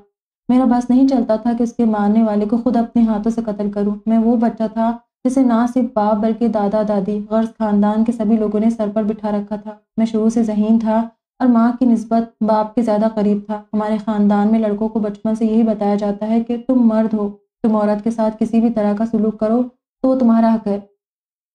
मैंने माँ को भी अपने बाप से मार खाते देखा। जब भाई की मौत पर मैं रोया, तब भी मेरे बाप ने यही कहा कि तुम मर्द हो, अब तुम्हें बदला लेना है। और बस यही बात दिमाग में घर कर गई। जब तुम वहाँ वनी होकर आई, मेरे दिमाग में दिन रात यही बात डाली गई कि तुम बदला हो मेरे भाई का, तुम्हें मारना सवाब का काम है। और मैं बिना सोचे समझे वही करता गया लब बहज करो, लम्हा भर को रुका जैसे बहुत मुश्किल से इन तकलीफ़ दा दिनों को याद कर रहा हो। मैं उस बात को ये कहकर जस्टिफाई नहीं करूँगा कि मैं बच्चा था, क्योंकि ये सोच मेरी तब तक नहीं बदली जब तक तुमसे मोहब्बत नहीं हो गई। हाँ मैं उस बात का एतराफ़ करता हूँ। वरीद चौधरी, जो औरत को सिर्फ़ नफ्स की ज़रूरत समझता था। आज जान गया है कि औरत भी मर्द की तरह इंसान है। जीती जागती इंसान जो मर्द से भी ज़्यादा चट्टानों जैसा ना सिर्फ़ हौसला रखती है, बल्कि किसी बात का इरादा करके उस पर डर जाए तो मर्द को भी घुटने टेकने पर मजबूर कर देती है। पहली बार उसने सर उठाकर लम्हा भर को जरनाब की जानी देखा और फिर नज़रें अपनी गोद में धरे, अपने हाथों पर जमाई मैं जो अपनी खूबसूरती पर गरूर करता था, आज उसी खूबसूरती से चिड़ है, जिसने कितनी ही लड़कियों को उसे बरतने पर इस्तेमाल किया। इसी हाँ मैं यकीनन बदतरीन मर्दों में से एक हूँ। मैं इस काबिल नहीं कि तुम मेरी मोहब्बत पर यकीन करो, मगर मैं अल्लाह से फिर भी दुआ करता हूँ कि उसकी वो आयात मुझ पर पूरी ना आए, जिसमें अल्लाह कहता है, बदकार मर्दों के लिए बदकार औरतें, भर्राई आवाज़ में उसने आयात का हवाला दिया। मैं अपनी नस्ल बदकार औरत से नहीं चला सकता। मैं मानता हूँ, उसके लिए मैं अल्लाह से माफ़ी माँगता हूँ। मैं तुमसे माफ़ी माँगता हूँ। मैंने तुम पर जितनी बार हाथ उठाया, जितनी बार तुम्हें तकलीफ़ दी, मुझे माफ़ कर दो। मुझे किसी चीज़ का होश नहीं। तीन दिन से मेरे सब सेमिनार ख़राब हो रहे मुझे यूनी से भी वार्निंग मिल चुकी है। मैंने क्लास के सब पेपर्स गलत चेक किए हैं। मैं किसी मीटिंग में एक्टिव नहीं। मुझे दिन रात तुम्हारी मोहब्बत के अक्टोपस ने जकड़ लिया। वह हाथ बांधे, अपने आँसू पर इख्तियार न रख सका नशरा दीवार को थामे इस ऊँचे, लंबे, मकरूर मर्द को जरनाब के सामने हाथ जोड़े, हैरत से आँखें खोले देख रही थी। कम हैरान जरनाब भी नहीं थी। आँखें खोले, वो हैरत से उसकी बातें सुन रही थी। उसका निदामत से पूछ चेहरा देख रही थी। मुझे माफ़ी दे दो। बेशक अपनी मोहब्बत मत दो। मेरी यही सज़ा होनी चाहिए, मगर मुझे माफ़ कर दो। शायद ये माफ़ी मुझे कुछ पुरसकून कर दे। मैं इतने दिनों से तुमसे इसीलिए बात करने का मुतमनी था कि शायद तुम्हारी माफ़ी मेरे गुनाहों को धो दे। तुम अल्लाह से कहो, वो भी मुझे माफ़ कर दे। उसका हर अश इस बात का सबूत था कि अल्लाह ने उसे उसकी गलतियों का एहसास दिला दिया है। इश्क पहले था या आशिक पहले? ए माशूक, तू आशिक पहले। मैं आपको माफ़ करने को तैयार हूँ। इतनी देर से खामोश दरनाम ने लब खोले। उसका लहजा मतवाजन था और चेहरे पर कुछ अनोखी चमक थी। वो जो आँखें झुकाए बैठा था, झटके से नज़रें उसके चेहरे पर डाली। दाएँ हाथ से आँसू साफ़ किए। बेयकीनी से उसे देखा, मगर मेरी एक शर्त है। उसकी बात पर वरीद ने तेज़ी से सर हिलाया तुम्हारी हर शर्त मंजूर। उसकी बात सुनने से पहले उसने अपनी रजामंदी की महर सबक की। आपको पूरी पंचायत के सामने मुझे वनी के इस गंदे ताल्लुक से आज़ाद करना होगा। आपको ये कहना होगा कि रस्म आज के बाद आपके इलाके में परवान नहीं चढ़ेगी। आपको अपने ख़ानदान वालों के सामने मुझसे दस्तबरदार होना होगा। मैं भी उन सब के सामने आने के लिए तैयार हूँ, मगर इससे पहले इस करिया रस्म का खात्मा आपको करना होगा। इससे कम पर मैं आपकी माफ़ी कबूल नहीं करूँगी। उसका लफ्ज़ लफ्ज़ एक उज़म लिए हुए था। यही मौका जन्नाब को गनीमत लगा। मैं नहीं चाहती मेरे बाद वहाँ कोई और लड़की तकलीफ़ दर रस्म की सोबतों से गुजरे। आँखें नम हुई। मैं ये सब करने को तैयार हूँ। वरीद के मिसबत जवाब पर नशरा ने शुक्र का सांस लिया, मगर फिर मेरी भी एक अदना सी गुजारिश है। सरनाब और नशरा ने बेक वक्त चौंक कर उसकी जानब देखा। बेसमेंट में होने की वजह से उसका मोबाइल मिल नहीं रहा था। सर को कैसे बताऊँ कि वरीद चौधरी उनके फ्लैट में मौजूद है। उसका बंदा बाहर खड़ा कब से मारिज को फ़ोन करके बताना चाहता था कि उसने अभी वरीद को उनके फ्लैट में जाते हुए देखा है। वो ये जगह छोड़कर नहीं निकल सकता था, वरना खुद उसके ऑफ़िस जाकर उसे बताता। मारिज ने उन्हें बस इतना बताया था कि आज घर लेट आएगा, लिहाजा उन्हें अपनी आँखें खुली रखनी है। पिछली बार की तरह इस बार वरीद चौधरी का कोई बंदा उसकी बीवी और बहन तक पहुँचा तो उन्हें ज़िंदा नहीं छोड़ेगा, और आज वरीद चौधरी का बंदा नहीं, बल्कि वो खुद उन तक पहुँच चुका था। अस्सलाम वालेकुम ताया साई। आज हफ़्ते बाद उसका फ़ोन आया था। कल ही वो रजिया को लेकर वापस आए थे। ज़िंदगी भर उसने परेशानियाँ समेटी। इसीलिए दिल अब कमज़ोर हो गया। हफ़्ता ट्रीटमेंट करवाने के बाद वो उसके घर ले आए। मारिज ने इस तमाम वक्त में बाकायदगी से हॉस्पिटल के तमाम काम किए, मगर नशरा और जन्नाब को उनमें से किसी ने हवा तक नहीं लगने दी थी, ताकि वो सुकून से अपने पेपर्स दे सके। कल ही उनका आखिरी पेपर हुआ था और आज जन्नाब का उन्हें फ़ोन आया। वालेकुम अस्सलाम, मेरा बच्चा कैसा है? मोहब्बत से बोले, मैं ठीक हूँ, मुझे गाँव आना है और आपसे एक अहम बात भी करनी है। बहुत कुछ सोच कर उसने उन्हें फ़ोन किया। जब कहो, बेटे, मैं वैसे भी आपके पेपर्स ख़त्म होने का इंतज़ार कर रहा था। मैं सबके सामने आपको, आपकी असल हैसियत के साथ अब लाना चाहता हूँ। वो भी उसे अपने इरादे बताने लगे। मैं भी अब अपनी असल हैसियत से आना चाहती हूँ। वली चौधरी ने मुझसे माफ़ी मांग ली है। इसकी बात पर वो लम्हा भर को गुम रह गए। मेरे लिए ये आसान नहीं था, मगर मैंने एक शर्त पर उसे माफ़ किया है। उन्हें तफसील से बताने लगी, क्या वो मुतजस हुए? मैंने उसे कहा है कि वो पंचायत बुलाए। उस पंचायत में उसके घर के मर्द, हमारे यहाँ के मर्द, मैं और वो, हम भी मौजूद होंगे। और वो सबके सामने मुझसे बनी की हैसियत से दस्तबरदार होगा। उसकी आवाज़ और लहजे की पुख्तगी पर उनकी आँखें लम्हा भर को नम हुई। कभी कभी हम जिसे कमज़ोर समझते वो ऐसा ताकतवर निकलता है कि दुनिया को शस्तर कर देता है। उन्हें फ़ख्र था कि उनके ख़ानदान की बेटी इतनी मज़बूत साबित हुई थी कि उसने एक क्रिया रस्म के ख़िलाफ़ आवाज़ बुलंद की थी जिसे मर्द ख़त्म ना कर सके, वो बच्ची अपनी ताकत के बल पर ख़त्म करवाने चली थी। I am proud of you बेटा। मेरे बच्चे, नम लहजे में वो उसे सराहे बगैर न रह सके। दुआ करे कि वो दिन पूरी आबोताब से हमारी ज़िंदगी में आए। और जैसा मैंने सोचा है फरीद चौधरी अपने कहे पर पूरा उतरे। उसके बाद पर उन्होंने सदक दिल से आमीन कहा, मैं आज ही गाड़ी भिजवाता हूँ। आप और नशा दोनों आ जाओ। कुछ दिन रह लो। उनके अगले सेमेस्टर शुरू होने से पहले उन्हें एक हफ़्ते की छुट्टी थी और इसी एक हफ़्ते में वादे के मुताबिक फरीद ने ये सब करना था। कुछ दिनों से वो उसे देख रही थी कि वो खामोश सा था, वो शौकी और शरारत जो उन दोनों के दरमियान शुरू हो चुकी थी, अब वो नज़र नहीं आ रही थी। कुछ वो खुद अपने पेपर्स मसरूफ़ थी कि वो उससे ढंग से कोई बात ना कर सकी। ही पेपर्स ख़त्म हुए, सारा दिन सोने के बाद शाम में उठकर उसने अच्छा सा डिनर अपने और मारिज के लिए तैयार किया। उसके आने से पहले खुद भी अच्छे से तैयार हुई। रात में आठ बजे वो ऑफ़िस से वापस आया। घर में चिकन स्टिक्स ग्रिल्ड वेजिस और पास्ता की खुशबू फैली हुई थी। लाउंज में सेंटर टेबल पर कैंडल्स जलाई गई थी। लाउंज से होती उसकी नज़र किचन में चमकती दमकती नशरा पर पड़ी। हल्के चॉकलेट ब्राउन रंग का सिल्क का हल्के काम वाला सूट पहने बालों को स्टाइलिश से मैसी जोड़े में जकड़े। कानों में खूबसूरत से आवेजे पहने हल्के से मेकअप में उसका सुकून अच्छा खासा बर्बाद कर चुकी थी। अस्सलाम वालेकुम खाने की प्लेट्स बनाते कदमों के चाप पर उसने मुड़कर देखा। कानों में सुनहरी बालियाँ और उनमें जुड़ा पेंडेंट हलकोरे लेते मारिज की सब तवज्जो अपनी जानी मरकूज कर चुके थे। वहाँ से होती उसकी नज़र नशरा की आँखों पर लगे, लाइनर और फिर होंठों पर लगी। लाइट सी लिपस्टिक पर गई। मारिश ने बमुश्किल नज़रें उसके जगमगाते चेहरे से मुड़ी। लैपटॉप का बैग सोफे पर रखा। आज कोई ख़ास बात है? आखिर वो पूछे बिना ना रह सका। हाँ ना, मेरे पेपर्स ख़त्म हुए इससे ज़्यादा ख़ास क्या हो सकता है? वो मुस्कुराते हो बोली।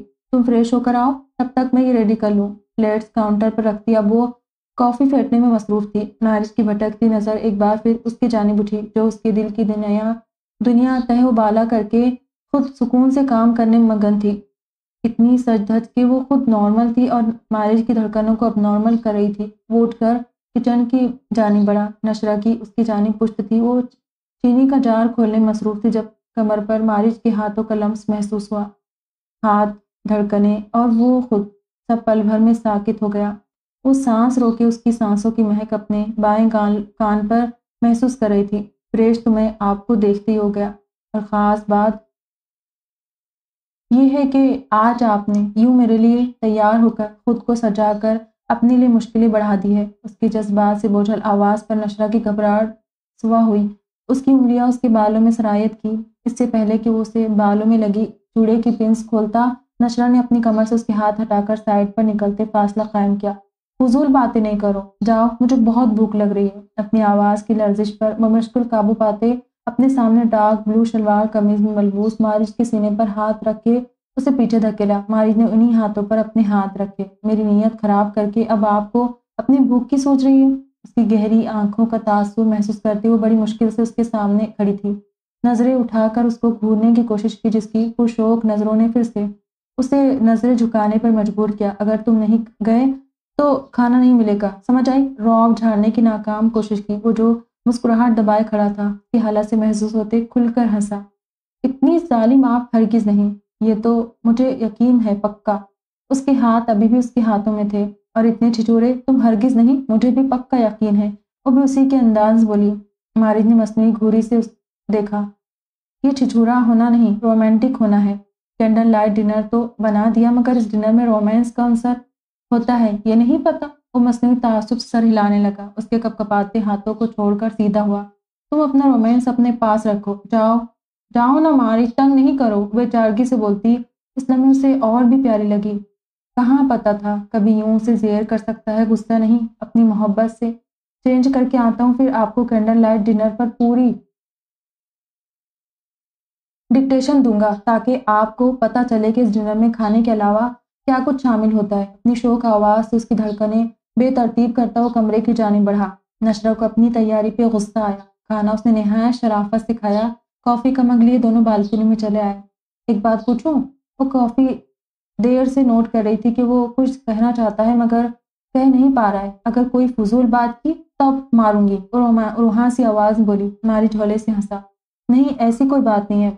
कुछ दिन पहले हमारे फ्लैट में कोई आया था, जिस दिन जरनाब यहाँ थी। माँ के किनारे पर उंगली फेरते नीची नज़रों को आहिस्ता से उठाकर उसके चेहरे पर सच्चाई खोजनी चाहिए। वो उसी रात अपने बंदे का मैसेज पढ़ चुका था, मगर इस रात और अगले दिनों में भी नशरा ने उसे वरीद के वहाँ आने के बारे में कुछ नहीं बताया था। वो चाहता था खुद उसे वरीद के आने का मकसद बताए, मगर नशरा उस जानब से मुकम्मल खामोश थी। मारिश को इतने दिनों से यही बात चुभ रही थी। उसकी बात पे लम्हा भर के लिए नशरा ने कुछ सोचा, फिर झमाका सा हुआ। बता तो दूँ, लेकिन तुम डांटोगे नहीं। उसके चेहरे पर डर, वाजे नज़र आ रहा था। आप बताएँ, उसके चेहरे से नज़रें हटाकर सामने नज़र आती खामोश सड़क पर टिकाई। वरीद वरीद आया था। उसने हिकलाते हुए कहा, क्या करने आया था? अब की बार एक तेज नज़र उसके हवास बाख्ता चेहरे पर डाली और आपने उसे अंदर क्यों आने दिया। एकदम उसके लहजे में सख्ती दर आई। मारिज, वो माफ़ी मांगना चाहता था। कुर्सी के हत्ते पर रखे उसके बाजू पर अपना नरम उदास हाथ रखते हुए अपने लम्ब से उसे शांत करना चाहा। मैंने आपको मना किया था कि आप और जरनाब मुझे उसके करीब भी नज़र ना आए। जबड़े भेजे बोलता वो नशरा को खौफजदा कर रहा था वो जरनाब से बात करना चाहता था और वो उसकी बात नहीं सुन रही थी। वो अपनी सफ़ाई देने लगी और आपने उसे ये मौका फराहम किया, उसने तमस्कर उड़ाया। देखो मारिज अगर एक शख्स शर्मिंदा हो तो उसे मज़ीद शर्मिंदा नहीं करते।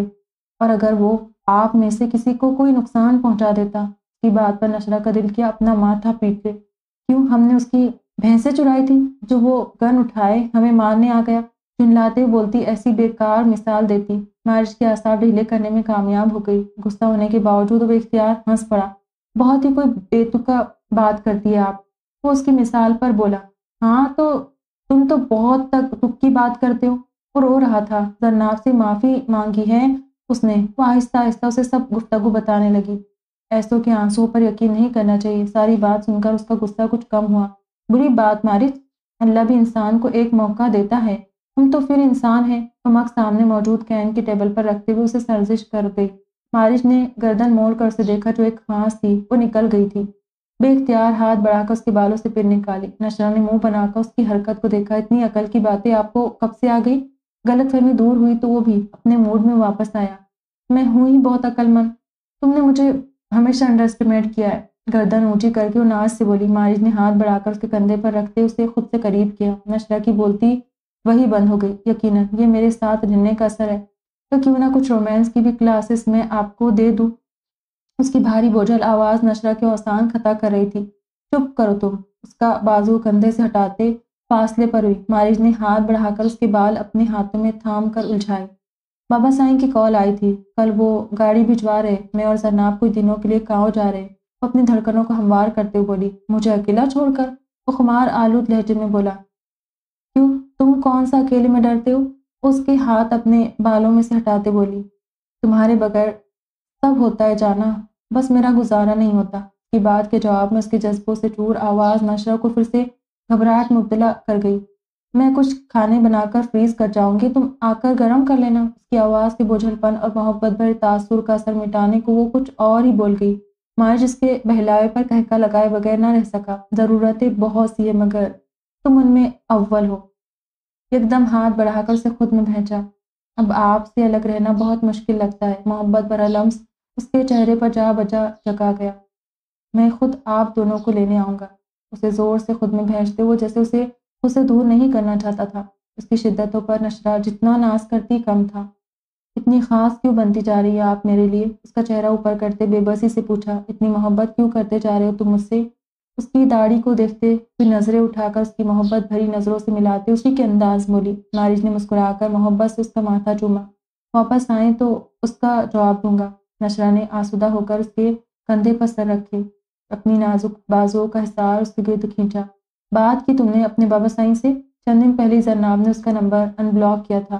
सुबह ड्राइवर और गार्ड्स ने उन्हें लेने आना था। वो चंद जोड़े बैग में रख रही थी जब व्हाट्सएप पर वरीद का मैसेज आया। हाँ मैंने आज सुबह उनसे बात करके सब बता दिया था। कल मैं और नशरा गाँव जा रहे हैं। उसने तेज़ी से टाइप करके मोबाइल वापस बेड पर रखा। वॉशरूम में जाकर वज़ू किया। बाहर आई, फिर से स्क्रीन चमक रही थी।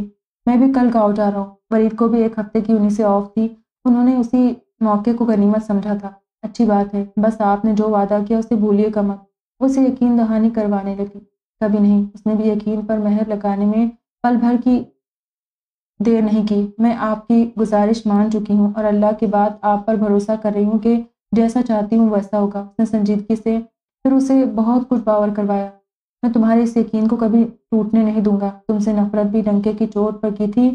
अब मोहब्बत भी डंके की चोट पर निभाऊँगा। उसकी जानब से आने वाले मैसेज को पढ़कर लम्हा भर के लिए जन्नाब की धड़कनों ने लेवर दी मगर फ़ौरन ही वो सब फरामोश कर गई। बस मुझे आपकी जानब से मिसबत रवैया ही चाहिए। वो बात बदल गई, और तुम्हारी जानब से मिसबत रवैये की मैं अब कब उम्मीद रखूँ? वो अपने मतलब की बात पर आया। मेरा ख्याल है मैंने आपको कहा था कि हम में ऐसी कोई बात नहीं होगी। वो बुरा मना गई, सुनो, थोड़ी सी गुंजाइश रख लो। वो आज से बोला, जितनी गुंजाइश निकालनी थी मैं निकाल चुकी हूँ। आप मुझे प्रेशराइज कर रहे हैं। वो लब भेज गई। मैसेज पढ़कर वरीद ने मोबाइल को ज़ोर से भेजा नहीं, मैं तुम्हें प्रेशराइज नहीं कर रहा, बस पत्थर पर कतरा कतरा अपनी मोहब्बत टपका रहा हूँ। शायद कभी उसमें सुराख हो जाए, वो बात में उलझाने का माहिर था। अब समझ आया कैसे लड़कियों को अपने पीछे लगा लेते? वो तंज से बोली, अभी तो एक ही लड़की को लगा लूँ तो बड़ी बात है, उसके तंज पर भी वो मुस्कुराए बगैर ना रह सका। शोक मुस्कुराहट होठों पर सजाए मैसेज किया, मुझे नमाज़ पढ़नी हो, दामन छुड़ाने लगी, एक दुआ करोगी मेरे लिए? वो फिर से दरख्वास्त करने वाले लहजे में बोला, आपकी गुजारिशें और दुआएँ पूरी करने के चक्करों में मेरा नुकसान हो जाए।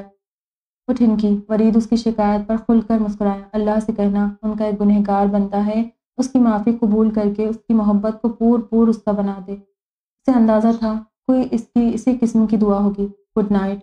उसकी बात को खात्मे लाए बगैर तेज़ी से मैसेज करके मोबाइल रखा और नमाज़ के लिए उठ खड़ी हुई। दुआ मांगते ध्यान उसी मजनू की जानब गया, बेवकूफ़। सच झटक कर उसके तस्वुर से जान छुड़ाई। आपको आज शाम मेरे साथ जरगे के पास जाना है। भाई और चचाओं को भी उसकी बात पर और जहाँ चौधरी बुरी तरह चौंके। आज सुबह ही वो आया था, सरनाब से शादी वाली बात का कोई हवाला न दिया। वो खुश थे कि भूत सर से उतरा, मगर उन्हें नहीं मालूम था ये भूत उसके पूरे वजूद को जकड़ चुका है। खैरियत है? उन्होंने किसी खशरे के पेश नज़र पूछा, जी, कुछ अहम मामला डिस्कस करने वो चाय पीता सरसरी अंदाज बोला, कौन से अहम मामला? वलीद बोला, कुछ है जिसने चलना है वो चले। ये है, वही जाकर आपको बताए, बताऊँगा, बल्कि आपके सामने ही भी सब कुछ आएगा। तो मुझे क्या डिस्कस करना है? उसकी बात में अजीब पुरसरारियत छुपी थी। तुम हमें अभी बता दो ताकि हम भी तुम्हारा साथ दें। और जहाँ चौधरी ने उससे गुलवाने की कोशिश की। आपने जाना या नहीं? कब सामने मौजूद टेबल पर रखकर टांग पर टांग रखते वो बराह रास्त तो उनकी जानिब देखते सर्द तासरात आँखों में लिए बोला अच्छा ठीक है, हम चलते हैं। चचाओं को लेने क्या ज़रूरत है? उन्होंने हामी भरी। जब मैं कह रहा हूँ कि ज़रूरत है तो ज़रूरत है। वो अपनी बात पर ज़ोर देकर बोलता, वहाँ से उठकर अंदरूनी हिस्से के जाने बढ़ा पता नहीं अब कौन सा नया गुल खिलाने लगा है। वो सर थाम कर बैठ गए, उसकी ज़िद्दी तबीयत से वाकिफ़ थे। शाम में वो सब जरगे में मौजूद थे, गाँव के मोजिन भी वहाँ मौजूद थे। हाँ तो बेटे, बात शुरू करें। मोजिन में से एक ने उसे बोलने का इशारा किया। सिर्फ़ दो मिनट इंतज़ार कर ले। उसने मोबाइल देखते हुए कहा, सब बड़े बड़े पलंगों पर आमने सामने बैठे थे। कुछ देर बाद मलिक अयाज अपने बेटे और जरनाब के हमरा वहाँ दाखिले असलकुम अंदर आते अपनी भारी आवाज़ में उन्होंने सलाम किया। उन्हें अंदर आते देखकर वरीद की नज़रें सिर्फ़ उसी एक वजूद पर टिकी थी जो काली चादर में खुद को छुपाए उसके रूबरू थी। जरनाब ने नज़र उठाकर सामने देखा, सफ़ेद शलवार, कमीज़ पर काली चादर लिए, धूप के पास गोगल्स लगाए, वो अपनी जगह से खड़ा होकर मलिक अयाज, असीद और साबिर और उनके हमरा आए कुछ और लोगों से उसने मुसाफा किया। जरनाब का अंदाज़ा था उन सबसे मिलते भी उसकी नज़रें उसी पर होगी। मलिक अयाज ने मालिज को भी बुलवाया था, मगर उसकी कुछ अहम मीटिंग्स थी, जिसकी वजह से वो किसी और शहर गया हुआ था, इसीलिए वो माजरत कर गया।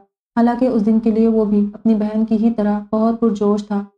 वजहा चौधरी जो मलिक अयाज को देखकर ही चिटक गए थे, वरीद का उनके साथ ये अंदाज देखकर गुस्से से बेचोताब खा रहे थे। गम, गुस्से से बुरहाल वलीद और उनके साथ आए बाकी लोगों का भी था। सब कड़े तेवर लिए वरीद को घूर रहे थे।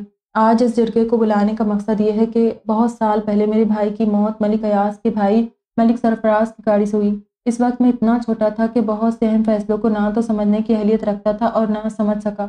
इस लम्हे मेरे वालिद ने बजाय खून के बदले खून का फैसला करने के मलिक सरफराज की बेटी को वनी के तौर पर मेरे साथ नथी किया था। सब खामोश थे, सिर्फ़ उसकी आवाज़ वहाँ गूंज रही थी।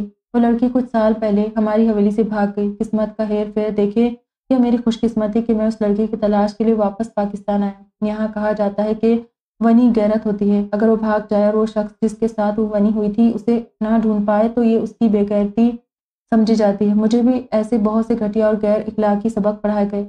और मैं भी यहाँ आकर उसकी तलाश करता रहा। खैर, कहानी का खुलासा यह है कि वो लड़की मुझे मिल गई। मगर इस अंदाज में कि अल्लाह ने मुझे बहुत कुछ समझा दिया। जरनाब की जानब की नज़र देख कर वो खामोश हुआ। जो मलिक अयाज के साथ बैठी उसकी जानब देख रही थी, जन्नाब मलिक, इस वक्त हमारे सामने, हमारे दरमियान मौजूद है।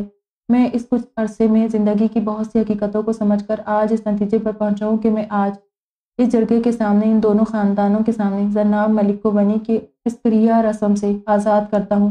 बहुत सी बातों को हदफ करते असल मुद्दे पर आया। इसकी बात पर वजह चौधरी, उसके ख़ानदान के सभी लोगों ने हैरत और गुस्से से आँखें खोलकर उसकी जानब देखा। पागल हो गए तुम? वजह चौधरी भड़क उठे। नहीं, पहले पागल था शायद। आज मैं पूरे होश आवाज़ में बैठा ये फैसला सुना रहा हूँ। वो मज़बूत लहजे में बोला, और मैं ये भी यकीन दिलाता हूँ कि मेरे ख़ानदान में आइंदा ऐसी कोई कोई रस्म परवान नहीं चढ़ेगी, वरना मैं खुद को इस खानदान से अलग कर लूँगा। आखिर बात मुतवाजन लहजे में कहते उसने फिर से सरनाब की जानब देखा, जिसके चेहरे पर पुरसकून, तासुरात देखकर उसका दिल पुरसकून हो गया। एक धीमी मुस्कुराहट उसके होंठों पर बिखरी नाम ने होले से बिना आवाज़ के उसे थैंक्स क्यों कहा? वरीद के लिए ये शुक्रिया भी इस लम्हे किसी मेडल से कम नहीं था। इस बकवास के लिए तुम हमें यहाँ जलील करने लाए हो? वजह चौधरी तनफन करते उठे। नहीं, अगर आप ठंडे दिमाग से सोचे तो आपकी इज़्ज़त और वकार बढ़ाया है। वो उन्हें झुटलाने लगा। बहुत शुक्रिया बेटे, मलिक अयाज ने अपने लोगों को खड़े होने का इशारा किया। मुझे खुशी है कि तुमने एक गलत रस्म का खात्मा करके आने वाली नस्लों को बहुत बड़ी तकलीफ़ से बचा लिया। मैं भी कम वेश यही ऐलान करता हूँ कि हमारे ख़ानदान में भी आइंदा इस रस्म को कभी तरजीह नहीं दी जाएगी। मलिक अयाज ने भी अपना फैसला सुनाया। बहुत माजूरत। उस वक्त मेरी उम्र ऐसी थी कि मुझे सही गलत की पहचान न थी। अपने बाप को नज़रअंदाज की वो खड़ा होकर उनसे मुसाफा करने लगा। जरगे के मोजिन भी उसके फैसले को सराहने लगे। उठो यहाँ से। वजह चौधरी अपनी बाकी दोनों बेटों और ख़ानदान के लोगों को लेकर गुस्से से वहाँ से निकल गए। हम दुआ करते हैं कि तुम जैसे ही बच्चे इन रिवायात का खात्मा करें। मोजिन में से एक जो बहुत अरसे से खुद भी इस रस्म के खिलाफ लड़ रहे थे, अपनी जगह से उठकर उसके कंधे पर हाथ रखकर फखर करते हुए बोले, इस फैसले में मेरा कमाल नहीं। उस अल्लाह ने मुझसे किसी के तोस्त से फैसला करवाया है। उनका हाथ थामकर उस पर बोसा देते उसने बताते साथ ही गर्दन मोड़कर जन्नात की जानब देखा, जो मलिक अयाज के बेटों की हमरा वहाँ से निकल रही थी। खुश रहो, उन्होंने सच्चे दिल से उसे दुआ दी। सभी उसके फैसले पर खुश थे, सिवाय उसके खानदान के लोगों के, मगर उसे परवाह नहीं थी। मलिकों की हवेलियों में आज जश्न का सा समा था। न जाने क्यों, तुझे असीद की शादी पर देखते ऐसा लगा था जैसे बरसों से जानती हूँ। रजिया जरनाब को लिपटाए मोहब्बत से उसका एक एक नक्श छू कर देख रही थी। फैसला होने से पहले तक मलिक अयाज ने औरतों को नहीं बताया था कि नशरा की दोस्त नार एहसान, उनकी जरनाब है। हाँ मरदान खाने में ये बात फैल चुकी थी। असीद और साबिर ने भी मोहब्बत से उसके सर पर हाथ फेरा। मुझे आज एक और हकीकत भी आप सबको बतानी है। इस वक्त घर के सभी बड़े और बच्चे हॉल में मौजूद थे। सब जरनाब से मिल रहे थे। आँसू और खुशी दोनों इस्लामी उन्हें घेरे हुए थी। कहो बेटे, इशरत बेगम ने बेटे को इजाज़त दी। आज वो भी बेहद खुश थी। मलिक सरफराज के बाद ये पहली खुशी थी जिस पर वो आज पूरे दिल से आसुदा थी।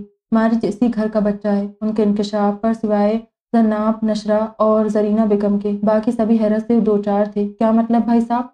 रजिया ने लब कुशाई की। सरफराज ने शहर में एक शादी कर रखी थी। मारिज उसी औरत का बेटा है। वो अब ज़िंदा नहीं है, मगर मारिज को उसने मेरे हवाले कर दिया था। सरफराज उसे अपनी कफालत में लेने को तैयार नहीं था और उसने मुझसे वादा लिया था कि मैं ये हकीकत यहाँ किसी को न बताऊँ, मगर मुझे लगता है ये उस बच्चे के साथ ज़्यादती होगी। इसीलिए वो शुरू से मेरे करीब है, क्योंकि उसकी असलियत और हकीकत से मैं वाकिफ़ था। मुझे महसूस हुआ कि आज ऐसा मौका है कि अगर मैं उस हकीकत से भी पर्दा उठा दूँ तो यहाँ किसी को कोई मसला नहीं होगा। उनकी बात पर इशरत जरीना दोनों ही बेख्तियार हो पड़ी और वो सब जो उसे नाजायज़ बच्चा समझ कर हकीर जानते थे, वो भी आज शर्मिंदा नज़र आए।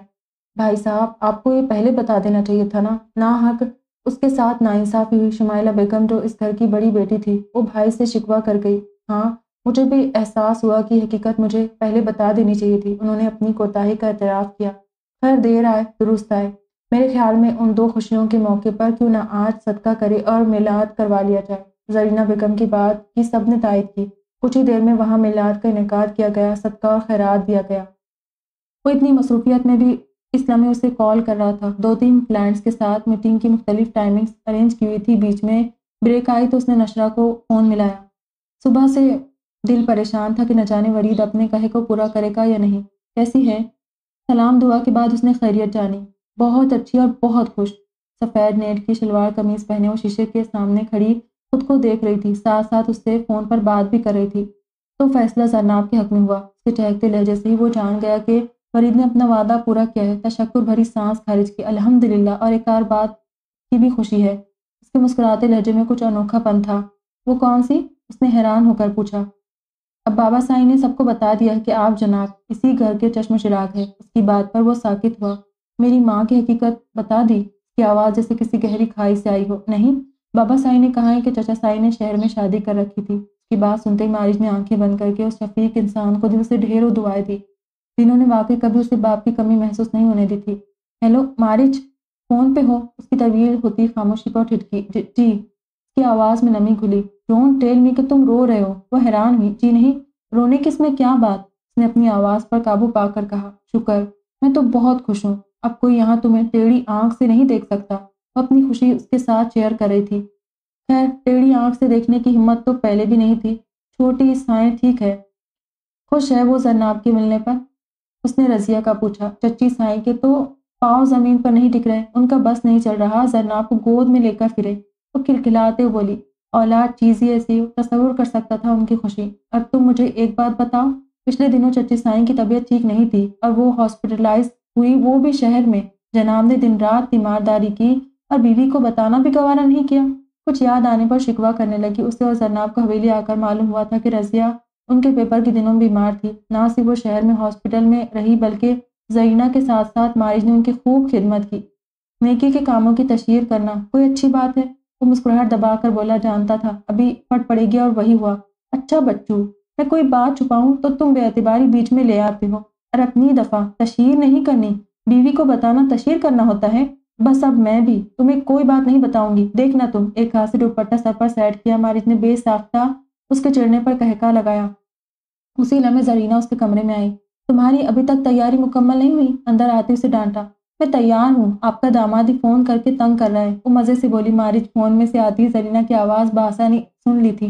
किस चीज़ की तैयारी कही जा रही हो? उसने अचंबे से पूछा। हाँ मेला, मैं क्यों तुम्हें बताऊँ? मज़े से बताती फिर ठिनक गई। ऐसे बात करते शोहर से, तू तड़ाक करके, और जो उसके कमरे की बिखरी चीज़ें समेट रही थी, उसके पास आती एक खत्तर उसके बाजू पर लगाकर आँखें निकाल कर बोली, आप मान लें मुझे, शादीशुदा हूँ अब। वो बैक वक्त जरीना और मारिश दोनों को निपटा रही थी जय जय कैसी मासूम को यूँ तंग नहीं करते? देखिए, सज़ा मिल गई है आपको। वो तस्वुर कर सकता था कि इस वक्त जरीना ने उसके साथ क्या सलूक किया है। तुम तो बात ही मत करो अब मुझसे। वो नाराज़ होती फ़ोन काट गई, तुम्हें कुछ कहता नहीं मारिज खबरदार, आइंदा मैं तुम्हें उसके साथ तू तड़ाह करते देखा। वो अभी भी उसके पास खड़ी से घूर रही थी। मुझसे नहीं, आप आप किया जाता। और तू तड़ाक तो नहीं कर रही थी, तुम कह रही थी। वो अपना बाजू से हिलाकर बोली हाँ तो तुम में कौन सा अदब है? शोहर है तुम्हारा, इस तरह रौब झाड़ रही हो? कभी देखा है मुझे? मैं तुम्हारे बाबा साई से ऐसे बात करती हूँ। उसे समझाया, उफ, अम्मा साई, एक तो उसने गुस्सा दिलाया है। और अब आप शुरू हो जाए। मैं जा रही हूँ नीचे। वो हाथ झुलाती कमरे से निकली जरीना उसकी हरकत पर अफसोस के सिवा कुछ नहीं कर सकती थी। चौधरीयों की हवेली में कोहराम बर्पा हो गया। पागल हो गया ये उस लड़की के पीछे। फरीद जिस लम्हे वापस आया वजह चौधरी और सभी मर्द उसे लान तान करने को तैयार बैठे थे। वो जानता था उसके फैसले को यहाँ सराहने वाला कोई नहीं था। उसे अपनी ये जंग तनहा लड़नी थी। हाँ मैं पागल हुआ हूँ। इसी पागलपन में इंसानियत भरे फैसले कर रहा हूँ। कैसी अजीब बात है ना? कि मैं औरत के पीछे लगकर अपना दीन, ईमान बेचने की बजाय अपनी आखिरत संवारने की तैयारी कर रहा हूँ। अगर आप उसे पागलपन कहते हैं तो बिल्कुल ठीक कहते हैं। उसका अटल लहजा वजह चौधरी के गुस्से को और भी हवा दे रहा था। उसी दिन के लिए आपने उसे इतना पढ़ाया लिखाया था ये यूँ सारे गाँव के सामने हमारी नाक कटवाएगा। उसके फुप्पा करामत चौधरी गुस्से से उसे घूरते वजाया चौधरी से बोले किसी मासूम के ऐसी गंदी रस्म में बगैर वजह के अपने घर लाने और उस पर मार पीट करने से आपकी नाक नहीं कटती क्या? तो जैसे वो वरीद ही नहीं था जिसकी सफाकी को वो सब जानते थे। तुम जानते हो उसकी पादाश में मैं तुम्हारे साथ क्या कर सकता हूँ? वजह चौधरी ने कड़ी नज़रों से उसे देखा। मैं रत्ती बराबर फ़र्क नहीं पड़ता। आपने जो कुछ मुझे इनायत किया है, आप सौ बार वापस ले ले। मुझे आग कर दे, मुझे फ़र्क नहीं पड़ता। शायद इसी दिन के लिए मैं इतना पढ़ा लिख गया। कि अपनी ज़ोर बाजू पर कमाकर खुद को खिला सकता हूँ। उसके पास उनकी हर बात का जवाब था। जिस घर में मैं रहता हूँ, मैं वहाँ वापस नहीं जाऊँगा। मैंने कुछ दिन पहले ही अपने पैसों से अपना अपार्टमेंट खरीद लिया था। जो गाड़ी आपने मुझे गिफ्ट की थी, कुछ दिन पहले उसके पैसे आपके अकाउंट में ट्रांसफ़र करवा दिए हैं। अब ये गाड़ी मेरी ही मलकियत है। बाकी और कुछ मुझे नहीं चाहिए। तो जैसे सब फैसले करके आया था। तुम बहुत पछताओगे। जो काली काश तुमने मलिकों के सामने मेरे मुँह पर मली है, उसका बदला मैं बहुत जल्द लूँगा। तो इस लम्हे उनकी औलाद की कैटेगरी से निकलकर उनका हरीफ बन गया था। वो गुस्से की ज्यादती से आँखें फाड़े उसे घूर रहे थे। मुबारक हो। आप मेरी उम्मीदों पर पूरा उतरे। मुझे इस सब का इल्म था कि आप इस फैसले पर ना सिर्फ़ मुझ पर गुस्सा होगे, बल्कि हर तरह का ताल्लुक का लिहाज भी बुला देंगे। मुझे ज़रा भी अफसोस नहीं, ज़िंदगी में हर रिश्ता ज़िंदगी के हर मोड़ पर आपके साथ नहीं होता। मैंने जहाँ आधी ज़िंदगी आप सबसे अलग गुजारी है, बाकी भी गुजार लूँगा। मगर दुआ करूँगा, अल्लाह आपको भी हिदायत दे। अगर औलाद की नाफरमानी माँ बाप को तकलीफ़ देती है तो औलाद को भी माँ बाप की अल्लाह से की जाने वाली नाफरमानी इतनी ही तकलीफ़ देती है। अल्लाह ने मुझे तो राह रास्त पर डाल दिया है। दुआ करता हूँ, आप सबको भी इस रास्ते पर चलने की तोफ़ी दे। मैं अपनी माँ से मिलकर अभी यहाँ से चला जाऊँगा। वो किसी को भी कुछ कहे और कहने का मौका दिए बगैर अपनी बातों से साकित करता वहाँ से जा चुका था। इतना बड़ा फैसला करने के बावजूद उसके दिल में मोहम सी उम्मीद थी कि शायद बहस व मुबासे के बाद उसका बाप उसके फैसले को कबूल कर ले, लेकिन उनके चेहरे पर मौजूद सख्ती और लहजे में कोई लचक न देखकर उसे वहाँ से जाना ही बेहतर लगा। जनान खाने में भी उसकी माँ के सिवा सभी गुस्से से भरी बैठी थी। एक जनानी के हाथों बेवकूफ़ बन गया। पागलाना होते उसकी दादी ने गुस्से से भरी बैठी थी। उसे अंदर आते देखकर फट पड़ी। अम्मा साई, क्या मैं अकेले में आपसे कुछ बात कर सकता हूँ? सबको नज़रअंदाज करते सुगरा बेगम से मुखातिब हुआ। वो सबसे नज़रें चुराती उठी। उसे लिए दालान की जानी आई क्या आप भी मेरे फैसले पर नाखुश है। उनका चेहरा दोनों हाथों में लियो उसने आज से पूछा, नहीं मेरी जान, मैं हमेशा हर लम्हा तुम्हारे साथ हूँ। अपने चेहरे पर रखे उसके हाथ थामते, मोहब्बत से चूमते उसके फैसले को सराहा। बस मुझे और किसी की हिमायत की ज़रूरत नहीं। मैं यहाँ से जा रहा हूँ, पता नहीं दोबारा कभी यहाँ आ पाऊँ कि नहीं। लेकिन आपने मुझसे हमेशा रबते में रहना है। उन्हें खुद से निपटाते और तमानियत भरे लहजे में बोला, मैं हमेशा तुम्हारे साथ हूँ। उनकी बात पर सरचारी से मुस्कुराया, क्या वो तुम्हारी हमसफ़र बनने को तैयार है? उनके सवाल पर उसने उन्हें खुद से अलग करके कंधों को थामा। आपकी दुआ, मेरे साथ रही तो वो मेरी हमसफ़र बन जाएगी। बस आपने मेरे लिए दुआ करते रहना है कि जिस औरत ने मुझे ज़िंदगी की असल हकीकत समझाई, उसे अल्लाह मेरे नसीब में लिख कर मेरी नस्ल संवार दे। उसके लहजे में दरख्वास्त के साथ साथ एक उज़म था। यकीनन, उस औरत से पहले आपकी दुआओं ने मुझे संवारा है। मैं खुश नसीब हूँ कि मैं एक बेहतरीन औरत की गोद में परवान चढ़ा। आज से पहले ऐसी मोहब्बत का इजहार उसने कभी उनसे नहीं किया था अब इख्तियार रो पड़ी। वो उन्हें हमेशा से अपनी औलाद में सबसे ज़्यादा प्यारा था। उन्होंने शुक्र किया कि वो राह रास्त पर आ गया। अल्लाह तुम्हारी हामी व नासिर हो। उन्होंने सदक दिल से उसे दुआ दी। इंशाल्लाह एक बार फिर उन्हें साथ लगाकर उनके माथे पर बोसा दिया। हाथ थाम कर अकीदत से चूमकर, आँखों से लगाया। आज उसे अपनी माँ की कदर मंजिलत का अंदाज़ा हुआ था कि वो किस कदर अच्छी औरत थी। मेरे लिए दुआ गो रहिएगा एक आखिरी निगाह उन पर डालकर, न माँ के साफ़ करके वो मुड़ गया। वो दूर तक उसे जाता देखती रही। गम होने के साथ साथ उन्हें खुशी थी कि वो बेहतरीन मंजिल की जाने महू सफ़र था। शदीद मसरूफियत के बाद उसके लिए नशरा और जन्नाब को जाकर वापस लाना मुश्किल था। रात में ही उसने मलिक अयास को कॉल करके अपनी मसरूफियत का बता दिया था और वादा भी किया था कि काम का लोड ख़त्म होते ही गाँव का चक्कर लाजमी लगाएगा। उन्होंने साबिर के साथ चंद गार्ड्स को भी नशरा और जन्नाब को शहर छोड़ने के, छोड़ के आने के लिए रवाना किया। अभी वो गाँव की हदूद से निकल नहीं पाए थे कि एकदम गाड़ी के टायर ब्रस्ट हुए। ये क्या हुआ है? किसी ने किले बिछा रखी है। साबिर जो फ़ोन पर मसरूफ़ था, एकदम गाड़ी के डानाडोल होते ही ड्राइवर से मुखातिब होते हुए रास्ते की जाने मुतवज हुआ। सरनाब और नशरा भी परेशान सी, उसकी जाने मुतवज हुई। ड्राइवर ने फ़ौरन ब्रेक लगाकर गाड़ी रोकी। साफ़ कुछ खतरा लग रहा है। ड्राइवर की बात अभी मुँह में ही थी, जब झाड़ियों के पीछे से एकदम उनकी गाड़ी पर फायरिंग हुई।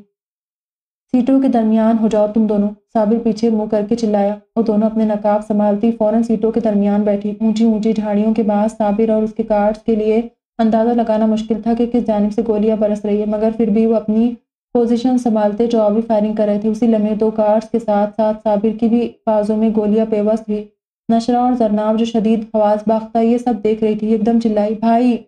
साबिर ने तकलीफ़ बर्दाश्त करते उन्हें खामोश रहने का कहा। उन दोनों की वजह से वो गाड़ी छोड़कर बाहर भी नहीं निकल सकता था उसी लम्हे। उनकी गाड़ी के पीछे तीन चार गाड़ियों के रुकने की आवाज़ आई। निकाल कर लाओ उस हरामजादी को। आने वालों में से एक की धार खासी बुलंद थी। चारों जानब से उसके बंदों ने उनकी गाड़ी को घेर लिया।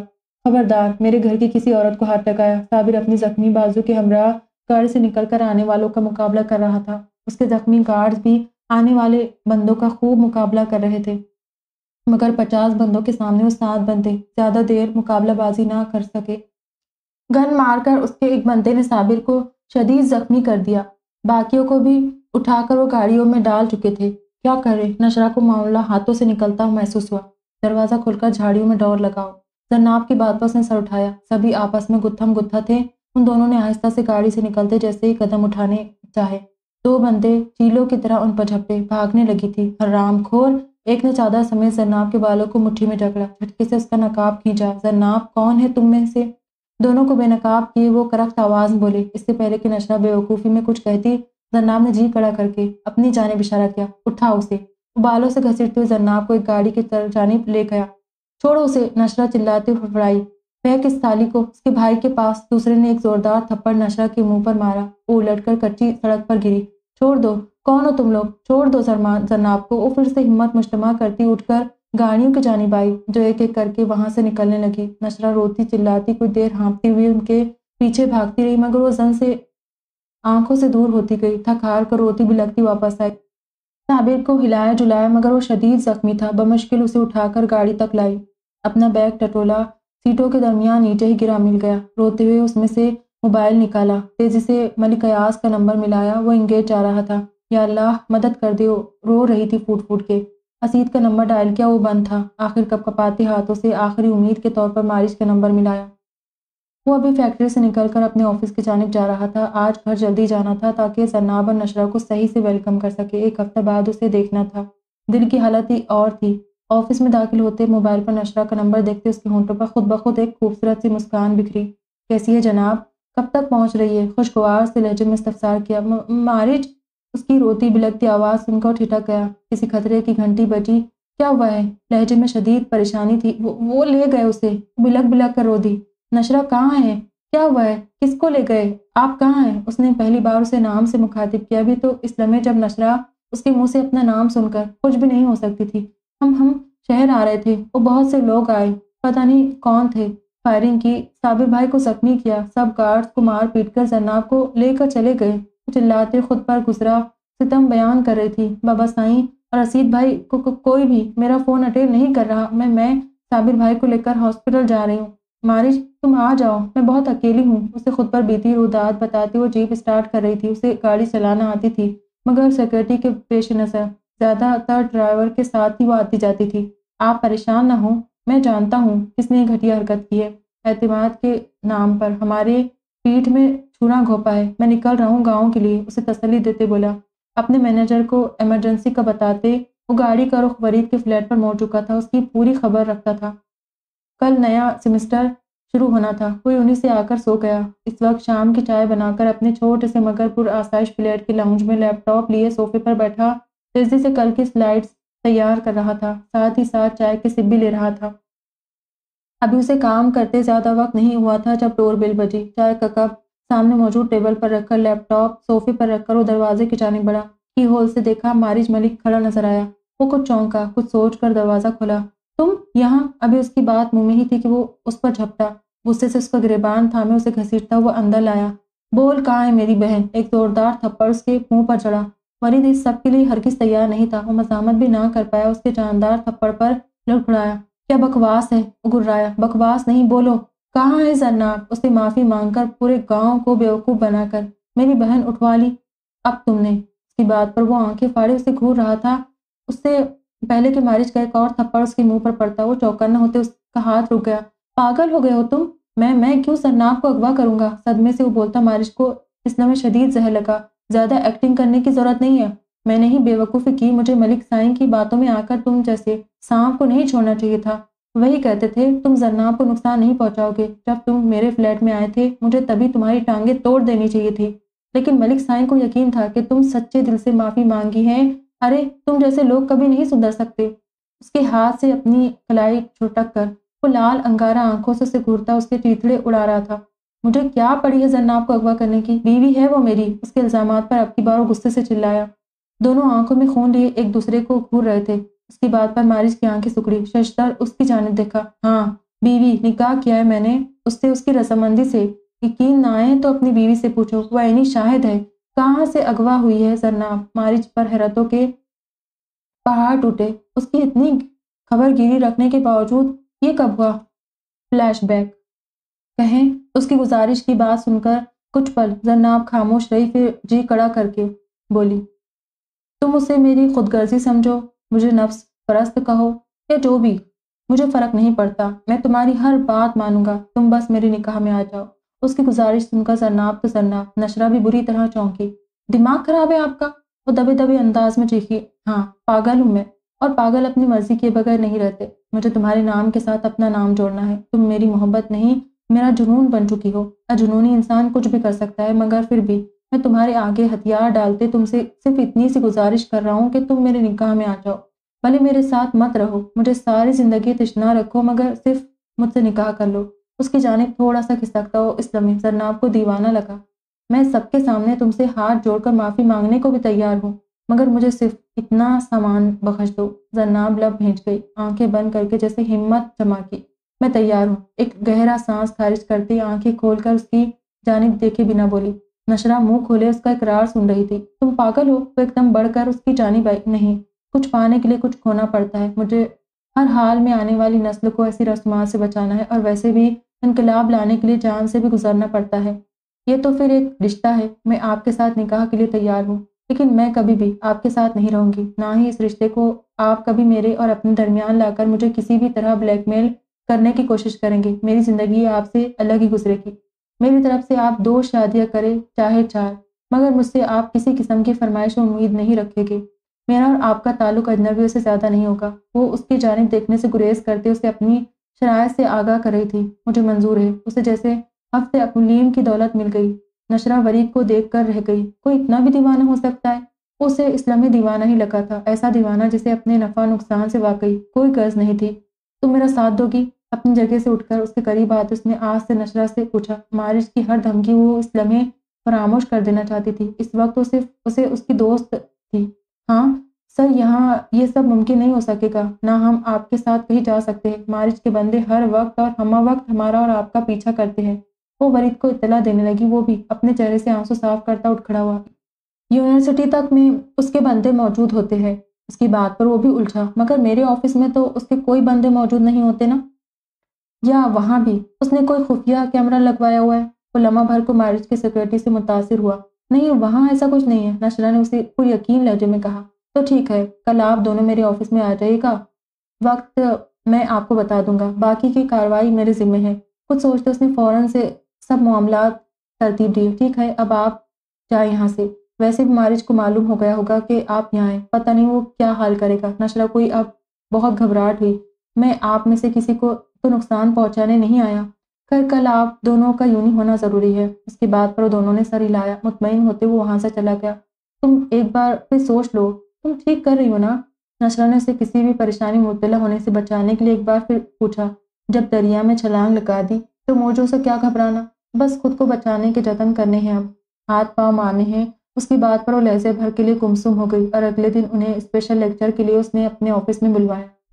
उनका पेपर नहीं था। मारिज को यही बताया कि कुछ अहम किताब लेने के लिए उन्हें यूनी जाना है। और वरीद से कुछ समझना भी है। वो जानता था, उनका उस्ताद भी है, लिहाजा मना करने का जवाब नहीं था। उसके ऑफ़िस में आठ लोग पहले से मौजूद थे। कुछ उसी के अपने ख़ास बॉडीगार्ड और चंद एक उसके बहुत करीबी लोग थे। साथ में एक मौलवी भी मौजूद था। वो सब ऐसा ही तासुर पेश करके उसके ऑफ़िस आए जैसे वो किसी और यूनी के बंदे हैं। और वरीद के मेहमानों की हैसियत से उससे मिलने आए हैं।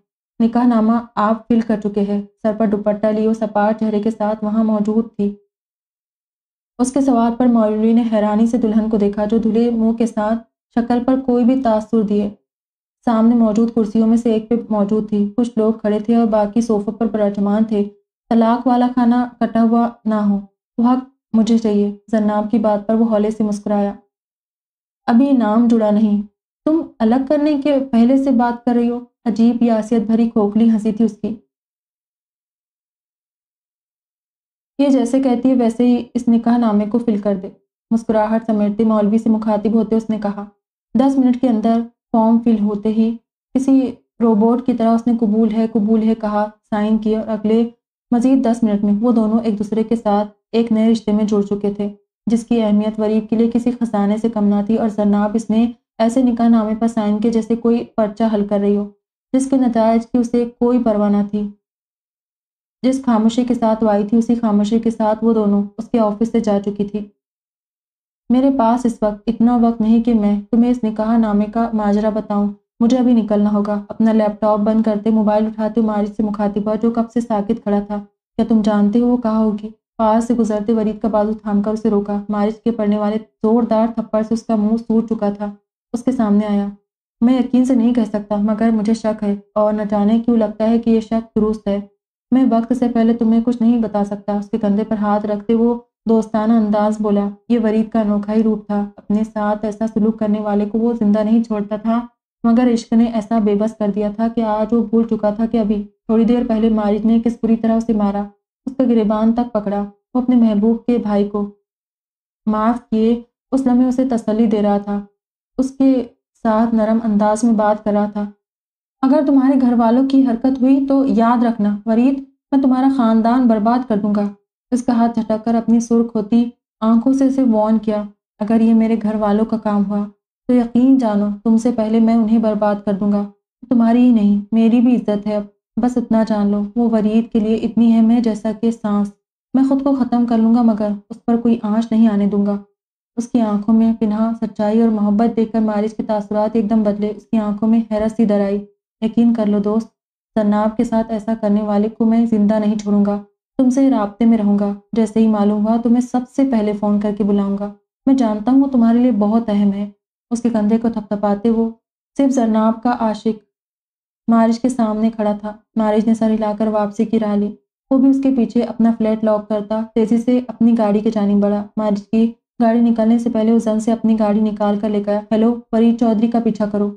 अपने बंदे को फ़ोन मिलाकर उसने हिदायत दी, उसे अब नशरा के पास जाना था। वो गाड़ी भगाता उस हॉस्पिटल में पहुँचा, जहाँ नशरा साबिर को लेकर पहुँची थी। उसके पहुँचने से पहले मलिक अयाज और जरीना वहाँ मौजूद थे। उनके चंद अहम बॉडीगार्ड भी उनके आसपास थे। उन्हें सलाम करता एक कहर बरसाती नज़र उसने नशरा पर डाली जो बेंच पर बैठी, कुछ पढ़ने में मसरूफ थी, चेहरा नकाब में पोशीदा था। कैसी तबीयत है अब साबिर की? उसने मलिक अयाज से पूछा। अभी गोलियाँ निकाल रहे हैं। सर पर गन के बट मुतद बार मारने की वजह से उसे होश नहीं आ रहा है। वो फिक्रमंद लहजे में बोले, अल्लाह बेहतर करेगा। तन्नाब का कुछ पता चला। उसके लहजे में शदीद फिक्रमंदी थी। नहीं, बंदे लगाए हैं पीछे। मुझे वजह चौधरी के अलावा और किसी का काम नहीं लगता। वो अपना शक बताने लगे। असीद इसी सिलसिले में मसरूफ़ है। उन्होंने मजीद बताया, मारिज ने सर लाया नशरा उसी की जानब देख रही थी। उसने उसे सलाम करना भी ज़रूरी नहीं समझा था। फरीद के पास गए थे। तुम कुछ पता चला? उठकर उसकी जानिब आई मारिज ने कोई जवाब नहीं दिया। मुझे आपसे कुछ बात करनी है। आप बाहर आएगी। उसका सपाट और बेलचक लहजा नशरा को अजीब सा लगा। वो सर हिलाती उसके साथ बाहर की जानिब आई हॉस्पिटल के बाहर के अहाते में एक जानब कदर खामोशी थी। वो उसे लिए वहाँ आया। क्या वरीद और जन्नाब का निकाह हो चुका है? और दांत पीस कर उससे बोला। नशरा को उसके गुस्से की वजह अब समझ आई। मारिज, मेरी बात सुनो। उसे शांत करने के लिए तमीद बाने लगी। हाँ या ना? उसे बाजू से पकड़कर करीब कर दिया अपने आँखों से निकलती चिंगारियों से उसे झुलसाया। हाँ उसका तनफुस बढ़ा। एकदम उसे झटके से खुद से दूर धकेलता, हाथ का मौका बनाकर सामने दीवार पर ज़ोर से मारा। नशरा उसकी हरकत पर उछल कर रह गई, खौफ से उसे देखा, जो जब्त के कड़े मरहलों से गुजर रहा था। आपने मुझसे झूठ बोला, उसे अपने सामने आते देखकर वो दांत पर दांत जमा कर बोला, आपने उस दिन मुझे आधी बात बताई थी, पूरी नहीं तो यह झूठ हुआ ना? वो उसे याद दिलाया। वरीद और जनाब के निकाह का सच क्या है? गढ़ दे, अब और कोई बहाना? एकदम उसका बाजू अपने हाथों की सख्त गिरफ्त में लेते उसे झंझोड़ा। मुझे सच जानना है कि निकाह कब और कैसे हुआ? नशरा थूक निकलते उसे एक एक बात बताने लगी। किस कदर खुद गर्ज है आप? उसे मौत के मुँह में धकेल दिया है। वो दबे दबे लहजे में चीखा। क्या कह रहे हैं मारिच मैंने ऐसा कुछ नहीं किया। सिर्फ़ उसका साथ दिया था। वो उसकी अपने बाजों पर बढ़ती हुई सख्त गिरफ्त पर वहाँ से हुई। क्या मेरी ज़िंदगी को बर्बाद करके भी आपको सुकून नहीं मिला, जो मेरी बहन की ज़िंदगी भी बर्बाद कर दिया आपने, उसने आप पर भरोसा किया, मैंने आप पर भरोसा किया, ये सिला दिया आपने, मैंने आपको कहा था, नशरा, कभी मुझे धोखा मत दीजिएगा, मगर मेरी बेवकूफ़ी थी कि आप पर अंधा एतमाद किया, उसे झंझोड़ते उसकी रूह को घायल कर रहा था। आँसू उसकी आँखों में ठहर गए, वो बेयकीनी से उसके गुस्से से भरा चेहरा देख रही थी। शुक्र करे, मैं आम मर्द नहीं मैंने आपको कहा था, मैं कभी औरत पर हाथ नहीं उठा सकता और ना कभी उठाऊँगा, लेकिन आप कोशिश कीजिएगा आइंदा मेरे सामने ना आए। मोहब्बत और अतमाद के नाम पर आपने जो वार किया है, वो मैं इतनी आसानी से नहीं बुला सकता। जबड़े भेज कर उसकी आँखों के तासुरात से अनजान वो उसके कानों में सूर फूंक रहा था। क्या किया है मैंने? बताओ। क्या गुनाह किया? किसी की मदद करना तुम्हारे नज़दीक अगर गुनाह है तो हाँ मैंने गुनाह किया है। इंसानियत के नाते किसी की मदद करना गुनाह है तो हाँ मैंने ये गुनाह किया है। मैंने तुमसे इसीलिए छुपाया क्योंकि तुम वरीद पर अतमाद नहीं करते थे। तुम्हें मालूम होता तो तुम जन्नाब को डांटते। शायद वरीद को भी नुकसान पहुंचाते। वो शख्स सिर्फ़ उससे मोहब्बत करने की गलती कर बैठा है, जिसे तुमने नहीं समझ सकते। इसीलिए कि तुमने मुझसे कभी कोई मोहब्बत की ही नहीं। तुमने सिर्फ़ फाज अदा किया है। एहसान चुकाया है बाबा साईं का। उसके सख्त गिरफ्त से खुद को छुड़ाते वो बिलक बिलक करोई मैंने कहा था ना, तुम जन्नाब के लिए बहुत टची हो। मैंने गलत नहीं कहा था। वो अपने अंदाज के मुताबिक सही होने का उसे बताने लगी। क्यों? आपने मुझे इस बात के बारे में नहीं बताया। मैं किसी और तरह उसकी हिफाजत करवाता। आपकी वजह से आज वो कहाँ है? हम में से किसी को नहीं पता। किस हाल में है? किसी को नहीं मालूम। वो फिर से उसे मौर्द इल्ज़ाम ठहराने लगा। मेरी वजह से? क्या मैंने उसे अगवा करवाया है? वो तासुब और हैरानी से उसे देखते बोली, काश ये पता चल जाए तो ज़िंदा नहीं छोड़ूँगा उसे। मगर ये बात अब अटल है कि आपका और मेरा अब कोई ताल्लुक नहीं। कितनी आसानी से वो उसकी ज़ात को अपनी ज़िंदगी से निकाल गया। मैं सारी ज़िंदगी एक झूठी औरत के साथ नहीं गुजार सकता, जो मुझसे बातें छुपाए और ज़िंदगी को बार बार इस मोड़ पर ले आए, जहाँ मुझे उससे मोहब्बत करने पर शर्मिंदगी हो। नशरा आँखें खोले, उसके मुँह से निकलता जहर अपने लिए सुन रही थी। बहुत बड़ी बात कह रहे हो तुम मारिज गमो गुस्से से बेहाल न जाने। क्या कह रहा था वो वाकई नहीं जानता था। उसकी जानब एक खामोश मगर सर्द निगाह डालकर वो अंदर की जानब बढ़ गया। हसीद पुलिस को लिए उस सड़क पर मौजूद था जहाँ से जन्नाब को अगवा किया गया था। पुलिस वाले ने गोली का खोल उठाकर असीद को थमाया। ये तो इमो की गोलियाँ हैं वो चौंका ये सब महँगी पिस्टल थी, जिसे बड़े बड़े लोगों के अलावा आम लोगों को रखने की औकात ही नहीं होती। असीद के पास उसका लाइसेंस था। इसके अलावा उन्हीं दिनों वलीद के बड़े भाई वलीद ने भी इस पिस्टल का लाइसेंस लिया था। असीद इसीलिए जानता था कि एक ही दिन दोनों को ही लाइसेंस इशू हुआ था और दोनों मिनिस्ट्री ऑफ़ इंटीरियर के ऑफ़िस में मौजूद थे। उनके अलावा यहाँ दूर दूर तक गाँव के किसी और बंदे के पास ईमो मौजूद नहीं था। ये वली चौधरी की गन से निकली हुई गोलियाँ है, पर जहाँ चौधरी का बेटा वो गुस्से से बोला, ये उसी खबीज का काम है, आप उसके खिलाफ पर्चा काटे। उसकी बात पर पुलिस ऑफिसर कश्मकश में नज़र आया, मैं बकवास कर रहा हूँ क्या? वो झुंडा कर बोला, लेकिन वजह चौधरी पर हाथ डालना इतना आसान नहीं है, सर। हिचकिचाए कितने पैसे चाहिए? मैं देने को तैयार हूँ। दूसरी बात अगर ये गन वलीद चौधरी के पास मौजूद ना हुई तो मैं पर्चा वापस लेने को तैयार हूँ। वो खुद अतिमादी से बोला, जी सर, जैसे आप कहते, पुलिस वाले को मानते ही बनी। शाम तक साबिर को होश आ चुका था, मगर बहुत खून बहने की वजह से खून की बोतलें लगाई जा रही थी। मलिक अयास के कहने पर नशा को जो खराशें आई थी, उनके ट्रीटमेंट के बाद उसे घर भेज दिया गया। इस तुलकी के बाद मारिच और वो दोनों एक दूसरे को ऐसे नज़रअंदाज कर रहे थे जैसे एक दूसरे को जानते ही ना हो। उसकी हवेली वापस जाने पर मारिच ने सुख का सांस लिया। उसने ज़िंदगी में खुद को इतना बेबस कभी महसूस नहीं किया था, जितना अब कर रहा था। वो समझता था, अब सब ठीक होने वाला लगा है। उन सब की ज़िंदगी नॉर्मल हो जाएगी, मगर क्या पता था, एक फैसले की पादाश में उसकी बहन को इतना बड़ा भुगतान भुगतना पड़ेगा।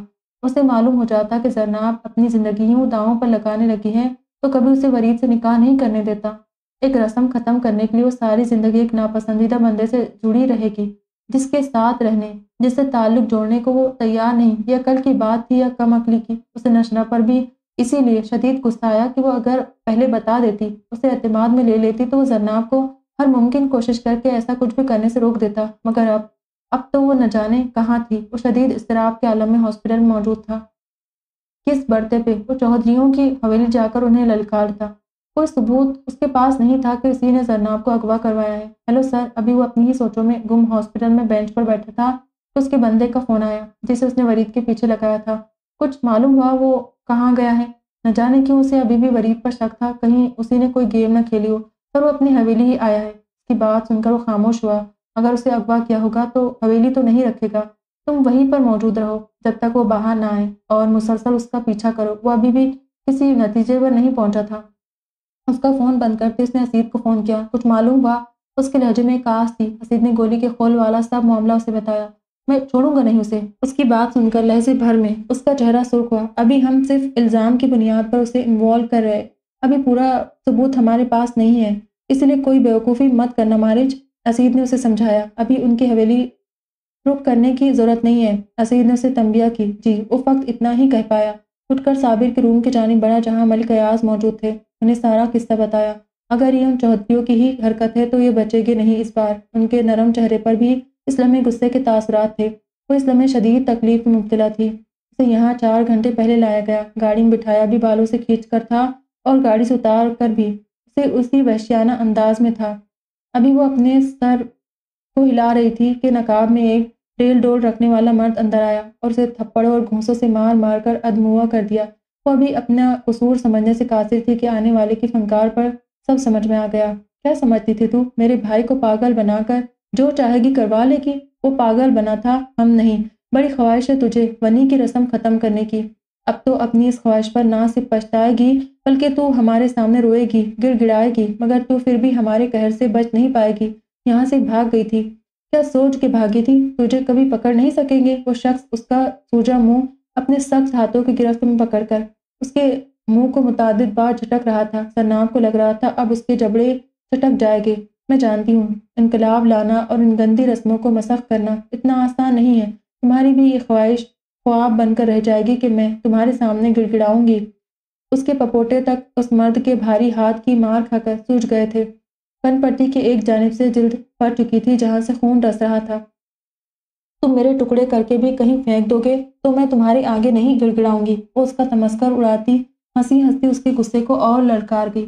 उसके पुरअसम अंदाज पर बिपर गया। उसे तब तक मारता पीटता रहा जब तक वो बेदम नहीं हो गई कमीनी। निकलने से पहले भी अपने जूते की नोक उसके बेसुध वजूद पर मारना नहीं भूला। कमरे से निकलकर दरवाज़ा लॉक करता उसे उसी हाल में छोड़कर जा चुका था। तुम क्या करने आए हो तुम? उसे मर्दान खाने में आते देखकर उसे घूर कर बोले जरनाब का आए गुस्से से मुठियाँ भेजे वो उनके सामने तन कर खड़ा था। कौ, कौन जरनाब? वो अनजान बने। इतने बच्चे नहीं हैं आप। अन्ना आपकी यादाश्त इतनी कमज़ोर है कि जिस लड़की के बास भरे मजमे में आपके बेटे ने बकौल आपकी आपकी नाक कटवाई थी उसका नाम इतनी जल्दी आप फरामोश कर जाएगी। अभी हफ़्ता भर भी नहीं हुआ इस वाक़े को जहन पर ज़ोर दे। आपको अच्छी तरह याद आ जाएगा। मैं किस जरनाब की बात कर रहा हूँ? वो मुफसल जवाब देते वो शदीद तुल्क हुआ था। मुझे क्या मालूम? कहाँ है? तुम तो दे आए थे उसे उसके खानदान में। तो अब यहाँ क्या करने आए हो? मालिकों की हवेली जाओ और उनसे पूछो। टांग पर टांग रखे रौनक से बैठे, अपने मूछों और दाढ़ी को उंगलियों से सहलाते। एक अबरू उचकाकर अपने सामने खड़े वरीद को तेज नज़रों से देख रहे थे। वो सुबह तक वहीं थी। से रास्ते से आपने अगवा किया है। वो चिल्ला कर बोला, अरे वाह! खूब इल्ज़ाम लगाया है। किसी यार के साथ बाबा साईं! उनकी बात पूरी भी ना हुई कि उसकी धाड़ पर वो खशुनत भरे अंदाज में उसे देखने लगे। बीवी है वो मेरी दांत पर दांत जमाकर बोलते उसने उनके सर पर धमाका किया। तो तो पागल है, टांग एकदम नीचे रखते हुए खड़े होकर उस पर झपटे उसने झटके से खुद को उनसे छुड़वाया। मेरी बीवी मेरे हवाले करे, वरना जो लिहाज में बरकरार रखना चाहता हूँ, वो नहीं रख पाऊँगा। उनकी सुर्ख आँखों में अपनी गुसीली नज़रें काढ़े वो जिस अंदाज में बोला उन्हें लर्जा गया। देखो, मैं वाकई नहीं जानता वो कहाँ है। उसके कंधे पर हाथ रखते हुए उसे शांत करने लगे। वरीद ने एक बार फिर उनके हाथ अपने कंधों से झटके। मैं इस वक्त सिर्फ़ जन्नाब का शोहर हूँ। मुझे मेरी बीवी अभी और इसी वक्त चाहिए। कहाँ रखी है? मुझे बताए, मैं खुद जाऊँगा उसके पास। वो कतई अंदाज बोला, मैं नहीं जानता हूँ कहाँ है। उन्होंने नज़रें चुराई।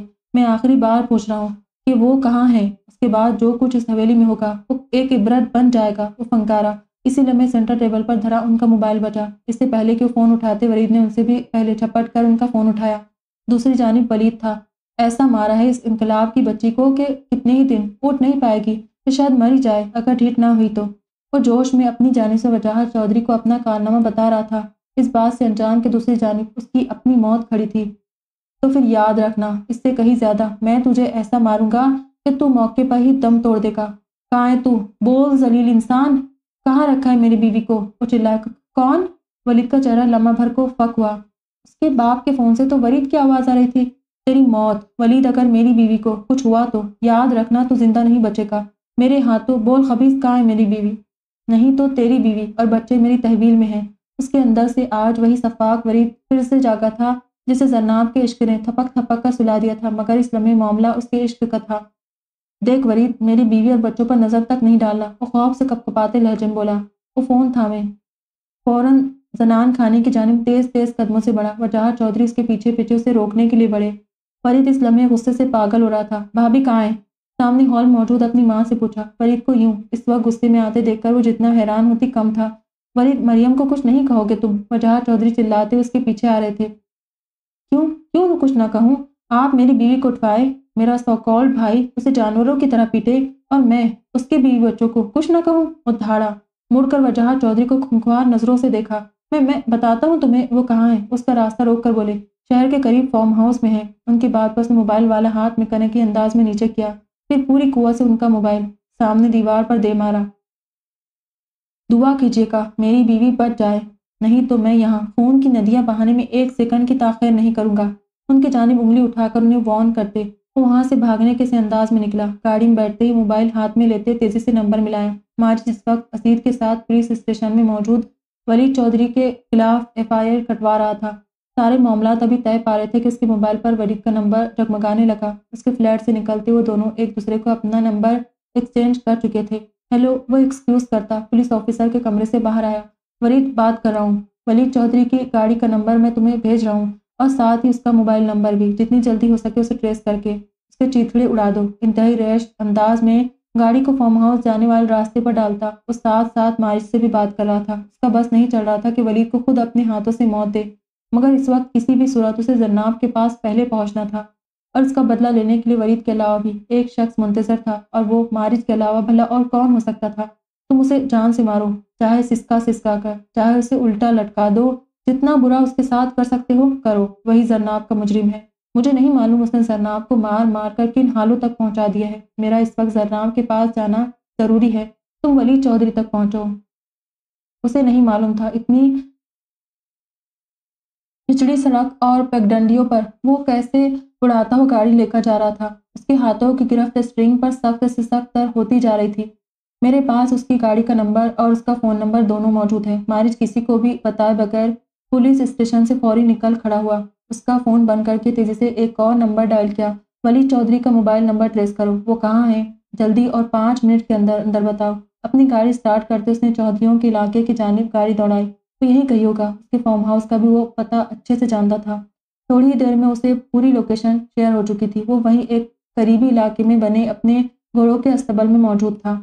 वरीद के गुस्से के बाद फ़िलहाल उसने वहाँ क्याम करना ज़रूरी समझा, वरना उसकी मौत वरीद के हाथों यकीनी थी। मारिश की गाड़ी फर्राटे भरती वजह चौधरी के अस्तबल की जानब जा रही थी। साथ साथ मुसलसल वो कुछ और लोगों को भी वहाँ पहुँचने की हिदायत कर रहा था। अभी रात तक वापस नहीं जाना। वरीद शदीद गुस्से में है तुम में से कोई भी अगर यहाँ से निकला, मैं टांगे तोड़ दूँगा उसकी। वो शदीद इसतराब में इधर से उधर टहल रहा था। उसे पता कैसे चला? उसकी पेशानी, उसकी परेशानी इस वक्त रूट पर थी, और वो उसकी बीवी भी है। कब शादी की उसने? बहुत से सवाल उसके दिमाग में सर उबार रहे थे, जिनका इजहार वो अपने बंदों के सामने वक्तन फौकतन कर रहा था। कल सुबह होते ही हम यहाँ से शहर निकल जाएँगे। मुझे नहीं पता वो खबीस लड़की किस हाल में है, लेकिन वापस जाना खतरे से खाली नहीं। मुठियाँ खोलते बंद करते वो उन सबसे मुखातिब था। जो हुक्म सरकार आपका, उनमें से एक बंदा बोला, वो सब इन बड़े लोगों की जी हुजूरी करने के अलावा कर ही क्या सकते थे? सरकार आप कुछ देर के लिए बैठ जाए। वो सब हाथ बांधे उसके इर्द गिर्द खड़े थे। हम्म एक चारपाई पर बैठकर गाँव तकिए से टेक लगाए, एक टांग दूसरी टांग पर मोड़कर रखे पाँव झुलाता मुसलसल। फरीद और उस बदजात लड़की के बारे में सोच रहा था। डर के मारे हवेली किसी को फ़ोन भी नहीं कर रहा था कि अगर किसी को मालूम हो गया कि वो कहाँ है तो ये ना हो कि वरीद को भी मालूम हो जाए। वो अपने हिसाब से ऐसी जगह पे आया था जहाँ तक किसी का दिमाग फ़िलहाल नहीं पहुँच सकता था, मगर वो ये नहीं जानता था कि जब मौत आई हो, इंसान को उसी मुकाम पर लाती जहाँ उसे इस शख्स को अपने कब्जे में करना होता है। वो गाँव तक से टेक लगाए उंग रहा था जब तीन गाड़ियाँ, तीन चार गाड़ियों की आवाज़ आई। चौंक कर उठा उसके सभी गार्ड्स भी अलर्ट होकर खड़े हो गए। धूल उड़ाती हुई गाड़ियाँ उसी अंदाज उसी जानी पा रही थी। एकदम उड़ बैठा, खौफ से उन गाड़ियों को अपने करीब से और करीब तक आते दिख रहा था। उससे कुछ ही फासले पर रुकी। ठक ठक, सब गाड़ियों के दरवाजे खुले जिनमें से लगभग कोई तीस के बराबर गार्ड्स हाथों में गंज थामे बाहर आए। वो खौफ से आँखें फाड़े, दरमियान वाली पिटारों में से मारिज मलिक को तरते देख रहा था। ब्राउन शलवार कमीज पहने, कंधों पर सया शॉल चादर डाले, शदीद गुस्से में गाड़ी से बाहर आया। जोरदार धमाके से गाड़ी का दरवाज़ा बंद किया। वलीद के कार्स उनके जानी बंदूक के ताने खड़े थे। गलीज इंसान, उसकी खून छलकाती आँखें वलीद को हवास बाख्ता कर रही थी। वो अपने गार्ड्स के पीछे छुपने की नाकाम कोशिश कर रहा था। क्या समझा था तूने? लावारी से मेरी बहन। जागीर है तेरी हम कि जो तू करेगा, तू बच नहीं पाएगा। मर्द है तो अपने बुज़ुर्गों के पीछे से बाहर आ। मेरे सामने खड़ा होकर मुझसे बात कर। अरे, औरत पर हाथ उठाकर तू खुद को मर्द समझता है? आहिस्ता आहिस्ता उसकी जानब बढ़ता उसे ललकार रहा था। वो बोल नहीं रहा था वो धार रहा था। इस लम्हे वरीद के अल्फाज उसके कानों में अब भी गूंज रहे थे। न जाने जरनाब किस हाल में है। उसका बस नहीं चल रहा था। वली चौधरी के चीथड़े उड़ा दे। हाँ मारा है मैंने उसे। क्या कर लेगा तू? उसकी बातों पर जज्बाती होता अपने बंदों के पीछे से बाहर आया। गन हाथ में थामे, उसका रुख मारिज की जानब कर रखा था। ना ना, इस खुलने को हाथ में लेकर मुझसे बात ना कर। मर्द है तो अपने बाजुओं पर एतमाद कर। हाथ लगा मुझे। इसी तरह माँ जैसे तूने मेरी बहन पर हाथ उठाया। हाथ उठा। वो हलक फाड़ के चीखा। मारिज का इस कदर गुस्सा उसके अपने बंदों ने भी पहली बार देखा था। उन सबको आज अंदाज हो गया था कि जनाब उसके लिए क्या हैसियत रखती है। अरे, मेरे घर की इज़्ज़त पर हाथ उठाकर तू समझता है कि तू छुप जाएगा मुझसे? तेरी मौत हूँ मैं। देख, अच्छी तरह मुझे। अपनी तरफ़ इशारा करता हुआ वलीद चौधरी, पर पैर दर पे अपने लफ्ज़ों की वार कर रहा था। वलीद चौधरी ने अभी भी गन नीचे नहीं की थी। नीचे कर उसे।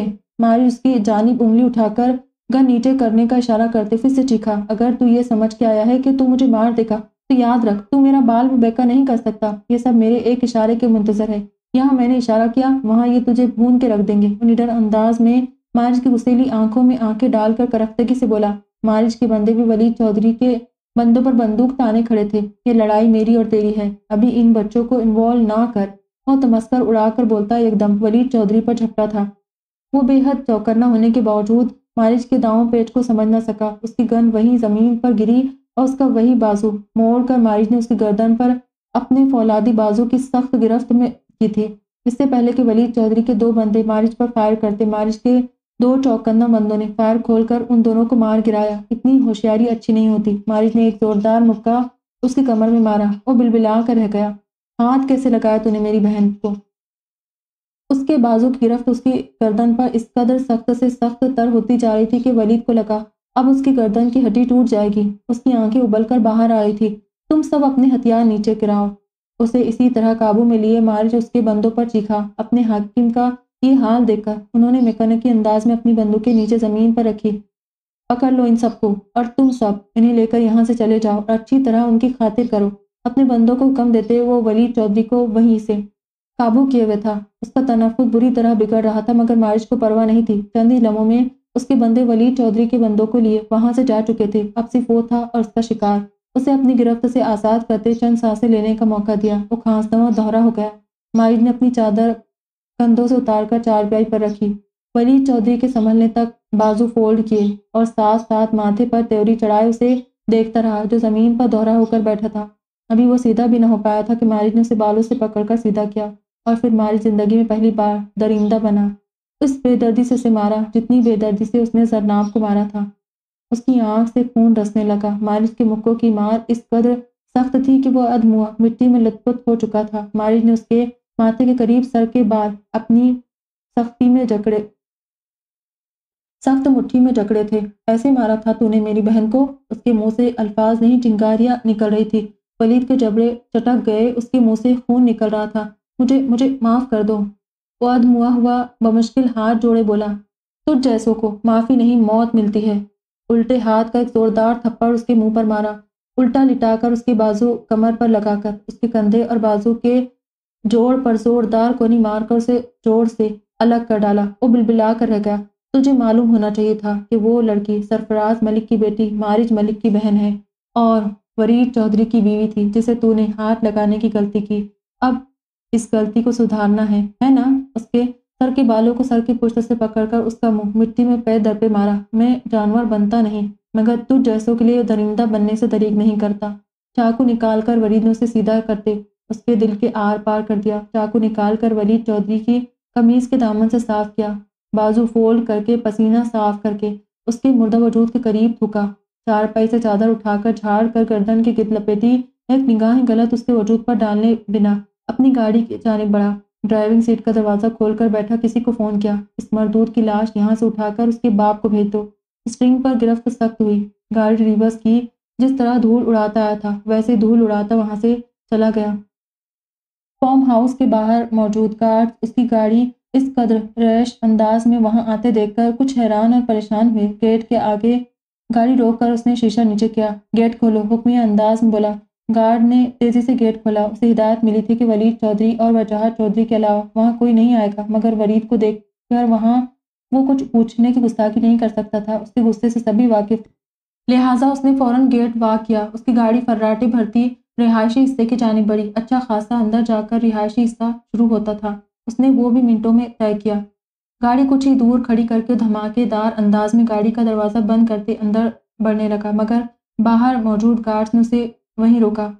आगे से हट जाओ, नहीं तो बहुत बुरा सुलूक करूँगा।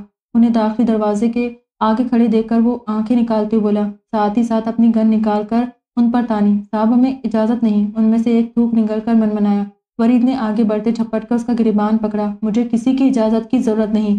गुर्राहट ज़दा आवाज़ पर वो गार्ड सरता पैर कांपा। दफ़ा हो जाओ, लेकिन जाने से पहले बताओ, लड़की को कहाँ रखा है? उसकी बात पर दोनों ने एक दूसरे को देखा। फरीद ने एक बार फिर उसके गिरबान को झटका। बकवास करोगे कि यही कबर खोदो तुम्हारी? सन्नाटेदार थप्पड़ उसके मुँह पर मारा। साहब पहली मंजिल पर पहले कमरे में थप्पड़ खाकर वो फ़ौरन सच उगलने लगा। यहीं खड़े रहना। वलीद के अलावा कोई इस कमरे में गया है?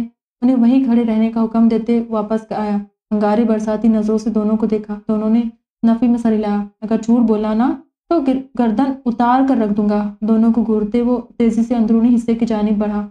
तीन तीन स्टेप फलांगता सीढ़ियाँ चढ़ते, कपकपाते हाथों से पहले कमरे का दरवाज़ा खोला। सामने ही बेड के करीब नीचे जो लड़की पड़ी थी, वो यकीनन उसकी मताए हयात थी, तेज़ी से उसकी जानब बढ़ा। उसे सीधा किया और फिर लगा, दिल किसी ने मुट्ठी में पकड़कर ज़ोर से खींच भेजा हो। फरीद ने दो बार ही उसका चेहरा देखा था, मगर उसका एक एक नक्श उसे असबर था। इस कदर सोचा था उस लड़की को उसने इस लम्हे उसे जरनाब की शक्ल पहचानी मुश्किल हो गई। इस कदर सूजी हुई थी, कनपट्टी के पास से जिल्द फटी हुई थी, खून लकीरों की सूरत जमा हुआ था। फ़ौरन नब्स टटोली बहुत हल्की चल रही थी, चादर उसके वजूद पर कहीं नहीं थी, जिसे वो हम वक्त ओढ़े रखती थी। फरीद का दिल किया, वो धाड़े मार मार कर रोए, जिसे महरम होते कभी हाथ नहीं लगाया। किसी गैर ने उसके भाई ने उसके साथ ये सलूक किया था। कमीज बहुत जगहों से फट चुकी थी और जहाँ जहाँ से फटी थी, वहाँ जख्म थे, जूतों की नोक के जख्म। वरीद ने फ़ौरन बेड पर बिछी चादर में उसका वजूद लपेटा और बाजू में उठाए तेज़ी से नीचे की जाने बढ़ा। वही दोनों गार्ड दरवाजे पर खड़े थे, जिनमें से एक जरनाब को बालों से घसीट कर अंदर लाया था। उसे अपनी जान हवा होती लगी। वरीद उसे बाजू में उठाए अपनी गाड़ी की जानी बढ़ा। दोनों को साथ आने का इशारा किया। आँखों से चिंगारी अब भी बरस रही थी वो दोनों खामोशी से आगे बढ़े। एक ड्राइवर, एक ड्राइव करने को कहा और दूसरा, आगे उसके साथ बैठा। पिछली सीट पर जरनाब के साथ बैठते उसे खुद से लिपटा रखा था। साथ साथ उसके हाथों को गरमाइश देकर उसे होश में लाने की कोशिश कर रहा था, जो बेसुध था। गाड़ी करीबी हॉस्पिटल की जानी मोड़ो, उन्हें हिदायत दी। आँसू पीते उसके बिखरे बालों को हाथों से संवारते उन पर अपने लब रख दिए। शिद्दत गिरिया से आँखें सुर्ख हो रही थी। रात होने को आई थी, मगर मारिज का कहीं पता न था। हसीर ने मलिक अयाज को फ़ोन करके पूछा, वो भी लाइन थे और उसका अपना मोबाइल भी ऑफ़ था। पुलिस के बंदे वजाहत चौधरी की हवेली में मौजूद थे। असीद भी उनके साथ था। आपके बेटे पर मलिक अयाज की भतीजी को अगवा करने का इल्ज़ाम है और जागे वकुआ पर। आपके बेटे की गन से निकली हुई गोलियों की ये खोल है। हज़ार चौधरी टांग पर टांग जमाए। उसी रौन से मरदान खाने में मौजूद पुलिस एहलकारों को कहर बरसाती नज़रों से देख रहे थे। बहुत बड़ी ज़रूरत कर ली है तुमने। मुझों को एक अंदाज से संवारते वो तीखी नज़रों से सामने मौजूद पुलिस ऑफिसर से मुखातिब हुए। पर फ़िलहाल इल्ज़ाम है। हम उन्हें मुझे नहीं कह रहे। वो झिझक कर बोला, तुम्हारी ये वर्दी उतरवाना मेरे बाएँ हाथ का काम है, बहरहाल। इमो मेरे बेटे के पास है भी तो तो क्या? इसकी गोली मुल्क में जहाँ कहीं मिलेगी, तुम अपना मुँह उठाकर यहाँ बकवास करने पहुँच जाओगे? गुस्से से सामने मौजूद लकड़ी की टेबल पर हाथ मारते हुए मुश्तिल अंदाज बोले देखे सर, मलिकों ने यह इल्ज़ाम लगाया है और अगर आपका बेटा इन्वॉल्व नहीं तो वो आकर अपने हक में गवाही दे दे हम केस खत्म करवा देंगे। तो पुलिस ऑफिसर हिम्मत करते हुए बोला तुमसे मैं बाद में निपटूँगा। शकूरे पास खड़े बंदे को आवाज़ दी। जी, सरकार शकूर हाथ बांधे उनके करीब आया।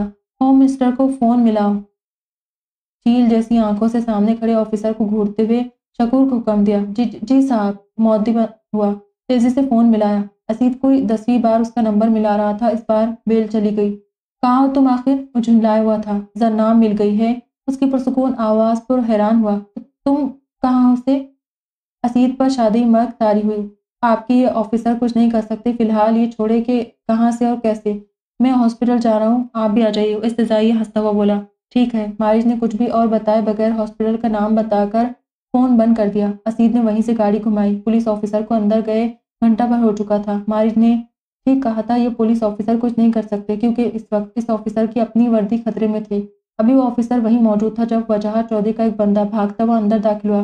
सरकार, उसके चेहरे पर हवाइयाँ उड़ी हुई थी। क्या मौत आ गई तुझे? उधाड़े अभी तो न जाने वो वरीद क्या करता, और वलीद भी पता नहीं कहाँ मर चुका था, जो वापस ही नहीं आ रहा था।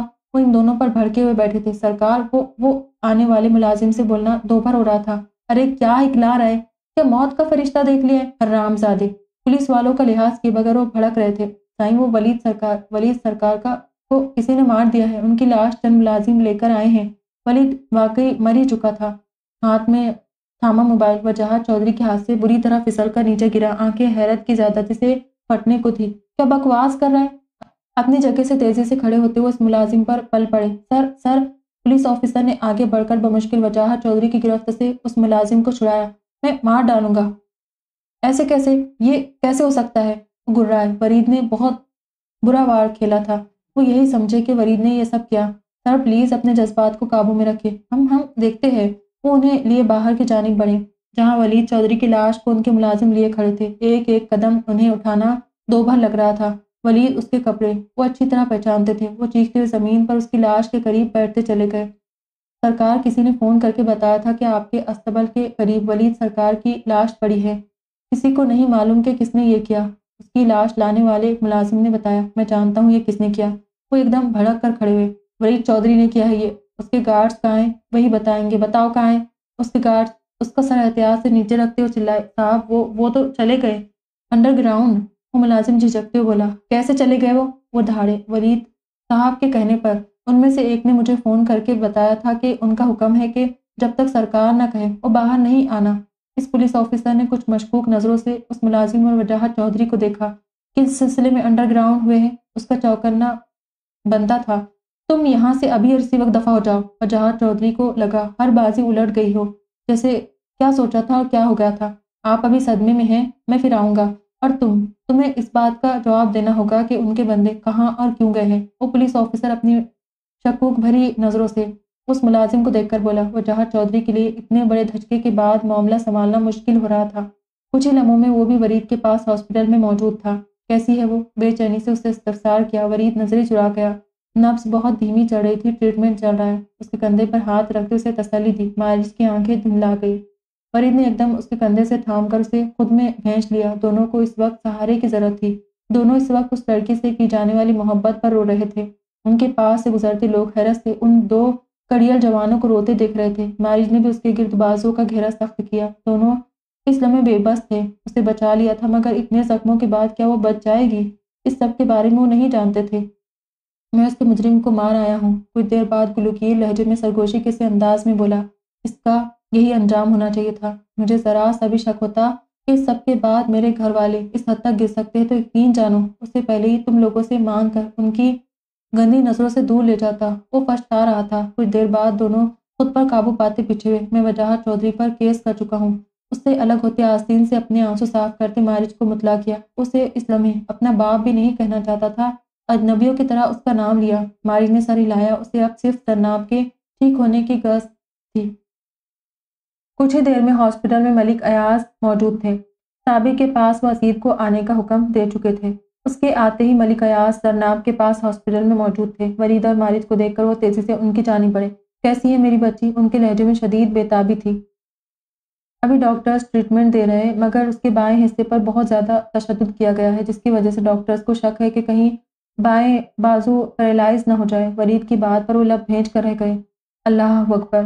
शिद्दत गिरिया से उनकी आवाज़ शदीद भारी हो रही थी। डॉक्टर्स का ये भी कहना है कि यहाँ जदीद सहूलतें मौजूद नहीं तो बेहतर है कि उसे शहर किसी बड़े हॉस्पिटल लेकर जाया जाए। अभी वो इतनी ट्रीटमेंट दे रहे कि कल तक उसे शहर किसी और हॉस्पिटल में शिफ्ट किया जाए। मारिज ने उन्हें मजीद इत्तला दी। तुम दोनों फौरी कल उसे ले जाओ। साथ में नशरा माया और एक दो और मुलाजमाओं को भी मैं भेज देता हूँ। उन्होंने फ़ौरन सब कुछ तरतीब दिया। साबिर की हालत कैसी है? मारिज के सवाल पर उन्होंने सर हिलाया। बेहतर है अब। बस खून की कमी है, जो इन चंद एक हफ़्ते में बेहतर हो जाएगा। मुझे तुमसे कुछ बात करनी है। उन्होंने एक नज़र अपने सामने सा झुकाए मारिश पर डालकर कहा, वरीद, उनकी बात समझते फ़ौरन से पहले एक जानब चल दिया। क्या इसका और जन्नाब का निकाह तुमने करवाया था? वरीद के एक जानब होते ही वो बोले, नहीं, बीबी ने करवाया था। जन्नाब की मर्ज़ी से, उसने सच्चाई बताते सब बात उनके कोश गुजार की। वो कुछ देर पहले ही अपने बंदों से ये सब बातें सुन चुके थे कि जन्नाब वरीद की बीवी है। और तुम इतने बेखबर थे कि तुम ये सब जान ही नहीं पाए। वो उसे आड़े हाथों ले रहे थे। वरीद चौधरी को कत्ल कर दिया है। और इसी ने जरनाब को उठवाया था, क्या इस बारे में भी तुम इतने ही लाइम हो? अब की बार उन्होंने कड़े तेवरों से घूरा नहीं, मुझे उसका इल्म है। वो हाथ सामने बांधे हमेशा की तरह मौतब खड़ा हुआ था। तुम और वरीद आपस में रबते में थे। वो पैर दर पे उससे सवाल कर रहे थे। जी, मैं सुबह उसके फ्लैट पर गया। वहीं मुझ पर यह सब पता चला।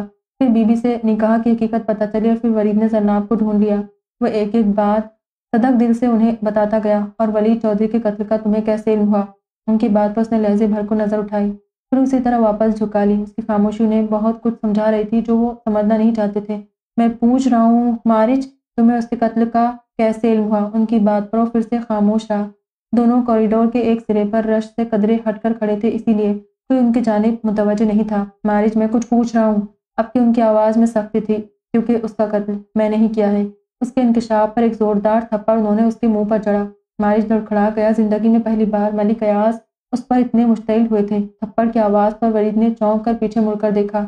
मारिज का लाल चेहरा उसे बहुत कुछ समझा गया। तुम इतने खुद मुख्तार कब से हो गए कि ये सब मामले अपने हाथ में ले लो उसके कंधे पर गिरफ्त सख्त किए उस पर गरजे। मैं उसकी माफ़ी नहीं मांगूँगा। हाँ मगर आप जो सज़ा कहेंगे वो सहूँगा। चाहे वो सज़ा, सज़ाए मौत ही क्यों ना हो उसका झुका चेहरा अब भी उनके सामने नहीं उठा था। कि क्या किया है तुमने उन्होंने बेबसी से उसे देखा, फिर एक झटके से उसका कंधा छोड़ा। कहाँ छुपाए वो जलील वलीद को दफनाने के बाद भी वजह चौधरी की अकड़ वहीं की वही थी। सरकार यहाँ पास ये जो हॉस्पिटल है, वहाँ है। उसके एक बंदे ने उसे मुतला किया है। मार डालो जाकर उसे। ख़त्म कर दो, वरना ये वो सांप है जो मुझे भी खा जाएगा। उसकी आँखों से शरारे निकल रहे थे। जो हुक्म साई, वो बंदा तो उनके हुक्म का गुलाम था। चाहे बाप को मारने का हुक्म होता या बेटे को। और ये वजाहत चौधरी तो वो इंसान था जिसने ख़ानदान का सरबराह बनने की खातिर अपने बाप को भी कत्ल करवाने से तरीक नहीं किया था। पर आज वो अपने इलाके पे तन तनहा राज कर रहा था। ये हकीकत उसके ख़ास चंद खास लोगों के अलावा किसी को मालूम नहीं थी कि आज से तीस साल पहले उसने एक कार एक्सीडेंट में अपने बाप को मरवा दिया था। और मशहूर ये करवाया था कि गाड़ी की ब्रेक्स फेल होने के बाद ये एक कार हादसा था। तो आज अपने बेटे को मरवाते से कोई फ़र्क ना पड़ता। ऐसे बेहिस और मुर्दा समीर लोग अपनी औलाद के लिए भी कुछ महसूस नहीं करते। कमीना हमारे मुखालिफों से मिल गया, वो गुस्से से बड़बड़ाया। बस कर दे दुश्मनियाँ, कितनों को मारना है और हवस नहीं खत्म हो रही आपकी। न जाने किस वक्त सुगरा बेगम उनके पीछे आई, उन्होंने सब सुन लिया वह जहाँ चौधरी झटके से पीछे मुड़े, रोती बिलकती वो औरत तो न जाने किस बात की सजा काट रही थी। अगर मेरी एक औलाद को अल्लाह ने हिदायत दे दी है तो आप उसे भी सफ़े हस्ती से मिटाने पर तुले हैं। क्यों इतने खुदगस हो जाते हैं आप जैसे लोग? मेरा पहला बच्चा बेमौत मारा गया। क्यों सोचा है कभी इस इकदार के लालच में जिसके बढ़ते पे आपने अपने बाप को भी नहीं छोड़ा, अल्लाह ने सज़ा दी आपको, मगर आपको फिर भी खौफ ना आया? ले आए एक मासूम को उसके बदले और जुल्म किए उस पर। वो तो अल्लाह ने आपकी माँ को न जाने कौन सी हिदायत दे दी कि उसे यहाँ से निकाल दिया। इसीलिए कि उसके हुस्न से वो डर गई कि कहीं फरीद लौट कर आए और वो उसे बीवी का दर्जा ना दे डाले। मगर क्या हुआ? देखा, अल्लाह का इंसाफ आज वो सारे हिसाब बेबाक कर रही थी। अल्लाह ने उसी की मोहब्बत मेरे बेटे के दिल में डालकर आप जैसे सभी लोगों को बतलाया कि ये है मेरी प्लानिंग जब उसने एक फरसुदा गंदी रस्म का खात्मा करना चाहा तो दूसरे बेटे के कान भर के आपने उस लड़की के ज़रिए वरीद को तकलीफ़ पहुंचानी चाहिए और अब फिर आपको अल्लाह ने सजा दी। एक और बेटे की मौत की सूरत। आप अब भी अपनी अकड़ नहीं भूल रहे। उनकी आँखें खोलने की कोशिश कर रही थी, मगर जिन दिलों पर मेहर लिखी जाए, वो दिल अल्लाह की जानब फिर कभी नहीं पलटते। बकवास बनकर जरील औरत, औलाद के लिए मेरे सामने मुँह खोल रही है। एक जन्नाटेदार थप्पड़ सुगरा के मुँह पर पड़ा था। हाँ बोलूँगी, और अब हर उस हद तक जाऊँगी जहाँ मैं इन जाहिलाना रस्मों को, रिवाजों को ख़त्म कर सकूँ। मार दे मुझे भी, चिल्लाऊँगी, गोली चलाए। दे जहर, और मार दे मुझे, मगर अल्लाह फिर किसी और सूरत आपको सजा देगा। याद रखेगा मुँह पर हाथ रखे निडर अंदाज में उन्हें देखती वो वहाँ से हट गई। उन्होंने गुस्से से दोबारा नंबर मिलाया, हेलो, अभी हमला मत करना। फ़िलहाल मेरी हिदायत का इंतज़ार करो। उनका मंसूबा नाकाम हो गया था। अभी वो मजीद हालात को अपने हक में ख़राब नहीं करना चाहते थे। हेलो, अयाज मलिक ने नंबर देखते ही पहली बेल पर फ़ोन उठाया। मेरे बेटे को बचा ले। आज वो दरिंदा मेरी बहू और मेरे को मारने का मंसूबा बना रहे सुकरा बेगम की बेबस आरोती आवाज़ सुनकर वो लब भेज कर तासुब में सर हिलाने लगे। आप फ़िक्र मत करें, मैं उनकी पूरी तरह हिफाजत करूँगा। आपका बहुत शुक्रिया। आपने हमेशा मुझे आगाह कर रखा। वो मुतशक्कर हुए। मारिज जो उनके करीब ही खड़ा था, कुछ चौंक कर उनकी जानब देखा। उन्होंने फ़ोन बंद करते ही मारिज की तरफ़ देखा, जो अचंबे से उन्हें देख रहा था। तुम मुझसे पूछते थे ना कि मुझसे भी पहले चौधरीों की हवेली के अंदर के मामला का इल्म आपको कैसे होता है? तो वरीद की माँ ने हमेशा मेरा साथ दिया है। बहुत नेक खातून है। शायद अल्लाह ने उनकी दुआओं के अवस वरीद को अच्छी राह पे चला दिया। अब समझा कि वरीद का जरनाब को नार एहसान समझकर उसे मोहब्बत का दावा करना फिर अपने माँ बाप के सामने डर जाना। ये सब बातें अयाज मलिक को कैसी मालूम हो जाती थी? आज ये मुम्मा भी हल हुआ। उन्होंने हमेशा उस मरदूद वजाहत चौधरी के गंदे इरादों से मुझे आगाह किया, जो जो उन्हें मालूम होते गए मगर इतना सब होने के बाद भी अल्लाह ने वजाहत चौधरी को अकल नहीं दी। आज रात वो वरीद और जन्नाब पर फिर से हमला करवाना चाहता है, जो कि अब नामुमकिन है। मैं गार्ड्स बुलवाता हूँ। तुमने एक मिनट के लिए भी जरनाब और वरीद को अकेला नहीं छोड़ना। तुम्हारे मसले का हल हम फिर करते हैं। और सुबह होते ही तुम लोग यहाँ से शहर निकल जाओगे। मैं नशरा को भी भिजवाता हूँ। वो मजीद उनके सामने कुछ नहीं कह सकता था, ये भी नहीं कि नशरा को मत भिजवाएँ। वो उसका भी सामना नहीं कर सकता। जज्बात में वो बहुत कुछ गलत उसे कह गया था। क्या बात है? आप इतने परेशान क्यों हैं? जब से वो हॉस्पिटल से आए थे, बिल्कुल खामोश थे। अब तो जरनाब मिल गई है। मैं मानती हूँ कि जरनाब और नशरा ने बहुत गलत किया, मगर निकाह ही किया है। कोई गुनाह तो नहीं किया। वो यही समझी कि मलिक अयाज इस वजह से परेशान है। उनके करीब बैठ पर बैठते वो पूछे बगैर ना रह सकी, मैं जानता हूँ और नशरा की अच्छी खासी क्लास भी ले चुका हूँ, मगर मुझे असल फ़िक्र मारिज की है। वो घबराए हुए नहीं थे, मगर शदीद परेशान थे। क्यों? क्या हुआ है मारिज को? कोई नहीं जानता था कि वो क्या कारनामा कर चुका है वलीद चौधरी के कत्ल के बारे में। तो आप जानती हैं, उनकी बात पर तजब्जुब का शिकार हुई कि वो बता रहे या सवाल कर रहे। अब तक तो सभी जान चुके हैं उसके बारे में। जरीना की बात पर उन्होंने एक गहरा सांस भरा। उसका कत्ल मारिज ने किया है। उनके इंकशाफ पर जरीना का मुँह खुला का खुला रह गया। हैरत की ज्यादती के बाद दाया हाथ एकदम मुँह पर रखा। मेरे खुदा, ये क्या किया मारिज ने? उनका भी हाल अब मलिक अयास से कम ना था। मलिक अयास की तरह जरीना भी उससे अपने बच्चों की तरह अज़ीज़ रखती थी और जब से नशरा से उसकी शादी की थी, वो और भी प्यारा हो गया था उन्हें। अब क्या होगा? उन्होंने फिक्रमंदी से पूछा। यही सोच मुझे परेशान कर रही है कि अब क्या होगा? मगर एक बात याद रखेगा मैंने सारी ज़िंदगी इंसाफ को अव्वलियत दी है, चाहे वो फिर मेरी औलाद ही क्यों ना हो। मैं हर किस, किसी झूठ के सहारे पर उसे नहीं बचाऊँगा। उनका अटल लहजा, उनके इरादों का पता दे रहा था कि वो किसी भी कीमत पर उसे रियायत नहीं देंगे। आप चाहें तो उन्होंने झिझकते हुए जो कहना चाहा, उसे अच्छी तरह समझ गए। मेरा ख्याल है, मेरा इतना वाज अंदाज में ये सब कहना आपके लिए काफ़ी होना चाहिए। किसी भी सूरत में नशरा को आपने ही संभालना होगा। मैं जानता हूँ वो उसे शोहर की हैसियत से कबूल कर चुकी है इसीलिए आपको ये सब बताया है कि चंद दिनों में कुछ भी हो सकता है, लिहाजा आपने नशरा को समझाना है। गलत को सही में कभी भी नहीं कहूँगा और ना उसके लिए कोई कोशिश करूँगा। उनके फैसले पर जरीना का दिल गोया काँप कर रहेगा नशरा की मारिज के लिए पसंदीदगी से वो भी वाकिफ हो गई थी और मुतमिन थी कि वो दोनों एक दूसरे के साथ ठीक हो गए, मगर ये क्या हो गया था? रात में नशरा उनके पास हॉस्पिटल पहुँच चुकी थी। मलिक अयाज ने सिक्योरिटी सख्त से सख्त करवा दी थी। वो तीनों इस वक्त जरनाब के पास ही रूम में मौजूद थे, जहाँ वो ढेरों पट्टियों में जकड़ी लेटी थी। नशरा तो उसे इस हाल में देखकर रो पड़ी। मारिज ने किनखियों से उसे अपने सामने खड़ी रोती हुई नशरा को बेबसी से देखा। प्लीज़ भाभी, ऐसे हिम्मत हारेगी तो हम उसे ठीक कैसे कर पाएँगे? मारिज के हवाले से उसने एकदम ही रोती हुई नशरा को मुखातिब किया। वो चौंक कर मुड़ी, एक नज़र सा झुकाए दरवाजे के करीब खड़े मारिज पर डाली। बस उसे इस हाल में देखा नहीं गया। गुलोगीर लहजे में बोलती, आँखें साफ़ करने लगी। आप लोग कुछ खा लें। आपके भाई का मालूम हुआ था। बहुत अफसोस हुआ। एकदम कुछ याद आने पर वो वरीद से मुखातिब हुई, जिसकी आँख में भूला बसरा आँसू दर आया था। काश तो उसका भाई इस हद तक दरिंदगी ना करता। जी, वो फक्त इतना ही कह सका। ये खा ले प्लीज़। दो प्लेटों में चावल निकाल कर एक वरीद के सामने रखी और दूसरी प्लेट पकड़े, कशमकश में खड़ी थी। मैं एक मिनट आता हूँ। वरीद कुछ याद आने पर बाहर जाने लगा। कहाँ जा रहे हो तुम? मारिज एकदम उससे बोला। डॉक्टर के ऑफ़िस तक जा रहा हूँ। उसकी बात पर मारिज ने सर हिलाया। बाहर गार्ड खड़ा है। उसे लिए बगैर नहीं जाओगे तुम। वो तंबीहा के से अंदाज में बोला। ठीक है। हॉस्पिटल का तमाम अमला मलिकयास को अच्छे से जानता था। इसीलिए उनके गार्ड को हॉस्पिटल में आने की पूरी इजाज़त दी गई थी। वरीद के बाहर जाते ही नशरा ने पल भर को उस सितमगर की जानब देखा। खा लो तुम भी। उसके भी होंठ पर और हाथ पर जख्म आए थे, जिन पर बैंडेज की गई थी। शुक्रिया। अभी भूख नहीं। उसने सहूलत से इनकार किया, फिर सर फिर से झुका लिया। सर फिर से झुका हुआ था। समझते क्या हो तुम अपने आप को? हाँ? किस बात के हीरो बने फिर रहे हो?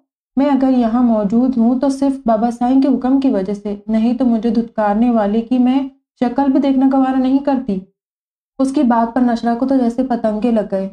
उसके करीब आते सारा जमा शुदा गुस्सा उस पर निकाला कि जानी इशारा करते तुर्की से बोली, मैं जानता हूँ कि आप सिर्फ़ मलिक साई के कहने पर यहाँ मौजूद है, वरना मैंने ऐसी कोई गुंजाइश नहीं छोड़ी थी कि आप मुझसे दोबारा कभी मुखातिब होती। हाथ पुष्ट पर बांधे हुए अपने मखसूस धीमे अंदाज में बोला, पता होता, होना भी चाहिए। तुम्हें अपनी औकात का, तुम्हारे साथ जुड़े रिश्ते को मान क्या लिया? तुम तो मेरे सर ही चढ़ गए। उसके लहजे से मारिज को वही पुरानी नशरा की याद आई जो उसे हमेशा हकीर जानती थी। मैं आपसे माफ़ी माँगता हूँ कि मैं अपनी औकात भूल गया था। के एतराफ़ पर नशरा का दिल गोया, किसी ने मुट्ठी में लिया। बहुत हर्ट किया है तुमने मुझे। ढेरों आँसू आँखों में जमा हुए। मुझे माफ़ कर दे। उसकी नम आवाज़ पर वो और भी शर्मिंदा हुआ। मैंने बहुत बार जन्नाब से पूछा था कि वो सोच समझ कर एक कदम उठाए। मैंने ज़बरदस्ती तो नहीं की थी उसके साथ, वो खुद को क्लियर करने लगी। मुझे इस बात का एहसास होना चाहिए था। जरनाब वो पहली इंसान थी जिसने बचपन में मुझे इस लम्हे मोहब्बत दी, जब हर जगह मुझे धुतकार मिली। जरनाब और मलिक साई, वो दो वाहिद बंदे हैं जिनकी मोहब्बत में मैं कुछ भी कर सकता हूँ। बहन की जानब देखते उसकी आँखों में फिर से नमी आई और मैं मैं कहीं नहीं, उसने हसरत से पूछा, आप मोहब्बत नहीं, आदत है, ज़रूरत है जिसके बगैर मैं सांस न ले पाऊँ, शायद। इसीलिए आपसे हाथ जोड़कर अपने अल्फाज की माफ़ी माँगता हूँ। शायद मोहब्बत इंसान को कभी कभी वहशी बना देती है। इसीलिए अल्लाह ने दुनिया में दिल लगाने को मना किया है। इसीलिए अल्लाह ने बार बार इस हकीकत को दोहराया है कि रिश्ते, माल और चाह, ये सब वो जब चाहे दे सकता है और जब चाहे वापस ले सकता है। इसीलिए उनकी मोहब्बत में अंधे मत हो जाओ। मगर मैं हो गया और शायद इज़्ज़त के लिए हर इंसान अंधा हो जाता है। अपनी नहीं, अपने साथ जुड़े रिश्तों की इज़्ज़त के लिए। उसकी आँखें आँसू जब्त करने की गज से सुर्ख हो रही थी। नशरा के कब से रुके आँसू यकलख्त उसके रुखसारों पर बहे। मारिज ने बड़ी तकलीफ़ से मंजर देखा, न जाने क्या हुआ। बढ़कर उसे खुद से लगाकर भेजा, मुझे माफ़ कर दे।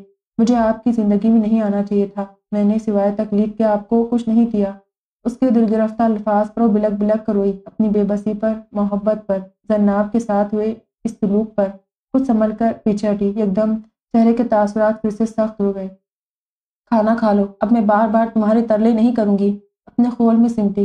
इतनी आसानी से उसे माफ़ नहीं करना था। उसी पल वरीद वापस आया। वो दोनों फिर से अजनबी बन चुके थे। वो सारी रात मारिज और मलिक अयास पर बहुत भारी थी। फजर के करीब माया और दो और मुलाजमाएँ वो हॉस्पिटल पहुँचा चुके थे और उसके कुछ ही देर बाद वो सब मुख्तलिफ़ गाड़ियों में वहाँ से निकल पड़े, जिनमें सबसे आगे मारिज की गाड़ी थी। मारिज की ही गाड़ी में नशरा उसके हमरा थी। उस गाड़ी को ड्राइव भी मारिज खुद कर रहा था। कुछ ही दूर चलकर उसी रास्ते से गुजरे जहाँ से उस दिन सरनाब को अगवा किया गया था। नशरा उंगलियाँ मरोड़ रही थी। मारिज ने चौंक कर उसकी जानी देखा। नकाब से झांकती आँखों में इस लम्हे वहशत थी। वो जान गया कि उसे वही मंजर याद आ रहे हाथ बढ़ाकर उसके मुस्तरब हाथों पर अपना गर्म हाथ रखकर गोया उसे तहफ़ का एहसास दिलाया। नशरा ने चौंक कर अपनी हाथों पर धरे उसके हाथ को देखा। वहाँ से होती उसकी नज़र मारिज की जानब उठी। जो भेजे संजीदगी से ड्राइव कर रहा था। उसके हाथों को झटक ना सकी। शायद वो खुद इस वक्त किसी का मान और तहफ़ चाहती थी। खौफ का हमेशा निडर अंदाज में मुकाबला करते। खौफ हमारे बाहर नहीं, हमारे अंदर होता है। लिहाजा उसे अंदर से ख़त्म करना हमारे बस में होता है।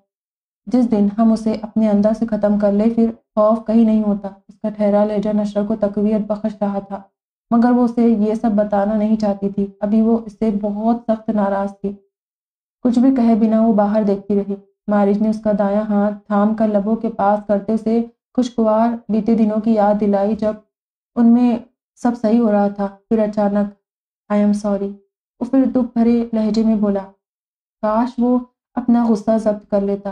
ज़िंदगी में पहली बार उसने यूँ जब्त का दामन छोड़ा था और वो शदीद पछताया था। खुद से तो बहुत मोहब्बत करने वाले लोगों को उसने जिक पहुंचाई थी मलिक अयाज और नशरा, दोनों अलग अलग वजूहत की वजह से उससे नाराज़ थे। उसे आज इस बात का खूब अंदाज़ा हो गया था कि गुस्से को अल्लाह ने क्यों हराम किया है, क्योंकि ये हराम काम की जानब हमें रागिब करता है। हॉस्पिटल पहुँचते ही वरीद और मारिद दोनों फिर से डॉक्टर से बातचीत और उन सब में मसरूफ़ हो चुके थे। शाम तक जरनाब को कुछ होश आ चुका था। डॉक्टर्स का भी यही कहना था कि जब वो पूरी तरह होश में आएगी तभी उसके पैरालाइज होने और ना होने के बारे में कुछ कहा जा सकता है। उसी दौरान वरीद को जैसे ही मौका मिला, उसने सुगरा बेगम का नंबर मिलाया जानता था, माँ, इस वक्त गम से निडाल होगी। मैं ये नहीं पूछूँगा कि आप कैसी है, मगर इतना ज़रूर कहूँगा कि मेरे पास इस वक्त दो ही रिश्ते हैं, एक आप और दूसरा सरनाम। मुझे आपकी दुआओं की बहुत ज़रूरत है। माँ से बात करते रो पड़ा। बेटा इस बच्ची का ख्याल रखना, तुम्हारे बाप के इरादे ठीक नहीं, वो उसे मुतला करने लगी। मैंने उन पर केस की, कोशिश की थी, मगर पुलिस केस लेने को ही तैयार नहीं। वो मायूस कुन लहजे में बोला, ऐसों का केस बस अल्लाह की अदालत में डाल दो, वो बेहतरीन इंसाफ करेगा। ऐसे फिरौनों के लिए उनसे बड़े फिरौन चाहिए होते हैं बेटा। तुम और मेरे जैसे लोग उनका मुकाबला नहीं कर सकते। वो भर्राए हुए लहजे में बोली मम्मा क्या आप मेरे साथ हैं? उसके लहजे में क्या क्या नहीं था? कैसी हसरतें नहीं थी? हाँ बेटे, मैं तुम्हारे साथ हूँ, मेरी दुआएँ तुम दोनों के साथ है। काश मैं भी जरनाब बच्ची जैसी होती। तो तुम्हारे बाप के खिलाफ बहुत पहले उठ खड़ी होती। मेरे बच्चे उस शख्स की फिरौनियत की नज़र हो गए। वो शिद्दत गिरिया से बेख्तियार रो पड़ी, मगर मुँह पर हाथ रखकर अपने रोने की आवाज़ वरी से छुपाई। वो पहले इतना परेशान था, मज़ीद परेशान हो जाता। मुझे माफ़ कर दे, वो वलीद के लिए गमगीन हुआ। नहीं बेटे, जो बुरा करता है, वो अपना अंजाम खुद पा लेता है। अल्लाह ने इसीलिए तो इंसान को अकल से नवाजा है कि वो अपने अमाल को सोचे, परखे। आया वो गलत कर रहा है या सही, और इंसान का खुद से बढ़कर कोई और एहतसाब नहीं कर सकता। इंसान अपनी अच्छाई, बुराई से बहुत अच्छे से वाकिफ होता है, मगर जिसने अपनी किस्मत में बुराई लिखवानी है, वो खुद को तसली देने को हज़ार दलाल ले आता है कि मैंने ये काम इसलिए किया इसलिए किया, मगर जो अपनी बुराई को मान लेते हैं, उन्हें डर, उसका एतराफ़ करते हैं जैसे तुमने किया। मुझे फ़ख्र है तुम पर कि तुमने खुद के अशरफुल मखलूक़ात होने का सबूत दिया। अल्लाह ने तुम्हें ठोकर लगाई और तुम संभल गए। अल्लाह तुम्हारा हामी नासिर हो, अपना ख्याल रखना, अब मैं फ़ोन बंद कर रही हूँ। उनका एक एक लफ्ज़ उसके अंदर अमृत की तरह टपक रहा था। वो कॉरिडोर में इस वक्त फर्श पर बैठा हुआ था, रिश्तों के इन झमेलों ने उसे तोड़ कर रख दिया था। तुम मिल लो जरनाब से। जैसे ही जरनाब को होश आया था, पहले नशरा और माया उससे मिलने कमरे में गई थी। फिर मारिज और अब वो बाहर आकर उसे अंदर जाने का कह रहा था। उसने सर उठाकर मारिज की जानब देखा। मारिज ने गौर से उसकी आँखें देखी, जो बहुत सारा रोने की चुगली खा रही थी। मुझे माफ़ कर दो। अपनी जगह से खड़े होते हुए मारिज के रूबरू खड़ा उससे मुखातिब हुआ। उसने अचंबे से उसे देखा, मेरी वजह से तुमने मेरे हिस्से में आने वाली बला को अपने सर लिया। मैं तुम्हें इतना ना उकसाता तो शायद तुम इस हद तक ना जाते। उसे अपने वो अल्फाज बार बार कचूके लगा रहे थे जो उसने जनाब का इल्म होते ही मारिज को फ़ोन करके वरीद के बारे में कहे थे। नहीं, उसमें तुम्हारा कोई कसूर नहीं। मेरे साथ ऐसा ही होना था। हर किसी को अपने किए की सज़ा मिलती है। उसकी बात पर वरीद ने उलझ कर उसे देखा। तुम क्या सोच चुके हो? वो इतना बच्चा नहीं था कि उसकी सच्चाई उसके चेहरे से भाप न लेता। जरनाब से मिल लो, उसे दवाई दे दी गई है। शायद कुछ देर तक वो गुनुदगी में चली जाए। उसकी बात पर उलझा, सा जरनाब के कमरे की जानी बढ़ा। उसके होश में आते ही डॉक्टर्स ने पूरी तसली से उसका चेकअप किया। सब रिपोर्ट्स आने के बाद उन्होंने तसली दी कि कुछ दिनों तक उसका दायां हिस्सा सुन रहेगा, लेकिन जैसे ही प्रॉपर डाइट और दवाइयाँ उसके अंदर जाएगी, वो पैरालाइज वाली तकलीफ़ की जानब नहीं जाएगी। मारिज और वरीद ने शुक्र अदा किया। वो दोनों शरीर टेंशन में थे। मारिज के होते ही डॉक्टर उसे दवाई देकर गई थी। दरवाज़ा खोलकर वो अंदर दाखिल हुआ। अभी भी वो पट्टियों में जकड़ी हुई थी, मगर इन सब के लिए यही काफ़ी था कि वो ज़िंदा थी और किसी भी किस्म की जिसमानी माजूरों से बच गई थी। आहिस्ता रवि से चलता उसके बेड के करीब गया। किसी के कदमों की चाप उसे अपने बहुत करीब महसूस हुई। आहिस्ता से आँखों के पपोटे खोलकर देखा। वरीद चौधरी उसके सामने आँखों में नमी लिए खड़ा था। आप आप यहाँ? वो भी बमुश्किल बोल पा रही थी। क्यों? मुझे नहीं होना चाहिए था। उसका एक हाथ थामे मोहब्बत से उस पर बोसा दिया। जरनाब का काँप सी गई। ऐसी जसारत का कब सोचा था? नशरा ने बताया था। आपने बचाया। टूटे फूटे लफ्ज़ों में बोली, अल्लाह ने बचाया तुम्हें। मुझे तो बस उसने राह दिखाई। मुझे माफ़ कर दो। मुझे ज़रा सा भी अंदाज़ा होता कि तुम्हारे साथ ऐसा हो, कुछ होगा उस दिन जरगे से मैं तुम्हें रुख्सत करवा कर निकलता, वो दिल की बात कह रहा था शुक्रिया। उसकी साँसें फूल रही थी। तुम इतना मत बोलो, प्लीज़, अभी ठीक नहीं है तुम्हारे लिए। बस जल्दी से ठीक हो जाओ। सब शुक्रिया वसूल करूँगा? उसके होंठों पर उंगली रखकर उसे चुप करवाते हुए मोहब्बत से चूर लहजे में बोला जन्नाब को अपनी बेबसी पर रोना भी आया, और गुस्सा भी कि वो उसके हाथों कलम खुद से दूर भी नहीं कर सकती थी। फरीद के गर्म हाथ, मुसलसल उसका एक हाथ सहला रहे थे। उसे यह एहसास बहुत अजीब लग रहा था। नशरा से ये सुनकर के उसने जरनाब को उस जिंदान से निकाला और जरनाब का दिल डूब कर उभरा। वलीद ने उसे जितनी बेदर्दी से मारा था, उसके कपड़े जगह जगह से फट चुके थे। उसके सर पर तो क्या जिस्म तक पर चादर तक ना थी और इसी हालत में वलीद ने उसे देखा था और शर्म से कट गई थी। मगर अभी उसकी हालत ऐसी नहीं थी कि वो इस सब पर ज़्यादा सोच पाती। उसके हाथ पकड़े पकड़े ही वो गुनूदगी में जा चुकी थी। अगले दिन सुबह ग्यारह बजे पुलिस के चंद अहलकार हॉस्पिटल मौजूद थे। जी फरमाए, रिसेप्शन से पूछे हुए, वो जरनाब के कमरे के बाहर मौजूद थे। आप में से वरीद चौधरी कौन है? वो दोनों इस वक्त कमरे के बाहर ही थे। जी मैं। वरीद ने अपनी जानब इशारा किया। आप पर इल्ज़ाम है कि आपने अपने भाई का कत्ल किया? उनमें से एक ऑफिसर ने करख्तगी से उससे सवाल किया। और ये इल्ज़ाम किसने लगाया है? आपके मारिज ने दखल अंदाजी की। उनके बाप ने दो दिन पहले आपके भाई का कत्ल हुआ और उन्होंने बताया कि घरेलू चपकलिश के बाद आपने उन्हें कत्ल कर दिया। इसकी बात पर वरीद ने गुस्से से मुठियाँ भेजी। क्या आपने उनसे तफ्तीश की कि ये घरेलू चपकलिश किस नोयत की थी? वो सख्त लहजे में बोला, ये छोटी मोटी अयाशिया हो ही जाती है जी। अब लड़की के मामले में भाई को मारने की क्या तो वो थोड़ा सा आगे आकर सरगोशनुमा आवाज़ में कांक दबाकर बोलता, वरीद और मारिज का शदीद गुस्सा दिला गया। वरीद ने मुश्तैल होते उसे गिरेबान से पकड़ लिया।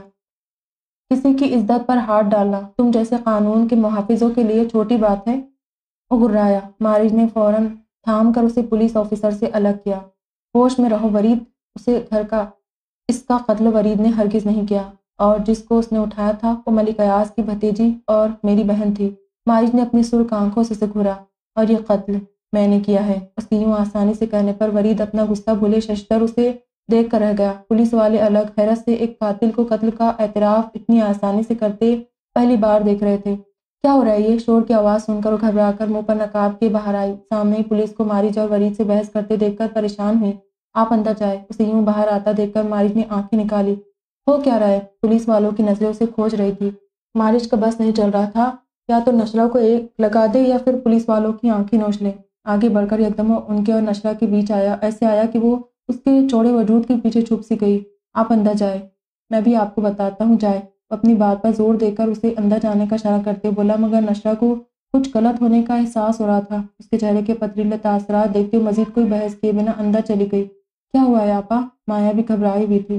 पता नहीं यार, पुलिस खड़ी है बाहर, मुझे डर लग रहा है। वो हाथ मसलते बोली जन्नाब कुछ देर पहले ही सोई थी, उसकी बदौलत वो दोनों आहिस्ता आवाज़ में बात कर रही थी। आप मुझे चंद मिनट दे। मैं अपनी वाइफ से बात करके आ रहा हूँ नशरा के अंदर जाते उसने मुड़कर कहा, ओए बाबू, ये भागने के तरीके हम पर मत आजमाओ। मुजरिमों की इन चालाकियों से हम अच्छे से वाकिफ है। भमें सुकेड़ते हुए इंतहाई बदलिहाजी से मारिज से बोला, मैं अगर इकबाल जुर्म ना करता तो क्या कर लेते आप?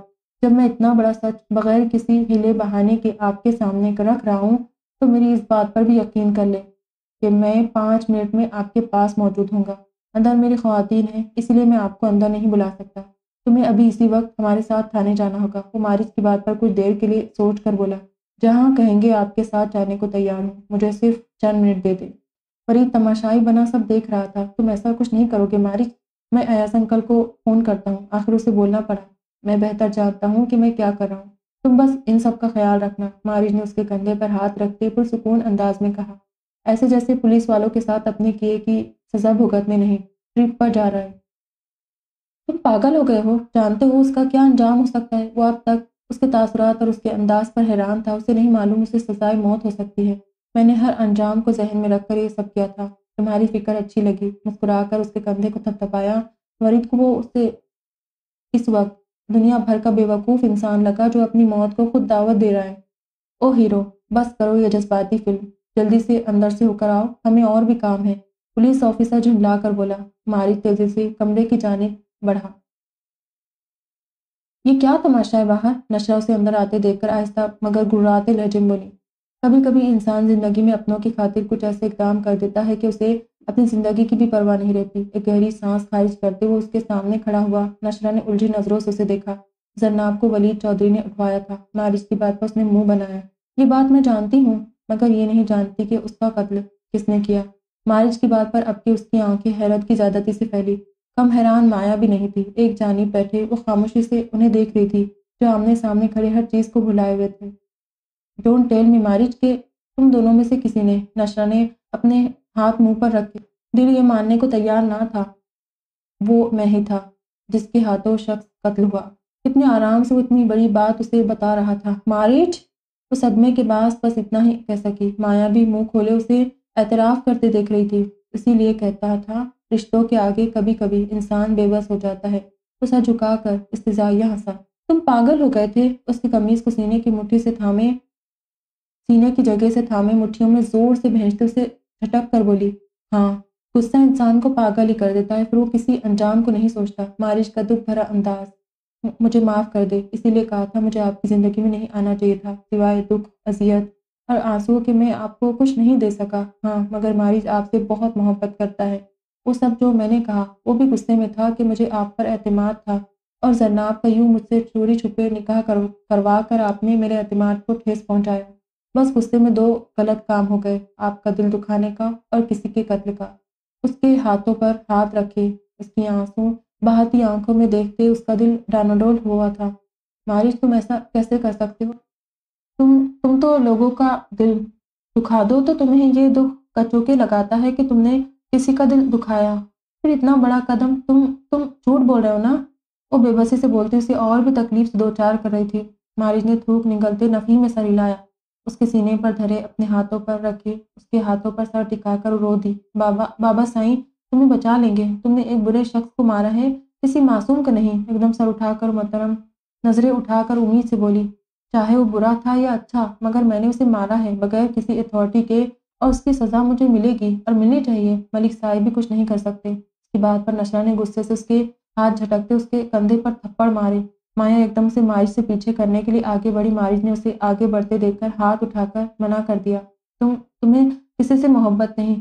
तुम सही कहते थे। तुमने मुझसे मोहब्बत नहीं की। तुम अब झूठ बोल रहे हो। मुझसे मोहब्बत करते तो मेरा भी एहसास करते, मेरा सोचते, मेरा क्या होगा? तुम्हारे बगैर? मगर नहीं, तुमने सिर्फ़ जरनाब को चाहा। तुमने झूठे दावे किए, मुझे अपनी मोहब्बत में फंसाकर खूब बदला लिया। तुमने, तुम बहुत बुरे हो मारिज आखिर जब वो थक गई, उसी के कंधे पर सर टिकाकर फूट फूट कर रो दी इतनी बड़ी सज़ा अपने लिए तजवीज़ मत करो। कोई तो हल निकालो। उसके आँसू, उसकी कमीज़ में जज्ब हो रहे थे। अब तो यकीन कर ले, मैं आपसे बहुत मोहब्बत करता हूँ। ना करता तो यूँ आपके सामने खड़ा एतराफ़ न करता। मगर जो काम मैंने गलत किया है, मैं, मुझे उसकी सज़ा मिलनी चाहिए। चाहे वो, फिर मेरी मौत। उसकी बात पूरी होने से पहले उसने दहल कर उसके मुँह पर हाथ रखा तो फिर जाने से पहले मेरी. मेरी भी जान ले लो। एक और कत्ल करके जाओ। नहीं रहना मुझे। मारिज शदीद तड़प रही थी। मारिज ने उसे खुद से लगाकर ज़ोर से खुद में भेजते उसके माथे पर मोहब्बत भरा लम्स छोड़ा। I am sorry for everything Maya को उसे संभालने का इशारा करते हुए मजीद कुछ कहे बगैर वहाँ से निकलता चला गया। माया की गिरफ्त मचल मचल गई। बड़ी मुश्किल से उसने उसे काबू किया। वो दोनों रो रही थी। चलिए कमरे से बाहर आते खुद को कंपोज कर चुका था, वरीद से गले मिला। इन सब का ख्याल रखना पुलिस उसे हिदायत देते हुए मुतवाजन चाल चलता। पुलिस एहलकारों के साथ वहाँ से चला गया। वरीद तो अभी तक हकदक खड़ा था। ये पल भर में क्या से क्या हो गया, वो कमरे की जानी बढ़ा नशरा ने रो रो कर अपना हशर कर लिया। आपने भी कुछ नहीं किया? वरीद को अंदर आते देखकर वो बोली, उसने मौका ही नहीं दिया। वरीद बेचारगी से बोला, पागल है, बेवकूफ़ है वह एक नंबर का। वो गुस्से से बोली एक बात कहूँ वरीद ने उसकी जानब देखा, जो माया के साथ लगी, अभी भी रो रही थी। ऐसे सच्चे इंसान बहुत कम दुनिया में देखे हैं। आप बहुत खुशकिस्मत है जिसे वो शख्स मिला। वो सच्चे दिल से उसकी तारीफ़ बयान कर रहा था। और देख ले, सच का क्या अंजाम होता है। बुराई को लोग छुपाते हैं और कामयाब रहते हैं इस दुनिया में। मगर सच का साथ देने वालों को सज़ा मिलती है। कैसा अजीब इंसाफ है ना, वो तुलकी से बोली, अल्लाह कोई राह निकाल देगा, उसे खोखली तसली दे रहा था। कोई राह बची ही नहीं अब। वो कोई राह छोड़कर ही नहीं गया। रोते रोते एकदम उसे मलिक अयास का ख्याल आया। फ़ोन दो मेरा, एकदम वो माया से, तेज़ी से बोली। माया तेज़ी से उठकर उसके बैग की जानी बड़ी जिसमें उसका फ़ोन था। ये ले, उसे थमाया। उसने फ़ौरन मलिक अयास का नंबर मिलाया। बाबा साईं, नशरा की कॉल आते देखकर उन्होंने मर्दान खाने में बैठे लोगों को बाहर जाने का इशारा किया। जी बेटे, क्या हुआ? फ़ोन उठाते उसकी रोती हुई आवाज़ सुनाई दी। उनका पहला ख्याल वरीद और जन्नाब की जानब गया। कहीं वजह चौधरी ने फिर कोई वार तो नहीं कर दिया? वो परेशान हुए। बाबा साईं, वो वो पुलिस आई थी। मारिज ने उनके सामने बताया कि वलीद को उसने कत्ल किया है। आप आप जानते हैं क्या? क्या उसने ऐसा किया है? वह भी बेयकीन ही थी। उसकी बात पर उन्होंने गहरा सांस लिया। हाँ मैं जानता हूँ उसके इस कारनामे के बारे में। जुल्लाहट भरे अंदाज में बोले, और क्या बताया उसने तुम्हें? मजीद इस्तफसार करने लगे, बाबा साईं मारिज ऐसा कैसे कर सकता है? इतना पागल हो गया था क्या वो? बाबा प्लीज़ उसे बचा ले। पुलिस के साथ चला गया है। उसके बचाव की कोई सूरत नहीं हो सकती। उसका एतराफ़, उसे सजाए मौत तक ले जा सकता है। वो आँसू साफ़ करते, लहजा मुतवाजन करते आज से बोली, नशरा, मैंने कभी झूठ का साथ नहीं दिया। वो खुर्रम खान बनकर बिना किसी के इल्म में लाए, जब ये हरकत कर चुका है तो उसे उसकी सज़ा मिलनी चाहिए। मैं हरगिज़ उसके लिए कुछ नहीं करूँगा, ना ही कर सकता हूँ। गुस्से से बोले, बाबा साईं, केस में ये भी तो कहा जा सकता है कि उसने अपने सेल्फ डिफेंस में उसे मारा। और दुनिया की कोई अदालत सेल्फ डिफेंस में हुए कत्ल की सज़ा, सजाए मौत की सूरत नहीं देती। इसकी बात पर उनका माथा ठिनका मैं तुम्हें कह चुका हूँ कि मैं इस नालायक के लिए कोई झूठ नहीं बोलूँगा। तुम्हें समझ नहीं आ रही? उस सख्त लहजन बोले। मैं वो वो आपको अपने बाप की तरह समझता है? आप ऐसा कैसे कर सकते हैं उसके साथ? उनके अंदाज पर, उनकी सख्ती पर वो हैरान हुई। बिल्कुल वैसे ही जैसे वो मेरे साथ ये सब कर सकता है। मैंने भी हमेशा उसे अपना बेटा माना है, मगर उसने उसकी लाज नहीं रखी और मेरे इल्म में लाए बगैर निकल पड़ा तीस मार खान बनने। उनके लहजे में परेशानी से ज़्यादा झुंझलाहट थी। नशा जितना हैरान होती कम थी। वो तख्तेदार पर लटकने जा रहा था और उसके बाप को कोई फ़र्क नहीं पड़ रहा था। मुझे आपसे ये उम्मीद नहीं थी कि आप ऐसा करेंगे। उनके सफाचर जवाब पर उनसे खफा हुई। अब तुम्हें पता चल गया ना कि मैं इसकी किसी हिमाकत में उसका साथ नहीं दूँगा। तुम दोनों मियाँ बीवी ने मेरी ज़िंदगी मुसीबत डालने की ठान रखी है। तुम पूछे बगैर लोगों के निकाह करवाती हो और वो लोगों का कत्ल करता है। वो उससे भी लुटार गए। लोगों का नहीं, सिर्फ़ एक का किया है। उनकी बात पर मारिश के लिए सख्त बुरा मना गई। आप कुछ मत करें। मैं खुद पुलिस स्टेशन जाऊँगी। वो अटल लहजे में बोली, खबरदार, अब अगर तुमने ऐसी कोई हरकत की, वापस बुलवाता हूँ तुम्हें मैं। उसके इरादे सुनकर धाड़े। नशरा ने उनकी धाड़ को खातिर में लाए बगैर फ़ोन बंद कर दिया। पागल कर देंगे ये दोनों मुझे। फ़ोन से आती टू टू की आवाज़ पर वो शदीद तलमलाए, गाड़ी निकालो, शहर जाना है मुझे। अपने सामने खड़े एक बंदे से बोले, जी साहब, वो महत्व अंदाज में बाहर की जानब लपका। अपना फ़ोन मेरे हवाले करो। गाड़ी में बैठते ही एक पुलिस एहलकार ने मालिश को मुखातिब किया। उसने चुपचाप फ़ोन उसके हवाले कर दिया। उन्होंने उसे हथकड़ी बांधनी चाहिए तुम्हारे पास अभी ऐसा कोई परमिट नहीं, जिसके तहत तुम मुझे हथकड़ी बाँध कर यहाँ से लेकर जाओ। मालिश के बाद पर उस पुलिस वाले ने घूर कर उसे देखा। जब मुझ पर जुर्म पूरी तरह साबित हो जाए, तब मैं हथकड़ी लगवाने को भी तैयार हूँ। अपनी बात कहकर वो मुँह दूसरी तरफ़ किए। गाड़ी से बाहर भागते दौड़ते मनाजिर को देखने लगा। नशरा का रोना उसे अभी भी बेचैन कर रहा था। थाने पहुँचने तक एक पुलिस वाले ने उसे सख्ती से उसके बाजू दबोच कर गाड़ी से निकाला। मैं बाहर निकल ही रहा हूँ। आराम से वो अपना बाजू छुड़वा कर बोला, नखरे, ऐसे दिखा रहा है जैसे कोई मैच जीत के आया है। ओए, कातिल है तू। आवाज़ और लहजे को नीचा रख। पुलिस वाला गाड़ी से निकलते उस पर चिल्लाया, मेरी आवाज़ भी आपसे नीचे है और लहजा भी आपसे बेहतर। अकड़ देखो इसकी, अंदर चल, तेरी तो अकड़ निकालते। उसकी बात पर मारिद ने अपने मखसूस अंदाज में मुस्कुराहट दबाया। जी चलिए, के अंदाज, उन सबको हैरान कर रहे थे, या तो कातिल मजामत करते हैं, या फिर शर्मिंदगी से सर झुकाए चलते हैं।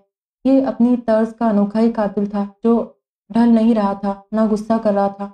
पुलिस एहलकार ने किनकियों से सफ़ेद शलवार कमीज में मलबूस सुकून से चलते मारिज को देखा।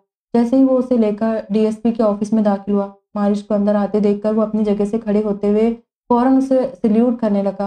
पुलिस एहलकार हैरत से उसे मारिज को सल्यूट करते हुए देखने लगे, सर, आप आज यहाँ कैसे? मारिज ने हौले से उसके सलाम का जवाब दिया, सर, ये कातिल है। वो वलीद चौधरी वाले केस में, वो एहलकार उसकी तस्वीर करने लगा, ओए, बेवकूफ़, तुम जानते हो ये कौन है? डीएसपी ने उसे आँखें निकाली। मारिज ने हल्का सा मुस्कुराते अपनी जेब से वॉलेट निकाल कर उस पुलिस एहलकार के सामने किया जो उसे पकड़ कर लाया था। डीआईजी मारिज मलिक। कार्ड उसके सामने करते। मारिज ने दोहराया। उस शख्स के चेहरे पर हवाइयाँ उड़ी। बैठे सर जी, ओए, कोई चाय पानी का बंदोबस्त करो। मारिज को बैठने का इशारा करके वो उसी पुलिस एहलकार को आँखें निकाल कर बोला सॉरी सर जी, मुझे इल्म नहीं था और आपने भी बताया नहीं शदीद शर्मिंदा था, कोई बात नहीं। तुम्हारा भी कसूर नहीं, तुम ड्यूटी पर, कर रहे थे, मगर कुछ बातें तुमने गलत कही, जिस पर मैं तुमसे बाद में बात करता हूँ। मारिज की तंबिया पर उसका खून खुश्क हुआ। नहीं, चाय पानी मंगवाने की ज़रूरत नहीं, मैं कुछ घरेलू मसाइल में बहुत बुरी तरह उलझा हुआ हूँ, तुम ये ऑफ़िस साफ़ करवाओ, तुमसे कुछ बात करनी है। और हाँ यहाँ जो जो लोग मौजूद हैं, किसी की मुझसे ये बात नहीं निकलनी चाहिए कि मारिज मलिक डीआईजी है। समझो यहाँ तुम्हें कोई बात मालूम हो ही नहीं। उसने वहाँ मौजूद तीन चार पुलिस एहलकारों को मुखातिब करते सख्ती से कहा। सबने सल्यूट करके गोया उसकी बात पर इस्बात का इजहार किया। जवाब तुम सब, एसपी से पहले मारिद ने उन सबको वहाँ से निकलने का इशारा किया। सर जी, इधर बैठे ना अपनी सीट छोड़कर उसे वहाँ बैठने का कहने लगा। तुम जानते हो मुझे ये प्रोटोकॉल जैसी चीज़ें पसंद नहीं चुपचाप अपनी कुर्सी पर बैठो। मारिद ने उसे आँखें दिखाई। सर जी, वो अजीब लगता है ना, वो मन मनाया कुछ अजीब नहीं लगता, बैठो। अब के वो रौबदार अंदाज बोला और खुद उसकी टेबल के सामने रखी दो कुर्सियों में से एक संभाली। सर जी, आप मुझसे बेहतर जानते हैं कि आपने किसी भी लीगल परमिशन के बगैर वलीद चौधरी को मारा है तो उसी वजह से केस तो आगे चलेगा, और डरते डरते बोला हाँ मैं जानता हूँ, मगर मामला मेरे घर की इज़्ज़त का था, और तुम जानते हो दोबारा वलीद को मुख्तलिफ़ रेप केसेस में मैंने अंदर करवाने की कोशिश की है, मगर वह हर बार एक दो दिन रहकर बाहर आ जाता था। खैर, मैं उसको देख लूँगा। अभी मैं यहाँ तुम्हारे ऑफ़िस में ही हूँ रात तक। ये बात किसी को मालूम ना हो कि मैं अपने फ्लैट पर जा रहा हूँ। समझ आ रही है तुम्हें? मारिज की बात पर उसने फ़ौरन सर हिलाया जी जी, सर। जैसे आप चाहते वैसे ही होगा। उसकी बात पर मारिज ने अपनी सीट से खड़ा हुआ। अपने किसी एहलकार से कहो, मुझे मेरे फ्लैट तक छोड़ आए। उसे हिदायत देता वो मोबाइल उठा चुका था जो वो पुलिस ऑफिसर ऑफ़िस से निकलने से पहले मेज़ पर रख गया था।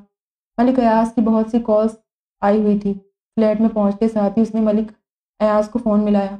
क्या तमाशे करते फिर रहे हो तुम? गुस्से में बोले, इतने सालों में ऐसा पहली बार हुआ था कि उसने उन्हें यूँ जिज किया था। वरना जिस कदर वो फर्माबरदार था, इतनी तो उनकी अपनी औलाद कभी नहीं रही थी।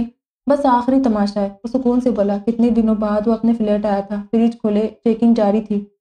फ्रीज़र में कुछ नगेट्स नज़र आए। वही निकाल लिए फ्राई करने के लिए। नशरा का ख्याल एक लम्हे के लिए जहन से जुदा नहीं हो रहा था। दोपहर हो चुकी थी और पता नहीं, वो अब तक किस हाल में होगी। बहुत दिल किया कि उसका हाल पूछे, लेकिन अभी कुछ जज्बात पर काबू रखना था।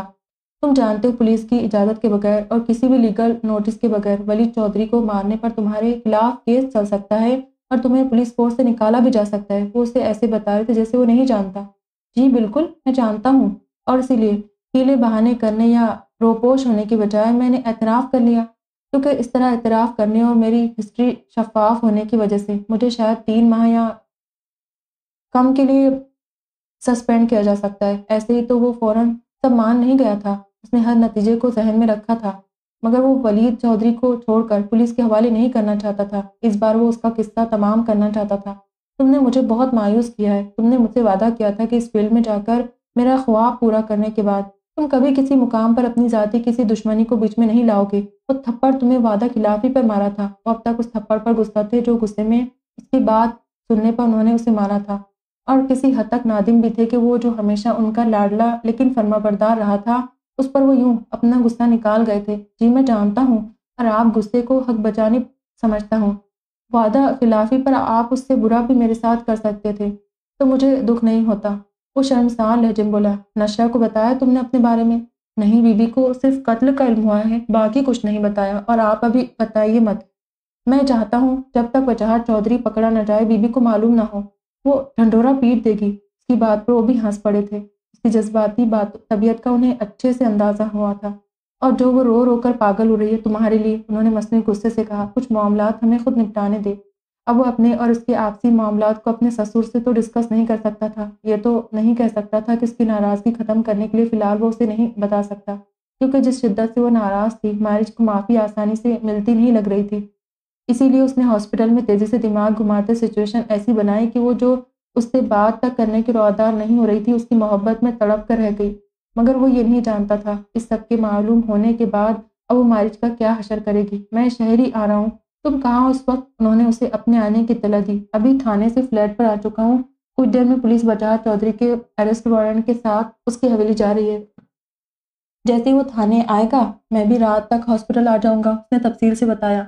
कि दो दिन भी, आप जानते हैं। मैंने इसीलिए लिए कि सर से बातचीत चल रही थी। उसकी गिरफ्तारी के सिलसिले में इस बार मैं उसे पूरी तरह घेरना चाह रहा हूँ।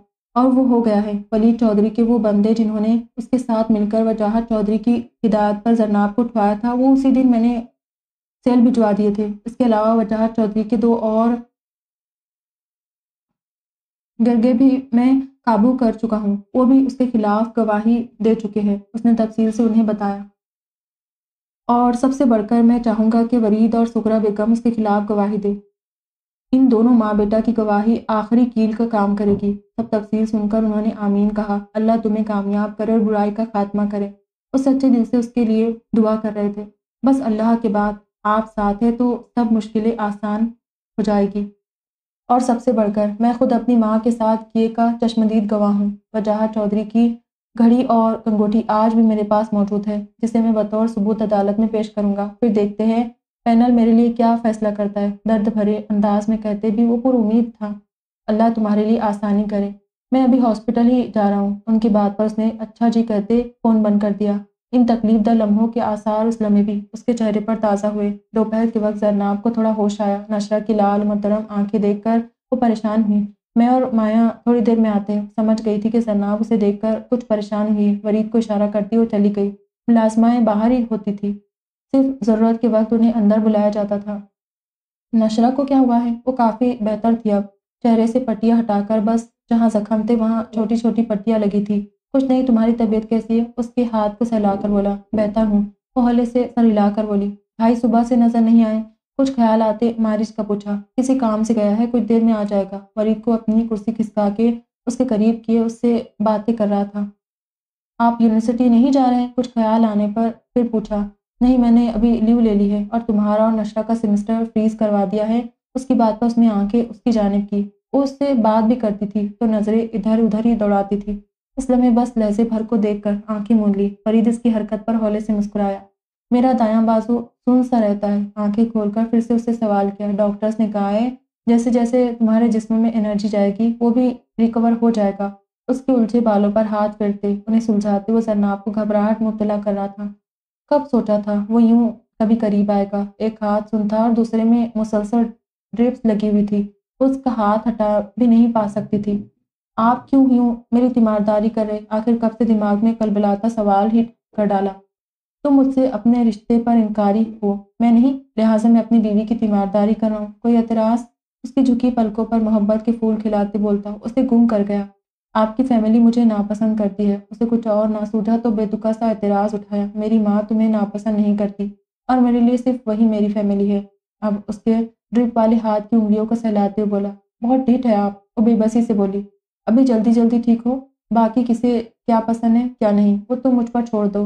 उसके माथे को महकाते हुए जरनाब का अच्छा खासा जिज कर गया। ज़्यादा मेरे पास आकर ये हरकतें करने की ज़रूरत नहीं है। अगर मैं आपको पीछे नहीं कर सकती, इसका मतलब ये नहीं कि आप ऐसे करेंगे। खबकी भरे नज़रों से उसे देखा, अब ये तो बर्दाश्त करना पड़ेगा। वो भी कहाँ पीछे हटने वाला था? भाई कब तक आएँगे?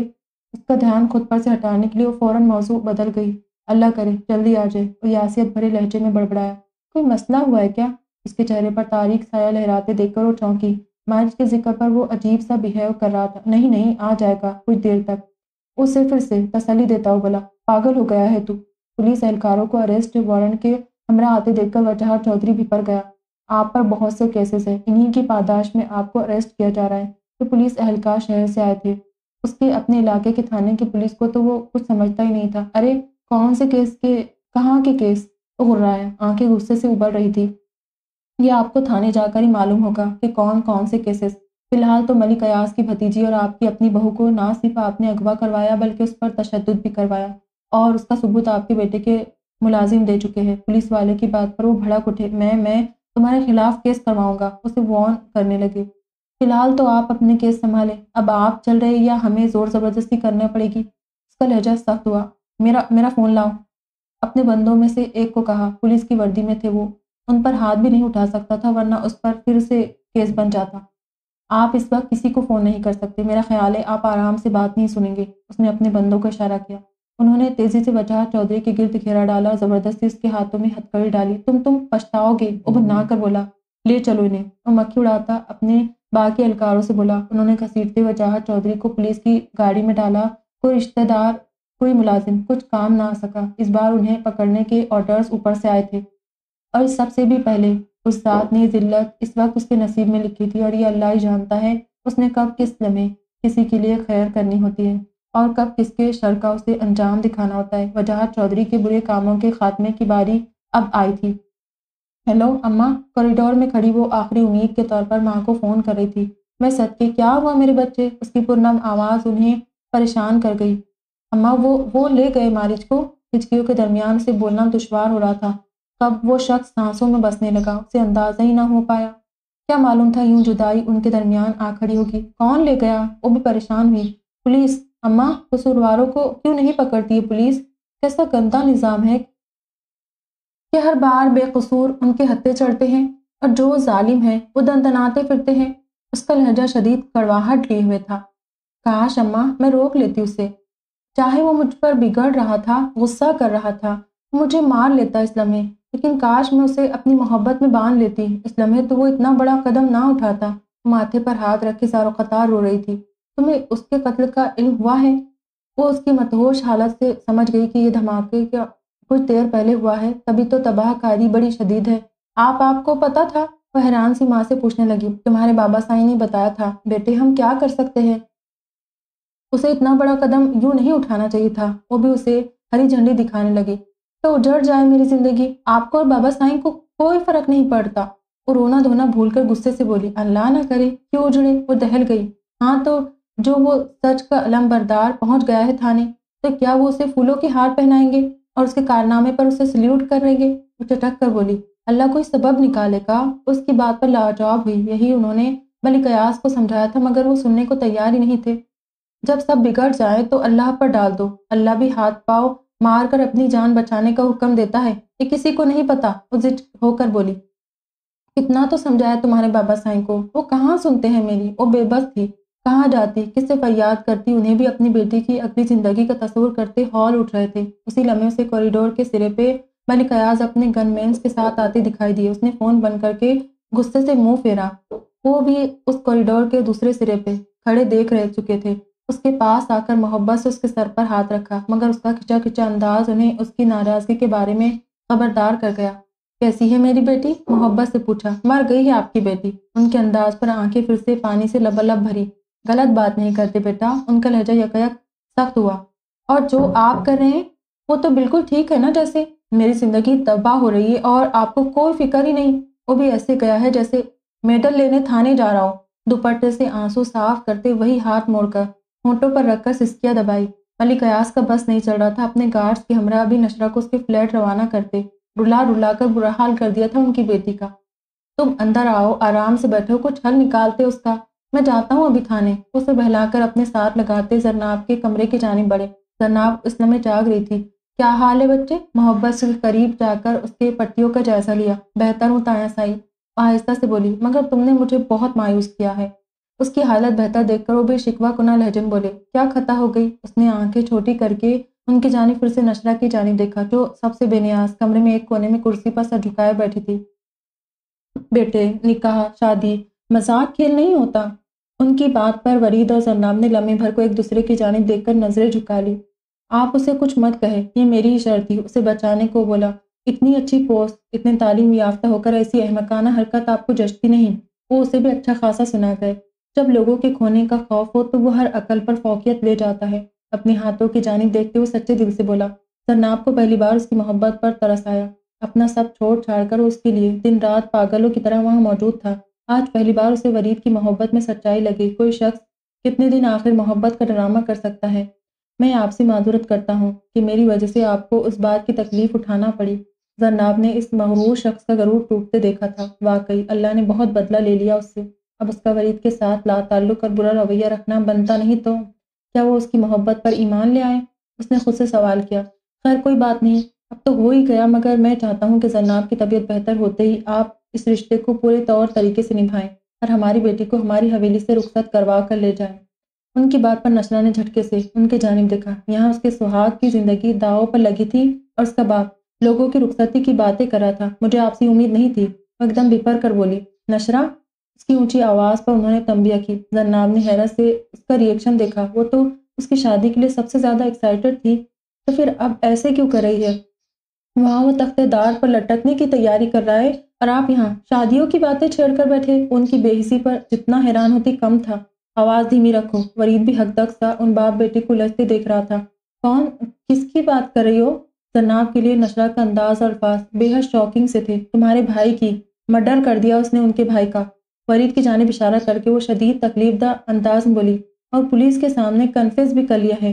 लेकिन बाबा साई बाबा साई तो यहाँ, तुम्हारी रुखसती के किस्से छेड़ कर बैठे हैं। पता नहीं किस बात का बदला ले रहे हैं इससे। चादर का कोना हाथ में थामे, वही हाथ मुँह पर रखे शिद्दत से रो पड़ी। ये ये क्या किया मारिज भाई ने? मेरे खुदा। जरनाब बढ़ते हैरत से मलिक कयास को देखने लगी। नशरा, जब तुम्हें पूरी हकीकत का इल्म नहीं तो इतना ही बोलो कि बाद में मेरे सामने शर्मिंदगी ना उठानी पड़ी। उनकी बात और पुरसकून लहजे पर अब की बार वरीद ने भी कुछ चौंक कर और हैरत से उन्हें देखा। माहिश तो उनके भाई का बेटा है और इतनी बड़ी बात हो जाने पर इतने पुरसकून कैसे? कुछ तो गलत है। उसका दिमाग तेज़ी से घुमा। मारिश का इतने सुकून से कत्ल का एतराफ़ करना ये सब एक काम इंसान नहीं कर सकता। और इतने बेधड़क होकर वरीद को यह कुछ और ही गेम लग रही थी। तो क्या मारिश जो नज़र आता है वो वो नहीं है? अब के उसे मारिश की शनाख्त भी मशकूक लगी? और क्या हकीकत खुलेगी? और क्या खुलना बाकी रह गया है? वो हाथ फैलाकर बेबसी से बोली, उसे बाहर लेकर जाओ। उन्होंने खामोश बैठी माया को इशारा किया, इस दुनिया से भेज दे इसके साथ। वो गुस्से से पाव पटक कर बोलती माया के उठने से पहले, खुद कमरे से बाहर जा चुकी थी। मुझे आपसे कुछ ज़रूरी बात करनी है बेटे। जन्ना को गुमसुम देखकर कुछ सोचते उन्होंने वरीद को मुखातिब किया, आप इधर आए। उसे कमरे के एक कोने में ले जाकर उन्होंने आहिस्ता आवाज़ में बात का आगाज़ किया, हेलो। कुछ देर पहले ही उसे वजह चौधरी की गिरफ्तारी की इतला मिली थी। अब वो पुरसकून सा हॉस्पिटल जाने की तैयारी कर रहा था कि हायर अथॉरिटी की कॉल आई। क्या कर बैठे हो ये? वो जानता था। उनकी जानब से उसे गुस्से से भरपूर फ़ोन जल्द ही आएगा। सर, ये केस मेरा केस था। वो अपनी बात पर ज़ोर देकर बोला, तनवीर अली, उसकी बात पर एक ठंडी सांस भरकर रह गए। मैंने आपको मैसेज भेजा था ना, जिसे पढ़कर मैं उसी लम्हे उसे मारने का इरादा कर बैठा था, वरना उससे पहले मेरा उसे मारने का इरादा नहीं था। मैं खुद उसे पुलिस की तहवील में देता, मगर वो मैसेज छोटी बात नहीं थी, जिसे वो डिलीट करके ये समझा था कि मैं उसे रिकवर नहीं करवा सकता। वो इस लम्हे भी उस मैसेज को याद करके सरता पैर शदीद गुस्से से भर चुका था, जिस लम्हे उस दिन नशरा को डांट कर वो असीद के साथ थाने पहुँचा उसी लम्हे तक। उसका जनाब के मुजरिम को मारने का इरादा नहीं था। वो जानता था कि बिना केस किए वो किसी भी शख्स को मारने का हक नहीं रखता। ये उसकी अपने पेशे के साथ बददियानती होगी। मगर जिस लम्हे उसे वलीद के फ़ोन से मालूम हुआ कि वलीद चौधरी ने जरनाब को अगवा किया है वो गाड़ी में बैठा भी उसकी लोकेशन मिलने का इंतज़ार कर रहा था कि उसी लम्हे वलीद की जानब से उसे मैसेज मौसू हुआ। उससे पहले कि वो पढ़ता मैसेज डिलीट कर दिया गया। मारिज ने उसी लम्हे मैसेज डिलीट मैसेज को रिकवर करने वाले सॉफ्टवेयर के थ्रू रिकवर करवा कर पढ़ा, आज तेरी बहन उठाई है। उसकी इज़्ज़त खराब किए बिना छोड़ रहा हूँ, लेकिन तेरी बहन को ले जाते वक्त तेरी बीवी पर नज़र पड़ गई। वाह, क्या पीस है। अब अगला टारगेट वो होगी, मगर उसे मैं तेरा हर बदला लूँगा। दो बार मुझे जेल भिजवाया था ना तूने। तो देख अब, तेरी बीवी की इज़्ज़त कितनी बार ख़राब करूँगा। और यही मैसेज उसकी मौत का सबब बना। मैं मानता हूँ कि किसी भी गैर, गैरतमंद इंसान के लिए ऐसी बात शदीद तकलीफ़ का बास होती है। उसकी तायद करते हुए बोले, जी, इसीलिए रोपोश होने की बजाय मैं मंजर आम पर आ गया हूँ। साहब गोई से बोला, तुम्हारी यही बात मुझे पसंद है। तुम अपनी गलती का एतराफ़ बहुत जल्दी करते हो। बहरहाल मैंने बात कर ली है, दो दिन में पैनल बैठेगा। कोशिश करूँगा कि तुम्हें दो माह के लिए सस्पेंड कर दिया जाए। उनकी बात पर वो बासानी मान गया। मुझे कोई मसला नहीं। वो जानता था इस हद तक सज़ा तो उसकी बनेगी ही। अब दो महीनों में वलीमा खिला देना। उनकी बात पर वो हल्का सा कहका लगा गया। दुल्हन नाराज़ बैठी है और वलीमा खाने की बातें कर रहे फिर मैं इस सस्पेंशन को अपनी हनीमून की छुट्टियाँ समझूं? वो भी शरारती अंदाज अपना कर बोला, ज़रूर ज़रूर। खुशगवारियत से बोले। उनका फ़ोन अभी उसने बंद ही किया था कि मलिक अयाज का फ़ोन आ गया। मुबारक हो। बिला आखिर बुराई अपने अंजाम को पहुँची। वो जहाँ चौधरी की गिरफ्तारी से मुतालिक उसका मैसेज पढ़ चुके थे, जी, अल्लाह ने हमारा साथ दिया। वो भी एक सरदार भरकर बोला। कहाँ हूँ अब? उनकी बात पर वो कफलिंग्स बंद करते हुए खुद को आईने में देखने लगा। हॉस्पिटल आ रहा हूँ। नेवी ब्लू शलवार कमीज पर हल्की ग्रे कलर की चादर कंधों पर डाले वो अपनी तैयारी को नाकदाना निगाहों से देख रहा था। मेहरबानी करो। यहाँ आने की बजाय अपनी बीवी को अपने पास फ्लैट बुलवा लो, क्योंकि यहाँ जो वो तुम्हारा हशर करेगी। मैं नहीं चाहता पूरी दुनिया देखे। उनकी आवाज़ से ही उसे समझ आ गई कि उसने उनकी नाक में दम कर रखा है। नशरा का रोता हुआ रूप तखयल मिलाते हौले से मुस्कुराया। लगता है, आपको खूब टफ टाइम दे रही है। मुसलसल शरारत पर आमदा था। हाँ बिल्कुल। और इस टफ टाइम को तुम खुद ही संभालो। उनके अंदाज पर बमुश्किल अपना कहकर रोक पाया। आप भिजवा दे उन्हें, फ़ौरन फर्माबरदारी दिखाई। और वरीद को मैं तुम्हारे बारे में बता चुका हूँ, वो गवाही देने को तैयार है। उन्होंने एक और अहम बात बताई, बेहतरीन हो गया। वो वरीद को सराहे बगैर ना रह सका। मैं नशरा को भिजवा रहा हूँ, अपनी बात समेट कर उन्होंने फ़ोन बंद किया। और वो भी फ़ोन बंद करते कैंडल लाइट डिनर की तैयारी करने लग पड़ा। न जाने कैंडल उसके ऊपर ही ना गिराकर वो उसे झुलसा दे। मारिज उसके गुस्से से खूब वाकिफ था। हेलो बेटे। बाप की रफ्तारी का मालूम होते ही उसने माँ को फ़ोन किया। अभी औलाद का सदमा ख़त्म न हुआ था कि शोहर के करतूतों ने भी उन्हें कहीं का नहीं छोड़ा। यकीनन वो इस समय बहुत अकेली होगी। यही सोचकर उसने माँ को फ़ोन किया। माँ साई, आप ठीक है? उसे समझ नहीं आई। इस अंदाज में उनकी दिलजोई करे। क्या मैं ठीक हो सकती हूँ? औलाद है तो वो मनो मिट्टी दब गई। और शोहर है तो उसने सारी ज़िंदगी बस अच्छा बुरा पैसा कमाने और गलत कामों में उजाड़ने में लगा दी। उस इसकारी लेकर बोली, मैं हवेली ड्राइवर को कहता हूँ, वो आपको मेरे पास शहर ले आए।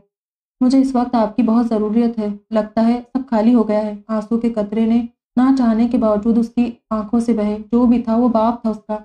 मगर हक और सच के लिए रिश्तों को कुर्बान करना पड़ता है। ऐसे ही तो अम्बिया और असहाब के मुकाम इतने बुलंद नहीं। कैसे कैसे अपनों की कुर्बानियाँ देकर वो दुनिया में सच को फ़रोग दे पाए। सच्चाई का रास्ता मुश्किल नहीं, मुश्किल तरीन होता है। वरीद को बखूबी इस बात का अंदाज़ा हो गया था। तुम्हारी भाभी अभी बहुत तकलीफ़ से गुजर रही है। बच्चे भी घबराए हुए हैं। उन्हें मेरी ज़रूरत है। यहाँ तो वही गंदी जहनीत के लोग उसे, उसकी औलाद को मनहूस कर रहे न जाने मफलूज जहन कब सीधे होंगे। मैं आऊँगी। जल्दी तुम्हारे पास बहू ठीक हो जाए। इन फिर अल्लाह के करम से उसकी रुखसती करवाएँगे। अभी तो देखो तुम्हारे बाप का क्या बनता है। ठंडी हाँ भर कर बोली, वरी जानता था उसका बाप तो नहीं। हाँ माँ वजह चौधरी के साथ मुखलिस थी। उसकी हर अच्छाई बुराई के बावजूद। सबसे बढ़कर यही बात थी कि वो बुराई इर्द गिर्द देखने के बावजूद अपनी अच्छाई नहीं भूली। और इसीलिए वो जरनाब का गिरवेदा हुआ उसकी माँ की झलक उसमें हद दर्ज मौजूद थी। मैं कोशिश करता हूँ कि कल गाँव का चक्कर लगाऊँ। उसने कुछ सोचते कहा, माँ के लिए भी दिल तड़प रहा था जरनाब को भी छोड़ के जाने पर आमदा नहीं था। कल महाराज आ जाएगा तो वो सुकून से दो दिन के लिए गाँव हो आएगा। मलिक अयाज उसे मारिज के बारे में सब बता चुके थे। उसने भी ये सुनकर सुख का सांस लिया कि मारिज का ताल्लुक पुलिस से है, वरना वो शदीद गिल्ट महसूस कर रहा था। मगर अब वो मुतमिन था। नहीं, तुम अभी गाँव मत आना। तुम्हारी दादी और चचा ताया तुम्हें कोसने दे रहे हैं। यहाँ एक और ही हंगामा शुरू हो जाएगा। हालात बेहतर होते ही तो मैं तुम्हें खुद बुलवा लूँगी। उनकी बात पर वो महज अफसोस से सर हिलाकर रह गया। जानता था अभी उसके बाप की गिरफ्तारी पे पागल हो रहे चंद दिन बाद उसके बाप की जगह, गाँव पर हुकूमत करने के लिए पागल होंगे। आखिर ये सिलसिला कब ख़त्म होगा? फ़ोन बंद करके वो और भी मुजहमल हो गया। तुम कुछ देर के लिए फ्लैट पर चली जाओ। गार्ड्स के साथ मैं तुम्हें भिजवा देता हूँ। अपने और जरनाब के चंद कपड़े ले आओ। और कुछ फ्रेश हो लो। वो कॉरिडोर में खड़ी, नीचे मौजूद लान की जानब न जाने क्या देख रही थी कि अपने पीछे से मलिक कयास की आवाज़ सुनाई दी। आँखें बंद करके गोया खुद को पुरसकून करने की कोशिश की। माया को भी ले जाती हूँ। मुड़कर वो कमरे की जानब जाते हुए बोली, नहीं सन्ना, आपको ज़रूरत पड़ सकती है, लिहाजा तुम में से किसी एक का होना ज़रूरी है। उसे तो मालूम नहीं होगा कि तुम्हारे कपड़े फ्लैट में कहाँ मौजूद है। तो बेहतर है कि तुम ही जाओ, माया इधर ही रहेगी। उनकी बात भी मुनासिब थी। वो कोई भी बहस किए बिना सर हिलाकर अंदर की जानी पड़ी। बैग लेने के लिए कुछ ही देर में वो गार्ड्स के हमरा गाड़ी में बैठी अपने फ्लैट की जानब सफ़र कर रही थी। क्या क्या मंजर आँखों के आगे ना आए थे। बैग से मोबाइल निकाला, गैलरी खोली। एक दिन न जाने क्या हुआ था कि वो लैपटॉप पर काम करते मारिश की चुपके से तस्वीरें लेने लगी थी। शायद उसी दिन के लिए भी थी, वरना तो उसकी याद के सिवा और ऐसा कुछ ना था जिसे देखकर वो उसे अपने करीब महसूस करती। एक तस्वीर में वो लैपटॉप गोद में रखे, मोबाइल हाथ में थामे, अपनी मखसूस अंदाज में हंस रहा था, मुस्कुराहट लबों में दबाए, ये अंदाज शादी से पहले उसे बहुत जिद करता था। मगर फिर उस अंदाज पर वो बारी सदके होने लगी। अगली तस्वीर खोलने की हिम्मत ही ना हो सकी। मोबाइल गोद में रखकर वो फिर से रोने को तैयार थी। कहाँ चले गए हो? या अल्लाह, कोई हल, कोई एक हल निकाल दे कि मेरे मारिज की ज़िंदगी बच जाए। अभी तो उसके साथ हम कदम हुई थी। अभी तो ज़िंदगी के सर्द करम को उसके साथ महसूस करना था। बहुत तकलीफ़ में हूँ। कोई राह सुझाई नहीं दे रही। अल्लाह से दिली दिल में हम कलाम होती। वो अनजान थी कि अल्लाह ने तो कब की उसकी दुआ सुन भी ली थी। फ्लैट्स के कंपार्टमेंट में गाड़ी रुकते हुए थके थके कदमों से अंदर की जानी बड़ी कपकपाते हाथों से फ्लैट के सामने खड़े होते चाबी बैग से निकाली। ऐसा लग रहा था मीलों का सफ़र पैदल करके आई हो।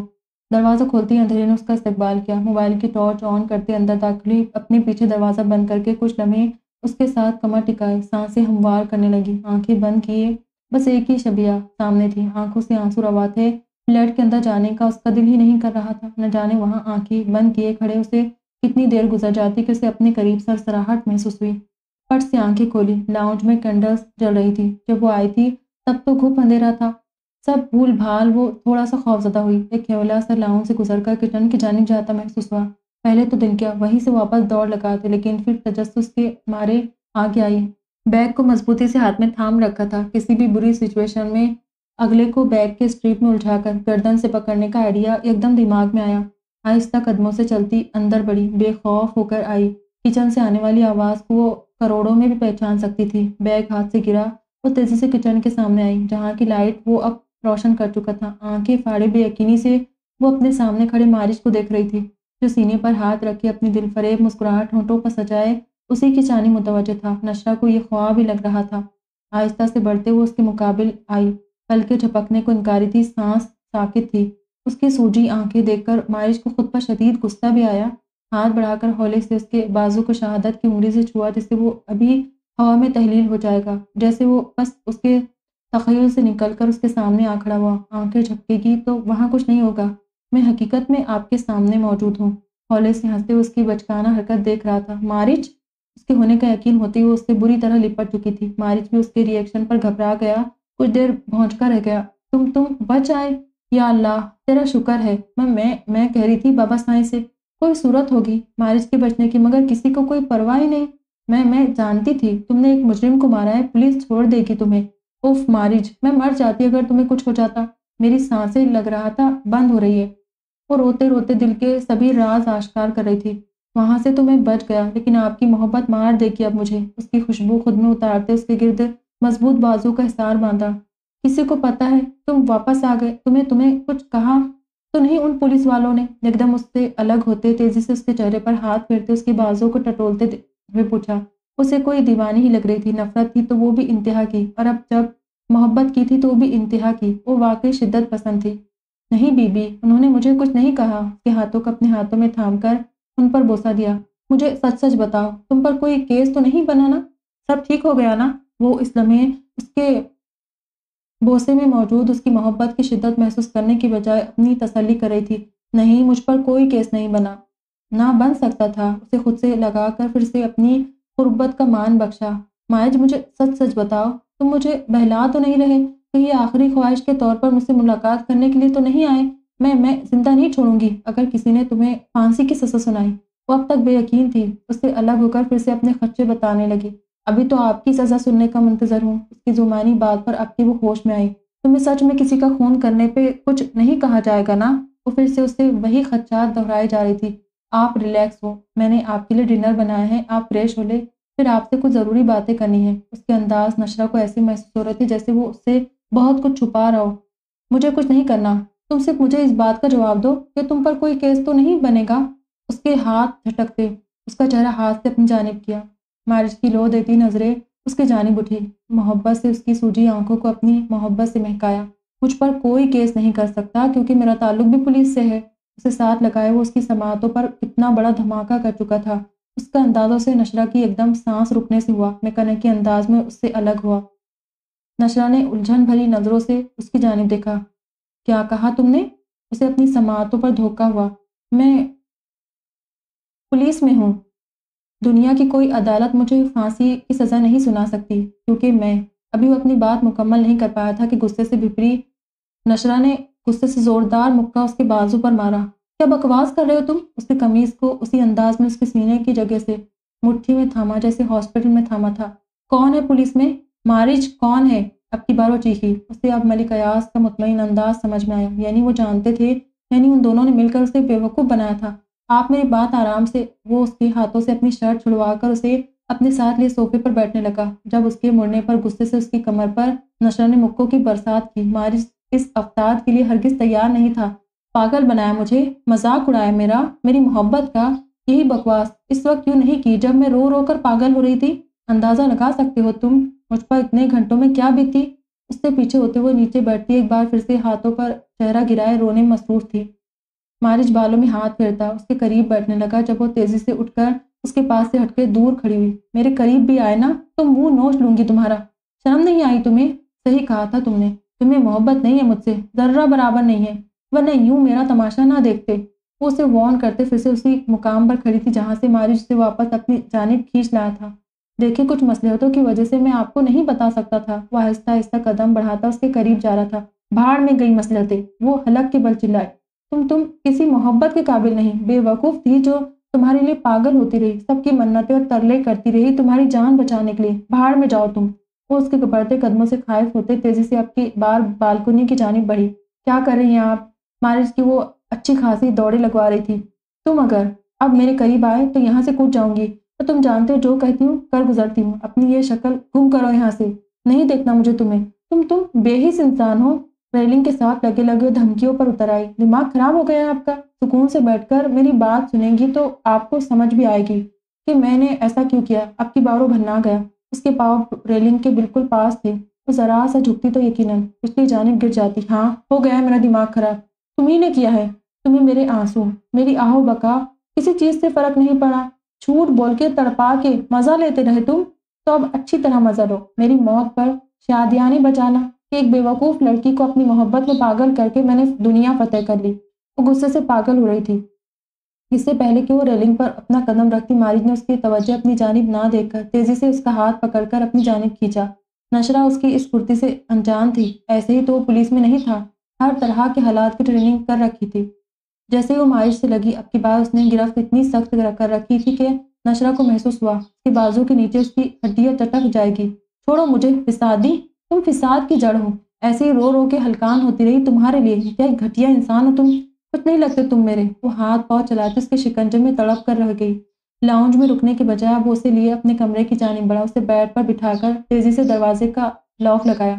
मुझे यहाँ तुम्हारे साथ एक मिनट के लिए नहीं रुकना। दरवाज़ा खोलो। हटो।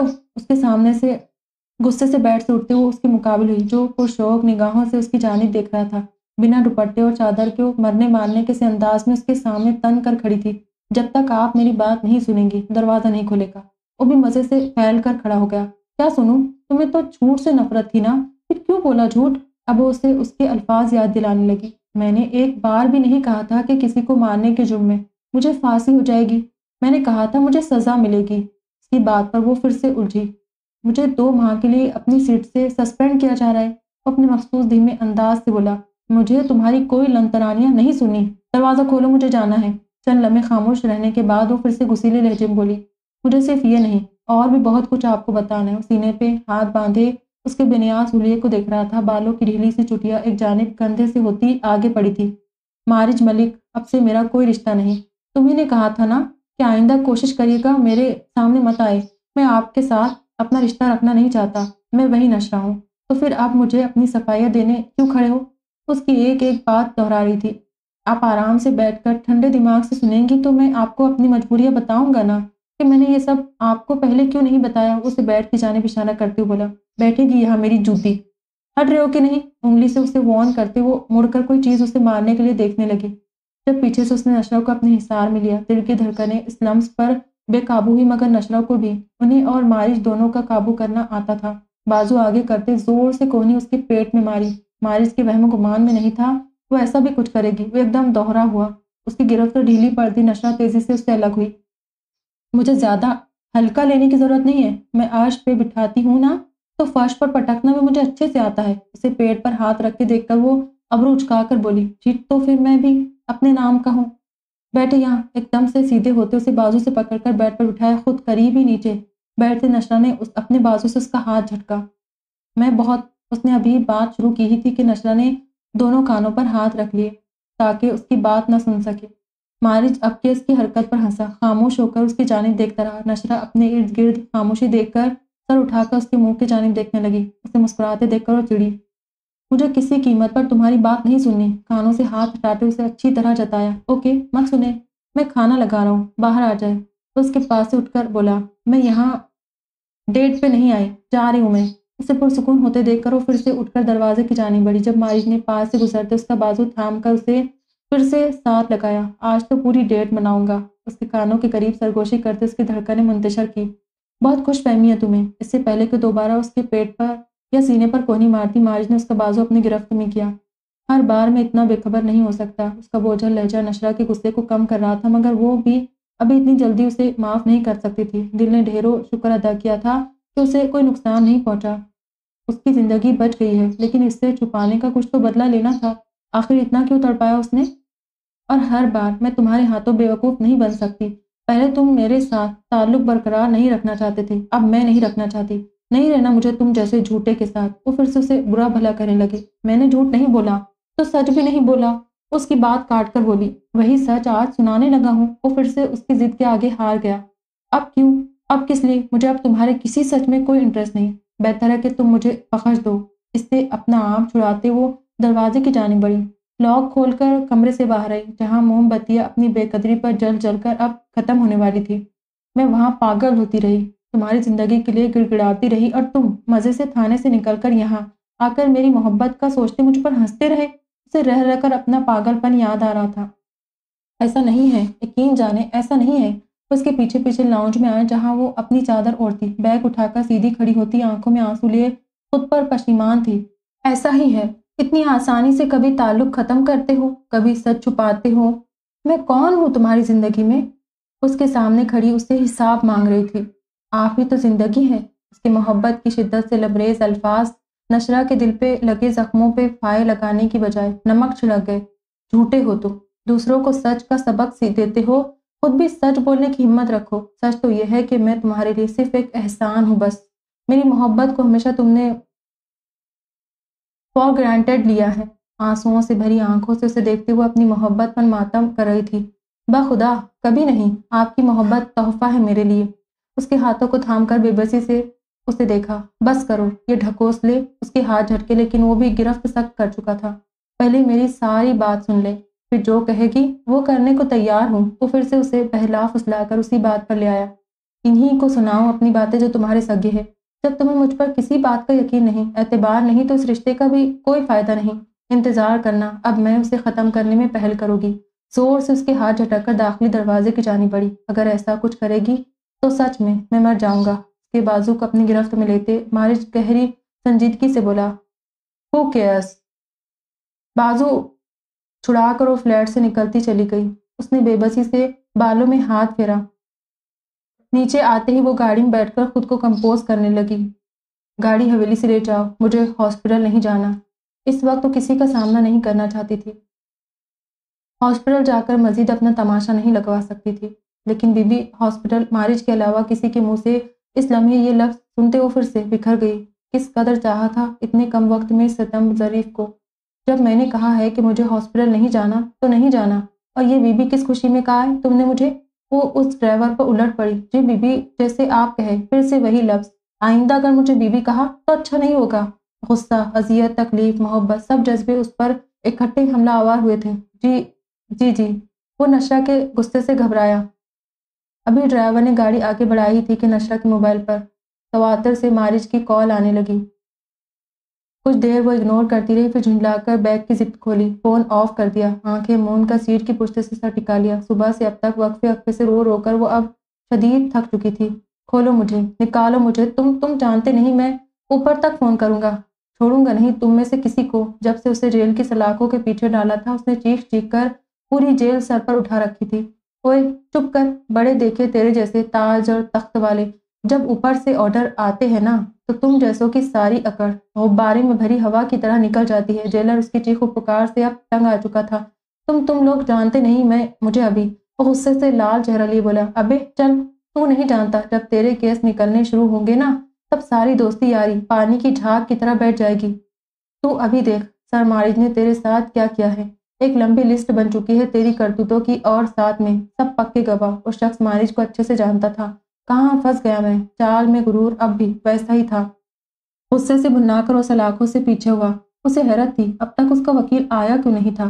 क्यों केस को इतना लटकाया जा रहा था? आखिर इस मारिश मलिक की मुझसे क्या दुश्मनी है? सिवाय इसके कि मलिक अयाज की भतीजी को हमने उठवा लिया। वो जहन पर ज़ोर डाल रहा था कि आखिर इस मारिश का उसके अलावा उन सारी बातों से क्या ताल्लुक हो सकता था? नहीं, वो जानता था कि मारिज वह निगार का बेटा है। और बहुत जल्द, वो ये जानने वाला था कि मारिज के उसके साथ क्या दुश्मनी है? वो सर थामे सोफे पर कितनी देर से एक ही अंदाज में बैठा था। उसे अंदाज़ा भी नहीं था कि वो इस कदर शिद्दत पसंद होगी। वो समझा था मोहब्बत, गुस्से, जुनून, नफरत हर एहसास पर हावी हो जाती है, लेकिन वो गलत था। नशरा ने उसकी सोच गलत साबित की। उसके हर अंदाज हर अंदाज पर, हर जज्बे शिद्दत लिए हुए थे। मगर कहीं उसकी भी गलती थी। उसने अपने और उसके ताल्लुक को कभी इस अंदाज में बनने ही नहीं दिया था कि वो उस पर एतबार करता और वो उस एतबार का पास रखती।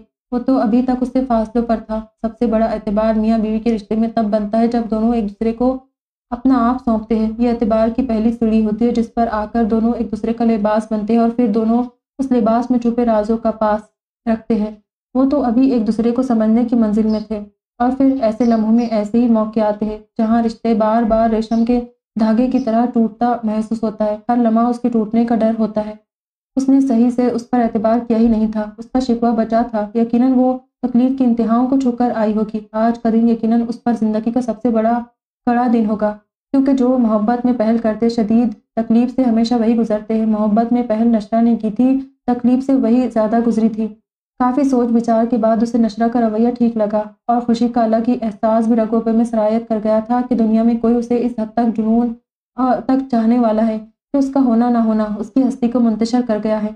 एक भूली बसरी मुस्कुराहट उसके चेहरे पर बिखरी। इन लम्हों को याद करते जब वो उसके सही सलामत होने पर उसे छू कर महसूस कर रही थी। उन तमाम जगहों पर नशरा के लम्स का एहसास फिर से जागा, जिन्हें उसने अपने हाथों से छूकर मोतबर किया था। सर उठाकर सामने बुझी मोमबत्तियों को देखा, जो पिघल चुकी थी। एक नज़र किचन में मौजूद रशियन सैलेड पाइन चिकन और चावलों पर डाली, जिन्हें उसने देखना भी गवारा नहीं किया था। उठकर उसने सब चीज़ें समेटी। उसे हॉस्पिटल के लिए निकलना था। शायद उस जान अज़ीज़ को दोबारा देखकर, मिलकर कोई ऐसा मौका बन जा सके कि वो उससे माफ़ी मांग ले और वो मान जाए। इसी उम्मीद पर तेज़ी से सब पका खाना फ्रिज में डाला। नशरा के चंद कपड़े निकाले। वो जानता था कि मलिक ने उसे यही कहकर वहाँ भिजवाया था और वो इस उससे लड़ भिड़कर कुछ भी लिए बगैर चली गई। सब चीज़ें तैयार करके फ्लैट को लॉक लगाकर छोटा सा बैग लिए गाड़ी में बैठा। मलिक अयाज कॉरिडोर में मौजूद माया के साथ कुछ बातचीत में मसरूफ थे। जब कॉरिडोर के सिरे पर मारिश को अकेले आते अचंबे से देखा, कुछ देर बाद वो उनके करीब रुककर अपने मखसूस अंदाज में उनसे मिला। उनका हाथ थामकर उल्टे हाथ पर बोसा दिया, नशरा कहाँ है? जब काफ़ी देर बाद भी वो कॉरिडोर में नहीं दिखाई आती नज़र न आई तो उन्होंने आखिर पूछ ही बैठे। वो जो सीधा हुआ था, उनकी बात पर ठिठका, क्या मतलब? उसे समझ नहीं आई। वो उससे नशरा का क्यों पूछ रहे क्या मतलब का क्या मकसद? उनकी त्योरी चढ़ी, नशरा क्या फ्लैट पर ही है? तुम्हारे साथ नहीं आई। उनकी बात पर और भी उलझ कर उनकी जानब देखने लगा। बीबी तो काफ़ी देर पहले हॉस्पिटल के लिए आ गई थी। क्या वो यहाँ नहीं आई? उसकी बात पर मलिक अयास एकदम अपनी नशिस्त से खड़े हुए। मारी वो तुम्हारे पास आई थी? उन्होंने उसे ऐसे देखा जैसे उसकी दिमागी हालत पर शुबा हो, मगर वो वहाँ कुछ देर रहकर वापस आ गई थी। उसकी बात पर अब वो तीनों घबरा गए। मगर वो तो यहाँ आई ही नहीं। उनकी बात पर मारिश को लगा, उसके जिस्म से जान निकल गई हो। उनका फ़ोन ऑफ़ है। जब वो वहाँ से निकली तो मैंने काफ़ी मरतबा मिलाया, मगर ऑफ़ जा रहा था। इसकी मजीद इतला पर मलिक अयास के हाथों के तोते उड़े। शफी को कॉल करता हूँ। उन्होंने ड्राइवर को फ़ौरन फ़ोन मिलाया, मगर उसका भी बंद जा रहा था। और कौन कौन सा गार्ड था गाड़ी में? मारिश ने तेज़ी से मोबाइल खोलते मलिक अयाज से पूछा। दो तीन का नाम बताया, उनके मोबाइल पर बेल जा रही थी, मगर कोई उठा नहीं रहा था। डैम इट उसने गुस्से से हाथ का मुक्का हवा में लहराया। आप यही रुके, मैं निकल रहा हूँ। कुछ सोच कर वो फ़ौरन वापस हॉस्पिटल के खारजी रास्ते की जानी भागा, या अल्लाह, ये कैसी आजमाइश है? अभी एक बच्ची की ज़िंदगी बमुश्किल बची और अब मेरी दूसरी बच्ची इतनी मज़बूत होने के बावजूद वो आपदीदा हो गए। बाबा साईं प्लीज़ हिम्मत ना हारे। अल्लाह उसे अपनी हिफाजत में रखेगा। माया उनके कंधे पर हाथ रखकर तसली आमेज अंदाज बोली, खबरदार, तुम में से किसी ने बाबा साई या किसी भी और का फ़ोन उठाया। हवेली से दूसरी गाड़ी मंगवाओ। जब तक नहीं आती, हम यहीं पर है। वो इन्हें हुक्म सादर कर चुकी थी। गाँव में दाखिल होने से कुछ देर पहले ही उनकी गाड़ी अचानक बंद हो गई, जैसे ही ड्राइवर ने उतर कर चेक की, किसी तकनीकी मसले की वजह से गाड़ी जाम हो चुकी थी। किसी मैकेनिक को दिखाने की ज़रूरत थी। एक गार्ड पास से किसी मैकेनिक को देखने के लिए निकल चुका था, जबकि ड्राइवर समेत बाकी दो गार्ड्स वहीं मौजूद थे। रात के ग्यारह बज चुके थे। नशरा का मोबाइल बंद था, जबकि ड्राइवर के मोबाइल की भी बैटरी ख़त्म हो चुकी थी। बाकी बॉडीगार्ड को उसने फ़ोन उठाने से सख्ती से मना किया था। उनके मोबाइलों पर कभी मलिक अयाज और कभी मारिश की कॉल वक्ता फ़ौक्ता आ रही थी। मगर उनकी उखड़। मालकिन को न जाने क्या हुआ था कि उन्हें मोबाइल उठाने से सख्ती से मना कर दिया। वो मजबूरी में ना इधर के थे, ना उधर के। छोटी साई मलिक साहब हमें ज़िंदा नहीं छोड़ेंगे। एक गार्ड कुछ देर बाद मनमना कर बोला, और अगर फ़ोन उठाया तो मैं तुम में से किसी को ज़िंदा नहीं छोड़ूँगी। वो जो मैकेनिक का पता करने गया था, उसे फ़ोन करके पूछो, कब तक आएगा? गुस्से से बोलती उसे हुक्म दे रही थी। साई, आपने उसका मोबाइल रखवा लिया था? एक ने डरते डरते कहा ओ हाँ हवेली फ़ोन करके पूछो, दूसरी गाड़ी कब तक आएगी? वो इस वक्त मारिज और मलिक अयाज दोनों से सख्त खफा थी वो निकल पड़ा है। ड्राइवर ने फ़ोन रखकर उसे मुतला किया। अजीब मुसीबत है। वो इस वक्त सिर्फ़ हवेली जाना चाहती थी कि मुसीबत आ पड़ी। उसे अंदाज़ा ही नहीं था कि उसकी इस हरकत की वजह से मलिक अयाज और मारिज किस कदर परेशानी में मुबतला थे। हेलो, आखिरी चौकी पर उस नंबर की गाड़ी गुजरी है। वो किसी से फ़ोन पर पूछ रहा था। साथ गाड़ी का नंबर भी बताया जी सर। वहाँ से निकल चुकी है। मारिज को इतना अंदाज़ा तो हो गया था कि वो शायद हवेली के लिए निकल गई हो और उसका शक दुरुस्त था।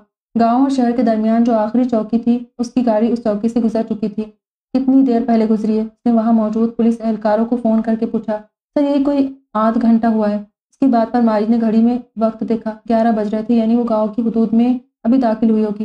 ठीक है, शुक्रिया। कहते साथ ही अब की बार उसने उन कार्ड में से एक नंबर पर मैसेज किया। कुछ ही देर बाद उसका रिप्लाई आते उसने गाड़ी की स्पीड बढ़ाई। अब नशरा का दिमाग ठिकाने लगाना ज़रूरी थी। स्प्रिंग पर उसकी गिरफ्त मज़बूत हुई। इतनी देर से तुम क्यों आए? तुम्हें होश नहीं था कि मैं यहाँ, इस जिंदान में पड़ा हूँ? वकील को सलाखों के पास आते देखकर वो चिल्लाया, सर, मुझे देर से मालूम हुआ था। उसकी टोन ही बदली हुई थी। फजहा चौधरी ने तीखे चतुनों से उसे घूरा। क्यों? मर गए थे क्या तुम, जो तुम्हारी कब्र तक मेरी बर्बादी की तिला नहीं आई? उसने वकील को आड़े हाथों लिया। खैर, जमानत के पेपर दिखाए। इन हरामजादों को ताकि मैं यहाँ से बाहर निकलूँ। उसने हाथ उठाकर उसे साथ लाई फ़ाइल की जानब इशारा करके कहा, सर, इस बार आपकी ज़मानत के पेपर नहीं आए। उसने कुछ हिचकिचाते कहा, क्या? क्या बकवास कर रहे हो? पागल तो नहीं हो गए? शराब चढ़ाकर तो नहीं आए? मैं कह रहा हूँ कि मेरी ज़मानत के कागजात निकालो। वजह चौधरी ने कुछ उलझ कर उसकी जानब देखते गुस्से से अपनी बात दोहराई। सर, मैं वही अर्ज़ कर रहा हूँ कि आपकी ज़मानत अभी मुमकिन नहीं। बहुत भारी केस पड़ा है आप पर। आपको याद है बहुत साल पहले आपने मेहर निगार के साथ ज्यादती करके उसे कत्ल कर दिया था। उस केस से लेकर शौकत किसान की बेटी के साथ ज्यादती वाला केस भी खुल चुका है, जिसके बाद आपने उसके माँ बाप को धमकियाँ देकर गाँव से निकाल दिया था। फिर अब आपने अपनी बहू को जो उठवाया था अपने बेटे के ज़रिए, उस पर भी मारिज मलिक ने अपनी बहन को हबस बेजा में रखना सिर्फ़ रखने पर, इस पर अपने बेटे से तशद करवाने के जुर्म में भी आपको पकड़ा है। तीन केस बेहद मज़बूत है और उनकी गवाहियाँ भी रिकॉर्ड करके पुलिस की तहवील में दे दी गई है। अभी इतनी जल्दी आपकी रिहाई मुमकिन नहीं, उसने तफसील से बताकर उसकी तमाम खुशफहमियाँ दूर की। ये ये मारिज मलिक वही है ना? मलिक अयाज का खास, खासुल खास बंदा वो सदमे के आलम में सब सुन रहा था। जी सर, वही है। वो सिर्फ़ उसका खास बंदा नहीं है, बल्कि उसका भतीजा है। उसके भाई ने दूसरी शादी कर रखी थी, उसी से है। उसी नस्बत से आपकी बहू उसकी बहन लगती है। उसने मजीद तफसील बताई। और इसके अलावा वो पुलिस में भी है। वकील की बात पर अब की बार उसके कदम लुट रहा है पे दर पे होने वाले इंकशाफ उसे पागल कर रहे थे। वह निगार का ऐसा कौन सा सगा निकल आया जिसने इतने सालों पर पुराना केस अब खोला था और उसे तो उसने मारा भी नहीं था। अपने बंदे से कहकर उसकी सांस घुटवा दी थी तो क्या उसके बंदे ने गवाही दी? मगर उस केस को आखिर खोला तो खोला किसने? वो शदीद उलट चुका था। कोई सिरा हाथ नहीं लग रहा था। सर, अभी आपको कुछ वक्त इंतज़ार करना पड़ेगा। ये केस अब पूरी तरह से अदालत में पेश होगा। कल सुबह ही हमें अदालत में पेश होना होगा। मैं आज रात हमारी जानब से इस केस के मनफी जवाब तैयार करता हूँ और फिर सुबह में आऊँगा। वह जहाँ चौधरी ने बेतवजे से उसकी बात सुनी। वो अपने हवासों में ही कहा था, वो तो अभी तक उलझी डोरों के सिरे ही थामने मगन था, मगर कोई सिरा हाथ ही नहीं आ रहा था। थक हार कर नीचे मौजूद चटाई पर आखिर बैठ ही गया। जो भी था, कितनी देर वो खड़ा रहता। तुम सब अपने फ़ोन इधर रखो। जब उन दोनों के मोबाइल बजना बंद ना हुए, तब बिलाखिर उसने मुड़कर सख्त लहजे में उन दोनों को हुक्म सादिर किया और अपने साथ वाली सीट पर अपने मोबाइल रखने का कहा। उसकी बात पर उनमें से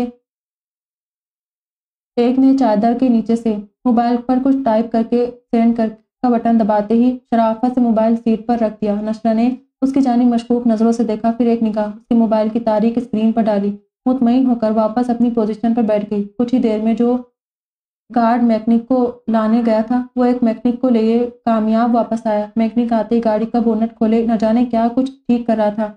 उसी इसना में किसी गाड़ी के पहियों के चचराने की आवाज़ बहुत नज़दीक से आई। हवा से बातें करती हुई गाड़ी उन्हीं के करीब आ रही थी। नशरा को एकदम खतरे का गुमान हुआ गार्ड भी फ़ौरन गाड़ी से बाहर निकलते गंज हाथ में थामे। गाड़ी का घेरा कर चुके थे। नशरा ने अपनी पूरी आँखें खोलते दाएँ जानिब शीशे के पार देखा। गाड़ी रुकते ही कोई गुस्से से गाड़ी का दरवाज़ा बंद करके बाहर निकला। अंधेरा ज़्यादा होने के सबब नशरा को सही से नज़र नहीं आया। मगर चार ढाल से, जिसका गुमान हो रहा था, करीब आती वो गुमान नहीं, हकीकत था। जैसे उसे मालूम हुआ कि गाड़ी अभी गाँव की हदूद में या शायद शहर की हदूद में मौजूद हो, उसने आखिरी दम की आमेज मैसेज उन बॉडीगार्ड में से एक के नंबर पर किया। अगर दो सेकंड के अंदर इस मैसेज का जवाब ना आया तो याद रखना, मैं पूरे गाँव के सामने तुम्हारा वो हाल करूँगा कि सालों लोग याद रखेंगे।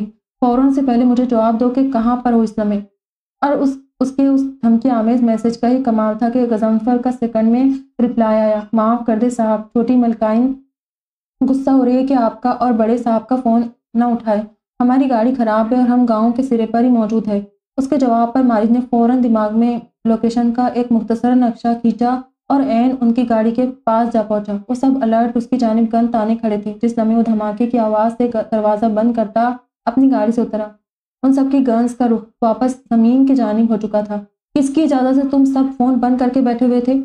तोड़ दूँ, तुम सबके फ़ोन? वो गुस्से से बोल नहीं धाड़ रहा था। क्या क्या ख्याल दिमाग में उन चंद में नहीं आए थे? साहब, वो छोटी मलकाई ने मना किया था कि किसी का फ़ोन नहीं उठाना। शफी की बात पर अब उसका रुख खिड़की के उस पार चादर में लिपटे वजूद की जानब हुआ, जो यकीनन उसे देख चुकने के बाद अब इग्नोर करते हुए सामने देख रही थी।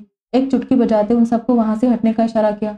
वो सब फ़ौरन से बेचता सर झुकाए गाड़ी की दूसरी जानब जा चुके थे। मारिज ने नशरा की जानब वाले गाड़ी के दरवाजे की जानब कदम बढ़ाए। एक झटके से दरवाज़ा खोला। वो जो दुम सादे बैठी थी, उसकी गुस्से भरी आवाज़ अंदर बसानी आ रही थी। उम्मीद नहीं थी वो इतने जा जारहाना अंदाज में उसकी जानब का दरवाज़ा खोलेगा। वो तो शुक्र था कि वो पूरी तरह दरवाजे के सहारे नहीं बैठी थी, वरना यकीनन ज़मीन बोस होती। क्या है? गुस्से से उसे घुरा। बाहर आए।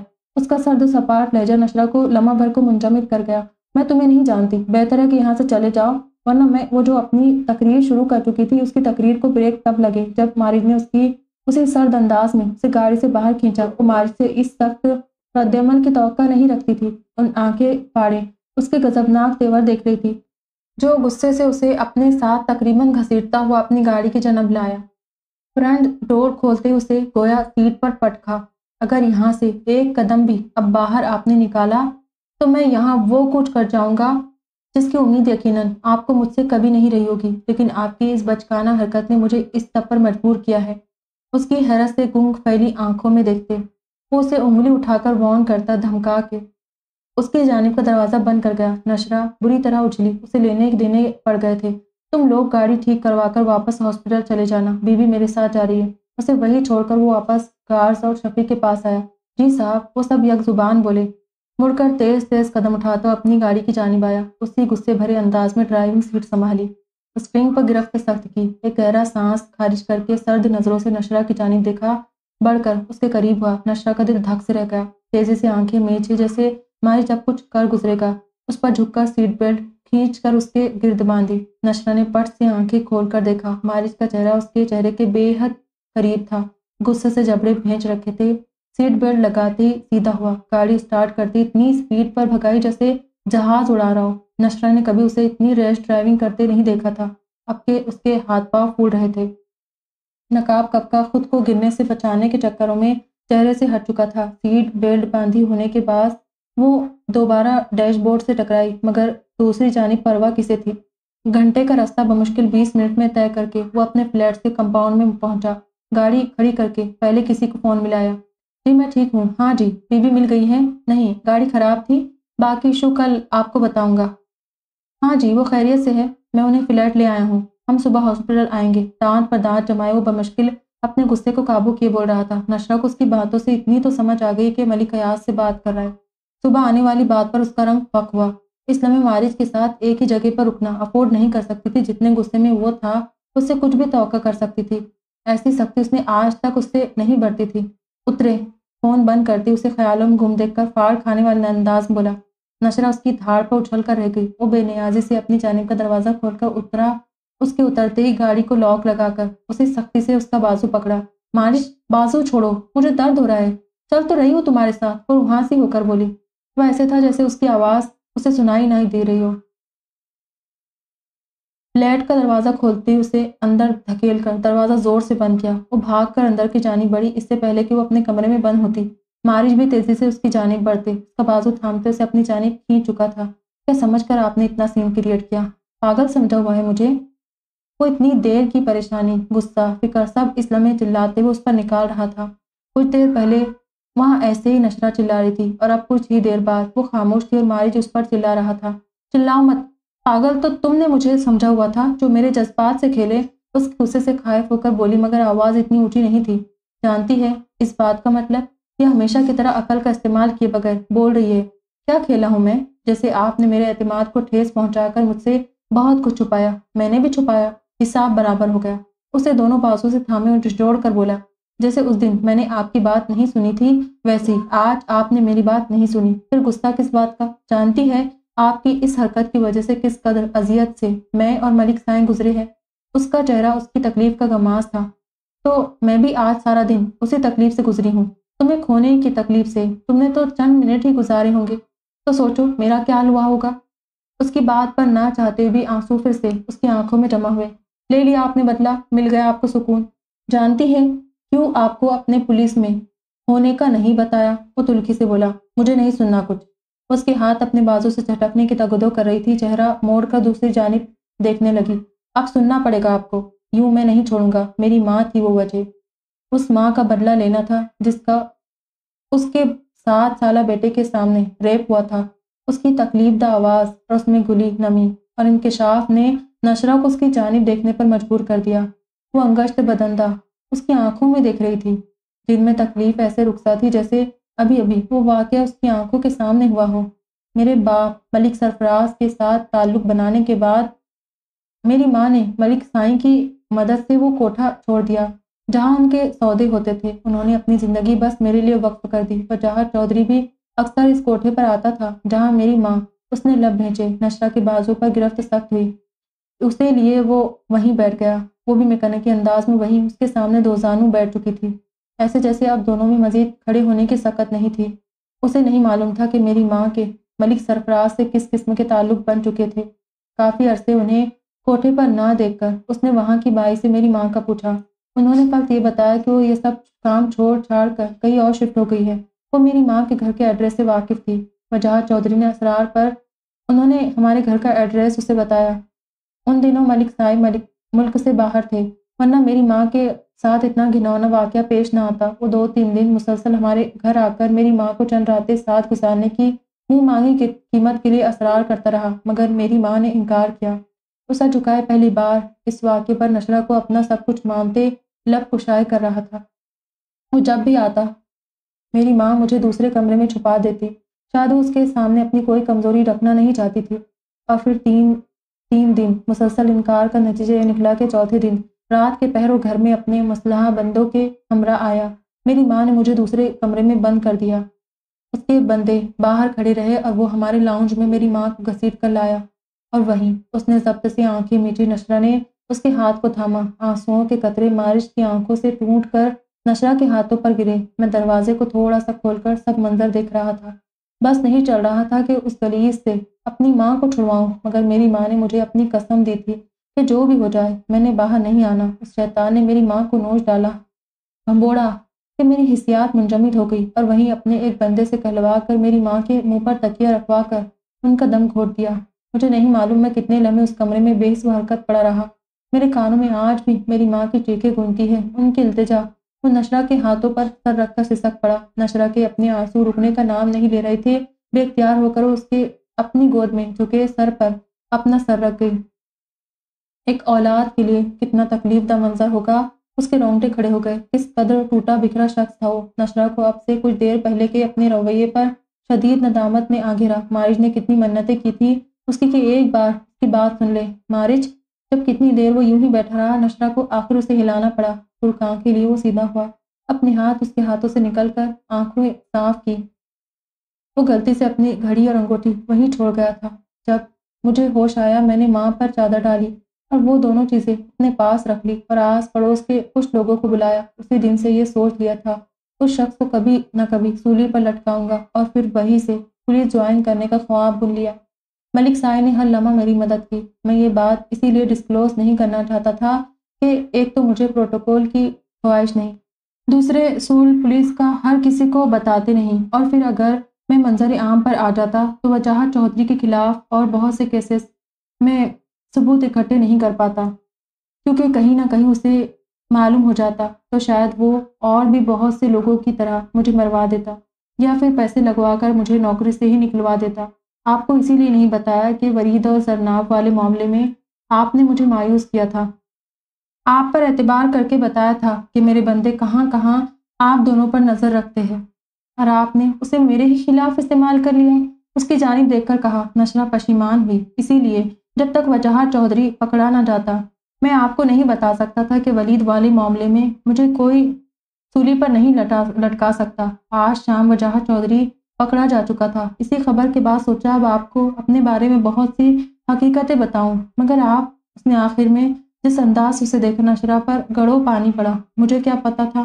सारी तरहदारी निकल चुकी थी। मन मना कर बोली, आपने ऐसी दौड़े लगवाई हैं, ऐसा दिमाग घुमाया है कि आपको अब सज़ा मिलेगी। गहरी नज़रों से उसके शर्मिंदा चेहरे को देखा। दोनों इस वक्त इतने करीब बैठे थे कि दोनों को एहसास अब हुआ था। नशरा पीछे को खिसकी। नारी ने बाजू से थाम कर उसे वापस अपनी जानब खींचा। सज़ा के नाम पर खिसक रही है। जो कुछ देर पहले मुझे सज़ा दी, उसका क्या? उसका बोझल लहजा नशरा को घबराहट में मुबतला कर गया। कोई सज़ा नहीं दी। इतना जो चिल्लाए हो तो दिल बंद हो जाता था। मेरा तो वो मुँह बनाकर उसे देखते हुए बोली, पीछे खिसकने की कोशिश नूस जारी वो सारी थी। आई एम सॉरी मुझे अंदाज़ा ही नहीं था तुम इतनी तकलीफ़ों से गुजरे हो। उसके नरम खूँ चेहरे को देखते हुए उसकी तकलीफ़ शिद्दत से महसूस करते हुए बोली, आप जानती है, इस वाक़े के बाद मुझे औरत और मर्द का ताल्लुक हमेशा हवस ज़्यादा लगता था। मगर फिर वक्त गुजरने के साथ साथ जरनाब की मोहब्बत ने बताया कि नहीं, मर्द और औरत के रिश्ता, बहन और भाई की सूरत तो बहुत पाकिज़ा है। फिर आपकी माँ साई और जरनाब की अम्मा साई की जानब से मिलने वाली इज़्ज़त और मोहब्बत ने बताया कि ये माँ और बेटे की सूरत में भी मौजूद है। और फिर आपने तो मोहब्बत का हर मानी ही बदल कर रख दिया। मोहब्बत से उसका हाथ थाम कर हथेली को मोहब्बत से महकाया। नशरा जो बेतकल्लुफ़ी से बैठी थी, उसकी हरकत और आँखों के गहरे तासुर पर अपनी जगह से सिमट कर रह गई। आपकी मोहब्बत ने समझाया कि मियाँ बीवी का रिश्ता दुनिया का सबसे खूबसूरत रिश्ता है, जिसमें मर्द और औरत जुड़कर इस कायनात को मोतबर कर देते हैं, एक दूसरे के एहसास से, उसके चेहरा दोनों हाथों के प्याले में लेकर मोहब्बत से उसके एक एक नक्श को नरम गरम सांसों से महकाया तुम इतना गुस्सा हुए मुझ पर, नशा झिझक कर पीछे हुई। कहाँ इन शिद्दतों की आदि थी? अभी तक बस उसका गुस्सा ही तो देखा था। उसकी बेगानगी देखी थी। यूँ अपरे करम की तरह बरसना, ये तो सब अनजान एहसास थे। अब मोहब्बत भी दे रहा हूँ। उसकी मानी खैज, नज़रें नशरा की साँसें हम ना हमवार कर रही थी। मुझे भूख लगी है। अब किसी तरह तो उसका ध्यान हटाना था। बहुत गलत वक्त पर आपको बहुत गैर ज़रूरी काम याद आते हैं। उसे मसनू घूरी से नवाजा।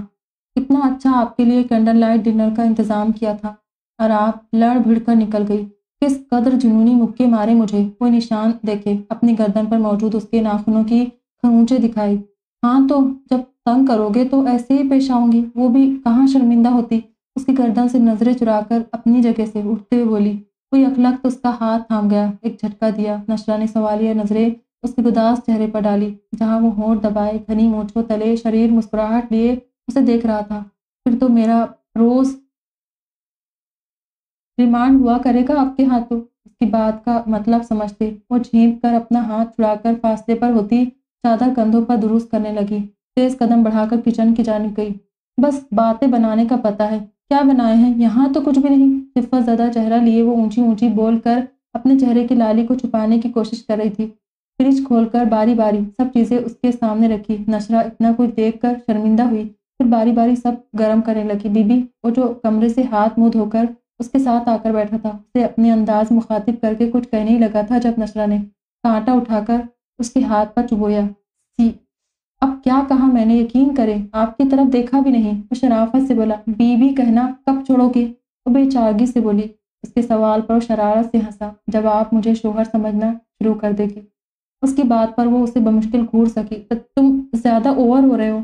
उसे घूरने की नाकाम कोशिश की। ओवर होना नहीं। उसे रोमांटिक होना कहते हैं। मोहब्बत के कुछ तकासे भी होते हैं। वो नासे की तरह उसे समझाने लगा। अच्छा जल्दी खाओ। मुझे नींद आ रही है। किसी सूरत इस बात पे उसके हाथ नहीं आ रही थी। हाँ तो खाना खाकर हम सोएँगे। कौन सा धमाल डालेंगे? उसकी झिझक समझता हँसी में बात उड़ा गया। दोनों शदीद थक चुके थे। खाना खाकर कमरे में जाती मजीद कोई और बात किए बगैर सोने के लिए लेट चुके थे।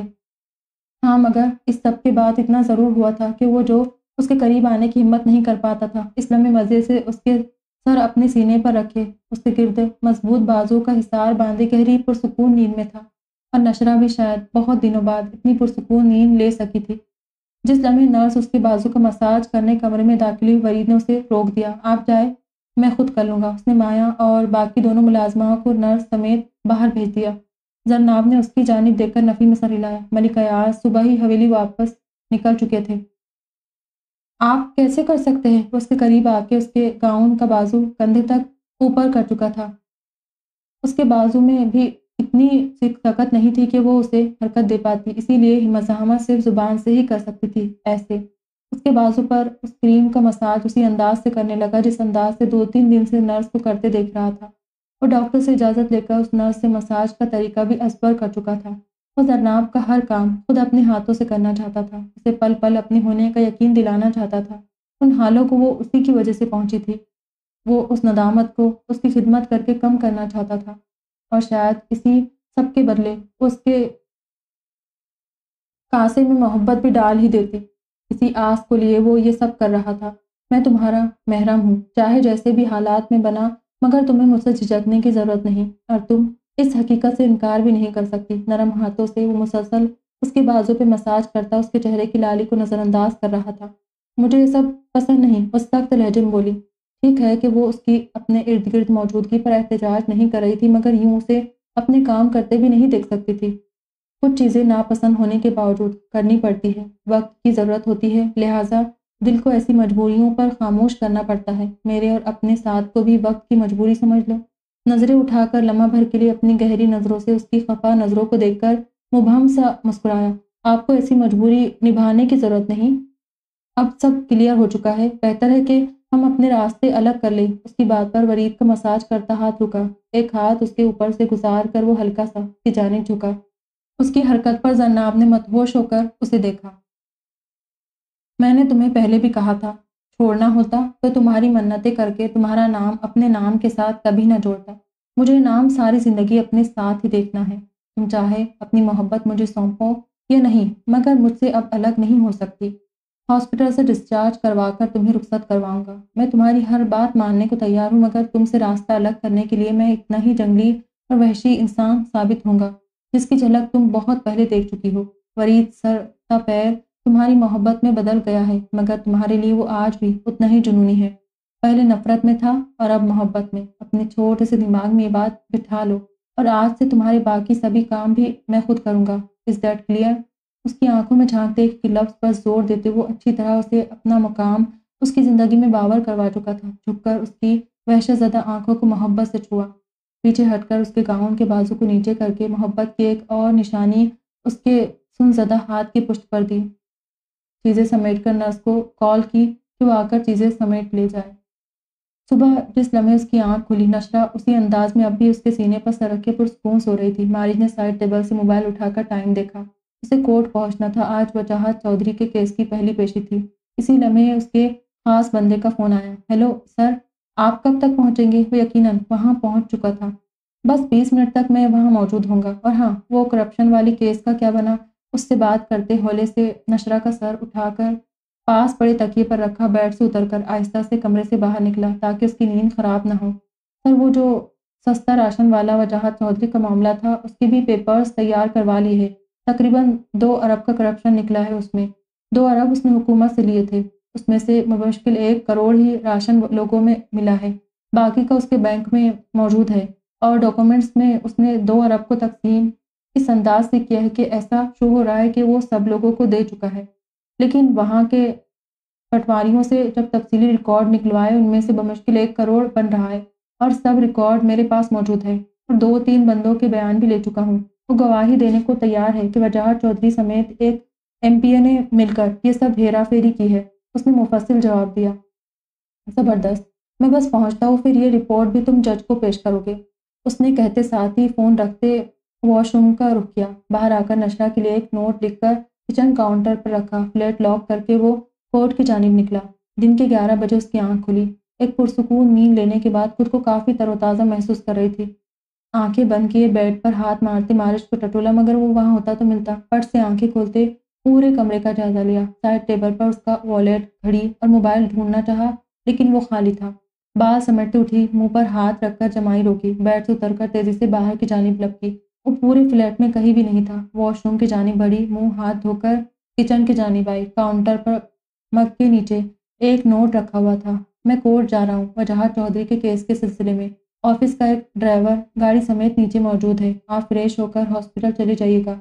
मैं भी फ्री होते ही वहीं आ जाऊँगा। नोट पढ़कर वो जल्दी जल्दी हाथ चलाते नाश्ता बनाने लगी।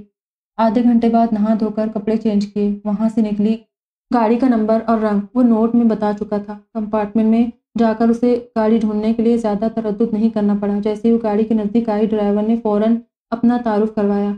मैम, मैं बख्तियार हूँ, ऑफ़िस का ड्राइवर नज़रें झुकाकर सलाम करते उसने खुद को मुतारफ़ करवाया। उसने सर हिलाकर जवाब दिया। अच्छी तरह चादर लपेटे, सिर्फ़ दो आँखें नकाब से झाँक रही थी। कुछ ही देर बाद वो हॉस्पिटल में मौजूद थी। उसे देखते ही जरनाब को मारिश का ख्याल आया। क्या हुआ? भाई का कुछ पता चला? वो कितनी ही बार वरीद से पूछ चुकी थी, लेकिन उसने फ़िलहाल कुछ नहीं बताया था। उस दिन मलिक अयाज ने ना सिर्फ़ मारिज के पुलिस फोर्स में होने का इंकशाफ किया था, बल्कि ये भी बताया था कि वो उनके भाई का बेटा है। उसे अब मालूम हुआ था कि वो सब उसे इतनी अहमियत क्यों देते थे? और जन्नाब और उसका ताल्लुक इतना गहरा क्यों था? उसे खुशी हुई थी ये जानकर कि इतना मज़बूत शख्स इस खानदान का हिस्सा है, जिसका हिस्सा अब उसकी ज़ात भी थी। उसे शदीद दुख और तकलीफ़ हुई थी ये जानकर कि उसकी माँ के साथ उसके बाप ने कितनी बड़ी ज़्यादती की थी। और उस शख्स की आला जल्फी का वो कायल भी हुआ था कि उसके बाप का बदला उसने वरीद से नहीं लिया था, वरना तो यहाँ से बेकसूर को ही तख्त मश्क बनाया जाता है। इसीलिए वो हर तरह से उसका साथ देने को तैयार था। हाँ यार, बिल्कुल ठीक है, और खैर से पुलिस वाला है, मज़े से अब सारी बात उसे बता रही थी। शुक्र है, मैं बहुत परेशान थी, माया भी उन्हीं के पास बैठी थी। नशा ने आते वरीद को कुछ देर के लिए उसके फ्लैट जाने का कहा ताकि वो भी फ्रेश हो जाए। वो मुसलसल हॉस्पिटल में ही था। यूनी से उसने छुट्टी ले रखी थी। अल्लाह करे, अब इस घटिया शख्स को सख्त से सख्त सज़ा हो। जन्नाब की दिल की बात माया ने कह डाली, आमीन। उन दोनों ने भी सदक दिल से आमीन कहा। पहली ही पेशी में मुसलसल वो अपनी हरकतों को नफी करता रहा, जिस पर अदालत ने उसे चंद रोज़ रिमांड के लिए भेज दिया। मारिज ने कोर्ट से बाहर आते तनवीर अली को फ़ोन मिलाया, सर, क्या मैं वजाहत चौधरी के रिमांड के वक्त मौजूद रह सकता हूँ। वो जानता था। उनका जवाब फिर भी न जाने उसका दिल कह रहा था कि शायद वो इजाज़त दे दे। दिमाग सही है तुम्हारा? एक दो दिन तक तुम्हारे खिलाफ पैनल बैठ रहा है और तुम उसका रिमांड लेने की बात कर रहे हो?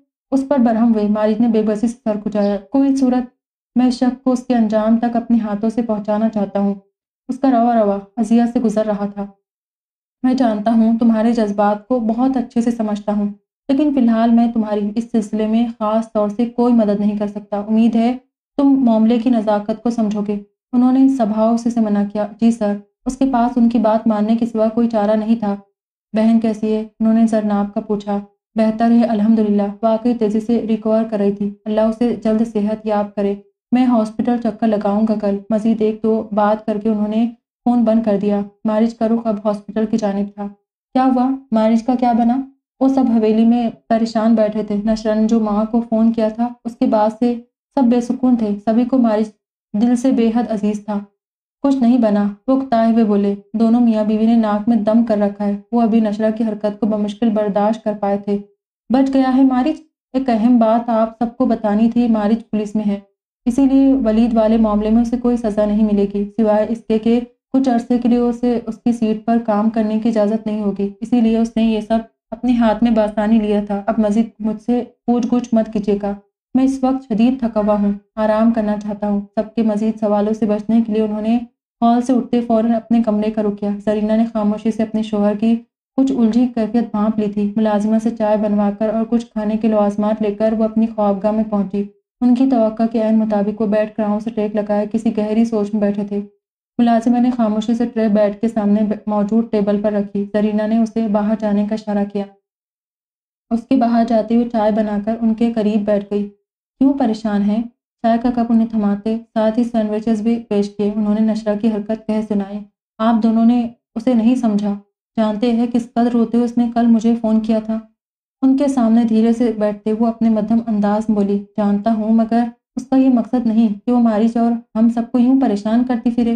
आप उसे फ़ोन करके समझाए कि अब अपने घर बार वाली हैं, कुछ अकल करे। उससे सख्त नाला थे मुँह सा मुस्कुराई। आपसे बेहतर तो मारिच उसे समझता है। आप फ़िक्र मत करें, वो मुझसे और आपसे कहीं ज़्यादा। उसे ऐसी नज़ाकतों का एहसास दिला देगा। उनकी बात पर वो भी होले से मुस्कुराए। मुझे तो खुशी है कि वो मारिज की हैसियत को अपनी ज़िंदगी में कबूल कर चुकी है। वो मोहब्बत से उसका ज़िक्र करने लगी। हाँ और इस हद तक कर चुकी है कि बाप भी दुश्मन लगने लगा है। मलिक अयास की बात पर वो खुलकर मुस्कुराई ये तो और भी अच्छी बात है। जन्नाब कैसी है? रजिया उसके पास जाना चाह रही थी। उनकी आवाज़ में इल्तजा सी थी। इनशाला एक दो हफ्तों में डिस्चार्ज हो जाएगी। उसका शोहर भी दीवाना ही है। चाय की चुस्कियाँ लेते वरीद को याद करते खुशकुन मुस्कुराहट उनके चेहरे पर रुखसा हुई। अल्हम्दुलिल्लाह, हमारी बच्चियों के नसीब में अल्लाह ने इतने अच्छे लड़के लिखे। नज़र बद से बचाए अल्लाह। और अब किसी तकलीफ़ और आजमाइश से हमें ना गुजारे। उनका लहजा पिछले दिनों की तकलीफ़ और परेशानी को याद करके सहमा हुआ था। जन्नाब की रुखसती का आपने क्या सोचा? उसकी माँ अभी बहुत से गमों से गुजर रही है, उन्हें संभलने का मौका दे। फिर मैं सुगरा बेगम से बात करता हूँ। आपने फ़ोन करके उनकी दिलजोई की, उनके सवाल पर उन्होंने हाँ में सर हिलाया। जी, मैंने दो तीन बार उन्हें फ़ोन किया था। बहुत बहादुर खातून है। अल्लाह ने वरीद की सूरत उन्हें कितना अच्छा अजर दिया है। अल्लाह करे वो सारी ज़िंदगी माँ का कदरदान रहे, जिसने इतनी आजमाइशों से गुजरने के बाद भी किसी से शिकवा नहीं किया। वह हकीकता सुगरा बेगम की हिम्मत से शदीद मुतासर थी। बेशक अल्लाह उनके लिए आसानियाँ फरमाए। वही तो थी जिन्होंने लम्हा ब लम्हा उनका साथ दिया था। जिस लम्हे वो हॉस्पिटल पहुँचा, जरनाब सो चुकी थी। माया और नशरा वही एक कोने में नमाज़ पढ़ने में मगन थी। वो खामोशी से अंदर आकर जरनाब के बेड के करीब आया। चेहरे पर चोटों के निशान मद्दम हो रहे थे। बाएँ टांग की पट्टियाँ भी उतरकर अब मुतासर जगह पर छोटी छोटी पट्टियाँ लगा दी गई थी।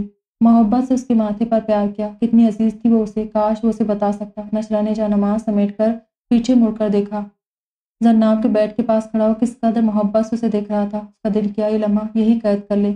उसके अपने भी भाई थे, मगर जो मोहब्बत उसने मारिश की जन्नाब के लिए देखी थी, वो अलग ही थी। दोनों भरपूर तकलीफ़ों से गुजर कर भी किस कदर मज़बूत आसाब के मालिक थे। जन्नाब के तख्ते उसे अपने चेहरे पर किसी की गहरी निगाहों का एहसास हुआ, गर्द, गर्दन मोड़ कर देखा तो नशरा महवियत से उन दोनों को देख रही थी। वो मध्यम सा मुस्कुराया। नशरा ने रुख मोड़ कर जा नमाज़ पास रख, रैक में रखी।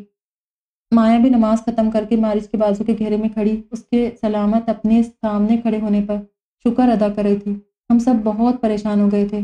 जब से उसे मालूम हुआ था, ये उसका भाई है। तब से मारिच के लिए मोहब्बत में और ही तरह का इस्तेकाक आ गया था। आई कैन इमेजिन उसका सर सीने से लगाए नशरा को नज़रों के इशार में लिए हुए था। जो इधर उधर देखती, उसकी गहरी नज़रों का असर ज़ाहिर करने की कोशिश कर रही थी। अब सब ठीक हो जाएगा। उसे तसली दी इनशाला माया आँसू साफ़ करती, उससे अलग हुई। वरीद कहाँ है? मारिज ने उसकी कमी को शिद्दत से महसूस किया। मैं जब हॉस्पिटल आई थी, तब ज़बरदस्ती उन्हें घर भेजा था। इतना रफ उनका हुलिया हो रहा था। सोचा जाए, फ्रेश हो ले और कुछ रेस्ट भी कर ले। कब से तो जरनाब की खिदमतों में लगे हुए हैं। उसके करीब सोफे पर बैठते कहा, माया, जरनाब के बैठ के करीब कुर्सी रखे, कोई सूरह पड़ रही थी। मारिज और नशरा कुछ फासले पर सोफे पर बैठे थे। क्या बना उस शैतान का? नशरा के लहजे में वजाहत चौधरी के लिए नफरत ही नफरत थी। मारिज ने गहरी सांस खारिज की। इतनी जल्दी तो फैसले नहीं होते। अभी तो रिमांड के लिए भेजा है, फिर देखे, केस तो बहुत मज़बूत है, बचने वाला तो वो हरगिज नहीं है। सोफे के पुष्ट पर बाजू टिकाया नशरा उसके हिसार में आ गई। इनशाला काश मैं भी पुलिस में होती। कचूमर बना देती उसका, वो दांत पीस के बोली मारिश उसकी बात पर ऐसे हंसा जैसे बच्चे की बात पर हंसा जाए।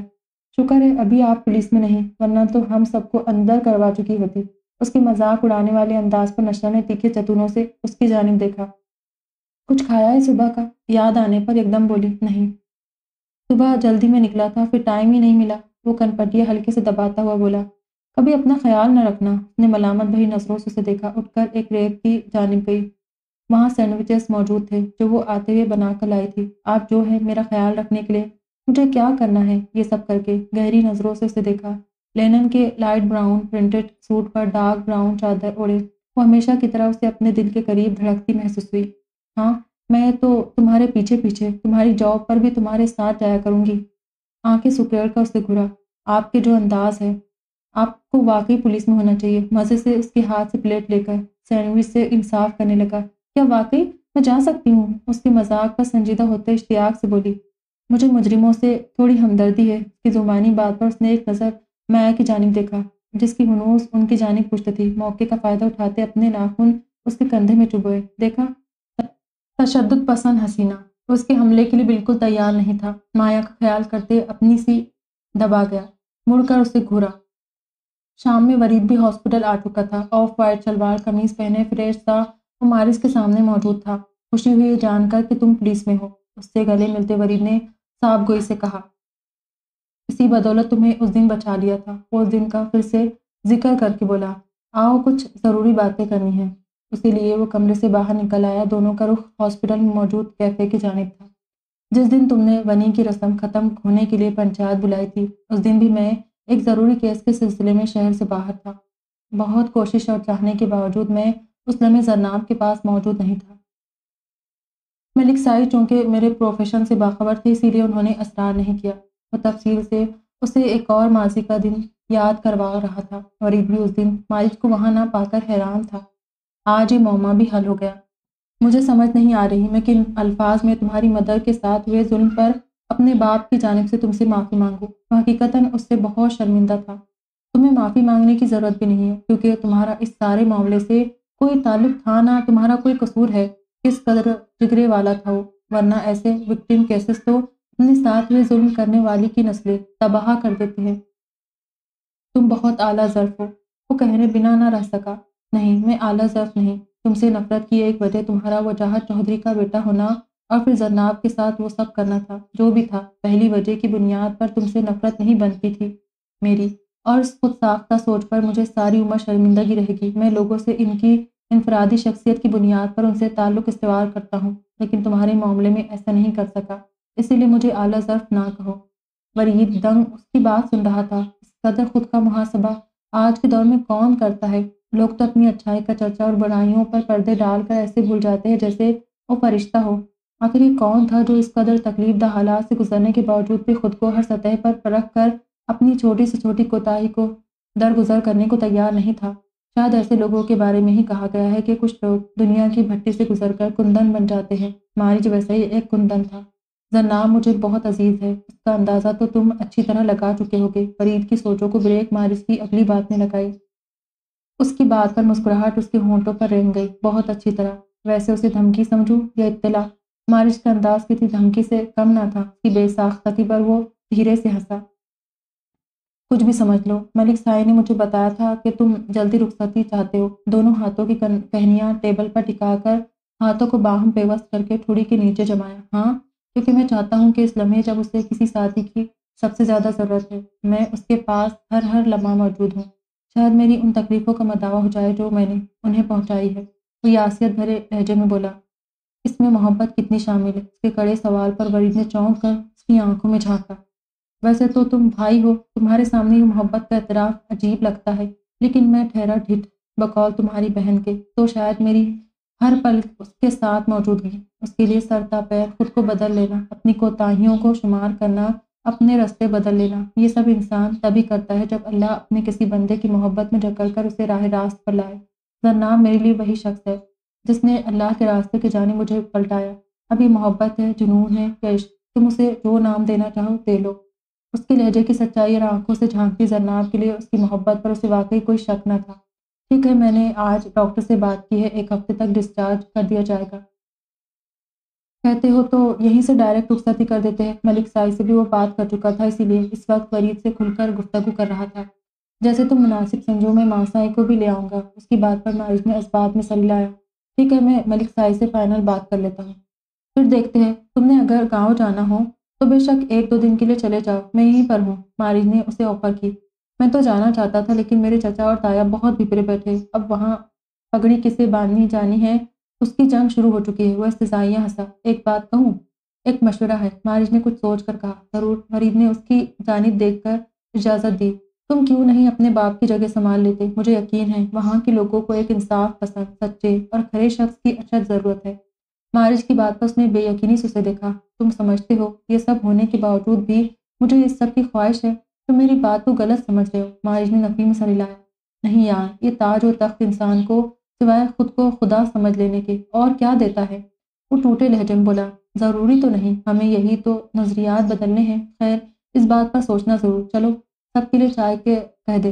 वो दोनों उठ खड़े हुए। मैं कह रहा हूँ कि मैं किसी महनिगार को नहीं जानता। समझ नहीं आ रही तुम लोगों को। पिछले तीन दिन से उसका जिस्मानी रिमांड लिया जा रहा था। और वो था कि कुछ उगलने और मारने को तैयार ना था। तेरी यादाश्त लगता है। बिल्कुल ही ख़राब हो गई है। सर डालो उसका ठंडे यख पानी के ड्रम में उसका सर डाला गया। यहाँ तक कि वो बंधे हुए हाथ ज़ोर ज़ोर से चलाने लगा बालों से पकड़कर उसका सर बाहर निकाला। सर्दी में ऐसी तकलीफ़ द सजा वजह चौधरी को महसूस हुआ उसका चेहरा सुन हो गया है। न देखने की हिम्मत थी न बोलने की। बकवास करेगा कि नहीं? एक, एक जोरदार हंटर उसके कमीज से मुबरा जिस्म पर पड़ा। मैं मैंने उसे रेप नहीं किया था वो बिलबिला उठा। चलो ये तो याद आया कि महर निकाल कौन थी। अभी ये भी याद आ जाएगा। कि कब, कहाँ, कैसे और किस तरह तूने उस बेचारी औरत के साथ ज्यादती की थी? उसका मुँह अब दूसरे ड्रम में डालो। पुलिस ऑफिसर ने अपनी छड़ी की नोक उसकी मुंजमिद ठोड़ी में ज़ोर से मारते हुए गुस्से से जबड़े भेंचे कहा। दूसरे ड्रम में खोलता पानी था। जिस पुलिस एहलकार ने उसे जकड़ रखा था, उसे बालों से थाम कर फिर से उसका मुँह खोलते पानी में डाला। उसकी चीख निकल गई। बाहर निकालो। निढाल होकर बमुश्किल उस एहलकार के सहारे खड़ा था। सजी बेहोश हो गया है। उसकी गर्दन एक जानिब लुढ़कते देखकर वो बोला, होने दो, अभी तो सारे होश आने हैं उसे। फेंको उस हरामजादे को उसकी कोठरी में और आज से उसकी दाल और रोटी बिल्कुल बंद। उसके बेहोश जिसम पर ज़ोर से अपने बोट मारकर वो सेल से बाहर निकल गया। आज दो दिन बाद उसमें थोड़ी हिम्मत हुई मलिक अयाज से फ़ोन पर बात करने की। सुबह ही उन्होंने रजिया के बहुत असरार पर उन्हें हॉस्पिटल भिजवाया था और माया को वापस बुलवा लिया। नशरा तो किसी सूरत वहाँ से जाने को तैयार ना थी। फरीद को भी बहुत असरार करके उसने यूनी भिजवाना शुरू कर दिया था। वहाँ से सीधा वो हॉस्पिटल ही आता था। वालेकुम बाबा साई धीमी आवाज़ बोली, वालेकुम अस्सलाम। कैसी हो बेटा? उनके लहजे में हमेशा वाली नरमी और शफकत थी। मैं ठीक हूँ। आप कैसे हैं? उनके पुरशफीक लहजे पर उस पर घड़ो पानी पड़ा। मैं भी ठीक हूँ। तुम बताओ माइश ठीक है? उनकी आवाज़ में शरारत सी थी। मैं बहुत शर्मिंदा हूँ आपसे। आई एम रियली सॉरी मैंने बहुत बदतमीजी की थी। वो फ़ौरन मुद्दे पर आई। अरे, कोई बात नहीं। मामला मार्च का था, इसीलिए मैंने भी तुम्हारी बातों को संजीदा नहीं लिया। उनकी दरिया दिली पर ठिनकी। हाँ वो तो है ही। आपका चाहिए मुँह बनाकर बोली। मेरा तो शुरू से ही चाहिए है, मगर शायद अब किसी और का भी हो चुका है। उनके छेड़ने वाले अंदाज पर उसका चेहरा तब गया। न जाने क्या क्या बकवास और मारिज के हवाले से उनके सामने कर गई थी। अब सोच सोच कर। शदीद शर्म आ रही थी। बाबा साईं, उसने एहतजाजी नारा लगाया। हाँ हाँ मुझे अच्छा लगा तुम्हारा ऐसा उसके लिए पॉजिटिव होना। मगर बेटे, मुझे बुरा लगा जब तुमने हमें बताए बिना हवेली जाने का फैसला किया। उन्हें यह लम्हा गनीमत लगा, उसे थोड़ा सा समझाए। उसकी गलती की तरफ़ उसकी तवज्जो दिलाए। बेटे, शिद्दत पसंदी अच्छी है, मगर इतनी नहीं कि इंसान नफ़ा नुकसान की परवाह ना करे। उनकी सर्जिश ने उसे मज़ीद शर्मसार किया। हमें तो तुमने जितना तंग करना था कर लिया। मैं उम्मीद करूँगा कि तुम मालिश को अब अपनी हरकतों से आजिज ना करो। वो हल्के फुल्के लहजे में उसे बहुत कुछ समझा गए। और इससे बात करते थोड़ा आप जनाब का अहतमाम कर लो तो और भी अच्छी बात है। मैं जानता हूँ तुम दिल की बहुत अच्छी, साफ़ और खरी हो, मगर बहुत सी जगहों पर बहुत सी मसलतें देख कर कदम उठाना पड़ता है। मारिज कभी तुम्हारी शिकायत नहीं करेगा, लेकिन मैं चाहता हूँ कि वो दिल में भी, तुम्हारे और हवाले, मेरे हवाले से कोई बात न रखे। समझ रही हो ना बेटे? जी बाबा साई मेरी तरफ़ से आपको कोई शिकायत नहीं मिलेगी। मुझे नहीं, मारिज को शिकायत ना हो। उन्होंने फ़ौरन उसकी तस्दी की। जी जी।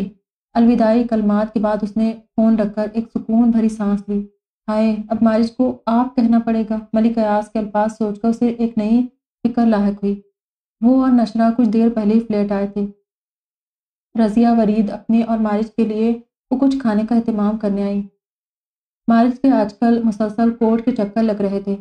कल उसकी पैनल के साथ मीटिंग भी थी।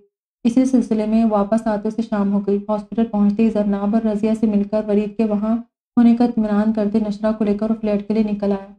मारिज फ्रेश होने चला गया, जबकि उसने चादर उतारते किचन का रुख किया। हेलो नशरा आपा, चाय बनाने के साथ साथ वो माया की कॉल भी अटेंड कर चुकी थी। कैसी हो? फ्रेश सी आवाज़ में उससे बातें करने लगी। आपको पता चला? माया के सवाल पर चौंकी। किस बात का? पैन में दूध डालता हाथ, उसका थमा। जनाब आपी को हॉस्पिटल से डिस्चार्ज करवाकर, फरीद भाई रुखसती करवा कर ले जाएँगे। उसके इंकशाफ पर शदीद हैरान हुई। तुम्हें किसने बताया? दूध डालकर फ्रिज में वापस रखते हुए हैरान, परेशान सी बहन को देख रही थी। अम्मा साई ने, बाबा साई, मारिज भाई और असीद भाई ने मिलकर फैसला किया है। वरीद भाई ने उनसे गुजारिश की थी। उसकी बात पर मुठ्ठियाँ भज गई कि मेरे हाथों से अब ज़ाय हो जाएगा वो बड़बड़ाई। क्या कह रही है? माया मुश्किल सुन पाई, मगर कोई एक लफ्ज़ भी पल्ले न पड़ा। कुछ नहीं अच्छा मैं ज़रा काम कर रही हूँ, थोड़ी, तुम्हें थोड़ी देर तक कॉल करती हूँ। मारिश को कमरे से बाहर आता देखकर उसने फ़ौरन फ़ोन बंद किया। कभी जब तुम मुझे कोई बात बता दो, फ़ोन बंद करती वो पंजे झाड़ कर उसके पीछे पड़ गई। कफ लिंक्स बंद करता वो झटके से सर उठाकर उसके खुंखवार तासरात देखने लगा। अब क्या कसूर कर दिया मैंने? एक ठंडी सांस भरकर। उसकी अदालत में पेश होने के लिए तैयार था। नशरा ने खबकी भरी नज़र उसके वजिया चेहरे पर डाली। मस्टर्ड कलर की शलवार, कमीज, फ्रेश था। वो नशरा को गुस्सा दिला रहा था ये क्या बेवकूफ़ी है? जरनाब की हॉस्पिटल से रुखसती करवा रहे हो? वो चाय भूलकर किचन में कैबिनेट खंगालती मारिज के पीछे पीछे फिरने लगी। साथ साथ उसका सर भी खा रही थी। हाँ तो वैसे बोला जैसे कोई बात ही नहीं। ये फैसला कब हुआ? उसकी बेनियाजी पर सुलग कर रह गई। फरीद ने एक दो दिन पहले कहा था, आज सुबह ही फाइनल हुआ। मैं सुबह से आपसे मिल नहीं सका, वरना सबसे पहले आपको ही बताता। डाइजेस्टो का रोल निकालकर उसने प्लेट में रखा। और इसमें बेवकूफ़ी क्या है? इशारे से उसका ध्यान चाय पकने की जानी मबजूल करवाई। तो बहुत अक्लमंदी है। ऐसे कोई रुखसत करता है बेटी को? वो चाय डालते भी खफा खफा सी बोली। पहली बात यह है कि वरीद के खानदान की सिचुएशन ऐसी नहीं कि वो कोई आम हालात की शादी अरेंज करे। दूसरे ये वरीद की ख्वाहिश है कि वो जरनाब के ठीक होने तक उसे अपने ही पास रखना चाहता है। वो बिस्किट की प्लेट लेकर लाउंज में मौजूद सोफे पर बैठा। नशरा भी कप ट्रे में रख के उसके पास बैठी। ये बहुत बड़ी ज़िम्मेदारी है। न जाने वो क्यों एहतजाज कर रही थी। मारी झोले से मुस्कुराया। बिस्किट खाते शरीर नज़रों से उसके उलझे चेहरे को देखा। आप क्यों कैदू कैदू बन रही है? उसकी बात पर मारिज की उम्मीद के मुताबिक फिर से खुंखार तासरात उसके चेहरे पर बिखरे। मैं क्यों विलन बनूँगी? वो सर झटक कर बोली। हाथ बढ़ाकर कब थामा। मुझे लगता है जन्नाब अभी इस सब के लिए तैयार नहीं हो पाएगी। वो जन्नाब का सपाट रवैया नोट कर चुकी थी।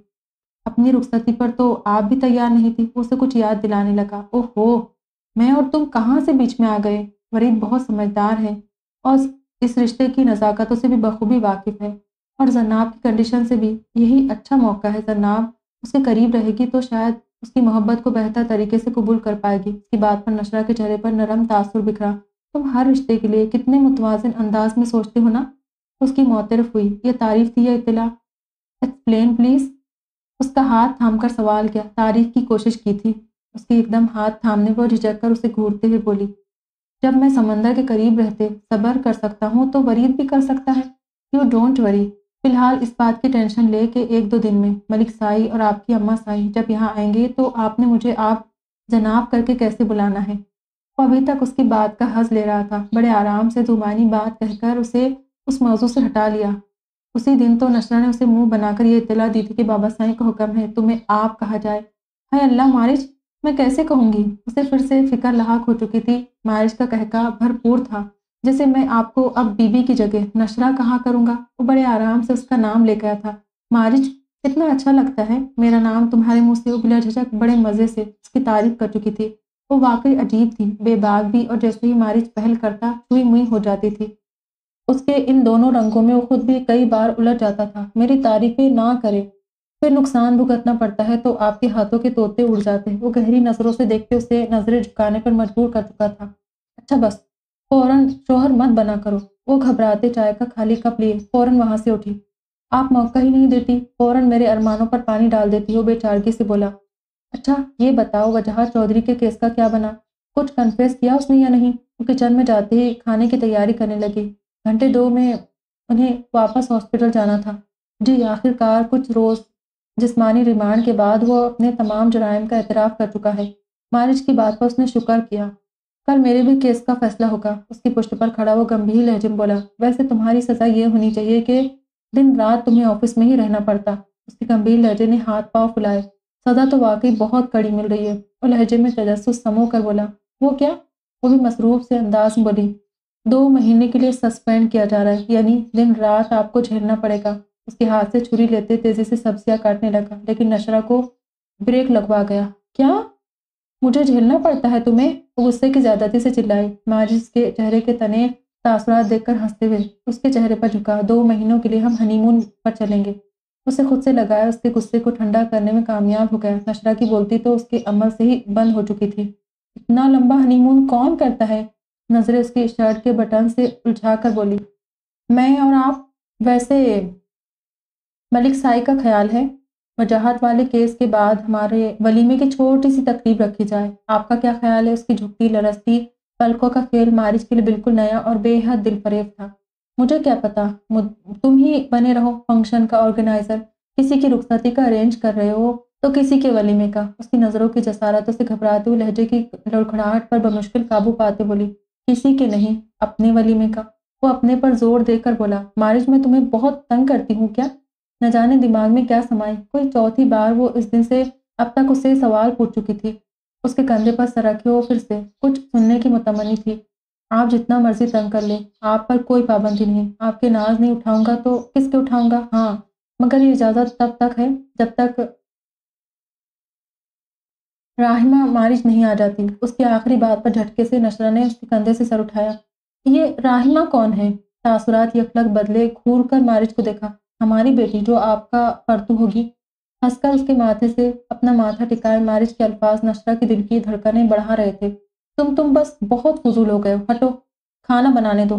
चेहरे की सुर्खी किसी तौर कम न हुई तो उसका हिसार तोड़ते वो मारिज को खुलकर हंसने पर मजबूर कर रही थी। वरीद उसके साथ रात हॉस्पिटल में मौजूद था। मारिज और नशरा रजिया को ज़बरदस्ती अपने फ्लैट आराम की गर्ज से ले गए थे। जरनाम रुखसती के लिए तैयार नहीं थी और वो दोनों जानते थे। वरीद का इस सिलसिले में उससे बात करना, उसे कायल करना बेहद ज़रूरी था। उसी घर से वो वरीद को उसके पास अकेला छोड़ गए। क्यों परेशान हो? उसे वॉशरूम ले जाना, खाना खिलाना, सब वो अपने जिम्मे ले चुका था। इस वक्त भी उसे सूप पिला रहा था और उसके चेहरे पर तफुकरात को बसानी पड़ सकता था। क्या परेशान नहीं होना चाहिए? उल्टा से सवाल करने लगी। उसके एहसास न जाने क्यों वरीद के लिए अब भी सर्द ही थे? नहीं। जब मैं तुम्हारी परेशानी ले चुका हूँ तो तुम्हें परेशान होने की क्या ज़रूरत है? उसे सूप पिलाते हुए मुसलसल उसे नज़रों के हिसार में लिए हुए था। उसकी आँखें अब भी वरीद को वैसे ही दीवाना करती थी। मैं आपके साथ शायद ज़िंदगी तो गुजारने के लिए तैयार हो जाऊँ। खुद को किसी न किसी तौर आमदा कर लूँ, मगर वो उस बंदे की अच्छाई की मोतरफ हो गई थी, मगर वो खुद को उसके साथ ज़िंदगी गुजारने के लिए तैयार नहीं कर पा रही थी। मगर क्या? वरीद ने उसे मज़ीद बोलने पर उकसाया। मगर आप मुझसे किसी मोहब्बत और उल्फत की उम्मीद मत रखिएगा। मुझे इन जज्बों पर यकीन नहीं। वो नज़रें झुकाए एक हाथ से मज़ीद सूप ना पीने के लिए मना कर चुकी थी। वरीद ने सूप वाला बाउल साइड टेबल पर रखा। खिसक कर उसके मजीद करीब आया। जरनाब ने चौंक कर उसका करीब आना महसूस किया। उसका दायां हाथ अपने हाथों में थाम कर उसने लब कुशाई की, मैंने पहले भी कहा था, मुझे तुम्हारा साथ चाहिए। तुम्हारी मोहब्बत मिल गई तो मेरी खुश नसीबी में इजाफा होगा। ना मिली तो मुझे कोई मलाल नहीं होगा। बस तुम साथ रहो। मेरे लिए यही बहुत होगा। तुम जानती हो, तुम्हारी मोहब्बत ने मुझे इस कदर बदल दिया है कि मैं वरीद चौधरी रहा ही नहीं, मेरा अंदर बाहर। बस हर सिम तुम हो। मैं मैं नहीं रहा, मैं तुम हो चुका हूँ। उसका जज्बात से चूर लहजा जरनाब के दिल की फसीलों को ढाने की भरपूर तगदो कर रहा था। तुम्हारी मोहब्बत ने मुझे सब्र और इस्तकामत सिखाई है और इन दोनों चीज़ों के सहारे मैं इस उम्मीद पर पूरी ज़िंदगी तुम्हारे साथ गुजारने के लिए तैयार हूँ कि कभी ना कभी तुम्हारे दिल में थोड़ी सी जगह तो बना पाऊँगा। तुम्हें छोड़ने का तो सोच भी नहीं सकता, मगर मेरी खुदगर्जी, समझो, तुम्हें किसी और के लिए छोड़ भी नहीं सकता। मोहब्बत उसके हाथों पर लब रखे सन्नाब के हाथों की कपकपाहट ने उसे इतनी तसली ज़रूर दिलाई कि वो उससे मोहब्बत भले ना करती, मगर उसकी मोहब्बत और शिद्दतों को पूरी तरह महसूस ज़रूर करती है ये आपके साथ ज़्यादती होगी। न जाने क्यों उसे वरीद के लिए अपना सर्द अंदाज को सोचकर बुरा लगता था। तो तुम दिल को आमदा कर लेना कि वो मेरे साथ ये ज़्यादती ना करे। गहरी नज़रें उसकी बड़ी बड़ी आँखों में डालकर गोया उसे अपनी मोहब्बत में जकड़ा। कभी पछताएँगे, वो अपने शक उस पर अया कर रही थी। पछताना होता तो इतनी आगे तक का सफ़र ही ना करता। मैंने तो हर नतीजे को पसे पुश डालकर खुद को तुम्हारी मोहब्बत के धारे पर छोड़ दिया। डूबू या पार लगू, मुझे इससे गर्ज नहीं। उसका हुर्फ हुर्फ, उसकी सच्चाई का गवाह था। उसने आसूदगी से लम्हा भर के लिए आँखें बंद की। तो फिर मैं कल अम्मा साईं को बुला लूँ। परसों से उसे डिस्चार्ज करना था और आज उसे हर हाल में मनाना ज़रूरी था। अगर कभी पछताए तो याद रखिएगा, मैं मोहब्बत तो भले करूँ ना करूँ, फिर आप पर कभी यकीन नहीं करूँगी। उसे बावर करवा गई। तुम्हारे इस यकीन का मान कभी टूटने नहीं दूँगा। ये वादा है तुमसे। मोहब्बत से उसकी सभी पेशानी को छुआ। पहली बार जरनाब को उसका अपने नज़दीक आना बुरा नहीं लगा। ये अजीब से एहसास ने उसके दिल को छुआ। तुम मेरे लिए बहुत कीमती हो। उसका चेहरा हाथों में लिए उसके नक्श आँखों से छूने लगा। मोहब्बत से उसे खुद में समेटा। सन्नाब ने आँखें बंद करके खुद को अल्लाह की जानब से अपने लिए चुने गए इस शख्स को सपुर्द कर दिया। जन्नाब और नशा इस वक्त फ़ैशन बेड पर टांगे लटकाए बैठी थी। मारिच, मलिक अयास और जरीना और रजिया को अपने फ्लैट से लेकर आ रहा था। कल की रात नशरा और मारिच दोनों उसके साथ रहे। फरीद, सुगरा, बेगम को लेने गया था। सरनाम ने कभी नहीं सोचा था ये दिन उसकी ज़िंदगी में आएगा। बचपन से अब तक इतने गैर मामूली वाक़यात उसके साथ पेश आए कि शादी जैसा अहम रिश्ता और दिन अपनी ज़िंदगी से खारिज कर चुकी थी। किसी को वहाँ ना पाकर नशरा को चंद अहम बातें करने के लिए मौका नहायत मुनासिब लगा। मैं तुम्हारे लिए आज बहुत खुश हूँ। उसका बाया बाजू अब हरकत करने लगा था। नशरा ने हौले से उसके बाजू पर हाथ रखकर मोहब्बत भरे लहजे में कहा, जानती हूँ, तुम और भाई दोनों मेरे लिए आज बहुत खुश हो। वो हले हौले मुस्कुराई। उसके ना ना करने के बावजूद नशरा, दीदा जेब और स्टाइलिश बारीक धागे और हल्के से काम वाला जिंक कलर का सूट उसके लिए लेकर आई थी। इस वक्त वही जेब तंग किए बैठी थी। चेहरे पर चोटों के निशानात थे। अभी वो सहारे के साथ ही चलती थी। सूट के साथ का दुपट्टा ओढ़े, वो कुछ उलझी, कुछ निढाल सी थी। नाम मोहब्बत, दुनिया का सबसे कीमती तोहफा है। अगर हो जाए तो क्या ही खूबसूरत बात है। और अगर ना हो तो किसी की मोहब्बत की कदर कर लेनी चाहिए। मैं जानती हूँ तुम्हारे दिल में अभी बहुत से वसवसे होंगे, मगर एक बार दिल से इन शकों को, शबाहत को निकाल कर वरीद की शख्सियत का तजिया करो तो तुम्हें अंदाज़ा होगा कि वो शख्स सिरे से ही तुम्हारी मोहब्बत की बदौलत बदल गया। उसकी आँखें, उसका चेहरा, उसका हर हर अंदाज चीख चीख कर तुम्हारी मोहब्बत का दम भरता है। उसे एक मौका दो कि वो खुद पर लगे सब दागों को धो सके। जरनाब सर झुकाए उसकी बातें सुन रही थी। तुम और मारी दोनों के साथ ज़िंदगी ने किस्मत ने बहुत से सितम किए।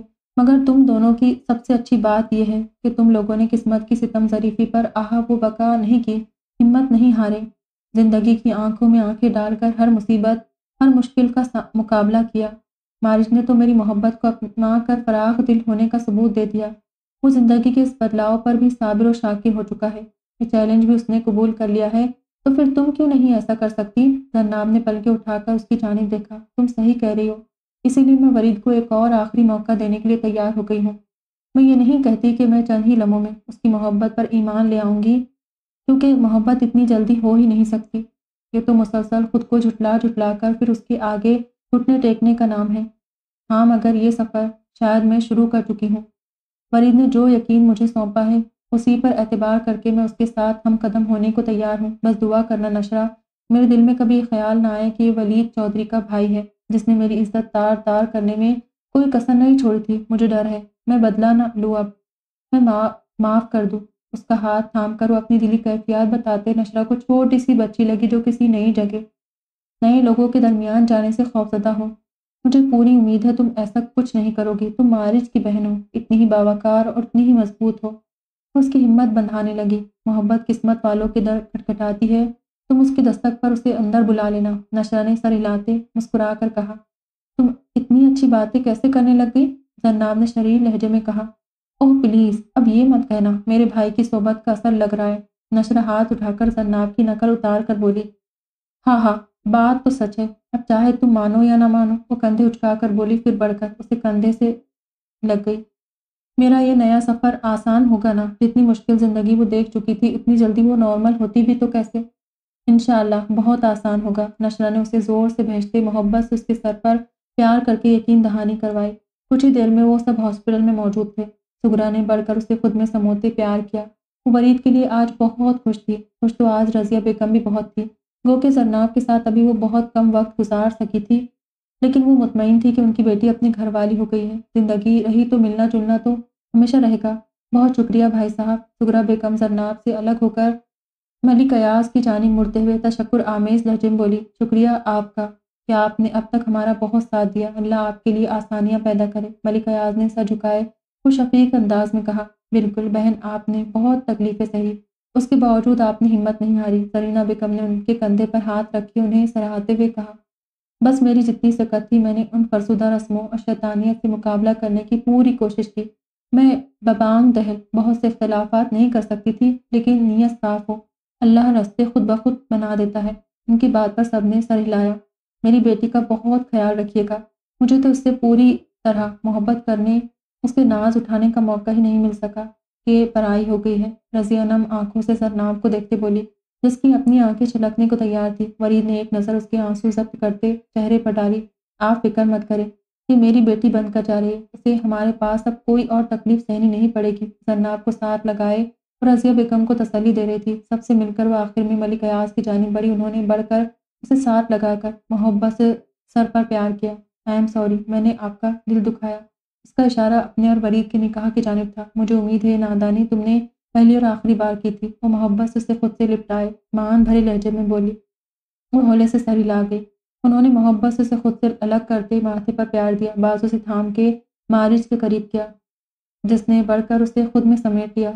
को यह गुना सुकून महसूस हुआ। उसे बाप याद नहीं था, मगर मारिश ने बाप से बढ़कर उसके लिए किया, तुम बहुत बहुत प्यारी हो मुझे। इस कदर मज़बूत होते भी वो इस्लाम में खुद को बेहद कमज़ोर महसूस कर रहा था। बेटियाँ और बहनें तो तवाना मर्द को भी कमज़ोर कर देती है। मारिज को अच्छी तरह इस बात का एहसास हुआ। उसकी सबसे बड़ी ताकत भी थी और उतनी ही बड़ी कमज़ोरी भी। मुझे हमेशा ऐसे ही चाहेंगे ना? उसके सीने से सर उठाकर उसके सवाल में अजीब सी आस थी। क्या तुम्हें पूछने की ज़रूरत है? तुम्हारी शादी करने का यह मकसद नहीं कि तुमसे नाता तोड़ लिया है, बल्कि तो अब और भी मज़बूत हो गया है। उसके चेहरे से आँसू साफ़ करते अपनी सुर्ख आँखों में मोहब्बत समोकर उसे यकीन दिलाया, आपसे भी माफ़ी मांगनी है। आपको भी बहुत बुरी तरह हर्ट किया है। उसकी बात पर एकदम मारिश की नज़रें सामने आँसू बहाती नशरा पर पड़ी। बस आइंदा कुछ भी छुपा कर मत करना। वो नहीं जानती थी उसकी गलती का खमियाजा किसी और ने भुगता था। खैर अपना ख्याल रखना। मैं और नशरा तो यही है। तुम्हारे पास आते जाते रहेंगे।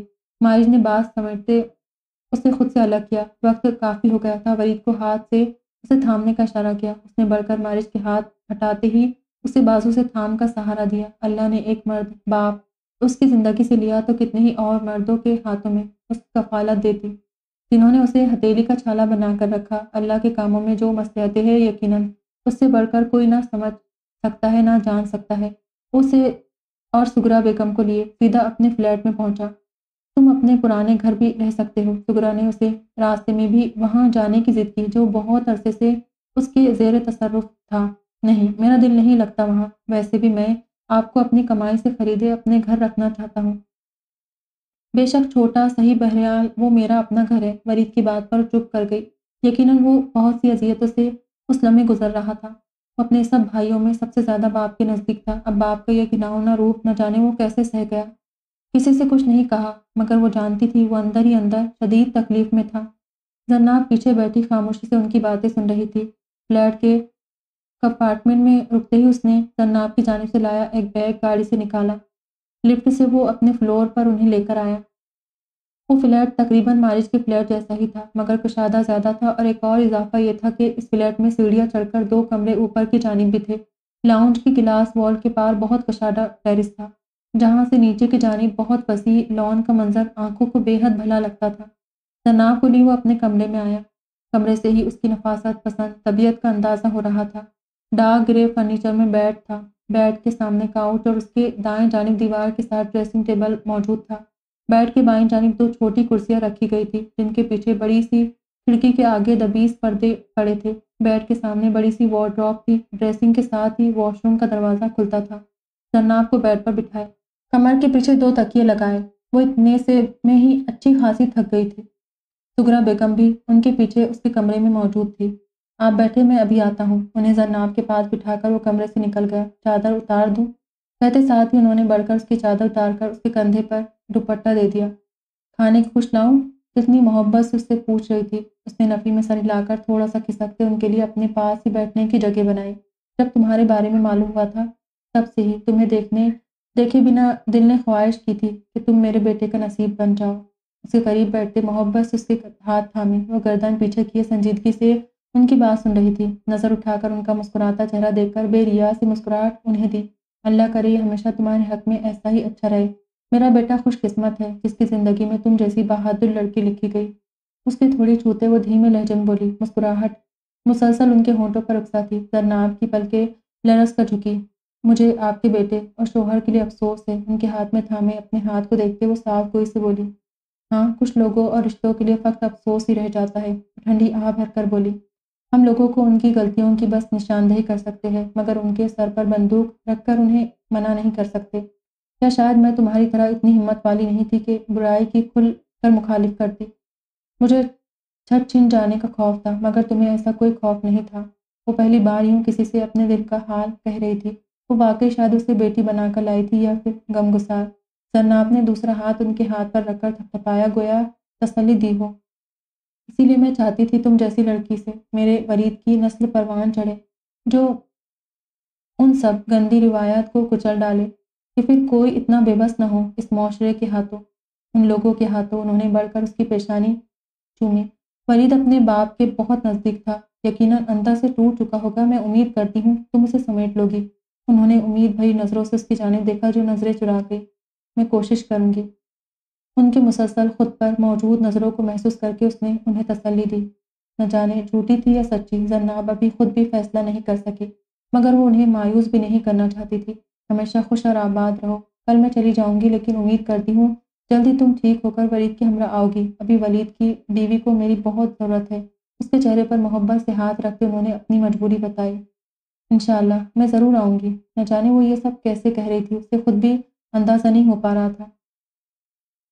रात में जिस वक्त वो कमरे में आया, वो कुछ देर पहले ही नींद पूरी करके उठी थी। इसी वक्त वॉशरूम जाना चाहती थी। सुगरा बेगम सारा वक्त उसके हमरा रही, इसीलिए वरीद कमरे में ज़्यादा देर के लिए नहीं आया था। उसे खाना देकर, दवाई देकर न जाने वो किन कामों में मसरूफ था। इस वक्त भी उसकी आवाज़ कमरे में आती खटपट से खुली। आँखें खोलकर सामने देखा, जहाँ वो अलमारी खोले अपने कपड़ों के साथ उसके कपड़े रख रहा था। जन्नाब को चंद पल के लिए ये सब बहुत अजीब और अनोखा लगा। कभी वहमो गुमान में भी नहीं सोचा था। वो उस शख्स के कमरे में, उसके घर में उसके बेड पर यूँ इस्तेकाक से लेटी होगी और वो उसकी चीज़ों को पूरे हक से हाथ लगा रहा होगा। बेड पर होती ससराहट पर उसने गर्दन मोड़ कर पीछे देखा, जहाँ वो एक बाजू पर ज़ोर देकर उठकर बैठती बेड के साथ टेक लगा रही थी। वरी तेज़ी से उसकी जानिब बढ़ने लगा। उसने फ़ौरन हाथ उठाकर उसे आगे आने से रोका। इतनी कमज़ोर नहीं हुई। थोड़ा बहुत तो हिल जुल सकती हूँ, सादे से लहजे में कहा। तुम कभी भी कमज़ोर नहीं थी। उसके जिगर जिगर करती नज़रों ने जरनाब को अपने हिसार में लिया। खुद पर मरकूज नज़रों को महसूस करते उसका हाथ ना महसूस अंदाज में अपने दुपट्टे की जानब गया। वरीद ने एकदम रुख मोड़कर बाकी का काम समेटा। अलमारी बंद करके बैठ के दूसरी जानब आकर उसके करीब बैठा। Thank you. तुमने मुझे एक मौका दिया। हकीकता उसका मशहूर था। मैंने हवेली से दो मुलाजमा बुलवा ली है। कल मेरे यूनी जाते ही वो तुम्हारे पास रहेंगे। उसके बिखरे बालों को माथे से पीछे करते हाथ से संवार रहा था। सरनाब का चेहरा उसके हाथों की बढ़ती हरकत से सुर्ख हो रहा था। वही हाथ उसके चेहरे पर ठहरा, मोहब्बत से उसकी पलकों, उसकी आँखों पर अंगूठा फेरा। मुझे यकीन ही नहीं आ रहा, तुम मेरे कमरे में, मेरे इतने करीब मौजूद हो। उसके जज्बात से चूर अल्फाज, उसके हाथों की गरमाइश, सब उसकी मोहब्बत की दावेदार थे। कुछ लोग खास होते हैं और कुछ खास और ख़ास होते हैं। तुम आखिरी वाली कैटेगरी में से हो। उसकी आवाज़ का बोझलपन बढ़ रहा था। जरनाब को अपने हवाल मुख्तल होते महसूस हुए, क्या मैं ऑनलाइन अपना सेमेस्टर पूरा कर सकती हूँ? उसका ध्यान हटाने के लिए उसे, आखिर उसे एक अलग ही मौजूद छेड़ना पड़ा। लम्बे भर के लिए चौंका, फिर उसके चेहरे पर फैली घबराहट को समझते मुबहम सा हंसा मिसेस जरनाब वरीद भी किसी के सामने बेबस हो सकती है। आज अंदाज़ा हुआ। उसकी जुमानी बात पर आखिर उसे वरीद का हाथ अपने हाथ चेहरे से झटकना पड़ा। अगर मैं मजामत नहीं कर रही तो इसका मतलब ये नहीं कि आप फैलते ही चले जाए। जो पूछा है, उसका जवाब दे और दबंग कड़क लहजा वरीद को खुलकर हंसने पर मजबूर कर गया। उसका हाथ छोड़कर, अब कि वो उसकी गोद में सर रख कर चुका था। सरनाब का मुँह हैरत की ज्यादती से खुल गया। फैलना इसको कहते मैडम। उसकी नाक होले से दबाते उसके तासरात का हिज लेते बोला। ऑनलाइन पढ़ने के बारे में मैं कल पता करूँगा। अगर तो इजाज़त मिल गई तो पिछला कवर करवा कर बाकी का सेमेस्टर पढ़ लेना। उसकी लंबी चोटी को थामे, उसके बालों से खेलने लगा। जरनाब उसकी बेतकल्लुफ़ों पर उसे घूर भी नहीं पा रही थी। कम वक्त ऐसी एक्सरे करती नज़रों से देखता था कि उसका चेहरा तमा उठता। आप इतने फ्रेंड किस खुशी में हो रहे हैं? उसकी जसारतों पर वो शदीद घबराहट का शिकार हो रही थी, वो कैसे उसे हटाए? फ्रैंक, मैं इसी खुशी में हो रहा हूँ कि माँ बदौलत आपके शोहर होते हैं। और शोहर इतना सा तो फ्रैंक हो ही सकता है ना? उसके हाथ को फिर से थामते हुए धीमे लहजे में बोलता उसकी इजाज़त तलब कर रहा था। अच्छा उठे मुझे नींद आ रही है। उसकी बात सुनकर उस पर हैरतों के पहाड़ टूटे। कितना सोना है तुमने लड़की? पिछले तीन घंटों से सो रही हो। अभी भी तुम्हारी नींद पूरी नहीं हुई? हैरत की ज़्यादती से उठ बैठा। जरनाब ने मुस्कुराहट दबाई। मुझे ज़रा चेक करने दो। कहीं तुम्हें दवाइयों की सूरत में भंग तो नहीं दे रहे? साइड टेबल से उसकी दवाइयों वाला शॉपर उठाकर नए सिरे से उसकी दवाइयाँ चेक करा था। उसकी बात पर जन्नाब खुलकर मुस्कुराई। ओह, आप हंसती भी हैं? दवाइयों से नज़र हटाकर उसकी जानब देखते मसनू हैरत का मुजाहरा किया। क्यों मुझे हंसना मना है? जन्नाब की हँसी को ब्रेक लगा, भवें सुकेड़ कर उसे देखा। बिल्कुल नहीं, मगर इतना कम हंसना मना है। उसका लहजा फिर शिद्दत समेट लाया, बढ़कर उसकी पेशानी पर मोहब्बत भरा लम्ब छोड़ा। पहले अपनी आँखों में कैद किया था, और आज हँसी में कैद कर लिया है। उसकी पोशोक नज़रें उसके चेहरे से हटने से इनकारी थी। जन्नाब ने नज़रें चुरा ली।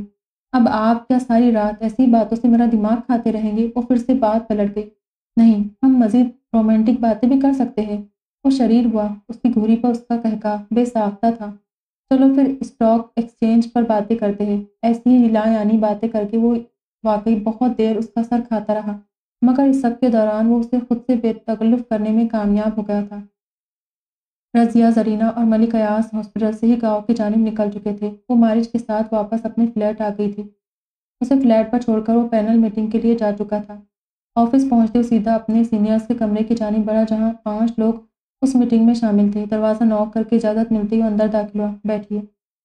उन्हें सल्यूट करते वो उन पाँच लोगों के सामने रखी, मेज़ के करीब रखी कुर्सियों में से एक की जानब बढ़ा आपका रिकॉर्ड बेहद शफाफ है। लेकिन क्या हम पूछ सकते हैं कि ऐसा क्या मामला था कि आपने अपने प्रोफेशन पर जज्बात को हावी आने दिया, वो कि इन सब के सामने उसकी हिस्ट्री फ़ाइल की सूरत मौजूद थी, उसके बावजूद वो उससे बयान लेना चाहते थे।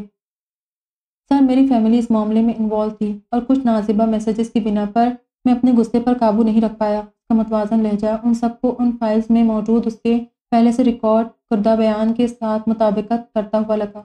आप जानते हैं, आपने अपने प्रोफेशन के चंद अहम रूल्स को तोड़ा है। सामने मौजूद एक सीनियर ने सवाल किया जी सर, मैं बहुत अच्छे से जानता हूँ, इसीलिए आज आपके सामने सच्चाई लिए पेश हुआ हूँ। इसका भारी शफाफ लहजा किसी किस्म के झूठ से पाक था, क्योंकि इस शख्स पर पहले से भी केसेस खुल चुके थे, लिहाजा एक मुलजिम को मारने की बदौलत आपकी सज़ा में सख्ती नहीं की गई। एक सीनियर की बात पर उसने महज सर हिलाने पर इतफा किया। आपको दो महीने के लिए सस्पेंड किया जा रहा है, लेकिन आपका नाम उन लोगों की लिस्ट में शामिल कर दिया गया है, जो दो बार ही ऐसी कोई भी गलती करेंगे तो उन्हें अपनी जॉब से हाथ धोने पड़ेंगे। कि ये आपके लिए पहली और आखिरी वार्निंग है कि अपने अहदे का इस्तेमाल किसी सूरत गलत नहीं करना। इस दैट क्लियर मारिस मलिक उन्होंने सभाओं से तमाम मामला समेटते अपना फैसला सुनाया, जो यकीनन वो पहले ही तरतीब दे चुके थे, लेकिन उसे सामने बैठाकर वार्निंग देना असल मकसद था। जी सर, मैं बहुत अच्छे से इस बात का अंदाज़ा कर चुका हूँ। और आपको उम्मीद दिलाता हूँ, मैं अब कभी कानून के तय करदा उसूलों को तोड़ने की गलती नहीं करूँगा। उसने पूरी तरह से उन्हें यकीन दिलाया। बहुत अच्छी बात है कि दोबारा ऐसे किसी सूरत हाल से आपको और हमें गुजरना न पड़े। पेपर पर साइन करते अपनी बात जारी रखे हुए थे। अब आप जा सकते उम्मीद है दो महीने बाद आप अपनी जिम्मेदारियाँ इसी तरह अंजाम देंगे, जैसा पहले देते रहे हैं। उनकी बात पर उसने फिर से सर हिलाया। अपनी सीट से उठकर उन्हें सल्यूट किया। आपके सस्पेंशन पेपर्स तैयार हो चुके हैं। आप उनको लेते हुए जाइएगा। उनकी बात पर उसने एक बार फिर सल्यूट करके कमरे से बाहर कदम बढ़ाए। उसकी वापसी रात तक हुई थी। खामोशी से खाना खाकर वो कमरे की जानी बढ़ गया। नशरा ने उसका मुजम्मल अंदाज बुरी तरह महसूस किया। वो यही समझी कि सस्पेंड होने की वजह से वो परेशान है। खाने के बर्तन धोकर किचन समेट कर तमाम दरवाजे चेक करके वो कमरे में आई, जहाँ मोबाइल हाथ में लिए न जाने क्या यकटुक देख रहा था।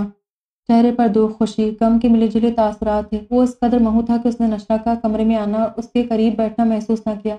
नशरा ने थोड़ा सा आगे जैसे ही उसके मोबाइल की स्क्रीन को देखा, वहाँ सरनाब की उनकी शादी पर ली गई एक तस्वीर जगमगा रही थी। नशरा को उसकी पसमर्दगी की वजह अब समझ आई। मोहब्बत से उसके कंधे पर हाथ रखा, वो चौंक गया। फिर मोबाइल बंद करके नशरा की जानी मुतवज हुआ। तुम किस कदर हिस्सास इंसान हो? अब पता चला, वरना तो पत्थर लगते थे। मज़े से उससे पर तबसरा कर रही थी। ये अंदाज़ा तो आपको बहुत पहले हो जाना चाहिए था। कमाल जब्त से अपने आँसू पीकर चेहरे पर मुस्कुराहट लिए, उसे मोहब्बत लुटाती नज़रों से देखा। मैं सिर्फ़ अपने हवाले से नहीं, हर रिश्ते के हवाले से कह रही हूँ, वैसे जरना बहुत खुश नसीब है। उसके कंधे पर सर रख के अंदाज अपनाया। खुश नसीब तो आप भी है। उसके कंधों के गिर्द बाजू का हिसार बाँध कर उसे कुछ और करीब किया। अच्छा मैं किस हवाले से उसे खुश नसीब कहने लगी थी? सर उठाकर उसकी जानब देख के सवाल किया, यही कि उसे मेरे जैसा भाई मिला और आपको मुझ जैसा शुहर दूसरा बाजू भी उसके गिरद लपेट कर उसकी खड़ी नाक को मोहब्बत से छुआ। बड़े खुश फहम हो। उसकी तरदीद के बिना मज़े से बोलती उसके मुस्कुराते लबों को देखा। वरीद उसका बहुत ख्याल रखेगा। तुम फ़िक्र मत करो, उसे तसली दी इन इस बंदे को परख ना चुका होता तो कभी जन्नाब को उसके साथ न भेजता। नशरा के घने बालों से ढके सर पर थोड़ी टिकायों से खुद में भेंट कर गोया अपने किसी शक को झटका। अच्छा एक बात बताओ। तुम्हें मैं सजी सोनी अच्छी लगती हुई सादगी में उसका ध्यान बटाया? वो भी खासा जहान दीदा था, फ़ौरन समझ गया, हंसकर उसे पीछे करके उसके चेहरे की जानब देखा। अब आप चाहती है मैं आपकी सच्ची झूठी तारीफें करूँ? लब दांतों में दबाए, शोक मुस्कुराहट रोकी। झूठी तारीफ़ करके तो दिखाओ। सच सच बताओ। वो मसनू खुबगी से बोली हम्म। उसे खुद से पीछे करते पुरसोच अंदाज में एक जानिब देखने लगा। इतना सोचना पड़ता है मेरी तारीफ़ करने के लिए। वो सदमे से बोली, उसकी हालत पर वो खुलकर मुस्कुराया। आप सच में, मुझे हर रूप में अच्छी लगती है, लेकिन जब सजती संवरती है तो क्या ही बात है। वो साफ़ गोई से बोला, लेकिन वो रूप कभी कभी वरना रोज सजा संवरा देखकर, मैं आपकी असल शक्ल भूल जाऊँगा। इससे पहले कि अपनी तारीफ़ पर खुश होती, उसने फ़ौरन से उसे खुशकुन ख्यालों से बाहर ला पटका। तुम ना, कभी ढंग से मेरी तारीफ़ ना करना। ऐसी बात करोगे कि सारी खुशफहमी को आग लग जाए। अपने कंधों से उसके हाथ झटक मुँह बनाकर बोली, उसकी नाराज़गी पे वो एक बार फिर उसके गिर्द हिसार बाँध गया। मैं तो दिन रात आपकी तारीफ़ करने को तैयार हूँ, लेकिन वो क्या है कि अमलन, तारीफ़ में ज़्यादा पसंद है मुझे। लेकिन आप उस पर ऐसी हवास बागता होती है कि मजबूरन, मुझे अपनी तारीफ़ पे बंद बांधने पड़ते हैं। उसके कान में सरगोशी के अंदाज में रस उमरेलता वो वाकई इस लम्हे, उसे हवास बागता कर गया। तुम तुम तुम, बस फजूलियात पर उतर आया करो। बात मेरी तारीफ़ की हो रही थी। उसकी लो देती नज़रें उसके चेहरे की सुर्खी बढ़ा रही थी। नज़रें चुराते उसके हिसाब से निकलने की कोशिश की। मैं भी तारीफ़ की ही बात कर रहा था। वो खुमार आरूर लहजे में कहता, उस पर पूरी तरह छा चुका था। आज मुझे आपकी मोहब्बत को पूरी तरह महसूस करने दे। नरमी से उसे थामे नशरा उसकी फरमाइश पर बोखला गई। मारिच, उसने सहम का उसकी शिद्दतें लुटाते अंदाज को देखा। क्या हम सारी उम्र एक दूसरे से अपने एहसास छुपाते ही रह जाएँगे? इस मोहब्बत को दुआम बख्श दे। उसका बोझल लहजा, मोहब्बत भरे लम्स नशरा को मोहब्बत के इस नए सफ़र पर ले जाने को तैयार थे। अपनी सांसों को शुमार करते उसने आहिस्ता से उसके कंधे पर सर रखते गोया उसे अपना आप सौंप दिया। माइज ने मुस्कुराते, किसी कांच की गुड़िया की तरह उसे खुद में समेट लिया। और आखिर आज अपने तमाम जुराइम कबूल करने के बाद फैसला सुनने के लिए वो कमरे अदालत में मौजूद था।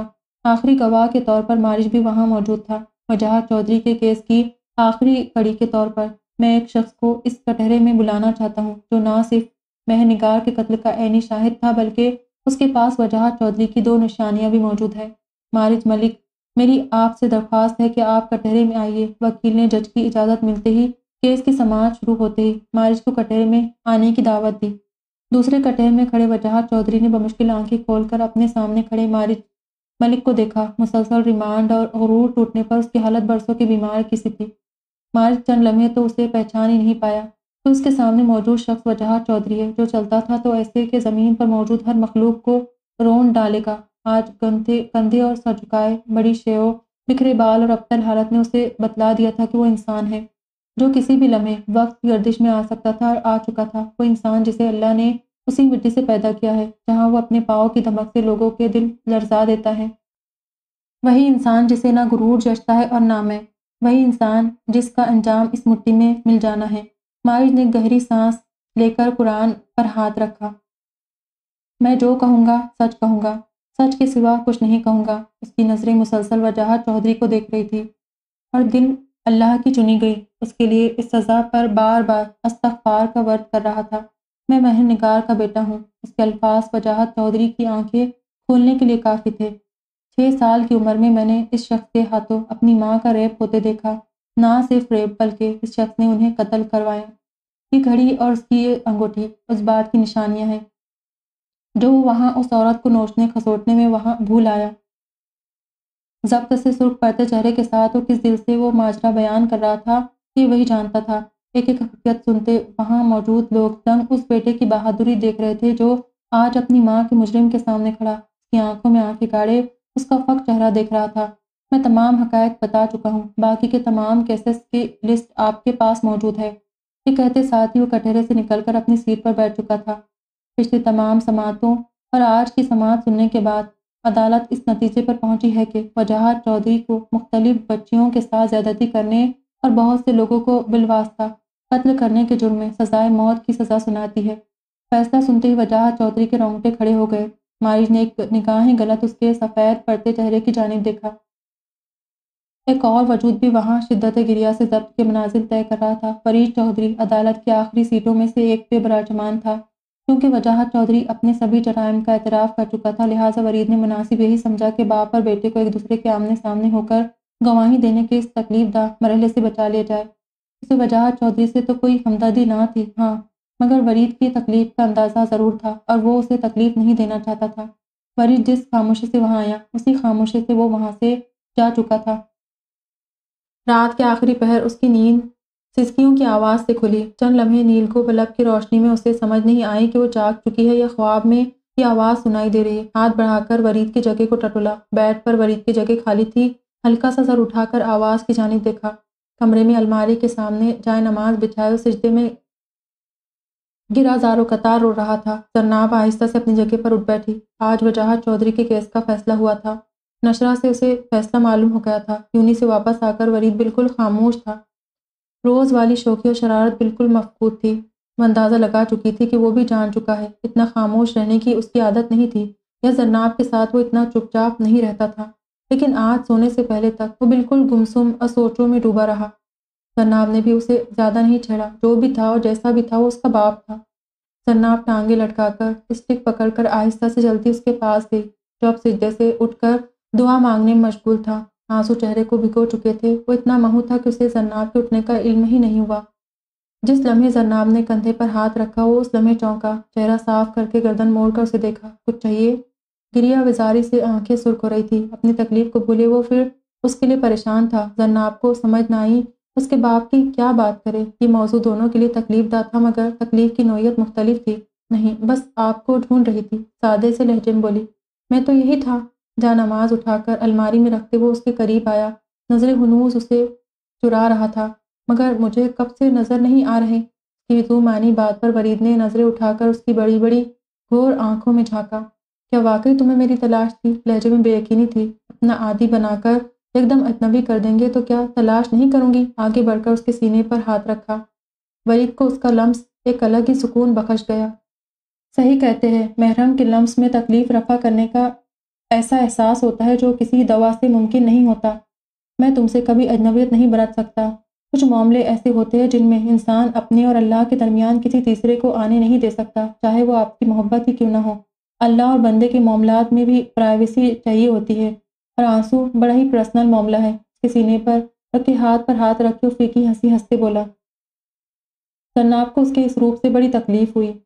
कुछ लोगों की मोहब्बत के, उनके हँसते खिलते चेहरे के, आप ऐसे आदि हो जाते हैं कि उनकी गमजदा हालत शदीद, बेचैनी से दो चार करती है। जन्नाब को भी ऐसी ही बेचैनी ने अपने लपेट में ले लिया। अगर आप समझते हैं तो अपनी परेशानी मुझसे भी शेयर कर सकते हैं। उसे अंदाज़ा नहीं था वो उसे अपने रिश्ते का मान बख्श रही थी। कभी कभी हम चाहते हुए भी किसी बहुत अपने को परेशान नहीं कर सकते। वह अपने लिए ही हो। उसे नरमी से अपने सार लगाए अपना गम गलत करने की कोशिश कर रहा था। वो आपके वालिद के कुछ कहने से पहले वरीद ने उसके मुँह पर अपना हाथ रखकर उसको वहीं रोक दिया। मेरे और अपने दरमियान किसी ऐसे शख्स को मत लाना कभी जिसके ज़िक्र पर मुझे तुम्हारे सामने शर्मिंदगी महसूस हो। मेरा जो ताल्लुक जिसके साथ था, वो सब तुमसे डिस्कस करने की मुझे ज़रूरत नहीं।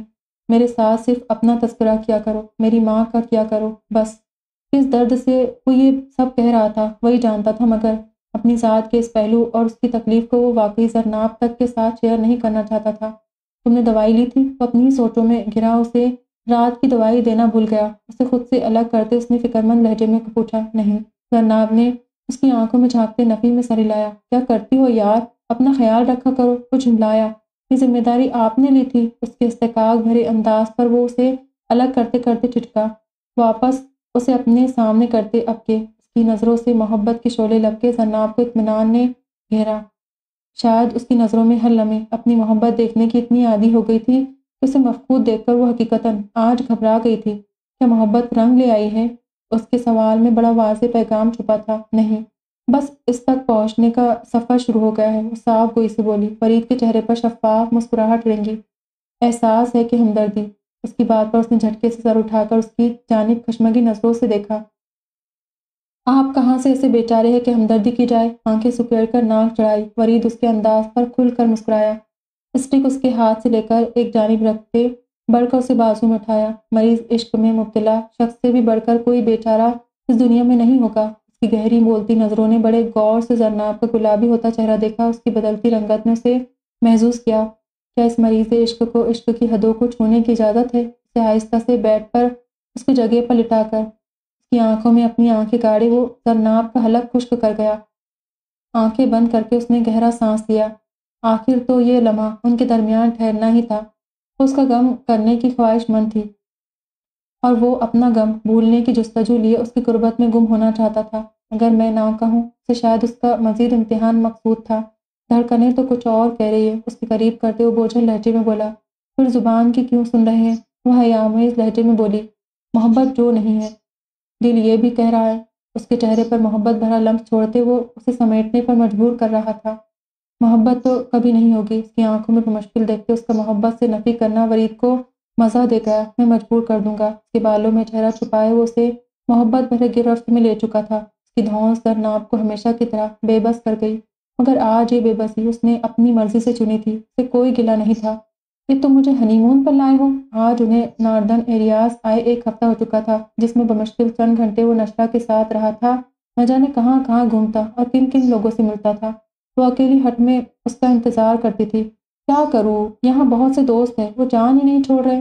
इसकी दुहाइयों पे आज का सारा दिन उसके साथ रहा था, मगर सारा दिन सिर्फ़ ताने ही सुनता रहा।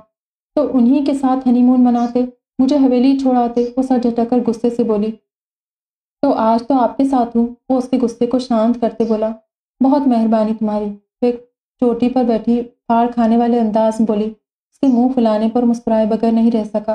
अच्छा वो सामने पहाड़ पर चलना है, एक जाने इशारा करके बोला, मुझसे इतनी बर्फ़ में चला नहीं जा रहा? सर्दी से सुर्ख होती नाक सुकेड़ कर बोली तो मेरा हाथ पकड़ेंगी तो चला जाएगा ना? गुस्सा वापस जाकर कर लेना। अभी इर्द गिर्द को एंजॉय करे। उसका हाथ थाम कर वो उसे बर्फ़ से ढकी चोटियों पर लिए आगे बढ़ गया। मुझे गिराया ना तो अच्छा नहीं होगा। वो उसे मशकूक नज़रों से देखकर बोली, कभी गिरने दिया है? मोहब्बत से उसे साथ लगाया। आह, देखा? वो जो बेध्यानी में उसकी जाने थी, गिरते गिरते बची। तुम भी ये रोमांस वापस जाकर करना। अभी इर्द गिर्द को एंजॉय करने दो। के बाजू पर हाथ मारते हुए उसी के अंदाज में बोली, पता है जो किसी की बात की नकल उतारता है, वो कौन होता है? शरारती लहजे में बोला, जानता था, वो तब जाएगी। वो तुम होते हो, बंदर कह के। वो हसबे सबक चिड़ चुकी थी। इतने दिनों का गुस्सा बुलाए वो उस पर चढ़ दौड़ी थी। झुककर बर्फ़ का गोला बनाकर उसकी जानी उछाला छह साल बाद। एक तो मुझे तुम्हारी इस लॉजिक की समझ नहीं आती। वो इस वक्त घर की वीरानी से उकताई उससे उलझ रही थी, जो मज़े से मुँह भी लगाए, उसे साथ लिए, सोफे पर बैठा। इस तनहाई और मनपसंद साथी का साथ एंजॉय कर रहा था। जब बूढ़ी हो जाएगी, तब मेरी इन लॉजिक को याद करेगी। उसके बालों में हाथ फेरता वो उसकी चुनलाहट का मज़ा ले रहा था। पिछले तीन सालों से वो दोनों एक वीकेंड बच्चों को हवेली भेज देते थे और वो वीकेंड मारिज का अपनी प्यारी बीवी के साथ अकेले घर में गुजरता था। इस वीकेंड वो अपने और नशरा के दरमियान किसी तीसरे को बर्दाश्त नहीं करता था। चाहे वो उसकी पाँच साल प्यारी बेटी राहिमा मारिश थी या तीन साल बेटा शेरदिल मारिश था।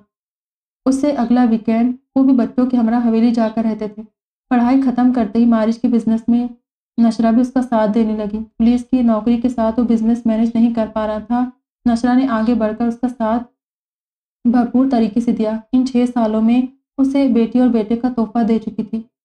हर गुजरता दिन उसकी मोहब्बत में इजाफा कर रहा था। आपकी मोहब्बत कम हो गई है, वो मुँह बनाकर बोला, जी नहीं, ये तकसीम हो गई है। और मोहब्बत की तकसीम में फिर भी सबसे ज़्यादा हिस्सा तुम्हारा ही निकलता है। मज़े से उसकी गोद में मौजूद पॉपकॉर्न के बाउल से पॉपकॉर्न खाते बोली, उसे मज़ीद तकसीम होना चाहिए। गहरी नज़रों के मफहूम पर नशरा ने घूर कर उसे देखा, चुप करो, बच्चे दो ही अच्छे।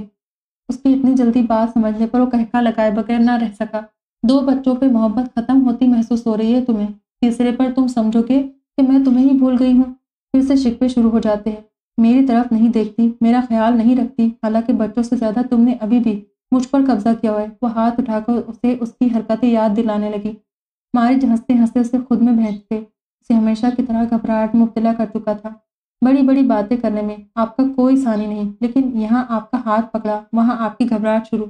उसकी हालत से हिज उठाते बोला हाँ तो तुम इंसानों की तरह बात सुना करो ना? वो फासला कायम करने की नाकाम कोशिश करने लगी। अच्छा मैं जानवरों की तरह सुनता हूँ।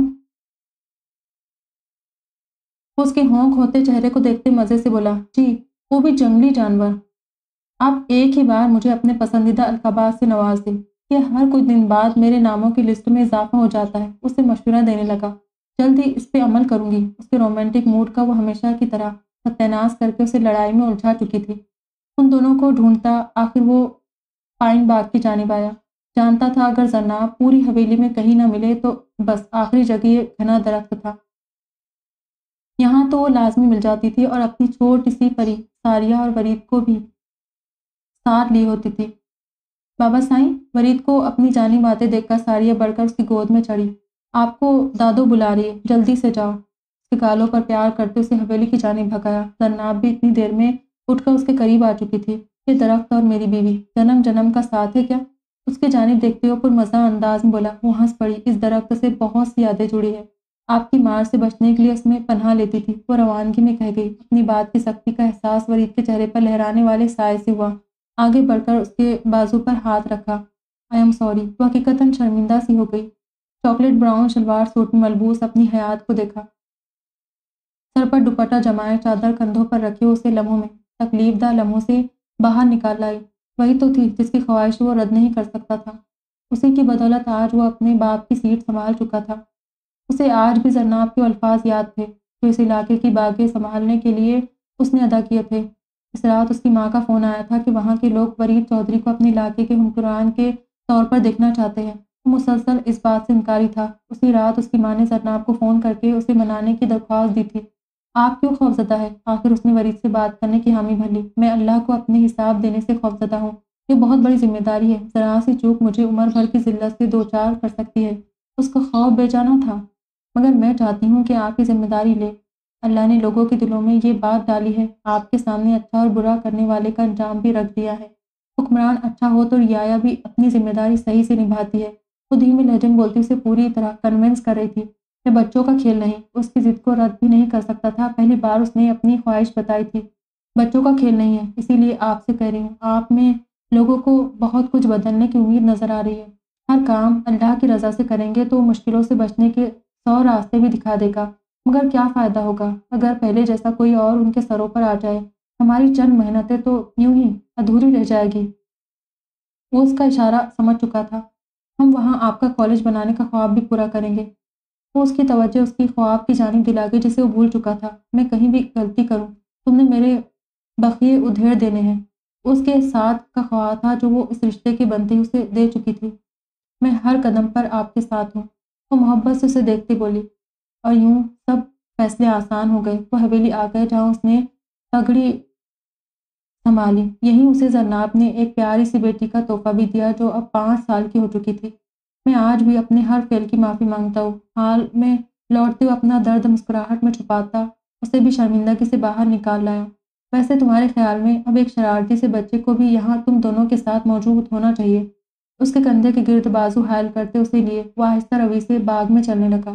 पहले इस बच्चे को तो पूरी तरह पाल लूँ, उसकी जाने इशारा करते हुए बोली, ये भी साथ साथ पल जाएगा, वैसे तुम्हें मोहब्बत हो गई है ना? उसके कंधे पर हाथ का दबाव डालकर, सवाल किया, किसने ये बेपर की उड़ाई है? वो मसनू हैरत से बोली, तुम्हारे दिल ने, रोज़ रात को सोने से पहले ये मुझे तुम्हारे दिल का सब हाल सुनाता है। वो मज़े से उसकी हैरत ज़्यादा चेहरे को देख रहा था। मेरा दिल अभी नाफरमान नहीं हुआ। इधर उधर मेरे दिल का हाल सुनाता फिरे। वो चेहरा उठाकर पूरी यकीन लहजे में बोली, क्या ये तुम्हारे पास है? उसके अल्फाज जरनाब को हमेशा की तरह उलझा रहे थे मोहब्बत का इजहार करने के लिए। जी बड़े तमतराग से अपनी जगह पर मौजूद है। वो भी जरनाब थी। यानी मोहब्बत नहीं हुई? वो मायूसी से सर हिला कर बोला, बिल्कुल भी नहीं। वो भी मज़े से इनकारी हुई। तुम्हारे दिल का क़यामत वाले दिन अलग से हिसाब होगा। वो धमकी आमेज लहजे में बोला।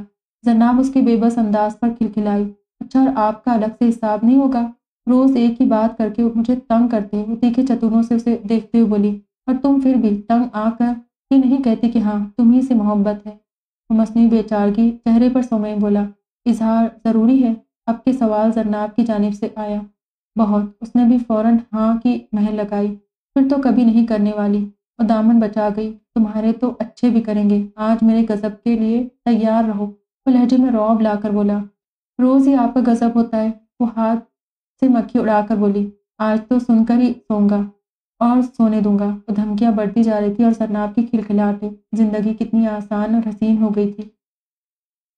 क्या ही अच्छा हो, सब लोग इन किरदारों की तरह लोगों की ज़िंदगियों में आसानी लाने का सबब बने।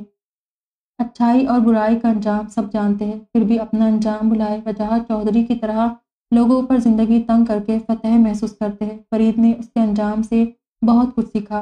और यही वजह है कि आज उसके इलाके में सुकून भी है और इतमान भी, क्योंकि हर रात सोने से पहले वो अपना एहतसाब खुद करता है।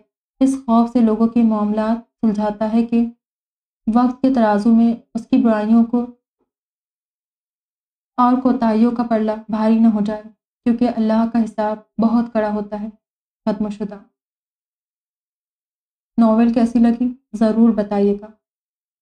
और इस नावल में, पढ़ने में मुझसे जो भी जल्दी जल्दी पढ़ने के चक्कर में जो भी गलती हुई होगी, उसके लिए माफ़ी चाहती हूँ।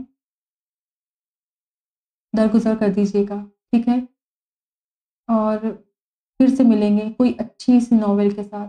खुदा हाफिज़, दुआओं में याद रखिएगा।